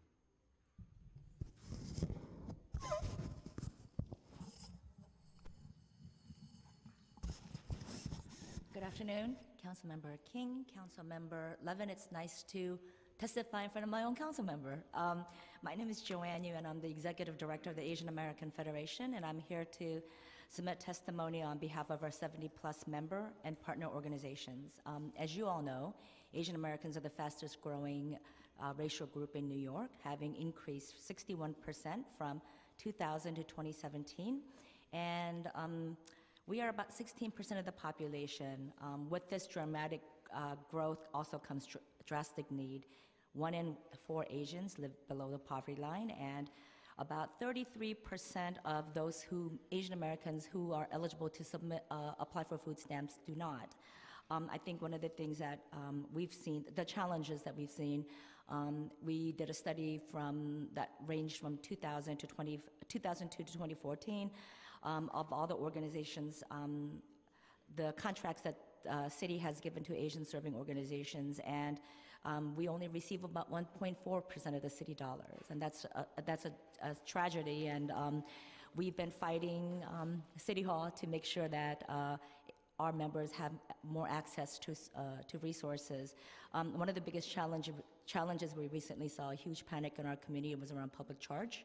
Um, and I will tell you that so many, you know, the story from our member agencies was that uh, the, those who are eligible, perfectly within their right to apply, came and asked to be disenrolled because they were so panicked. And I think, you know, one of the challenges of New Yorkers being intimidated into believing that they have to choose between citizenship and survival is a travesty. Um, the thing that we want to ask you as we are starting to see, you know, um, rules uh, from DC come in, you know, come in hitting our, hitting our cities is to ensure that there's adequate support for the nonprofit organizations that serve the frontline um, communities. We uh, ask that uh, the City Council fully fund HRA and ACS to implement language access. And I know that, council member, you had talked about um, the new minimum wage. We want to, so many of the member agencies from the Asian American Federation are subcontractors, which means that they don't even get to um, get to the, that level of asking for minimum wage. So we ask for parity with that issue and for a continued request for you to support the nonprofit organizations that serve the most vulnerable in our city. Thank you. Thank you, Jo-Ann. Uh, thank you to this entire panel. Um, we look forward to continuing to work with you all um, in the in the days and, and weeks and months to come. Thank you.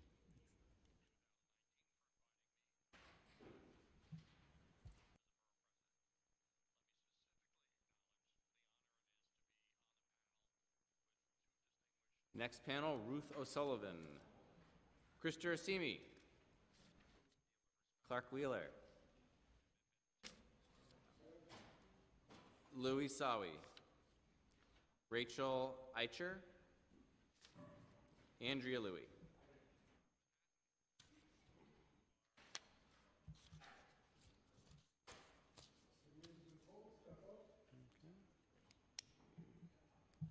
Thank you.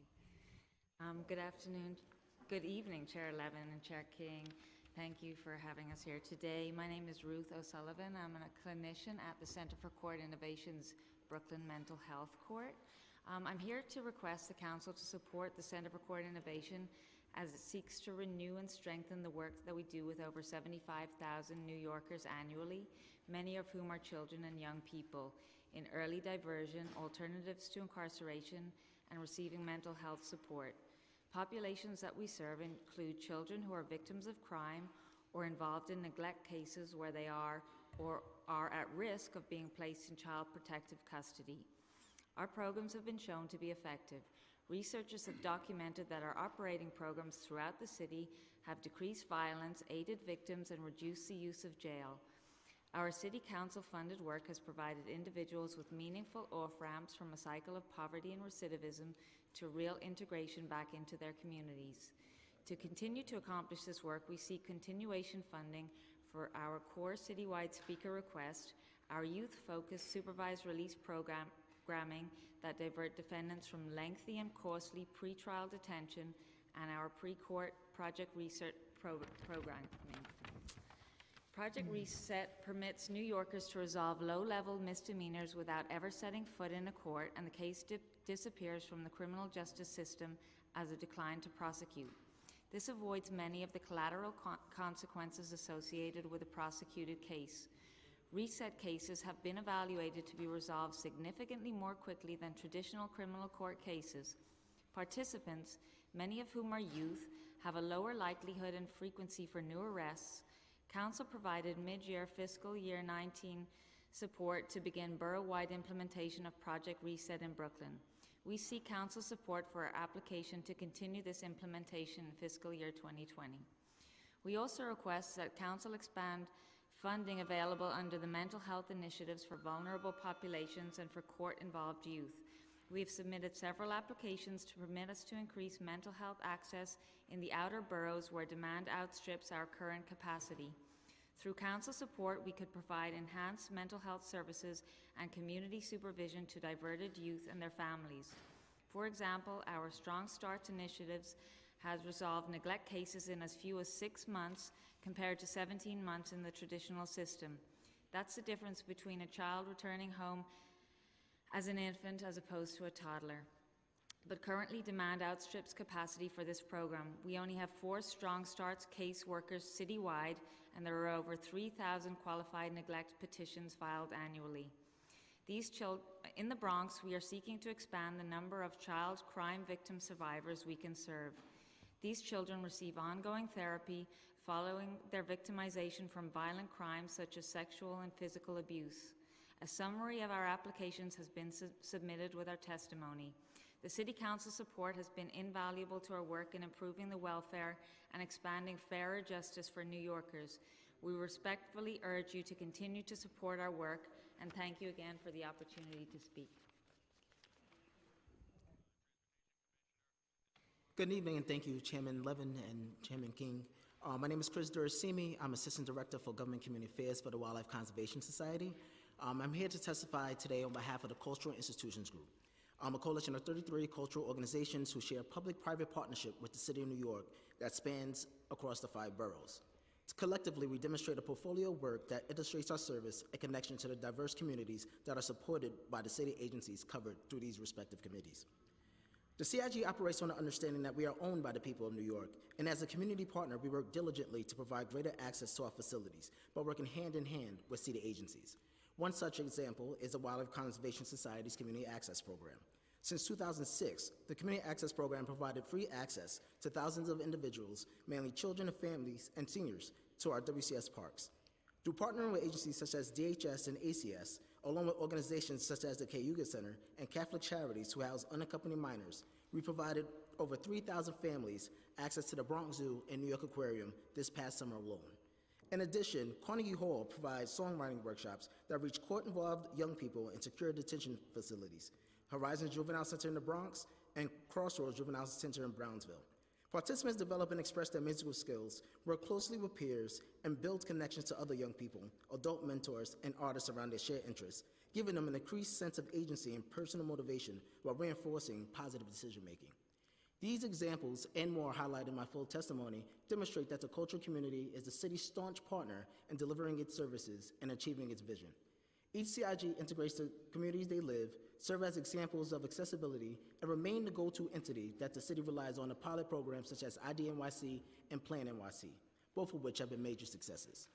Therefore, as the council determines its budget priorities for fiscal year 2020, we ask that we are held at $20 million and consideration be given to additional funding for both the CIG and our program group partners. We ask that the 10 million total that culture has previously received be baseline, inclusive of the 2.25 million that was baseline for CIGs in the budget the last year.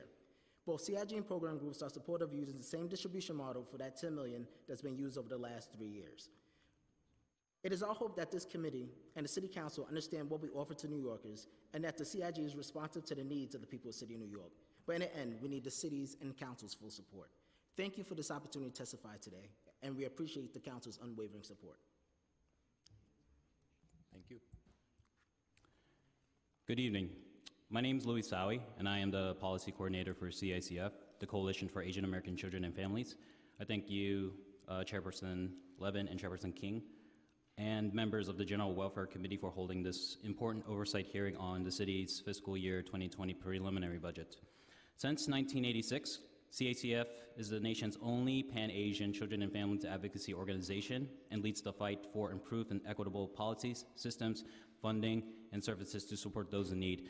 Earlier in the last panel, you had someone from Asian American Federation that talked about APA background.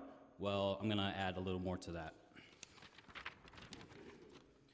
In data collection efforts across the city, including city agencies such as ACS, our communities are many times mistaken in our ethnic or language backgrounds and needs, or relegated to the category other. This lack of accurately collected data and information on the community, coupled with a lack of accessible information entry points for APA children and families who require resources and services, is often erroneously equated to a lack of need or risk within our communities. The barriers that Asian Pacific American, also known as APA, families face in navigating the child welfare system are significant. First, Many APA and other immigrant families who come into contact with the child welfare system struggle with limited English proficiency. In its own language access and policy implementation plan, ACS recognized nine priority languages based primarily on high frequency of requests for child welfare and child care services in these languages. Five of these priority languages were Asian, Chinese, Arabic, Korean, Bengali, and Urdu. Second, APA families may engage in child rearing and disciplinary practices that reflect the cultural norms of their countries of origin, but are, but are considered potentially harmful here. Third, APA families are often misinformed about child welfare laws, the role of ACS, or the availability of resources for at-risk families. For undocumented families, this lack of familiarity is exacerbated by the fact by the fear that interacting with government agencies will result in punitive action or even deportation. As a result of these barriers, APAs experience great difficulty in communicating with ACS and other ch child welfare staff, understanding and exercising their rights and accessing critical support services that strengthen families and improve child safety. Unfortunately, for many of the APA community, including those most disenfranchised and struggling, such as many South Asian and Southeast Asian communities, there's still no culturally competent and language accessible preventative uh, service options. APAs struggle not only with a lack of culturally competent options for services, but also struggle with cultural stigma regarding receiving government services. The recent federal proposals and mandates such as changes in the public charge serve to alienate and punish immigrants, especially those who are undocumented that access needs services.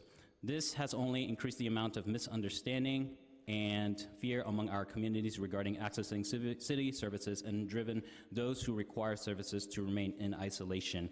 As reported by many of our APA organizational members, language and cultural barriers that persist within the child welfare system in New York City, it includes a mismatch in interpretation services with, with requested language dialect, lack of quality interpretation, interpreter bias, delays in interpretation, and poor quality translations of written materials. CACF has been working with organizations, including ACS, to improve child welfare services to immigrant and APA communities for over 15 years. But most recently, CACF has been meeting along with various member organizations with a number of divisions within ACS to develop collaborative strategies to better serve NYC's APA communities. Additionally, CACF was actively involved in CW 2021 process over the past many months through which we participated in a series of meetings convened by ACS and also helped to convene an APA CBO focus group with ACS. Still, there remains much to be done and multiple families are languishing without enough data and understanding of our communities and without appropriate preventative services. So, our recommendations today are to ensure salary parity for all childhood educators, um, to restore $5.355 million to discretionary child care centers, expand preventative services and child care programs for the APA community by improving contracting processes with Asian-led and serving organizations, improve language access and cultural competence for APA families, increase education and outreach to the APA community on services and programs available through ACS, and lastly, to increase capacity and partnerships with APA community-based organizations. Thank you. Thank you. I'm pleased to testify this evening along with my Asian American colleagues and those in culture. So my name is Andrea Louie, and I'm a founding board member of New Yorkers for Culture and Arts, a citywide cultural advocacy organization. We are a coalition of groups and individuals across the five boroughs working to ensure that every New Yorker has the right and opportunity to engage in culture, express their humanity, and strengthen their community arts and culture can powerfully advance the work to support all New Yorkers. And I'd like to share just one example from my colleagues at the Children's Museum of Manhattan. Crafting Family Connections is spearheaded by First Lady Chirlane McCray and was lost, launched last April for mothers at Rikers who just demonstrate good behavior. Once a month, these women shed their tan jumpsuits and shackles, put on street clothes, and send a, spend a few precious hours with their kids engaged in arts activities. In the safe space of the museum, these mothers and children can play, explore their creativity, and bond together away from prison walls. One mother, Amanda Martinez, 32, has visited the museum twice to spend time with her daughter, Ananda, who is 12. Quote, I would have never thought in a million years I would be able to see my daughter without shackles, she said, without a uniform and without these bars. It's already changed my train of thought. End quote. Important programs like Crafting Family Connections cannot succeed without support from the city. Therefore, we join our colleagues in requesting that 10 million be baseline for culture from last year, inclusive of 2.25 million that was baseline for the cultural institutions groups, as my colleague mentioned earlier in this panel. We also request that an additional 10 million be added to the cultural bu budget to be evenly divided between the CIGs and the program groups. All of us in the cultural sector are eager to work with you during this budget season to help make sure that the well being of all New Yorkers is fully resourced and supported. Thank you. Thank you. And I want to thank this panel for all the great work that you and your organizations do. Uh, and we look forward to working with you in this budget and for many years in the future. Thank you.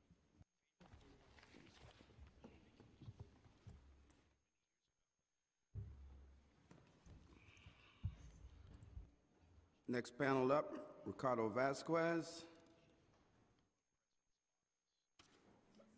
Kim Asha, and I'm Samila, and if I messed it up, Sister Queen Don Project.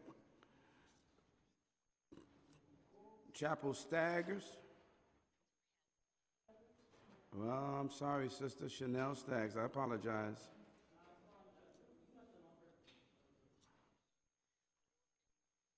Manny Keed, Manny T. Keed, Ashley C. Sawyer, Eva Santiago,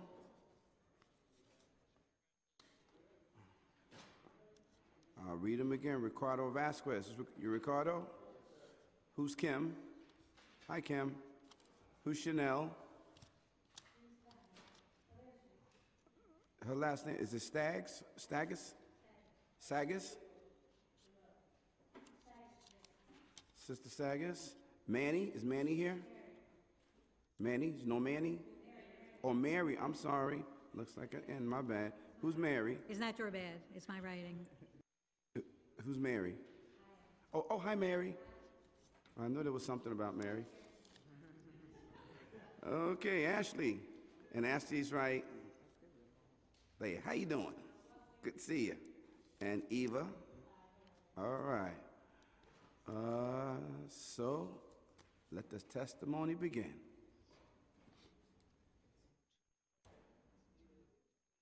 I'll start because everyone's hesitating. So, hi, uh, Chair King. Thank you for having us.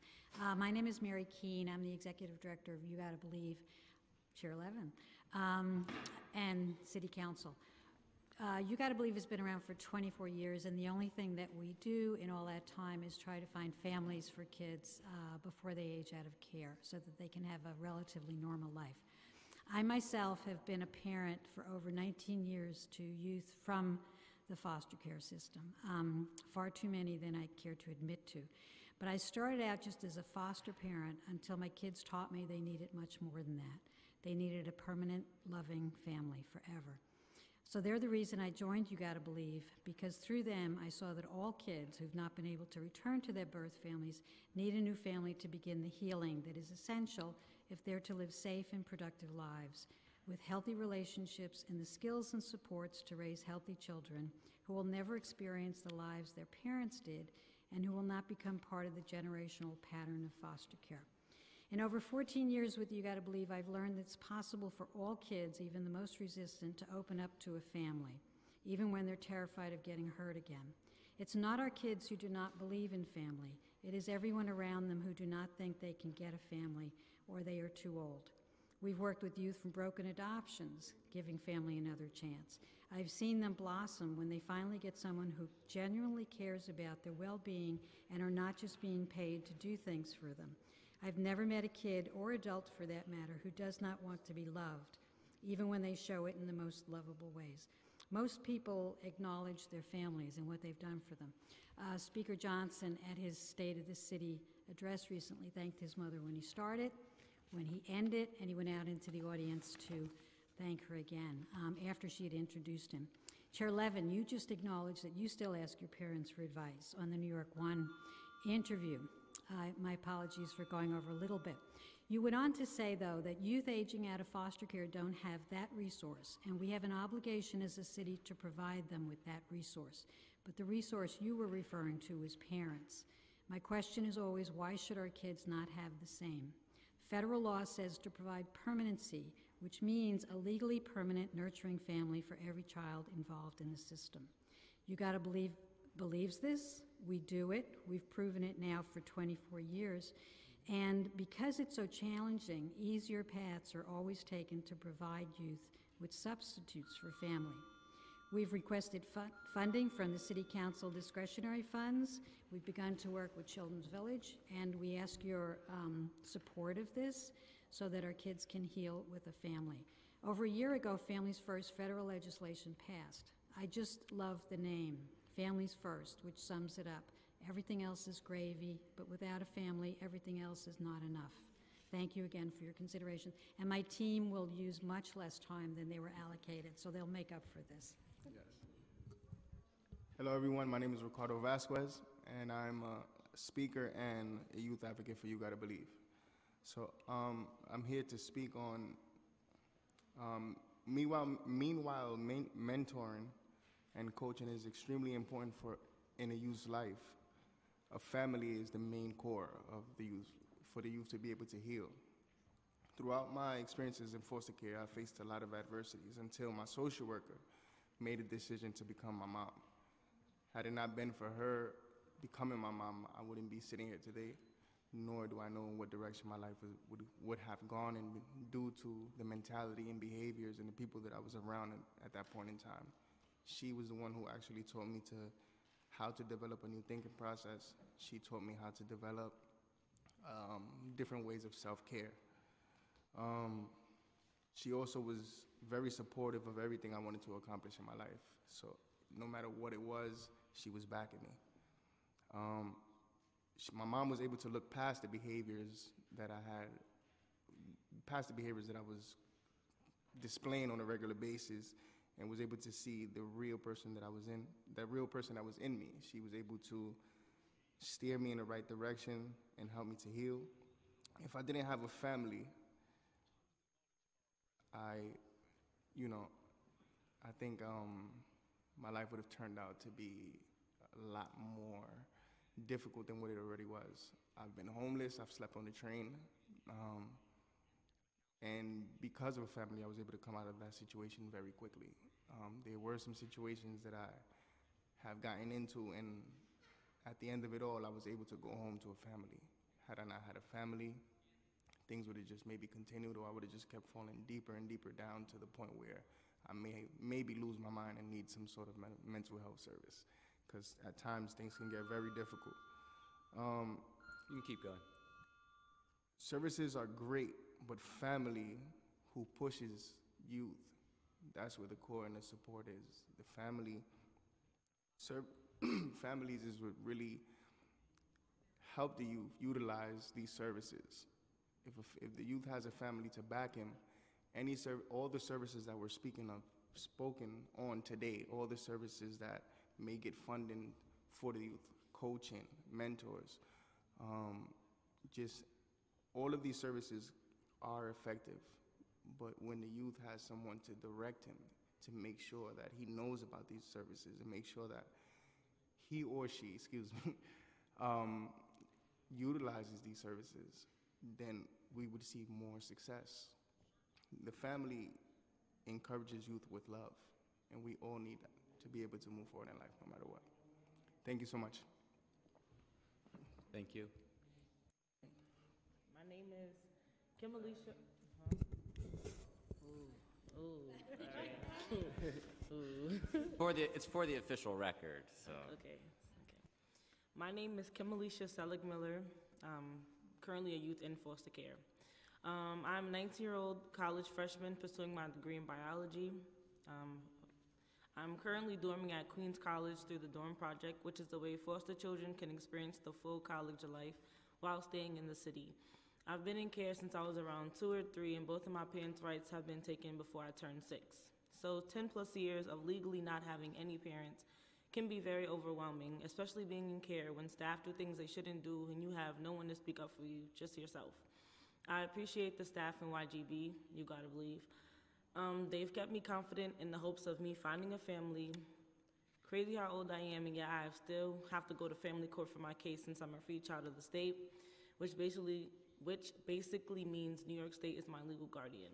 I stopped going for a while when two years back, when, my sep- when I was 17, the judge told me that at my age I wouldn't find a family.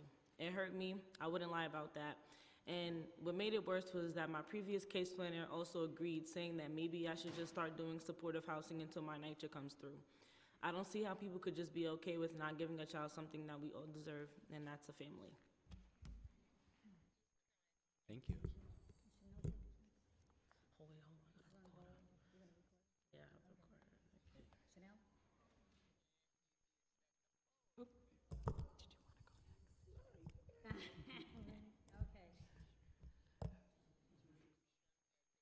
Yeah, I think, yeah, hi. Hi, Councilman Levin. Um, We know each other pretty well, and how are you doing, Councilman King? And, and the committee, thank you so much for allowing me to, to talk about um, these issues that I hold very close, because I have a child who's on the autism spectrum. I work at the Child Welfare Organizing Project as the Director of Programming and Parent Advocate. I've been a parent advocate for three years for families who have involvement with ACS.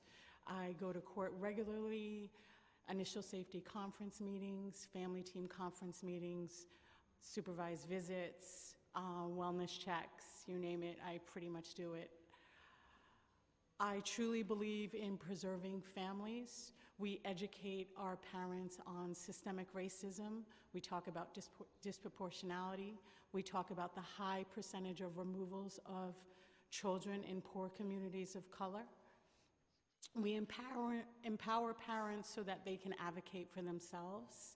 We definitely intervene when necessary, when a parent is hitting a roadblock and they're unable to speak to their attorney or their caseworker in knowing what's going on with their case.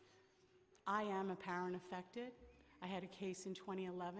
I have a child who's on the autism spectrum who has several diagnoses.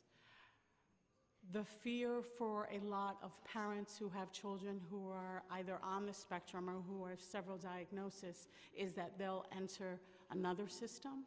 And that is a real fear for myself that my son will enter the juvenile justice system because of lack of supports. It was ironic to me that ACS had discussed today that they were having difficulty in placing children with, with behavioral diagnosis and that they had to stay in children's centers for a lengthy amount of time because they did not have the qualifications or expertise in addressing the issues that these children have who have diagnosis. They also talked about OPWDD. Um, my son and many children who are high functioning do not qualify for certain services because they're high functioning, so they fall through the cracks. Their behavioral issues come into play when we talk about their future successes, even though a lot of these children are high functioning and they academically excel um, to the point where my son can comprehend 12th grade and he's 13 years old. So, but they don't take into consideration that these children who are high functioning academically are emotionally delayed. And so they need the pr- proper supports that are needed for them to excel.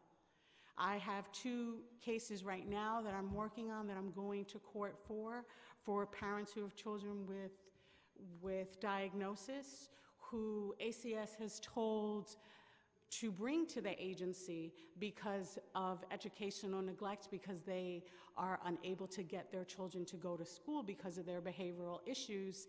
And then we come to find out in court that the agency that they had advised these parents to take their children have lost their children. And so now the judge has told this particular family that if your child gets in contact with you, your child can stay with you for the time that we find appropriate placement. So now the parent is adequate in taking care of that child because the agency cannot find adequate, appropriate supports. So I am here, and this is my plight for um, children and all children who are affected by the child welfare system because of poverty. It's all about lack of supports, and I truly believe that if ACS or any other agency, because it happens to be ACS, when ACS is no longer here, it'll be another agency. But it's about approaching these families with a restorative lens. They approach these families with a punitive lens, and then they're not able to thoroughly assess the situation correctly, and they're not able to know what is going on in these homes. So, thank you again for allowing me to speak today. Thank you. Good evening, uh, Chairperson Levin and Chairperson King and council staff. My name is Ashley Sawyer. I am the Director of Policy at Girls for Gender Equity, and I'm also an attorney. I be in lieu of time, because of the time, I won't go into the background about Girls for Gender Equity, but as you know, we are committed to supporting the needs of cisgender, transgender girls, and um, gender nonconforming youth of color in New York and now obviously nationally. Um, our conversation today is specifically related to issues related to the juvenile justice system. Recently, the Administration for Family Services reached out to Girls for Gender Equity along with Steps to End Family Violence to pilot a alternative to placement program specifically designed to meet the needs of girls and gender nonconforming youth in New York City. As you know, there was a task force across the city led by the Vera Institute for Justice to end the incarceration of girls in New York. As an outgrowth of that process, we are committed to creating close excuse me, creating programming in community where young people are still able to live with their families, live in their communities, but receive the social work services, economic empowerment, and what we specialize in at GGE is political organizing skills, um, and helping young people learn what it means to be political organizers, to um, drive policy work. That program has the potential to transform the lives of young people. We understand that there's a growing body of research that says that when people who have been affected by criminalization and systems are able to use their voice to change those systems, they have remarkable outcomes. And we want to make sure that the council is aware of what's happening and aware of the potential for this program and also the critical need for resources. As you may know, before I came to Girls for Gender Equity, I was an attorney representing young people who were in the system in New York. I spent once a week in the housing areas on Rikers working with young people 16 to 24, particularly girls. And in this city, um, I will try to briefly conclude, but in this city, there were no reentry programs that specifically met the needs of girls and gender nonconforming people. There were no um, juvenile justice services that specifically spoke to their needs. The data is really clear now that 90%, I'm going to repeat that, 90% of the girls who end up in the juvenile justice system have experienced some form of sexual violence. There's no other system where you'll find a higher concentration of sexual assault survivors than if you go to a girls' juvenile prison. And so we cannot expect young people to have great outcomes if they're going to programs that have no idea what they're experiencing or what their needs are. So GGE, along with STEPS and, to, and the Vera Institute, are working together to develop a program that can meet the needs of young people, particularly girls and queer and trans young people. As you'll see in my comments, there are specific, there's data and specific details about what the needs are, but we cannot use a one-size-fits-all model when we talk about reentry and prevention services. And so this is an opportunity for the city to invest in the prevention work, making sure that there are no young people sent upstate, making sure that young people have access to the services and the supports that they need. And doing this work with fidelity and integrity is going to require resources and a financial commitment from this body. So we hope that there will be an investment in the young people that deserve our care. These are young people who did not make a choice to end up in these systems, but because they are, in the care of, our, of ACS and other systems, we have an obligation to provide them with the supports and the services that they need. So I look forward to continuing to engage in this conversation with uh, both of you as well as council staff and moving forward, hoping that there will be a commitment made to the girls and the gender nonconforming young people of New York City. Thank you. Thank you. Hi, my name is Chanel. I wrote something. I put good afternoon. It's not even afternoon anymore. but um, and I said I hope y'all enjoying your morning. It's like it's all the way evening. But um, my name is Chanel Staggers. I'm currently 18 years old, pursuing my HSC and working with Good Call. Um, I'm residing at Marion Hall, which is a group home that I've been staying at for two years. Being that I struggled with um, choosing whether or not um, if school was more important than staying in school. I said school. If if working was more important than staying in school, um, um, yeah, I've been in foster care since I was 11, 12. Um, in the beginning, I started off living with my brother, but it didn't work out, which led me into like the eight other foster homes I've been in. The last one I thought would be my big break. I was 16 when I got adopted. I stayed with her for like two years, and however, I was happy, but things change and people change. It did not work out. To this day, I remain adopted, but me and my adopted mother have not. We don't have no contact whatsoever. I'll be 19 next month. I face challenges that I never imagined. I've also overcame more than I can tell you. I've been doing it by myself, but I can never be more proud.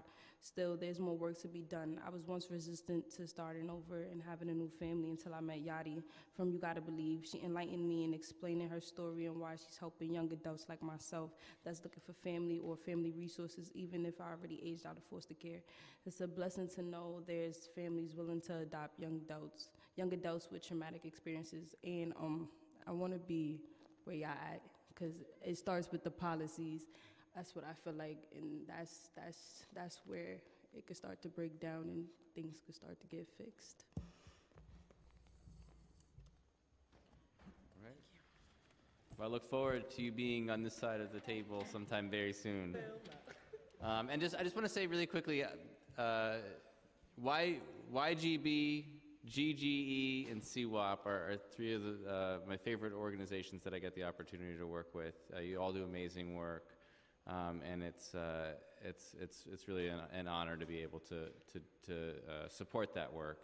And this council takes that very seriously, and, and, um, and uh, you're out there doing it, and, and we want we want to be supportive. Thanks. Thank you very much. Thank you.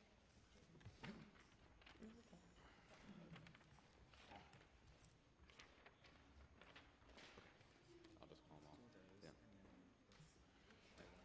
Yeah. Okay. It's like last call. Jesse Laymon, New York City Employment and Training Coalition. I think Jesse left. Going once, going twice. right. I don't see Jesse. He was here before. I saw him before. Julia Duranti Martinez, New Economy Project. Okay. And then people we've called before, but might not be here. Michael Leek, Michael Otley, Joel Berg. I know Joel is not here. Vernon Jones, Victoria Wolf, Rachel Eicher, and Clark Wheeler. Going once, going twice. Okay. You Got the stage. Floor, yeah. Ms. Duranti Martinez, you are our last Panel of one. member of the public Um, to testify. Thank you. Yes, um, good, good evening, um, Committee Chair Levin and um, Councilmember King. My name is Julia Duranti Martinez, and I'm the Community Land Trust Coordinator at New Economy Project. Along with Picture the Homeless and other advocates, New Economy Project co-founded and co-convenes the New York City Community Land Initiative, which is a coalition of more than two dozen housing and social justice organizations advocating for community land trusts to address the root causes of homelessness and displacement. As an outgrowth of this work, New Economy Project and 14 partner organizations are proposing a new citywide CLT initiative uh, that would incubate and expand CLTs in all five boroughs of New York City in fiscal year 2020. Um, so just a little bit of CLT, a little bit on CLTs. They're a proven mechanism to preserve vital affordable housing stock, prevent the extraction of public subsidies, and combat displacement. The CLT is a nonprofit that owns and stewards land in the community's interest and leases use of the land for affordable housing development and other community needs. And CLTs issue renewable 99-year ground leases um, that establish resale and rental restrictions, uh, which helps uh, protect public investment in CLTs from being lost to the market over time. CLTs also engage community members in meaningful decision-making over neighborhood development. Um, the boards are typically composed of equal parts residents, community members, and public stakeholders, um, and they engage in ongoing community organizing and partnership to carry out their work. And both the long-standing Cooper Square Community Land Trust here in New York and the new pilot East Harlem El Barrio CLT, as well as emerging CLTs citywide, have grown out of sustained community-led planning and organizing processes. Um, so the CLT model has sparked a citywide movement that has achieved tremendous gains in recent years, and that includes the passage of the city's first local law defining and entering CLTs into the administrative code, increased support from HPD, expanded training and legal assistance networks, and investment of New York State Attorney General settlement funds into local CLTs. And now there are more than a dozen community-based organizations from the Northwest Bronx to Brownsville that are working to develop local leadership and deepen community partnerships, um, organize tenants and homeowners, and identify properties suitable for, the, for their CLTs. Uh, so the proposed initiative would allow groups to build upon this exciting progress at a really critical moment of opportunity. The initiative will support essential CLT community education and organizing, board and member training, build capacity through legal, financial, and technical assistance, and promote coordination among CLTs so they reach a sustainable scale. So we ask the committee to include the CLT initiative in its budget recommendations for 2020. And thank you so much for the opportunity to testify. Okay, thank you very much. Thank you. And we love the work that New Economy Project does. Thank you. Um, okay, does anyone else wish to testify? Chicken, do you have anything else you want to add? Uh, Just thank you. It's been a delight. Um, As Carol Burnett would say, I'm so glad we had this time together. But I learned a lot, and I appreciate what all- all, everyone who serves the city of New York and understand the challenges that we have. However, they are equal or unequal, if we can recognize and we can uncover to recover. And I think that's what today's conversation was all about. So thank you. It's been an honor being with you today. Thank you. All right. And I, I want to thank uh, all the staff, uh, Julia Haramis, Daniel Kroop, uh, Aminta Kilawan, Tanya Cyrus, um, uh, Regina Poreda Ryan, Latanya McKinney, Councilmember, Ki- uh, Councilmember King, do you want to, the, the staff of juvenile justice? Josh Kingsley, and of course, Daniel, again, gets a double billing here today. Uh, But everybody in this budget process, from the head of Latanya McKinney and and the whole team there that help us get this right, day one, day two. I forgot Dohini Sompura. Um, uh, Frank, Frank Sarno. Uh, and uh, our, uh, uh, oh, Crystal Pond, Crystal Pond, uh, and, okay, Crystal, Crystal's not here, okay. And our amazing sergeants at arms uh, who uh, have kept this show running. Um, thank you very much, gentlemen. And thank you all. Uh, with that, I adjourn this hearing.